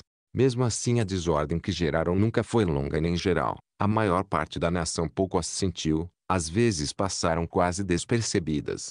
Isso porque, a partir de 1789, a Constituição Administrativa permaneceu sempre em pé no meio das ruínas das constituições políticas. Mudavam a pessoa do príncipe ou as formas do poder central, Mas o andamento diário das atividades não era interrompido nem perturbado. Cada qual continuava subordinado, nos pequenos assuntos que o interessavam particularmente, às regras e aos usos que conhecia. Dependia dos poderes secundários aos quais sempre tivera o hábito de dirigir-se e geralmente tinha de haver-se com os mesmos agentes. Pois, se a cada revolução a administração era decapitada, seu corpo permanecia intacto e vivo. As mesmas funções eram exercidas pelos mesmos funcionários. Estes transportavam através da diversidade das leis políticas seu espírito e sua prática. Julgavam e administravam em nome do rei, em seguida em nome da república, fim em nome do imperador. Depois, quando a fortuna levava sua roda a refazer a mesma volta, recomeçavam a administrar e a julgar para o rei, para a república e para o imperador, sempre os mesmos e do mesmo modo, pois que lhes importava o nome do Senhor. O que lhes interessava era menos serem cidadãos do que serem bons administradores e bons juízes. Portanto, assim que o primeiro abalo passava, parecia que nada havia mudado no país. No momento em que a revolução eclodiu, essa parte do governo que, apesar de subordinada, se faz sentir todos os dias a cada cidadão e influi da maneira mais contínua e mais eficaz sobre o seu bem-estar, acabava de ser totalmente subvertida. A administração pública mudara em um momento todos seus agentes e renovara todos seus preceitos. Inicialmente o Estado não parecera receber dessa imensa reforma um grande choque, mas todos os franceses haviam sentido uma pequena comoção particular. Cada qual se vira abalado em sua situação, perturbado em seus hábitos ou entravado em sua indústria. Uma certa ordem regular continuava a reinar nos assuntos mais importantes e mais gerais e já ninguém sabia a quem obedecer, a quem se dirigir nem como se conduzir nos assuntos menores e particulares que constituem o andamento diário da vida social. Assim, a nação não estando mais a prumo em nenhuma de suas partes, um último golpe conseguiu fazê-lo oscilar inteiro e produzir a mais vasta convulsão e a mais assustadora confusão que já aconteceram. Capítulo 8 Como a revolução surgiu naturalmente do que precede terminando quero reunir algumas das características que já descrevi em separado e, desse antigo regime cujo retrato acabo de traçar, ver a revolução surgir como que si mesma. Quem considerar que era entre nós que o sistema feudal, sem mudar o que nele podia prejudicar ou irritar, mas havia perdido tudo o que podia proteger ou servir, ficará menos surpreso a revolução que devia abolir violentamente essa velha constituição da Europa ter eclodido na França e não em outro lugar. Quem ponderar que a nobreza, depois de ter perdido seus antigos direitos políticos e, mais do que fora visto em qualquer outro país da Europa feudal, ter deixado de administrar e de conduzir os habitantes, mesmo assim não apenas conservara mas aumentara muito suas imunidades pecuniárias e as vantagens de que seus membros gozavam individualmente, que, ao se tornar uma classe subordinada, continuara a ser uma classe privilegiada e fechada, cada vez menos uma aristocracia e cada vez mais uma casta, como mencionei em outra passagem traço, deixará de estranhar que seus privilégios tenham parecido tão inexplicáveis e tão detestáveis aos franceses, e que a visão dela tenha acendido em seus corações um desejo democrático tão intenso que ainda arde. Fim. Quem pensar que essa nobreza, separada das classes intermediárias, que repelira de seu seio, e do povo, cujo coração deixara escapar, estava inteiramente isolada no meio da nação, aparentemente a cabeça de um exército, na realidade um corpo de oficiais sem soldados, vírgula, compreenderá como, depois de estar em pé durante mil anos, possa ter sido derrubada no espaço de uma noite. Mostrei de que maneira o governo do rei, tendo abolido as liberdades provinciais em três quartos da França ocupado o lugar de todos os poderes locais, atraíra para si todos os assuntos públicos, tanto os menores como os maiores. Outro lado, mostrei como, uma consequência necessária, Paris se tornara a senhora do país do qual fora até então apenas a capital, ou melhor, tornara-se o país inteiro. Esses dois fatos, que eram particulares à França, se sós bastariam para explicar que um motim pôde destruir de cima a baixo uma monarquia que durante tantos séculos suportara choques tão violentos e que na véspera de sua queda ainda parecia inabalável aos mesmos que iam derrubá-la.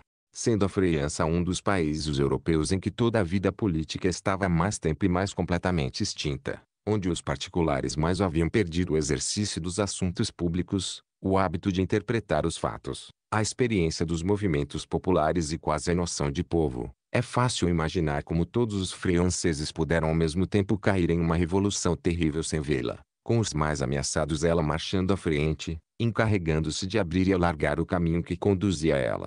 Como não existiam mais instituições livres, e consequentemente já não existiam classes políticas, corpos políticos vivos nem partidos organizados e dirigidos, e como na ausência de todas essas forças regulares a orientação da opinião pública, quando a opinião pública veio a renascer, coube unicamente a filósofos, era previsível que a revolução seria conduzida menos em vista de certos fatos particulares do que de acordo com princípios abstratos e teorias muito gerais. Podia-se antecipar que em vez de atacar separadamente as más leis ela se voltaria contra todas as leis e que desejaria substituir a antiga Constituição da França um sistema de governo totalmente novo, que esses escritores haviam concebido, como a igreja se encontrava naturalmente miscuída em todas as velhas instituições que importava destruir, não havia como duvidar que essa revolução devesse abalar a religião ao mesmo tempo que derrubasse o poder civil. A partir daí era impossível dizer a quais temeridades inauditas podia entregar-se o espírito dos inovadores, libertados simultaneamente de todos os entraves que a religião, os costumes e as leis impõem na imaginação dos homens. E quem houvesse estudado bem a situação do país facilmente teria previsto que não havia temeridade tão inaudita que nele não se pudesse tentar nem violência que não se devesse sofrer. Ora essa. Brada Burke em um de seus eloquentes panfletos. Não se vê um só homem que possa responder pelo menor distrito, mas ainda, não se vê um único homem que possa responder outro. Cada qual fica trancado em sua casa, sem resistência, quer se trate de monarquismo, de moderantismo ou de qualquer outra coisa. Burke não sabia em que condições essa monarquia pela qual ele lamentava nos deixara para nossos novos senhores. A administração do antigo regime tirara antecipadamente dos franceses a possibilidade e o desejo de se ajudarem mutuamente. Quando a revolução sobreveio, em vão se procuraria na maior parte da França dez homens que tivessem o hábito de agir em comum de um modo regular e de zelar pessoalmente sua própria defesa. O poder central devia encarregar-se disso, de tal modo que o poder central, tendo caído das mãos da administração régia para as mãos de uma assembleia irresponsável e soberana, e que passara de cordata terrível, nada encontrou diante de si que pudesse detê-lo ou sequer retardá-lo um momento. A mesma causa que fizera cair tão facilmente a monarquia tornara tudo possível após sua queda. Nunca a tolerância em matéria de religião, a brandura no comandar, a humanidade e mesmo a benevolência haviam sido mais preconizadas e, parecia, mais aceitas do que no século XVIII, até mesmo o direito de guerra, que é como o último asilo da violência, restringira-se e moderara-se. No entanto do seio de costumes tão brandos ia sair a revolução mais desumana. E entretanto, todo esse abrandamento dos costumes não era um simulacro, pois, assim que o furor da revolução amorteceu, viu-se essa mesma brandura espalhar-se prontamente em todas as leis e penetrar em todos os hábitos políticos. O contraste entre a benignidade das teorias e a violência dos atos, que foi uma das características mais estranhas da Revolução Francesa, não surpreenderá ninguém que levar em conta que essa revolução foi preparada pelas classes mais civilizadas da nação e executada pelas mais incultas e mais rudes. Como os homens das primeiras não tinham entre si nenhum laço preexistente, nenhum hábito de se ouvirem, nenhuma ascendência sobre o povo, este se tornou quase de imediato o poder dirigente, assim que os antigos poderes foram destruídos. Onde não governou si mesmo, deu pelo menos seu espírito ao governo, e quem, outro lado, pensar na maneira como esse povo viverá sob o antigo regime, não terá dificuldade em imaginar o que ele ia ser. As próprias particularidades de sua condição haviam lhe dado várias virtudes raras.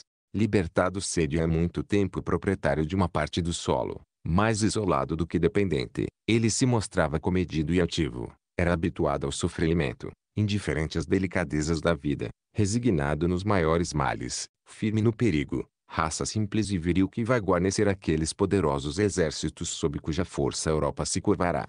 Mas a mesma causa fazia dele um senhor perigoso. Como durante séculos carregara quase sozinho todo o fardo dos abusos, como viver apartado, alimentando-se em silêncio de seus preconceitos, invejas e ódios, calejarás nesses rigores de seu destino e tornará-se capaz ao mesmo tempo de tudo suportar e tudo fazer sofrer. É nesse estado que, apoderando-se do governo, ele se dispôs a concluir pessoalmente a obra da revolução. Os livros haviam fornecido a teoria, ele se encarregou da prática e ajustou as ideias dos escritores a seus próprios furores. Os que, lendo este livro, estudaram atentamente a França no século XVIII, puderam ver nascer e desenvolver-se em seu seio duas paixões principais, que não foram contemporâneas e nem sempre tenderam para o mesmo objetivo. Uma, mais profunda e vinda de mais longe, É o ódio violento e inextinguível pela desigualdade. Ele nascera e alimentara-se da visão dessa mesma desigualdade desde muito tempo impelia os franceses, com uma força contínua e irresistível, a querer destruir até as bases tudo o que restava das instituições medievais e, esvaziando o terreno, construir nele uma sociedade em que os homens fossem tão semelhantes e as condições tão iguais quanto a humanidade comporta. A outra, mais recente e menos enraizada, levava-os a desejar viver não apenas iguais, mas livres. Volta do final do antigo regime essas duas paixões são tão sinceras e parecem tão vivas uma quanto a outra. Às portas da revolução elas se encontram, então se misturam e se confundem um momento, aquecem-se mutuamente no contato e fim incendeiam ao mesmo tempo todo o coração da freança.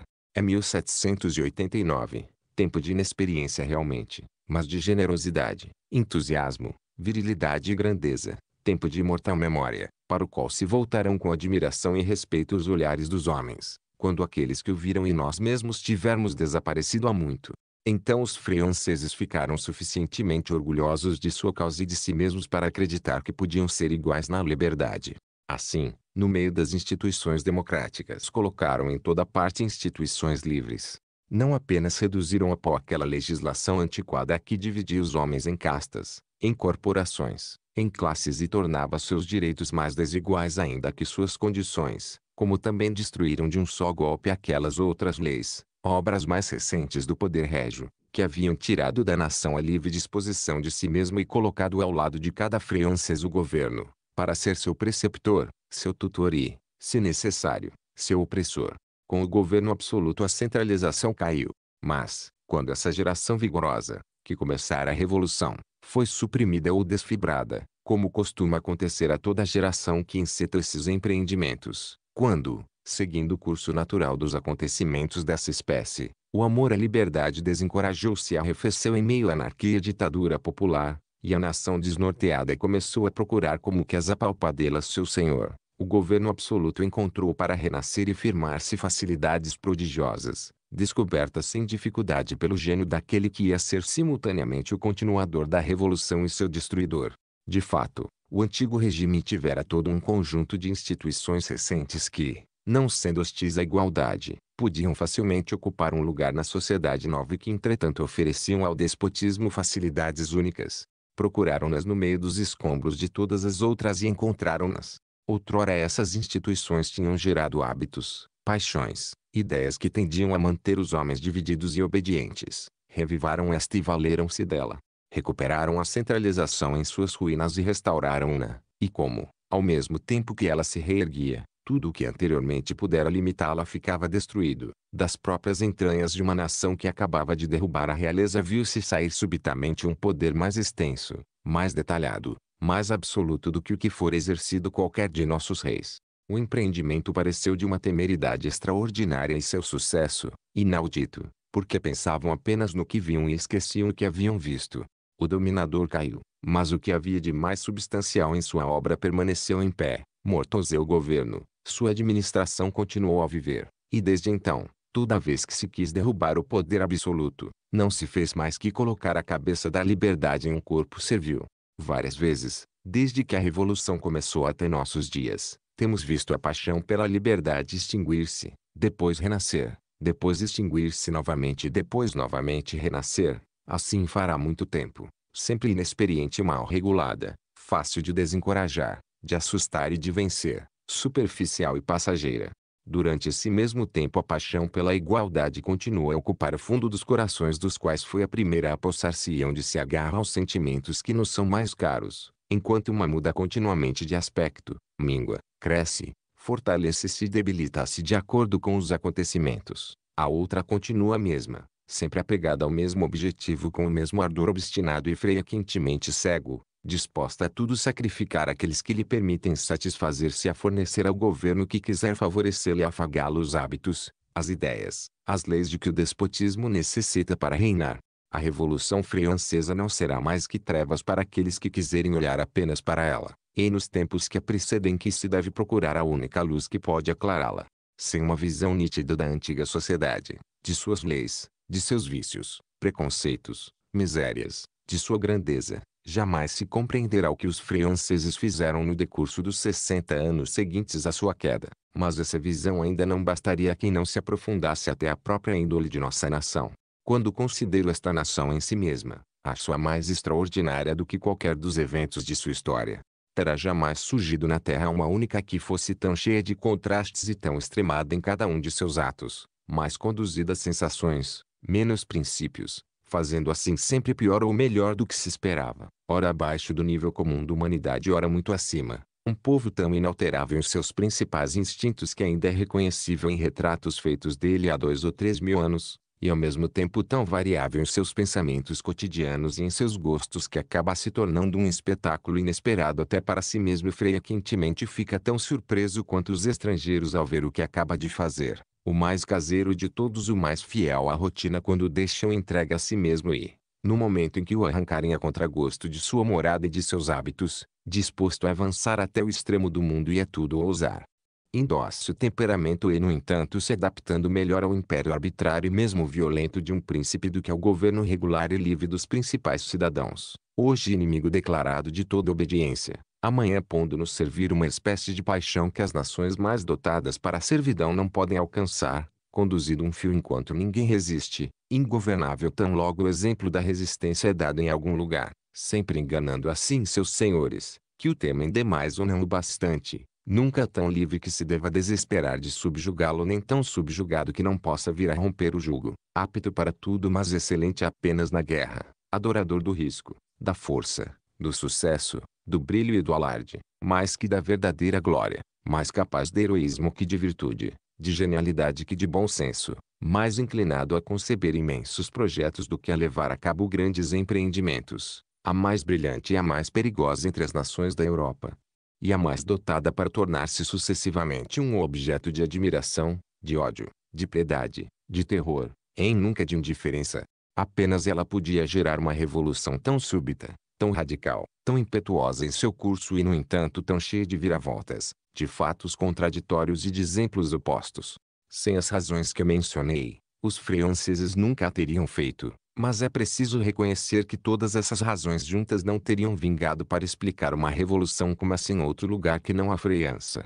Eis que chega ao limiar dessa revolução memorável. Desta vez não adentrarei, em breve talvez possa fazê-lo.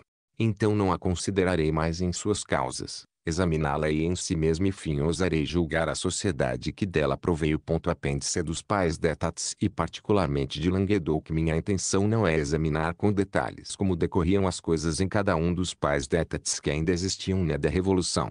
Quero apenas indicar quantos eram, apontar aqueles em que a vida local ainda estava ativa, mostrar que tipo de relações mantinham com a administração régia, em que aspectos saíam das regras gerais que expus anteriormente, em quais se encaixavam nelas e finalmente mostrar, pelo exemplo de um dentre eles, o que todos poderiam facilmente ter se tornado. Haviam existido estados na maioria das províncias da França, ou seja, cada uma delas fora administrada, sob o governo do rei, gente dos três estados, como se dizia então, o que se deve entender como uma assembleia composta de representantes do clero, da nobreza e da burguesia. Como as outras instituições políticas da Idade Média, essa constituição provincial existia com as mesmas características em quase todas as partes civilizadas da Europa, pelo menos em todas onde os costumes e ideias germânicos haviam penetrado. Há muitas províncias alemãs em que os estados subsistiram até a Revolução Francesa, onde estavam suprimidos, só desapareceram no decurso dos séculos 17 e 18. Nos últimos dois séculos, em toda parte os príncipes fizeram-lhes oposição ora velada ora aberta, mas ininterrupta. Em parte alguma haviam procurado melhorar a instituição de acordo com os avanços da E, mas tão somente destruí-la, ou deformá-la quando surgia uma oportunidade para isso e eles não haviam conseguido fazer pior. Na França, em 1789 não havia mais estados, exceto em cinco províncias de certa extensão e em alguns pequenos distritos insignificantes. Na verdade a liberdade provincial não existia mais, a não ser em duas Bretagne e Languedoc. Em todos os outros lugares a instituição perdera totalmente sua virilidade e era apenas uma vã aparência. Destacarei aqui Languedoc e farei dele objeto de um exame particular. Languedoc era o mais vasto e o mais povoado de todos os pais d'Etats, abrangia mais de duas mil comunas ou, como se dizia então, comunidades, e contava cerca de 2 milhões de habitantes. Além disso, era o mais bem organizado, o mais próspero e também o maior de todos esses pais. Portanto é uma boa escolha para mostrar o que podia ser a liberdade provincial sob o antigo regime e a que ponto, mesmo nas regiões onde ela parecia mais forte, haviam-na subordinado ao poder régio. Em Languedoc, os estados só podiam reunir-se mediante uma ordem expressa do rei após uma carta de convocação que todo ano ele endereçava individualmente a cada um dos membros que deviam compô-los. Isso levou um freondista a dizer, dos três corpos que compõem nossos estados, um, o clero, é nomeado pelo rei, pois ele é que nomeia para os bispados e para os benefícios, e presume-se que os dois outros também o são visto que uma ordem da corte pode impedir que um determinado membro que lhe aprover compareça, sem que para isso seja preciso exilá-lo ou desacreditá-lo, basta não convocá-lo. Os estados deviam não apenas reunir-se mas separar-se em certos dias indicados pelo rei. A duração habitual da sessão fora fixada em 40 dias um decreto do conselho. O rei era representado na Assembleia comissários que tinham acesso a ela sempre que o solicitavam e que estavam encarregados de expor as vontades do governo. Além disso, os estados eram mantidos sob cerrada tutela. Não podiam tomar resoluções de alguma importância, estabelecer uma medida financeira qualquer, sem que sua deliberação fosse aprovada a um decreto do Conselho, para um imposto, um empréstimo, um processo necessitavam da permissão expressa do rei. Todos seus regulamentos gerais, inclusive o que se referia à realização das sessões, deviam ser autorizados antes de entrarem em vigor. A totalidade de suas receitas e despesas, seu orçamento, como diríamos hoje, passava anualmente pela mesma fiscalização. Além disso o poder central exercia em Languedoc os mesmos direitos políticos que lhe eram reconhecidos em todos os outros lugares, as leis que lhe convinha promulgar, os regulamentos gerais que fazia continuamente, as medidas gerais que tomava eram aplicáveis ali como nos pais da Election. Exercia também todas as funções naturais do governo, tinha a mesma polícia e os mesmos agentes, como em toda parte, criava de tempos em tempos uma infinidade de novos funcionários cujos ofícios a província era obrigada a recomprar a alto preço. Como as outras províncias, Languedoc era governado um intendente. Esse intendente tinha ali em cada distrito subdelegados que se correspondiam com os chefes das comunidades e que os dirigiam. O intendente exercia a tutela administrativa, exatamente como nos pais da Election. A menor aldeia perdida nos desfiladeiros das Sevines não podia fazer a mínima despesa sem ser autorizada de Paris um decreto do Conselho do Rei. Essa parte da justiça que hoje denominamos contencioso administrativo não era menos extensa que no restante da freança, era o até mesmo mais. O intendente decidia em primeira instância todas as questões viárias, julgava todos os processos em matéria de estradas e, em geral, decidia sobre todos os assuntos nos quais o governo estava ou se considerava interessado. Este não protegia menos que em outros lugares todos seus agentes contra as acusações imprudentes dos cidadãos prejudicados eles. Então o que Languedoc tinha de particular que o distinguisse das outras províncias e lhes causasse inveja? Três coisas que bastavam para torná-lo totalmente diferente do restante da freança. Um, o, uma assembleia composta de homens importantes, apoiada pela população, respeitada pelo poder régio, da qual nenhum funcionário do governo central ou, na linguagem de então, nenhum oficial do rei podia fazer parte onde todo ano eram discutidos livres seriamente os interesses específicos da província.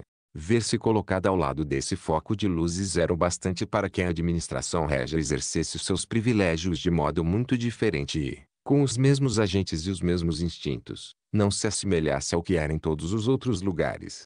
2 O. Em Languedoc muitas obras públicas eram feitas às expensas do rei e seus agentes. Havia outras em que o governo central fornecia uma parcela dos fundos e cuja execução dirigia em grande parte, mas a maioria ficava a cargo unicamente da província. Depois que o rei aprovava o projeto e autorizava a despesa, essas obras eram executadas funcionários que os estados designavam e sob inspeção de comissários escolhidos dentre eles.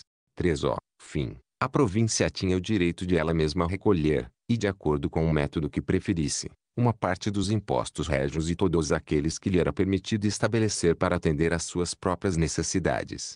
Vamos ver que partido Languedoc soube tirar desses privilégios. É algo que vale olhar de perto. O que mais impressiona nos pais Election é a ausência quase absoluta de encargos locais. Os impostos gerais frequentemente são opressivos, mas a província não despende quase nada para si mesma. Em Languedoc, ao contrário, A soma que as obras públicas custam anualmente à província é enorme. Em 1780, ultrapassava 2 milhões de libras ano. O governo central às vezes perturba-se ao ver uma despesa tão grande, teme que a província, esgotada a um tal esforço, não possa quitar a parcela de impostos que cabe a ele, censura aos estados não se moderarem. Li um memorial no qual a Assembleia respondia a essas críticas. O que vou extrair textualmente dele retratará melhor do que tudo o que eu poderia dizer o espírito que animava esse pequeno governo. Esse memorial reconhece que efetivamente a província empreendeu e continua realizando imensas obras, mas, longe de desculpar-se, anuncia que, se o rei não se opuser, ela irá cada vez mais longe nesse caminho. Já melhorou ou retificou o curso dos principais rios que atravessam seu território e está tratando de acrescentar ao canal de Languedoc, aberto no reinado de Luís XIV que é insuficiente, prolongamentos que, atravessando o Baixo Languedoc, devem levar, Setiaide, até o Rodano.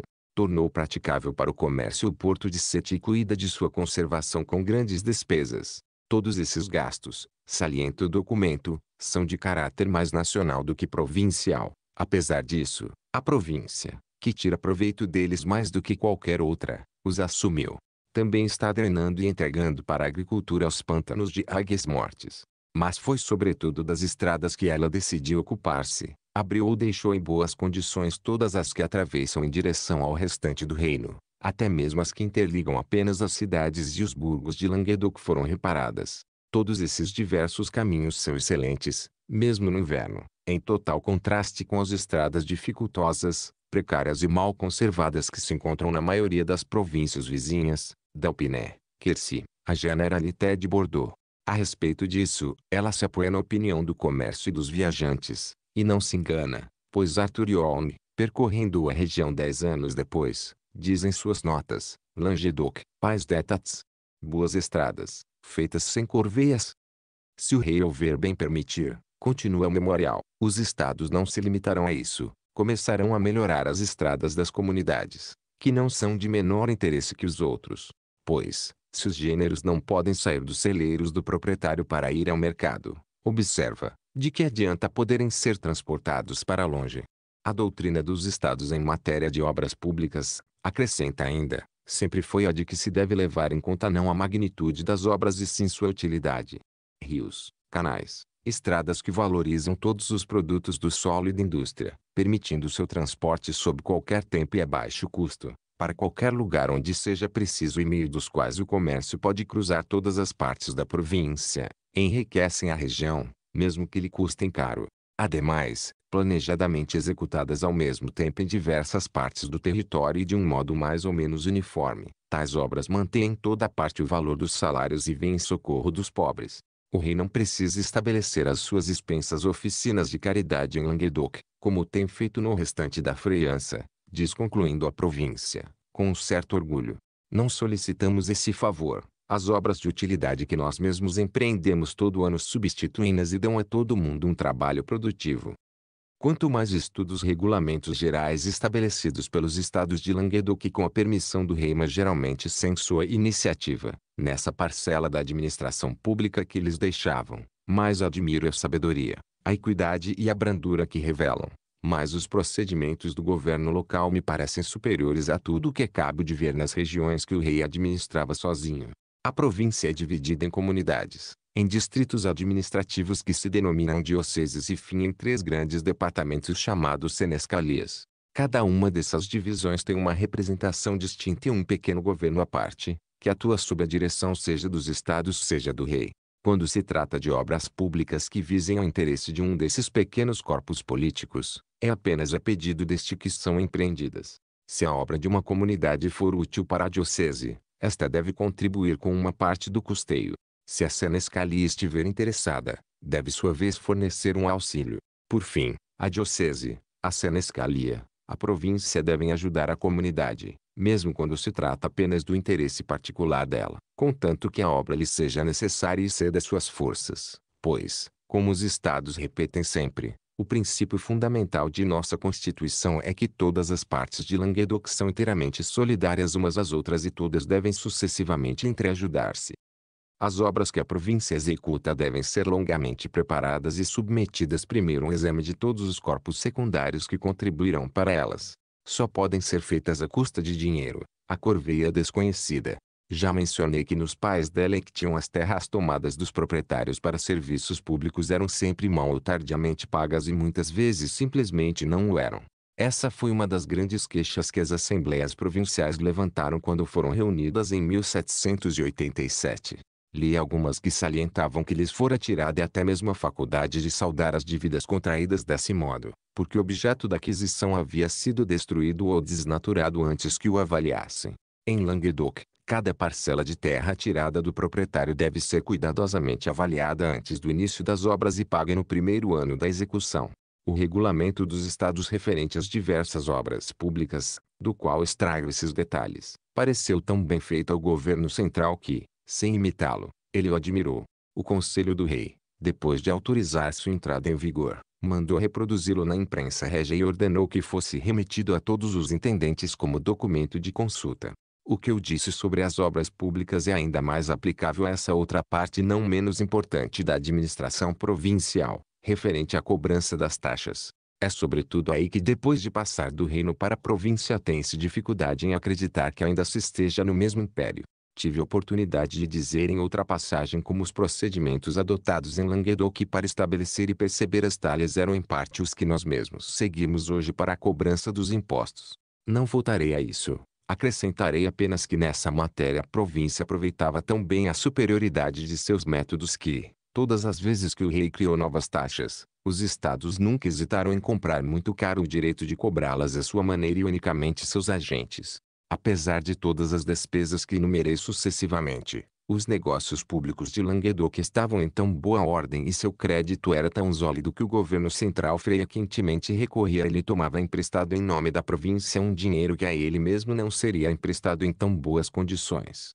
Descubro que nos últimos tempos Languedoc tomou emprestadas, sob sua própria garantia mas para a conta do rei, 73 milhões e 200 mil libras, no entanto o governo e seus ministros viam com muito maus olhos essas liberdades particulares. Richelieu primeiro mutilou-as, depois as aboliu. O friaco e indolente Luís XIII, que não gostava de coisa alguma, detestava-as, tinha tanto horror a todos os privilégios provinciais, diz Boulainvilliers, que sua cólera se inflamava apenas ouvir pronunciar-lhes o nome. Não se pode imaginar quanta energia as almas friacas têm para odiar o que as obriga a fazer um esforço. Nisso empregam tudo o que lhes resta de virilidade e quase sempre se mostram fortes, ainda que sejam friacas para tudo mais. Quis a boa sorte que a antiga Constituição de Languedoc fosse restabelecida durante a infância de Luís XIV. Considerando-a como obra sua, ele a respeitou. Luís XV suspendeu sua aplicação durante dois anos mas em seguida deixou-a renascer. A criação dos ofícios municipais sujeitou-a a riscos menos diretos, e não menores, essa detestável instituição não apenas tinha o efeito de destruir a constituição das cidades, tendia também a desnaturar a das províncias. Não sei se algum dia os deputados do terceiro estado nas assembleias provinciais haviam sido eleitos para a ocasião, mas há muito tempo não eram mais. Nelas os oficiais municipais das cidades eram direitos únicos representantes da burguesia e do povo. Essa ausência de um mandato especial e atribuído para atender aos interesses do momento pouco se fez notar enquanto as próprias cidades elegeram livremente seus magistrados, voto universal e quase sempre para um período muito curto. Então o prefeito, o cônsul ou síndico representava tão fielmente nos estados as vontades da população em nome da qual falava quanto se ela o tivesse escolhido expressamente. Compreende-se que não acontecia o mesmo com aquele que havia adquirido dinheiro o direito de administrar seus concidadãos. Ele nada representava além de si mesmo, ou no máximo os pequenos interesses ou as pequenas paixões de seu círculo.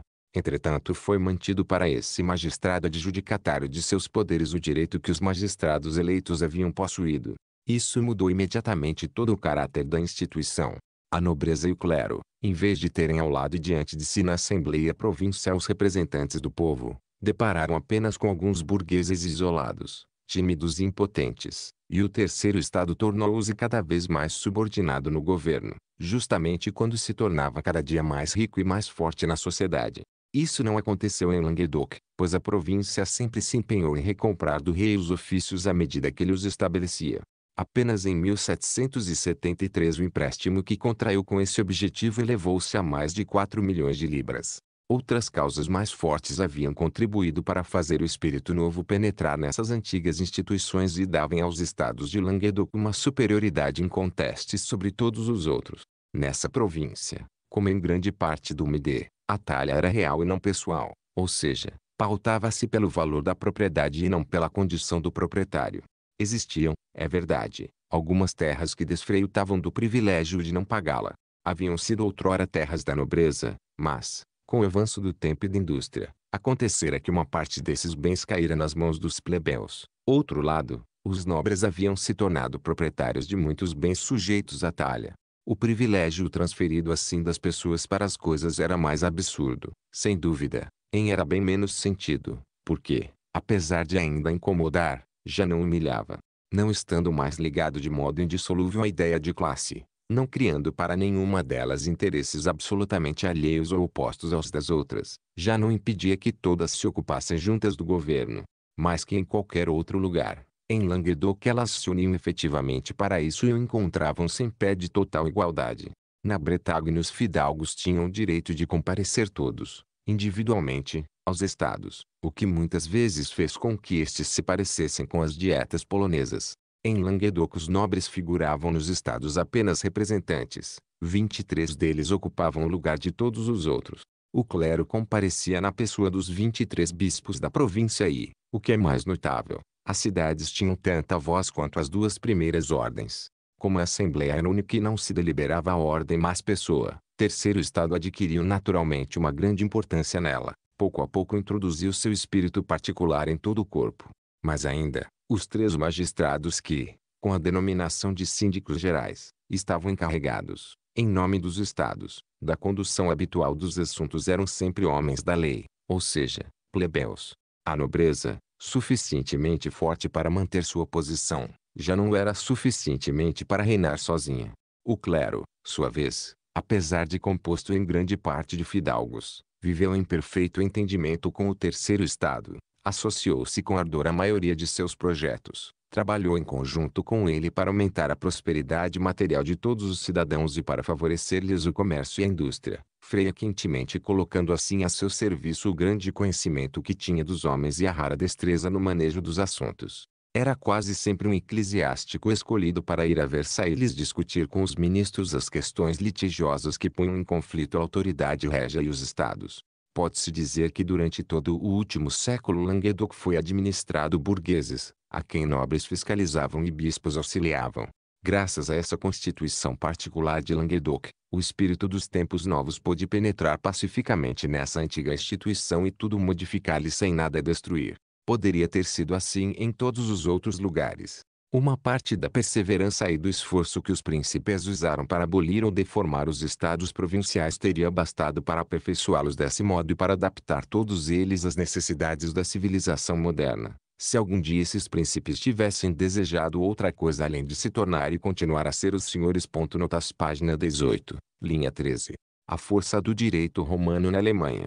O modo como ele havia substituído o direito germânico, no final da Idade Média, o direito romano tornou-se o principal e quase o único estudo dos legistas alemães. Nessa é, a maioria deles chegava a fazer seus estudos fora da Alemanha, nas universidades italianas. Esses legistas, que não eram os senhores da sociedade política mas estavam encarregados de explicar e aplicar suas leis, se não conseguiram abolir o direito germânico pelo menos o deformaram de modo que o enquadraram à força no direito romano. Aplicaram as leis romanas a tudo o que, nas instituições germânicas, parecia ter qualquer analogia distante com a legislação de Justiniano. Introduziram assim na legislação nacional um novo espírito, novos usos. Pouco a pouco ela foi se transformando tanto que se tornou irreconhecível, a ponto de o século XVII, exemplo, praticamente já não a conhecer. Fora substituído um não sei que que ainda era germânico no nome mas romano na realidade. Tenho motivos para crer que, nesse trabalho dos legistas, muitas condições da antiga sociedade germânica pioraram, principalmente a dos camponeses. Muitos que até então haviam conseguido conservar total ou parcialmente suas liberdades ou suas posses perderam-nas então devido a assimilações eruditas à condição dos escravos ou dos infiteltas romanos. Essa transformação gradual do direito nacional e os esforços inúteis que foram feitos para detê-la aparecem claramente na história do Württemberg. Desde o nascimento do condado desse nome, em 1250, até a criação do ducado, em 1495, a legislação é inteiramente autóctone. Compõe-se de costumes, de leis locais feitas pelas cidades ou pelas cortes senhoriais, de estatutos promulgados pelos estados. Apenas os assuntos eclesiásticos são regulamentados no direito estrangeiro, o direito canônico. A partir de 1495, o caráter da legislação muda, o direito romano começa a infiltrar-se. Os doutores, como eram chamados os que haviam estudado direito nas escolas estrangeiras, entram no governo e apossam-se da direção dos tribunais superiores. Durante todo o início e até meados do século XV, vê-se a sociedade política travar contra eles a mesma luta que ocorria na mesma na Inglaterra, mas com um desfecho totalmente diferente. Na Dieta de Tubingen em 1514 e nas que a sucedem, os representantes da feudalidade e os deputados de cidades fazem toda espécie de representações contra o que está acontecendo. Atacam os legistas, que rompem em todos os tribunais e mudam o espírito ou a letra de todos os costumes e de todas as leis.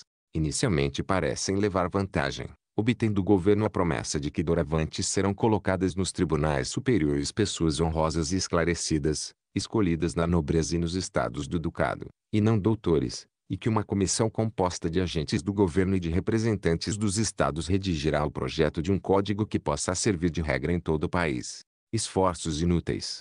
Em breve o direito romano acaba expulsando inteiramente o direito nacional de grande parte da legislação e plantando suas raízes até mesmo no terreno em que deixa essa legislação subsistir.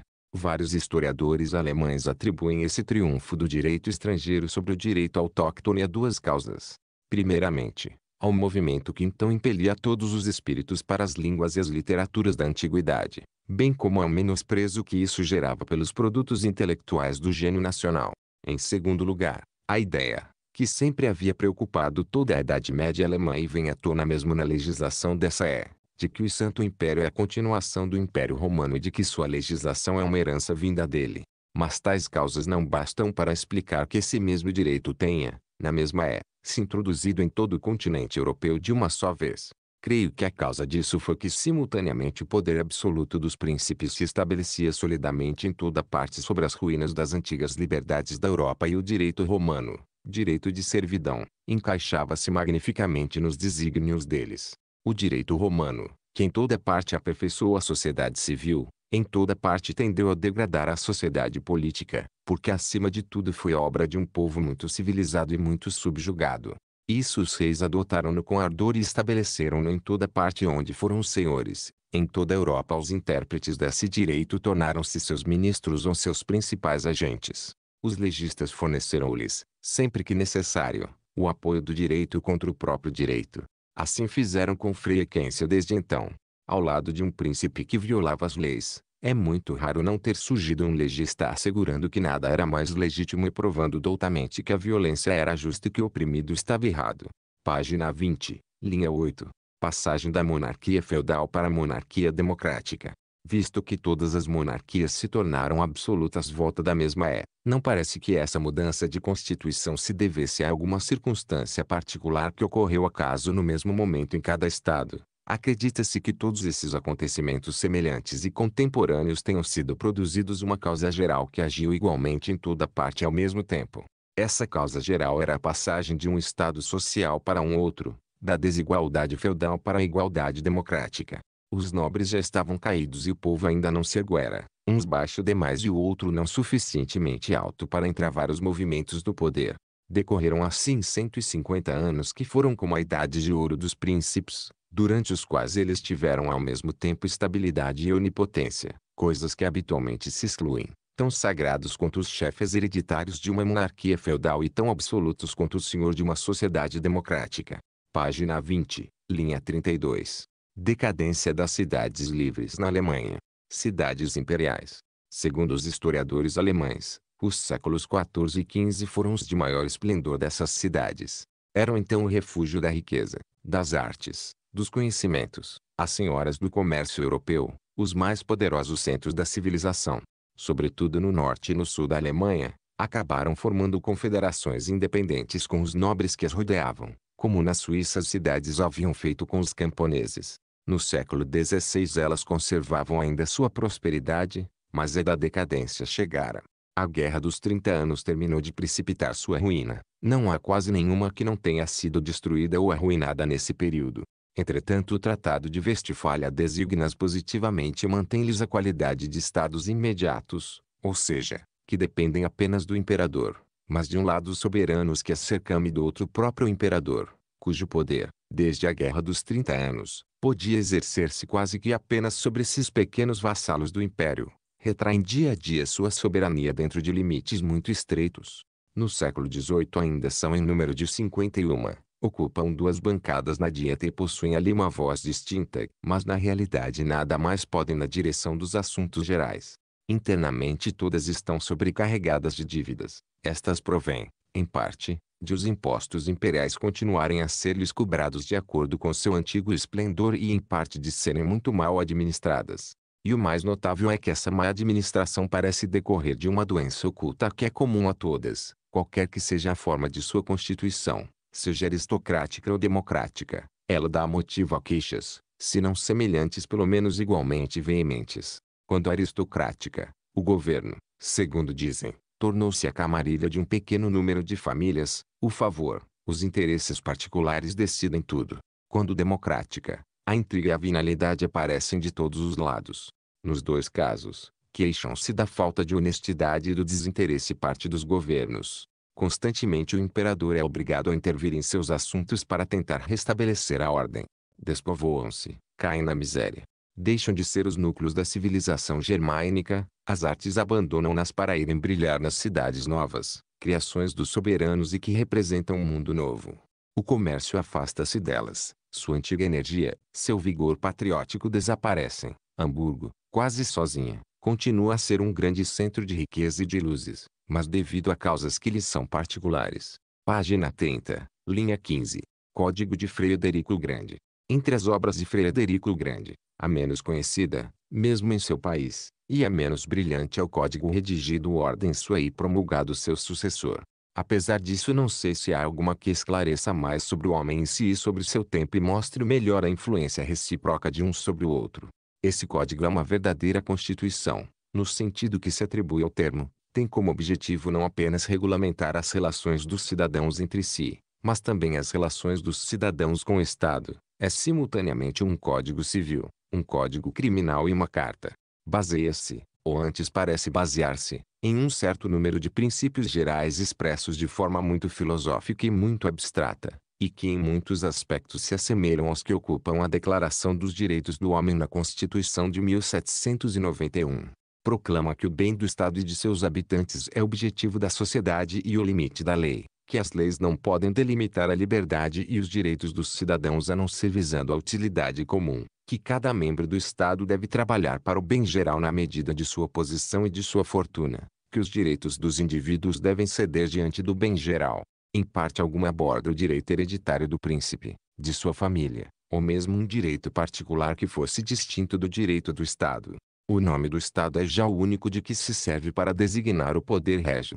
Em contrapartida, fala do direito geral dos homens. Os direitos gerais dos homens fundamentam-se na liberdade natural de fazer seu próprio bem sem prejudicar o direito de outrem. Todas as ações que não são proibidas pela lei natural ou uma lei positiva do Estado são permitidas. Cada habitante do Estado pode exigir deste a defesa de sua pessoa e de sua propriedade, e tem o direito de defender-se pessoalmente pela força se o Estado não vier em seu auxílio. Depois de expor esses princípios básicos, o legislador, em vez de extrair deles, como na Constituição de 1791, o dogma da soberania do povo e organização de um governo popular em uma sociedade livre, detém-se bruscamente e volta-se para uma outra consequência igualmente democrática, mas não liberal, Considera o príncipe como o único representante do Estado e dá-lhe todos os direitos que acaba de reconhecer para a sociedade. Nesse código o soberano não é mais o representante de Deus, é apenas o representante da sociedade, seu agente, seu servidor, como Frederico imprimiu textualmente em suas obras, mas representa-a sozinho, exerce sozinho todos os seus poderes. O chefe do Estado, diz a introdução, a quem é dado o dever de produzir o bem geral, que é o único objetivo da sociedade, está autorizado a dirigir e regulamentar rumo a esse objetivo todos os atos dos indivíduos. Entre os principais deveres desse agente todo-poderoso da sociedade encontro estes, internamente, manter a paz e a segurança públicas e proteger todos contra a violência. Externamente, cabe-lhe fazer a paz e a guerra. Apenas ele pode ditar leis e decretar regulamentos gerais de polícia. Só ele possui o direito de conceder indulto e de anular processos criminais. Todas as associações que existem no Estado, todos os estabelecimentos públicos estão sob inspeção e direção suas, no interesse da paz e da segurança gerais. Para que o chefe do Estado possa cumprir obrigações, é preciso que tenha certos rendimentos e direitos úteis. Tem, portanto, o poder de estabelecer impostos sobre as fortunas privadas, sobre as pessoas e suas profissões, comércio, produção e consumo. As ordens dos funcionários públicos que agem em seu nome devem ser obedecidas como as suas próprias, em tudo que estiver dentro dos limites das funções deles. Sob essa cabeça totalmente moderna vamos agora ver surgir um corpo totalmente gótico. Frederico não fez mais que lhe tirar o que podia entravar a ação de seu poder pessoal, e o todo vai formar um ser monstruoso que parece uma transição de uma criação para uma outra. Nessa produção estranha, Frederico mostra tanto menosprezo pela lógica quanto zelo seu poder e desejo de não criar para si dificuldades inúteis atacando o que ainda era capaz de defender-se. Com exceção de alguns distritos e algumas localidades, os habitantes dos campos estão em uma posição de servidão hereditária que não se limita apenas às corveias e serviços que são inerentes à posse de certas terras e sim estendem-se, como já vimos, até a pessoa do possuidor. A maioria dos privilégios dos proprietários de terra é novamente homologada pelo Código. Pode-se mesmo dizer que contra o Código, pois é dito que, nos casos em que o costume local e a nova legislação diferirem, o primeiro é que deve ser obedecido. Declara formalmente que o Estado não pode eliminar nenhum desses privilégios, a não ser resgatando-os e seguindo as formas da justiça. O Código assegura, é verdade, que a servidão propriamente dita, na medida em que estabelece a servidão pessoal, está abolida, mas a sujeição hereditária que a substitui é ainda uma espécie de servidão, como se pode julgar lendo o texto. Nesse mesmo código, o burguês permanece cuidadosamente separado do camponês. Entre a burguesia e a nobreza, reconhece uma espécie de classe intermediária, composta de altos funcionários que não são nobres, dos clérigos, dos professores de escolas avançadas, ginásios e universidades. Estando apartados do restante da burguesia, ainda assim esses burgueses não eram confundidos com os nobres, ao contrário, permaneciam em um estado de inferioridade com relação a eles. Em geral, não podiam adquirir bens equestres nem obter os postos mais altos no serviço civil. Tampouco eram ofaígue, ou seja, não podiam apresentar-se na corte, a não ser em casos raros e nunca com suas famílias. Como na França, essa inferioridade doía ainda mais porque dia a dia essa classe se tornava mais esclarecida e influente, e porque os funcionários burgueses do Estado, se não tinham os cargos mais ilustres, já exerciam aqueles em que havia o máximo de coisas e as coisas mais úteis a fazer a irritação contra os privilégios da nobreza, que na França ia contribuir tanto para a Revolução, na Alemanha preparava a aprovação com que ela foi recebida inicialmente. Entretanto o principal redator do código era um burguês, mas sem dúvida obedecia às ordens de seu mestre. A velha Constituição da Europa não está suficientemente destruída nessa parte da Alemanha para que Frederico, apesar do desprezo que ela lhe inspira, acredite que já seja hora de dar fim a seus escombros geralmente limita-se a tirar dos nobres o direito de reunirem-se e de administrarem em conjunto, e deixa a cada um deles individualmente seus privilégios, não faz mais que lhes restringir e lhes regulamentar uso.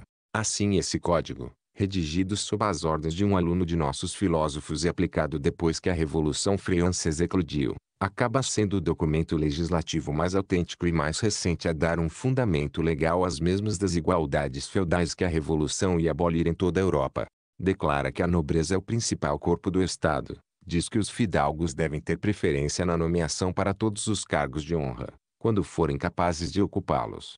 Apenas eles podem possuir bens nobres, criar substituições, desfreutar os direitos de caça e de justiça inerentes aos bens nobres, bem como os direitos de patronagem das igrejas. Apenas eles podem adotar o nome da terra que possuem, os burgueses autorizados exceção expressa a possuir bens nobres podem desfreutar apenas nos limites exatos dessa permissão os direitos e honras ligados à posse de tais bens. O burguês que possuir um bem nobre só pode deixá-lo para um herdeiro burguês se esse herdeiro for de primeiro grau. No caso de não haver tais herdeiros ou outros herdeiros nobres, o bem deve ser leiloado. Uma das partes mais características do Código de Frederico é seu anexo sobre o direito penal em matéria política. O sucessor de Frederico Grande, Frederico Guilherme II, que, apesar da parte feudal e absolutista da legislação, de que acabo de dar uma ideia geral, julgava perceber nessa obra de seu tio tendências revolucionárias, e que mandou suspender sua publicação até 1794, só se tranquilizou, segundo dizem, ao pensar nas excelentes disposições penais com as quais esse código corrigia os maus princípios que continha. De fato, nunca se viu, mesmo depois, nada mais completo no gênero. Não só pune com o maior rigor as revoltas e as conspirações como também reprime severamente as críticas desrespeitosas aos atos do governo. Proíbe diligentemente a compra e a distribuição de textos perigosos. O impressor, o editor e o distribuidor são responsáveis pelo delito do autor. As festas, as mascaradas e outras diversões são declaradas reuniões públicas e devem ser autorizadas pela polícia. O mesmo vale até para refeições em locais públicos. A liberdade de imprensa e de palavra está estritamente sujeita a uma vigilância arbitrária.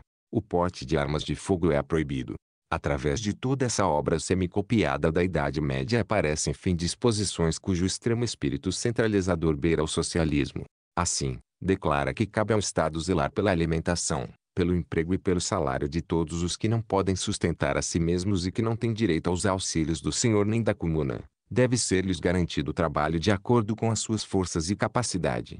O Estado deve fundar estabelecimentos que minorem a pobreza dos cidadãos. Além disso, o Estado está autorizado a extinguir as fundações que tenderem a incentivar a preguiça e distribuir ele mesmo aos pobres o dinheiro de que esses estabelecimentos dispunham. As ousadias e as novidades na teoria, a timidez na prática, que caracterizam essa obra de Frederico o Grande, estão presentes em toda ela. Um lado, proclama o grande princípio da sociedade moderna, de que todo mundo deve ser taxado igualmente em impostos. Outro lado, deixa subsistirem as leis provinciais que contêm isenções a essa regra. Afirma que todo processo entre um súdito e o soberano será julgado segundo as normas e de acordo com as prescrições indicadas para todos os outros litígios. Na verdade, essa regra nunca foi obedecida quando os interesses ou as paixões do rei se opuseram a ela. Mostrou com alarde o moinho de Sanssouci e discretamente fez a justiça ceder em várias outras circunstâncias. A prova de quanto esse código, que aparentemente tanto inovava, pouco inovou na realidade, o que torna seu estudo tão interessante para se conhecer bem o verdadeiro estado da sociedade nessa parte da Alemanha no final do século XVIII, é que a nação prussiana mal pareceu se dar conta de sua publicação. Apenas os juristas estudaram-no, e em nossos dias são muitas as pessoas esclarecidas que nunca o leram. Página 54, linha 20 Uma das características mais marcantes do século XVIII, em matéria de administração das cidades, em menos ainda a abolição de toda a representação e de toda a intervenção do público nos assuntos do que a extrema mobilidade das regras a que essa administração está sujeita, os direitos são dados, retomados, devolvidos, ampliados, diminuídos, modificados, de mil maneiras e continuamente. Nada mostra melhor o quanto as liberdades locais estavam aviltadas do que essa constante mudança de suas leis, às quais ninguém parecia dar atenção. Essa mobilidade se só teria bastado para destruir de antemão qualquer ideia particular, qualquer gosto pelas recordações, qualquer patriotismo local, na instituição que entretanto lhes é mais propícia. Preparava-se assim a grande destruição do passado que a Revolução ia fazer. Página 56. Linha 13 O pretexto que Luís XIV adotara para suprimir a liberdade municipal das cidades fora a má gestão de suas finanças. Entretanto, diz Turgot com muita razão, o mesmo fato persistiu e agravou-se a partir da reforma que esse príncipe fez. Hoje, acrescenta ele, a maioria das cidades está consideravelmente endividada, em parte terem emprestado fundos ao governo e em parte causa de despesas ou embelezamentos que os oficiais municipais, que dispõem do dinheiro de outrem e não têm de prestar contas aos habitantes nem de receber instruções deles, multiplicam a fim de se destacarem às vezes de enriquecerem. Página 66, linha 16. Como era no Canadá que melhor se podia avaliar a centralização administrativa do antigo regime. É nas colônias que melhor se pode examinar a fisionomia do governo da metrópole, porque é nelas que geralmente todos os traços que a caracterizam se reforçam e se tornam mais visíveis. Quando quero examinar o espírito da administração de Luís XIV e seus vícios, é ao Canadá que devo ir. Percebe-se então a deformidade do objeto como em um microscópio. No Canadá, uma infinidade de obstáculos que os fatos anteriores ou o antigo estado social opunham, aberto ou veladamente, ao livre desenvolvimento do espírito do governo não existiam. A nobreza quase não se fazia presente ou pelo menos havia perdido quase todas suas raízes. A igreja não tinha mais sua posição dominante. As tradições feudais estavam perdidas ou obscurecidas. O poder judiciário já não estava enraizado em antigas instituições e antigos costumes. Nada impediu o poder central de entregar-se a todas suas inclinações naturais e de moldar todas as leis de acordo com o espírito que o animava. No Canadá, portanto, nem sombra de instituições municipais ou provinciais, nenhuma força coletiva autorizada, nenhuma iniciativa individual permitida, um intendente com uma posição muito mais preponderante do que a de seus iguais na freança, uma administração imiscuindo-se em muito mais coisas ainda do que na metrópole também querendo fazer tudo de Paris, apesar das 1.800 léguas que a separam de lá, nunca adotando os princípios básicos que podem tornar uma colônia povoada e próspera, mas, em contrapartida, empregando toda espécie de pequenos procedimentos artificiais e de pequenas tiranias regulamentares para aumentar e espalhar a população, cultivo obrigatório, todos os processos oriundos da concessão de terras tirados dos tribunais e entregues ao julgamento unicamente da administração, exigência de cultivar de uma determinada maneira, obrigação de estabelecer-se em determinados lugares e não em outros etc. Isso acontece sob Luís XIV. Esses éditos são rubricados Colbert. É como se já estivéssemos em plena centralização moderna, e na Argélia.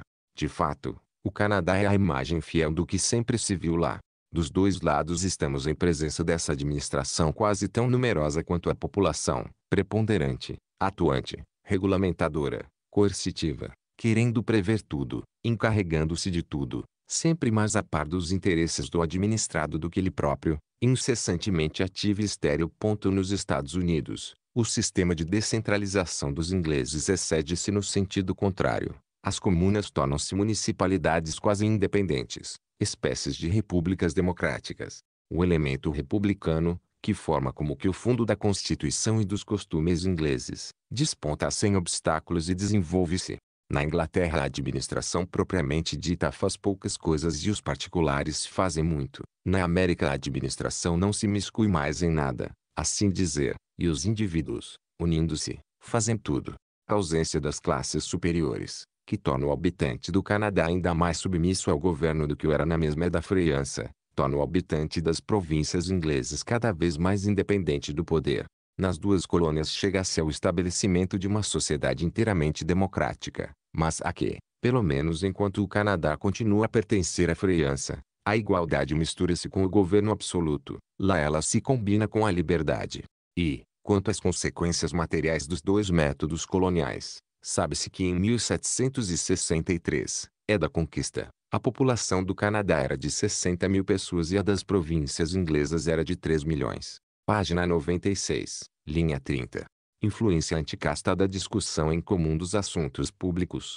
Vê-se pelos trabalhos pouco importantes das sociedades de agricultura do século XVIII a influência anticasta que a discussão conjunta tinha sobre os interesses coletivos. Embora essas reuniões aconteçam 30 anos antes da Revolução, em pleno antigo regime, e se trate apenas de teorias, simplesmente se debaterem questões nas quais as diferentes classes se sentem interessadas e discutem juntas, percebemos de imediato a aproximação e o entrosamento dos homens. Vemos as ideias de reformas sensatas apossarem-se dos privilegiados como dos outros, e entretanto se trata apenas de conservação e de agricultura. Estou convicto de que apenas um governo que nunca buscava sua força senão em si mesmo e sempre tomava separadamente os homens, como do antigo regime, poderia ter mantido a desigualdade ridícula e insensata que existia na França no momento da Revolução. O mais leve contato do self-government a teria modificado profundamente e logo a transformaria ou anularia. Página 96, linha 32 As liberdades provinciais podem subsistir algum tempo sem que exista liberdade nacional, quando essas liberdades são antigas, entranhadas nos hábitos, nos costumes e nas lembranças, e o despotismo, ao contrário, é recente, mas é insensato acreditar que se possa, à vontade, criar liberdades locais, ou mesmo mantê-las muito tempo, quando se suprime a liberdade geral. Página 98, linha 3 Turgot, em um informe ao rei, resume deste modo que me parece muito exato a verdadeira dimensão dos privilégios dos nobres em matéria fiscal. Primeiro os privilegiados podem valorizar com isenção de qualquer tributo um arrendamento correspondente a quatro arados, que nos arredores de Paris geralmente implica dois mil francos de imposto. Segundo os mesmos privilegiados não pagam absolutamente nada pelas matas, pastagens, vinhedos, lagos, bem como pelas terras cercadas anexas a seu castelo, de qualquer extensão que exejam. Há cantões cuja principal produção está em pastagens ou em vinhedos. Então o nobre que manda administrar suas terras isenta-se de qualquer imposto, que recai sobre quem está sujeito à talha, segunda vantagem, que é imensa. Página 109, linha 16. Há no livro Voyage d'Arthur Young em 89 uma pequena cena que retrata tão agradavelmente e enquadra tão bem esse estado das duas sociedades que não resisto ao desejo de citá-la aqui. Young, atravessando a França em meio à primeira comoção que a tomada da Bastilha causou, é detido em uma certa aldeia uma tropa de populares que, ao verem que ele não ostenta cocarda, querem levá-lo preso. Para salvar-se do apuro, Young tem a ideia de fazer-lhes este pequeno discurso. Senhores, Falou ele, acabam de dizer que os impostos devem ser pagos como antes. Os impostos devem realmente ser pagos, em não como antes. É preciso pagá-los como na Inglaterra. Temos muitas taxas que não tendes, mas o terceiro estado, o povo, não as paga. Elas só recaem sobre o rico. Em nosso país, cada janela paga, mas quem tiver apenas seis janelas em sua casa nada paga. Um senhor paga as vintenas e as talhas, mas o pequeno proprietário de um pomar ou horta nada paga. O rico paga seus cavalos, seus carros, seus criados, paga até mesmo para ter a liberdade de atirar em suas próprias perdizes. O pequeno proprietário permanece alheio a todas essas taxas. E mais ainda, temos na Inglaterra uma taxa que o rico paga para auxiliar o pobre. Portanto, se é preciso continuar pagando impostos, é preciso pagá-los de outro modo. O método inglês é muito melhor. Como meu mal francês combinava bastante com o dialeto deles, compreenderam-me muito bem. Acrescenta Young, não houve nesse discurso uma única palavra que não dessem aprovação, e pensaram que certamente eu era um homem de bem, o que confirmei gritando, viva o terceiro. Então me deixaram passar com um urra. Página 121, linha 30. Análise dos cadernos da nobreza em 1789. A Revolução Francesa, creio eu, é a única em cujo início as diferentes classes puderam dar separadamente um testemunho autêntico das ideias que haviam concebido e revelar os sentimentos que as animavam, antes que essa mesma revolução desvirtuasse ou modificasse tais sentimentos e ideias. Como todos sabem, esse testemunho autêntico foi registrado nos cadernos que as três ordens lavraram em 1789. Os cadernos ou memoriais foram redigidos com plena liberdade, em meio à maior publicidade, cada uma das ordens a que correspondiam, foram longamente discutidos entre os interessados e maduramente pensados seus redatores, pois o governo daquele período, quando se dirigia à nação, não se encarregava de formular ao mesmo tempo a pergunta e a resposta, nem que se redigiram os cadernos. Suas partes principais foram reunidas em três volumes impressos que estão em todas as bibliotecas. Os originais estão depositados nos arquivos nacionais e com eles se encontram as atas das assembleias que os redigiram, bem como parte da correspondência que se desenvolveu na mesma entre Necker e seus agentes a propósito dessas assembleias. A coleção forma uma longa série de tomos em folho. É o documento mais sério que nos resta da antiga França e o que deve ser constantemente consultado quem quiser conhecer o estado de espírito de nossos pais no momento em que a Revolução eclodiu. Eu pensava que a condensação em três volumes, que mencionei há pouco, talvez fosse obra de um partido e não reproduzisse exatamente o caráter dessa imensa inquiete, mas, comparando ambos, encontrei a maior semelhança entre o grande quadro e a cópia reduzida. 2. Resumo dos cadernos da nobreza que aqui apresento mostra o que a grande maioria dessa ordem realmente pensava. Vê-se claramente o que ela queria obstinadamente conservar dos antigos privilégios, o que estava propensa a ceder, o que ela própria propunha sacrificar, Sobretudo entendesse plenamente o espírito que animava toda ela com relação à liberdade política. Um quadro interessante e triste. Direitos individuais.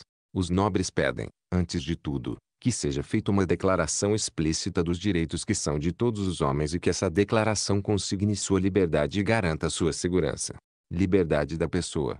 Desejam que seja abolida a servidão da gleba onde ainda existir e que se busquem os meios de abolir o tráfico e escravidão dos negros, que cada qual possa livremente viajar ou estabelecer residência onde quiser, seja dentro ou fora do reino, sem risco de ser detido arbitrariamente, que se corrija o abuso dos regulamentos de polícia e que dali em diante a polícia fique sob controle dos juízes, mesmo em caso de rebelião, que ninguém possa ser preso e julgado a não ser seus juízes naturais, que consequentemente as prisões do Estado e outros locais de detenção ilegais sejam suprimidos. Alguns pedem a demolição da Bastilha. A nobreza de Paris insiste principalmente nesse ponto. Todas as letras de cachete devem ser proibidas. Se o risco para o Estado tornar necessária a detenção de um cidadão sem que ele seja entregue imediatamente aos tribunais comuns de justiça, é preciso tomar medidas para impedir abusos, seja comunicando a detenção ao Conselho de Estado seja de qualquer outra maneira. A nobreza deseja que todas as comissões particulares, todos os tribunais especiais onde sessão, todos os privilégios de comitimus 3, sentenças de adiamento etc., sejam abolidos, e que penas muito severas sejam aplicadas contra aqueles que ordenem ou coloquem em execução uma ordem arbitrária, que na jurisdição comum, a única que deve ser conservada, se tomem as medidas necessárias para garantir a liberdade individual, sobretudo em matéria penal, que a justiça seja prestada gratuitamente e que se suprimam as jurisdições inúteis. Os magistrados são instituídos para o povo e não o povo para os magistrados, diz um caderno. Muitos pedem até mesmo que em cada baleado seja estabelecido um conselho de defensores gratuitos para os pobres, que a instrução do processo seja pública e que se dê aos litigantes liberdade para se autodefenderem, que nas matérias criminais o acusado conte com um conselho e que em todos os atos do processo o juiz seja assistido um certo número de cidadãos da mesma ordem do acusado, aos quais caberá decidir sobre o fato do crime ou delito do réu, que as penas sejam proporcionais aos delitos iguais para todas as pessoas, que a de morte se torne menos frequente e todos os suplícios corporais, torturas etc.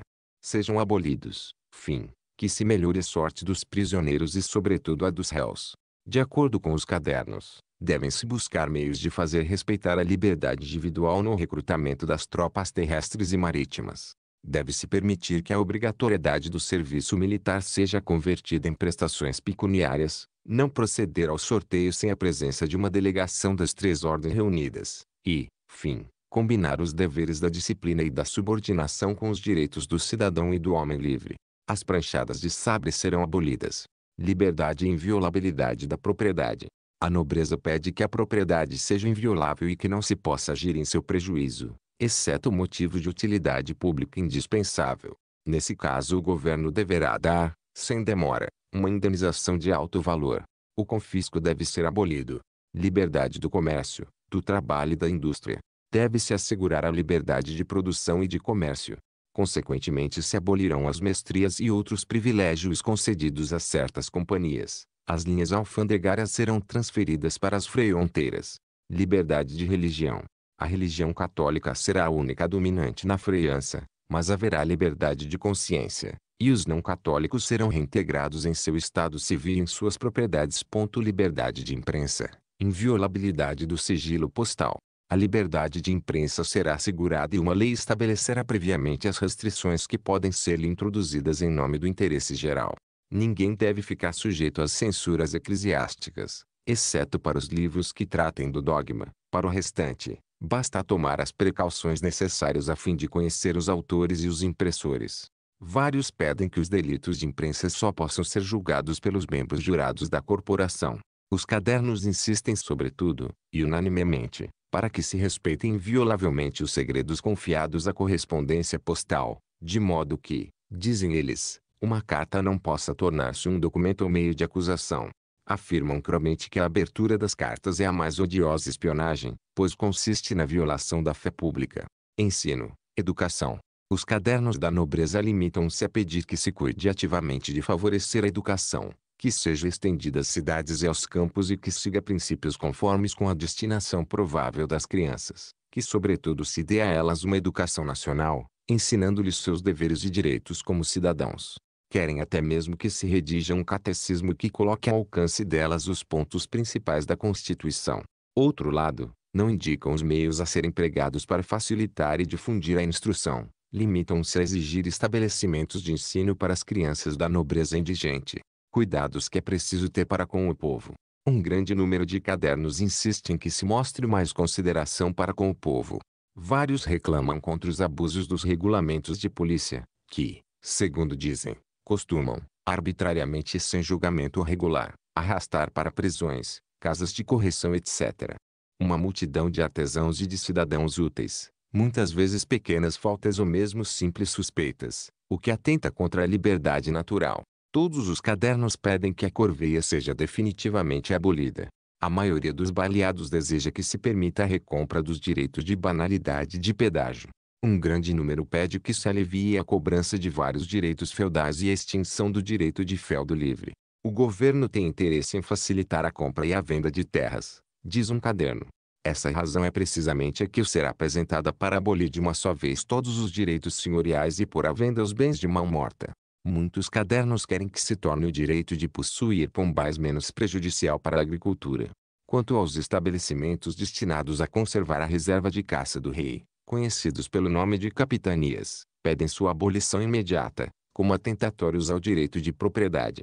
Querem que os impostos atuais sejam substituídos taxas cuja percepção seja menos onerosa para o povo. A nobreza pede que se procure espalhar abastança e bem-estar nos campos, que se criem nas aldeias estabelecimentos de fiação e tecelagem de tecidos grosseiros, a fim de dar ocupação às pessoas do campo durante a estação ociosa, que em cada baleado se criem celeiros públicos supervisionados pelas administrações provinciais, para enfrentar os períodos de escassez de alimentos e manter o preço dos gêneros em um limite determinado, que se procure aperfeiçoar a agricultura e melhorar a condição dos campos, que sejam feitas mais obras públicas e particularmente que se trate de drenar os pântanos e evitar as inundações etc. Fim. Que se distribuam em todas as províncias incentivos ao comércio e à agricultura. Os cadernos gostariam que os hospitais e asilos fossem divididos em pequenos estabelecimentos criados em cada distrito, que se abolissem os asilos para mendigos, substituindo as oficinas de caridade, que se estabelecessem caixas de socorro sob direção dos estados provinciais, que cirurgiões, médicos e parteiras se distribuíssem pelos distritos, às expensas das províncias, para atender gratuitamente os pobres, que para o povo a justiça fosse sempre gratuita, fim, que se pensasse em criar estabelecimentos para cegos, surdos, mudos, crianças abandonadas etc. Outro lado, em todas essas matérias a ordem da nobreza geralmente se limita a expressar seus desejos de reformas, sem entrar em grandes detalhes de execução. Vê-se que ela conviveu menos do que o baixo clero com as classes inferiores e que, menos em contato com sua miséria, refletiu menos sobre os meios de remediá-la. Sobre a admissibilidade às funções públicas, a hierarquia de classe e os privilégios honoríficos da nobreza. É sobretudo, ou antes é apenas no que se refere à hierarquia das classes e à diferença de condições que a nobreza se afasta do espírito geral das reformas requeridas e, ao mesmo tempo que faz algumas concessões importantes, apega-se aos princípios do antigo regime. Ela sente que está lutando sua própria existência. Portanto, e seus cadernos pedem com insistência que o clero e a nobreza sejam mantidos como ordens distintivas. Desejam mesmo que se busquem meios de conservar em toda sua pureza a ordem da nobreza, assim, que se proíba a compra do título de fidalgo, que ele não seja mais atribuído a certos postos mas apenas merecimento após longos e úteis serviços prestados ao Estado desejam que os falsos nobres sofreiam investigação e processo. Fim. Todos os cadernos insistem para que a nobreza seja mantida com todas as suas honrarias. Alguns querem que se dê aos fidalgos algum distintivo que os torne reconhecíveis exteriormente. Não se poderia imaginar algo mais característico que um pedido como esse e mais adequado para mostrar a perfeita similitude que já existia entre o nobre e o plebeu, a despeito da diferença de condições. Em geral, em seus cadernos a nobreza, que se mostra bastante acomodatícia sobre vários de seus direitos úteis, apega-se com um ardor inquieto aos privilégios honoríficos.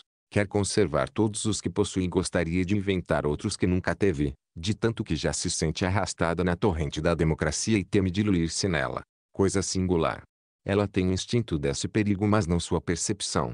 Quanto à distribuição dos cargos, os nobres pedem que a venalidade dos ofícios seja extinta para os postos de magistratura, quando se tratar desse tipo de postos, que todos os cidadãos possam ser apresentados pela nação ao rei nomeados indistintamente, atendendo apenas aos requisitos de idade e capacidade. Quanto às graduações militares, a maioria pensa que não se deve excluir o terceiro estado e que todo militar que tiver servido bem à pátria tem o direito de chegar aos postos mais eminentes.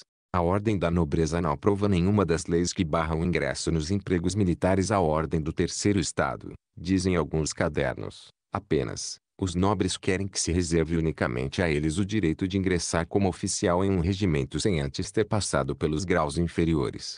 Aliás, quase todos os cadernos pedem que se estabeleçam regras fixas e aplicáveis a todos para a distribuição das patentes do Exército, que elas deixem de depender inteiramente do favor e que se chegue direito de antiguidade aos outros graus que não os de oficial superior.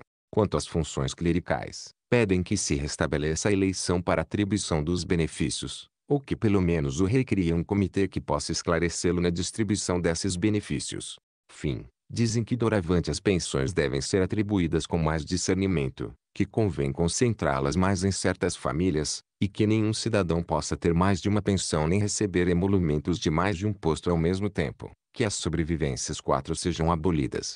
Igreja e clero, quando já não se trata de seus direitos e de sua constituição particular e sim dos privilégios e da organização da igreja, a nobreza já não olha tão de perto, nesse momento tem os olhos bem abertos para os abusos. Pede que o clero não tenha privilégio fiscal e que pague suas dívidas sem levar a nação a assumi-las, que as ordens monásticas sejam profundamente reformadas. A maioria dos cadernos declara que esses estabelecimentos se desviam do espírito de sua instituição, Quase todos os baleados querem que os dízimos se tornem menos prejudiciais para a agricultura e muitos chegam mesmo a exigir sua abolição.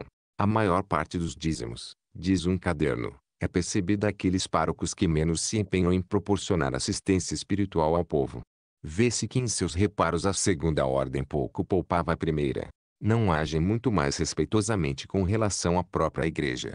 Vários baleados reconhecem formalmente aos Estados Gerais o direito de extinguir certas ordens religiosas e de aplicar seus bens em um outro uso.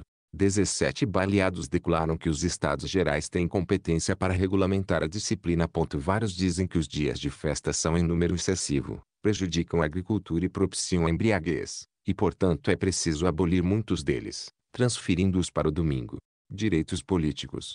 Quanto aos direitos políticos, os cadernos reconhecem a todos os franceses o direito de participar do governo, seja direta ou indiretamente, isto é, o direito de eleger e ser eleito, mas conservando a hierarquia de classes, assim, que ninguém possa nomear e ser nomeado fora de sua ordem.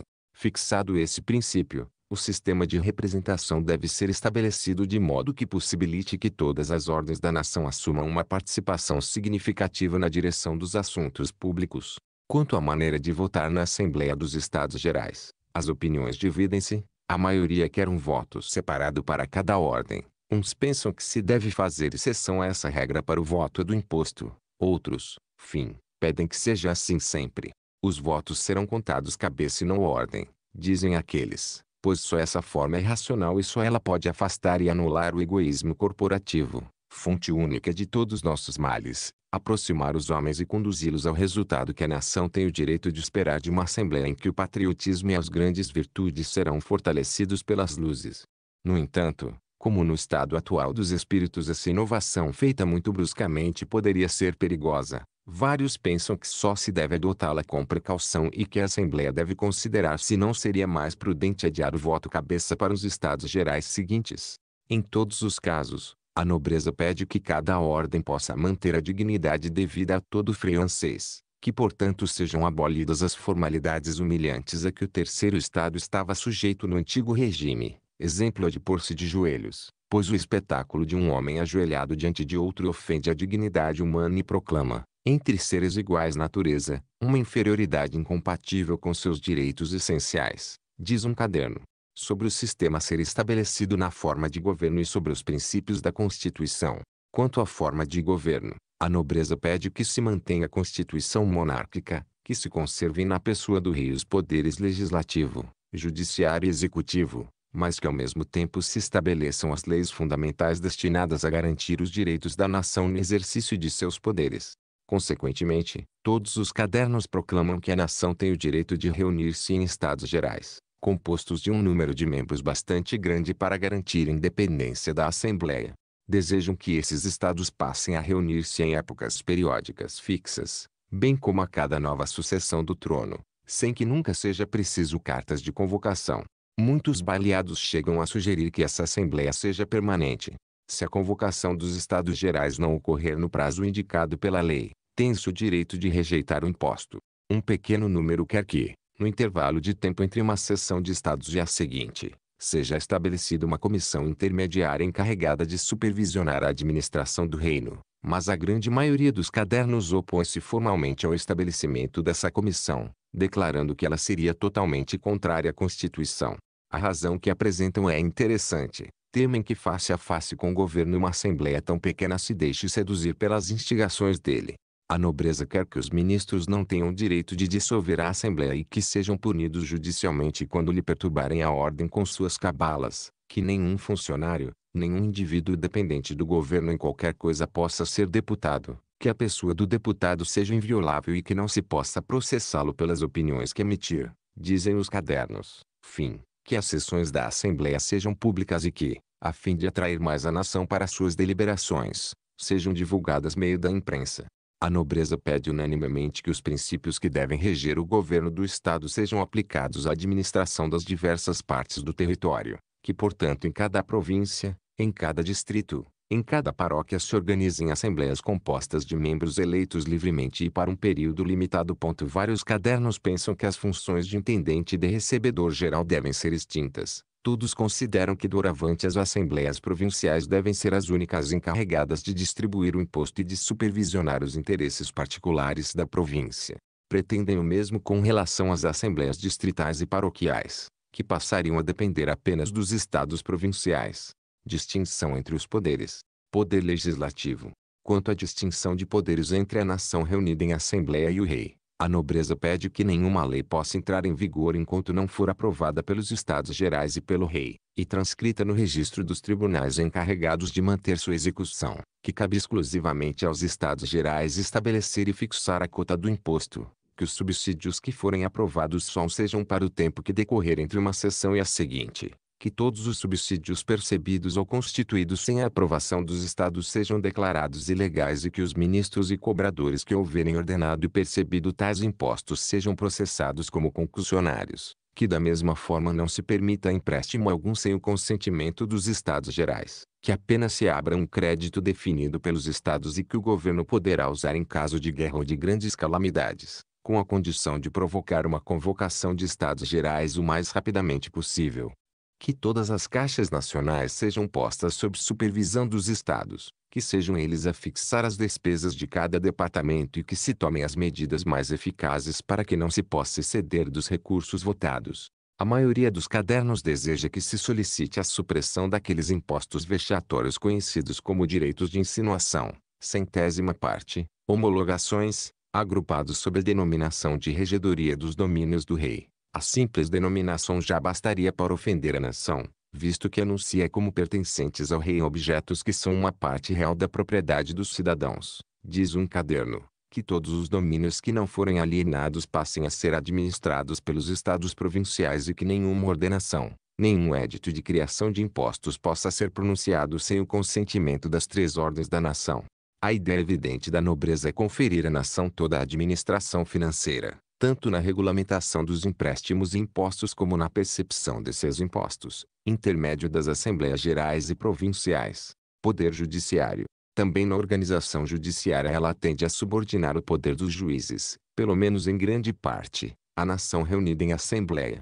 Assim, vários cadernos declaram que os magistrados responderão pelo que diz respeito a seus cargos perante a nação reunida em Assembleia que só poderão ser destituídos com consentimento dos Estados Gerais, que sem o consentimento desses Estados nenhum tribunal poderá, sob pretexto algum, ser entravado no exercício de suas funções, que as prevaricações do Supremo Tribunal de Justiça, bem como as dos parlamentos, serão julgadas pelos Estados Gerais. Segundo a maioria dos cadernos, o rei só deve nomear os juízes mediante uma apresentação feita pelo povo. Poder Executivo. Quanto ao Poder Executivo, é exclusivamente reservado ao rei, mas os cadernos definem os limites necessários para prevenir os abusos. Assim, quanto à administração, pedem que a situação contábil dos diversos departamentos seja publicada pela imprensa e que os ministros respondam perante a nação reunida em assembleia, Da mesma forma, que antes de empregar as tropas na defesa externa o rei dê a conhecer com precisão suas intenções aos Estados Gerais. Internamente, essas mesmas tropas só poderão ser usadas contra os cidadãos mediante requisição dos Estados Gerais. O contingente de tropas deverá ser limitado e em tempos comuns apenas dois terços permanecerão no segundo efetivo. Quanto às tropas estrangeiras que o governo possa ter a seu soldo, ele deverá afastá-las do centro do reino e enviá-las para as fronteiras. O que mais impressiona ao ler os cadernos da nobreza, mas que nenhum resumo conseguiria reproduzir, é o quanto esses nobres estão atualizados, têm o espírito do momento, empregam com grande fluência a sua linguagem, falam dos direitos alienáveis do homem, dos princípios inerentes ao pacto social. Quando se trata do indivíduo, costumam ocupar-se de seus direitos e, quando se trata da sociedade, dos deveres dela. Os princípios da política aparecem tão absolutos quanto os da moral, e tanto uns como outros têm base comum a razão. Quando querem abolir os restos da servidão, trata-se de apagar até os últimos vestígios da degradação da espécie humana. Às vezes chamam Luís XVI de um rei cidadão e em várias ocasiões falam do crime de lesa nação que tão frequentemente lhe será imputado. A seus olhos como aos de todos os outros, é da educação pública que se deve esperar tudo e é o Estado que deve dirigi-la. Os Estados Gerais, diz um caderno, cuidarão de inspirar um caráter nacional, meio de mudanças na educação das crianças. Como o restante de seus contemporâneos, mostra um gosto vivo e contínuo pela uniformidade legislativa, exceto em no que se refere à existência das ordens. Querem a uniformidade administrativa, a uniformidade das medidas etc., tanto quanto o terceiro estado, indicam toda espécie de reformas e pretendem que essas reformas sejam radicais. Segundo eles, todos os impostos, sem exceção, devem ser abolidos ou modificados. Deve-se mudar todo o sistema judicial, exceto as justiças senhoriais, que precisam apenas ser aperfeiçoadas. Para eles como para todos os outros franceses, a França é um campo de experiência, uma espécie de fazenda modelo em política, onde se deve revolver tudo, tentar tudo, exceto em um cantinho onde crescem seus privilégios particulares. Ainda assim é preciso dizer, em honra desses nobres, que mesmo esse praticamente não é poupado. Em uma palavra, lendo seus cadernos, pode-se julgar que para fazerem a revolução só lhes faltou serem plebeus. Página 155. Linha 34 Afirmou-se que a filosofia do século XVIII se caracterizava uma espécie de adoração da razão humana, uma confiança limitada em sua onipotência para transformar a vontade leis, instituições e costumes. Mas vamos falar claro, na verdade, o que alguns desses filósofos adoravam era menos a razão humana do que sua própria razão. Ninguém mostrou menos confiança na sabedoria comum do que eles. Eu poderia citar vários que desprezavam quase tanto a multidão quanto o bom Deus mostravam a ele um orgulho de rivais e a ela um orgulho de novos ricos. A submissão autêntica e respeitosa para com as vontades da maioria lhes era tão alheia quanto a submissão às vontades divinas. Quase todos os revolucionários mostraram desde então essa dupla característica. Isso está muito longe do respeito testemunhado pelos ingleses e americanos aos sentimentos da maioria de seus concidadãos. Neles a razão é altiva e autoconfiante, mas nunca insolente. Isso ela levou à liberdade, ao passo que a nossa quase nada fez além de inventar novas formas de servidão. Página 170, linha 15 Frederico Grande escreveu em suas memórias, os Fontenelle e os Voltaire, os Hobbes, os Collins, os Shaftesbury, os Bolingbroke. Esses grandes homens assestaram um golpe mortal na religião. Os homens começaram a examinar o que haviam adorado estupidamente. A razão derrubou terra a superstição. Eles tomaram aversão pelas fábulas em que haviam acreditado. O deísmo conquistou um grande número de adeptos. Se o epicurismo se tornou funesto para o culto idólatra dos pagãos, em nossos dias o deísmo não foi menos para as visões judaicas adotadas nossos ancestrais. A liberdade de pensar que reinava na Inglaterra muito contribuíra para os avanços da filosofia. Vê-se pela passagem acima que Frederico Grande, no momento em que escrevia essas linhas, ou seja, em meados do século XVIII, considerava ainda nessa Inglaterra como o lar das doutrinas irreligiosas. Vê-se também algo mais impressionante. Um dos soberanos mais versados na ciência dos homens e na dos assuntos públicos parece não perceber a utilidade política das religiões. Tanto os defeitos do espírito de seus mestres haviam alterado as qualidades próprias do dele. Página 191, linha 30 Esse espírito de progresso que se via na França no final do século XVIII aparecia na mesma em toda a Alemanha e em toda parte era igualmente acompanhado pelo desejo de mudar as instituições.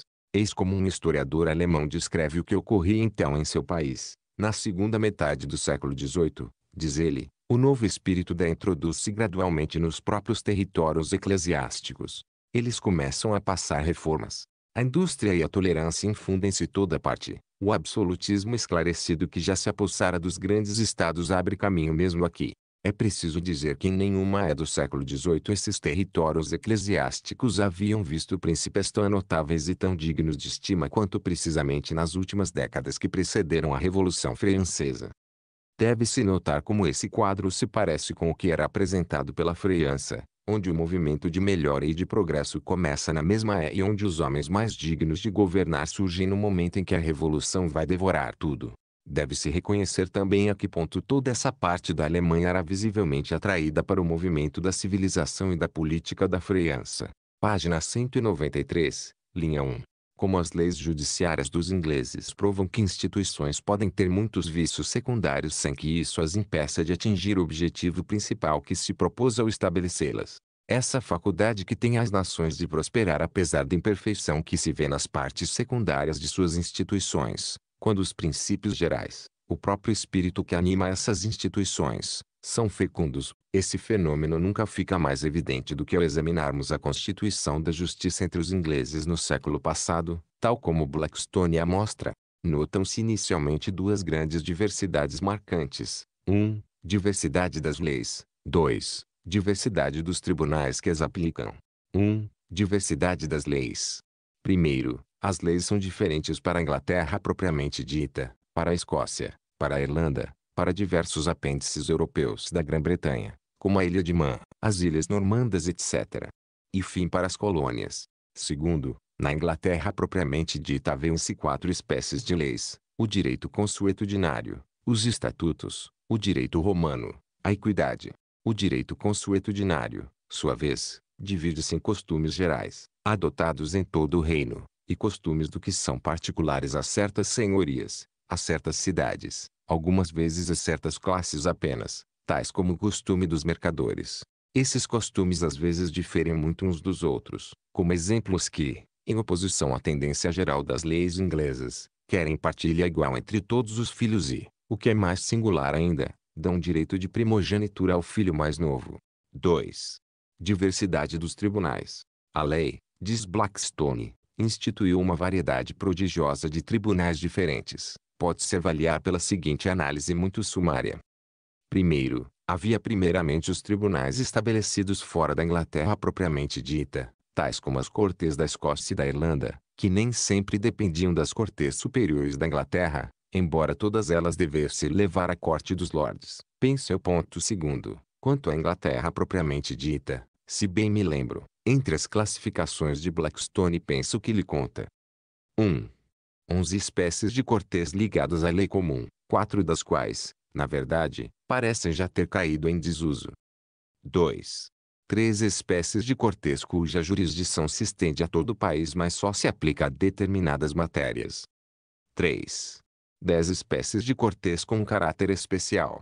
Uma dessas espécies compõe-se de cortes locais, criadas diferentes atos do parlamento existentes em virtude da tradição, tanto em Londres como nas cidades ou burgos de províncias. Estas são tão numerosas e apresentam uma variedade tão grande em suas constituições e regras que o autor desiste de fazer uma exposição detalhada. Assim, tomando-se como referência o texto de Blackstone, na em que ele escreveu, ou seja, na segunda metade do século XVIII, apenas na Inglaterra propriamente dita havia 24 espécies de tribunais, vários dos quais se subdividiam em grande número de unidades, cada uma com sua fisionomia particular. Descartando-se as espécies que desde então parecem ter desaparecido, ainda restam 18 ou 20. Agora, examinando esse sistema judiciário, vemos claramente que ele contém toda a espécie de imperfeições. Apesar da multiplicidade de tribunais, frequentemente fazem falta pequenos tribunais de primeira instância instalados perto dos jurisdicionados e feitos para julgar em loco e com poucas despesas as pequenas causas. Isso torna a justiça complicada e onerosa. Os mesmos casos são da alçada de vários tribunais, o que lança uma incerteza incômoda sobre o início das instâncias. Quase todas as cortes de apelação, tribunais de segunda instância, Em certos casos julgam em primeira instância, às vezes cortes de direito comum, outras vezes cortes de equidade. As cortes de apelação são muito diversas. O único ponto central é a Câmara dos Lordes. O contencioso administrativo não é separado do contencioso comum, o que pareceria uma grande disformidade para a maioria de nossos legistas.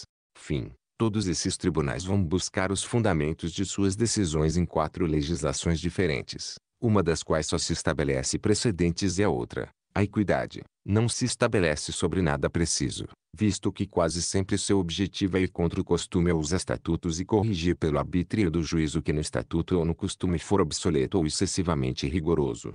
São muitos vícios, e, se compararmos essa máquina enorme e antiquada da justiça inglesa com a estrutura moderna de nosso sistema judiciário, se compararmos a simplicidade, a coerência, o encadeamento que vemos neste com a complicação, a incoerência que observamos naquela, os vícios da primeira parecerão ainda maiores. Entretanto não há no mundo país em que, na Ed Blackstone, o grande fim da justiça fosse tão completamente atingido quanto na Inglaterra, ou seja, em que todo homem, qualquer que fosse sua condição, que intentasse um processo contra um particular ou contra o príncipe estivesse mais seguro de fazer-se ouvir e encontrasse em todos os tribunais de seu país melhores garantias para a defesa de sua fortuna, de sua liberdade e de sua vida. Isso não significa que os vícios do sistema judiciário inglês servissem ao que chama aqui de o grande fim da justiça. Prova apenas que em toda organização judiciária há vícios secundários que apenas moderadamente podem prejudicar esse fim da justiça e outros principais que não apenas o prejudicam mas o destroem, embora venham junto com muitas perfeições secundárias. Os primeiros são os mais visíveis, são os que costumam impressionar de imediato os espíritos vulgares. Saltam aos olhos, como se diz. Os outros frequentemente estão mais ocultos e nem sempre são os jurisconsultos e outras pessoas do ramo que os descobrem ou os apontam. Observai ademais que as mesmas qualidades podem ser secundárias ou principais, de acordo com a ré e com a organização política da sociedade. Nas épocas de aristocracia, de desigualdades, tudo que tende a diminuir um privilégio para certos indivíduos perante a justiça, a assegurar garantias ao jurisdicionado fraco contra o jurisdicionado forte, a fazer predominar a ação do Estado, naturalmente imparcial quando se trata apenas de um conflito entre dois súditos. Tudo isso se torna qualidade principal, mas diminui de importância à medida que a situação social e a constituição política mudam para a democracia. Quem estudar de acordo com esses princípios o sistema judiciário inglês verá que deixando subsistir todos os defeitos que em nossos vizinhos podiam tornar a justiça obscura, emaranhada, lenta e incômoda, foram tomadas infinitas precauções para que o forte nunca pudesse ser favorecido à custa do fraco, o Estado à custa do particular. À medida que se aprofundar nos detalhes dessa legislação, verá que nela se forneceu a cada cidadão toda espécie de armas para defender-se que as coisas são organizadas de maneira que ofereça a cada um o máximo de garantias possíveis contra a parcialidade, a venalidade propriamente dita dos juízes e essa espécie de venalidade mais comum, e sobretudo mais perigosa nos tempos de democracia, que nasce do servilismo dos tribunais para com o poder público. Sob todos esses pontos de vista o sistema judiciário inglês, apesar dos numerosos defeitos secundários que ainda apresenta, parece-me superior ao nosso, que, é bem verdade, não sofrei de quase nenhum desses vícios, mas tampouco oferece no mesmo grau as qualidades principais que se encontram naquele, que, excelente quanto às garantias que oferece a cada cidadão nas contendas que surgem entre particulares, enfraquece-se no ponto que em uma sociedade democrática como a nossa seria preciso reforçar sempre, ou seja, nas garantias do indivíduo contra o Estado. Página 214, linha 12 A revolução não aconteceu causa dessa prosperidade, mas o espírito que devia produzir a revolução, esse espírito ativo, inquieto, inteligente, inovador, ambicioso, esse espírito democrático das sociedades novas, começava a animar todas as coisas, e, antes de convulsionar momentaneamente a sociedade, bastava já para agitá-la e para desenvolvê-la. 1. O moinho de Sanssouci, perto de Poston, onde Voltaire morou durante sua permanência na Alemanha. 2. Cf. Resume General Strate de Scaeres de Povoirs, Instructions, Demandes et dolemces, remis par les divers baliages, sénéchal ses et pais d'etats du royaume, aleus deputés à l'Assemblée des États Généraux, ouvertes a Versailles li 4 maio 1789. Uni Société de Gens de Lettres, 3 tomos, 1789. 3. Privilégio de responder diretamente perante os tribunais superiores, sem passar pelas jurisdições inferiores. 4. Favor régio pelo qual, mediante pagamento, o titular de um cargo não hereditário podia designar pessoalmente seu sucessor,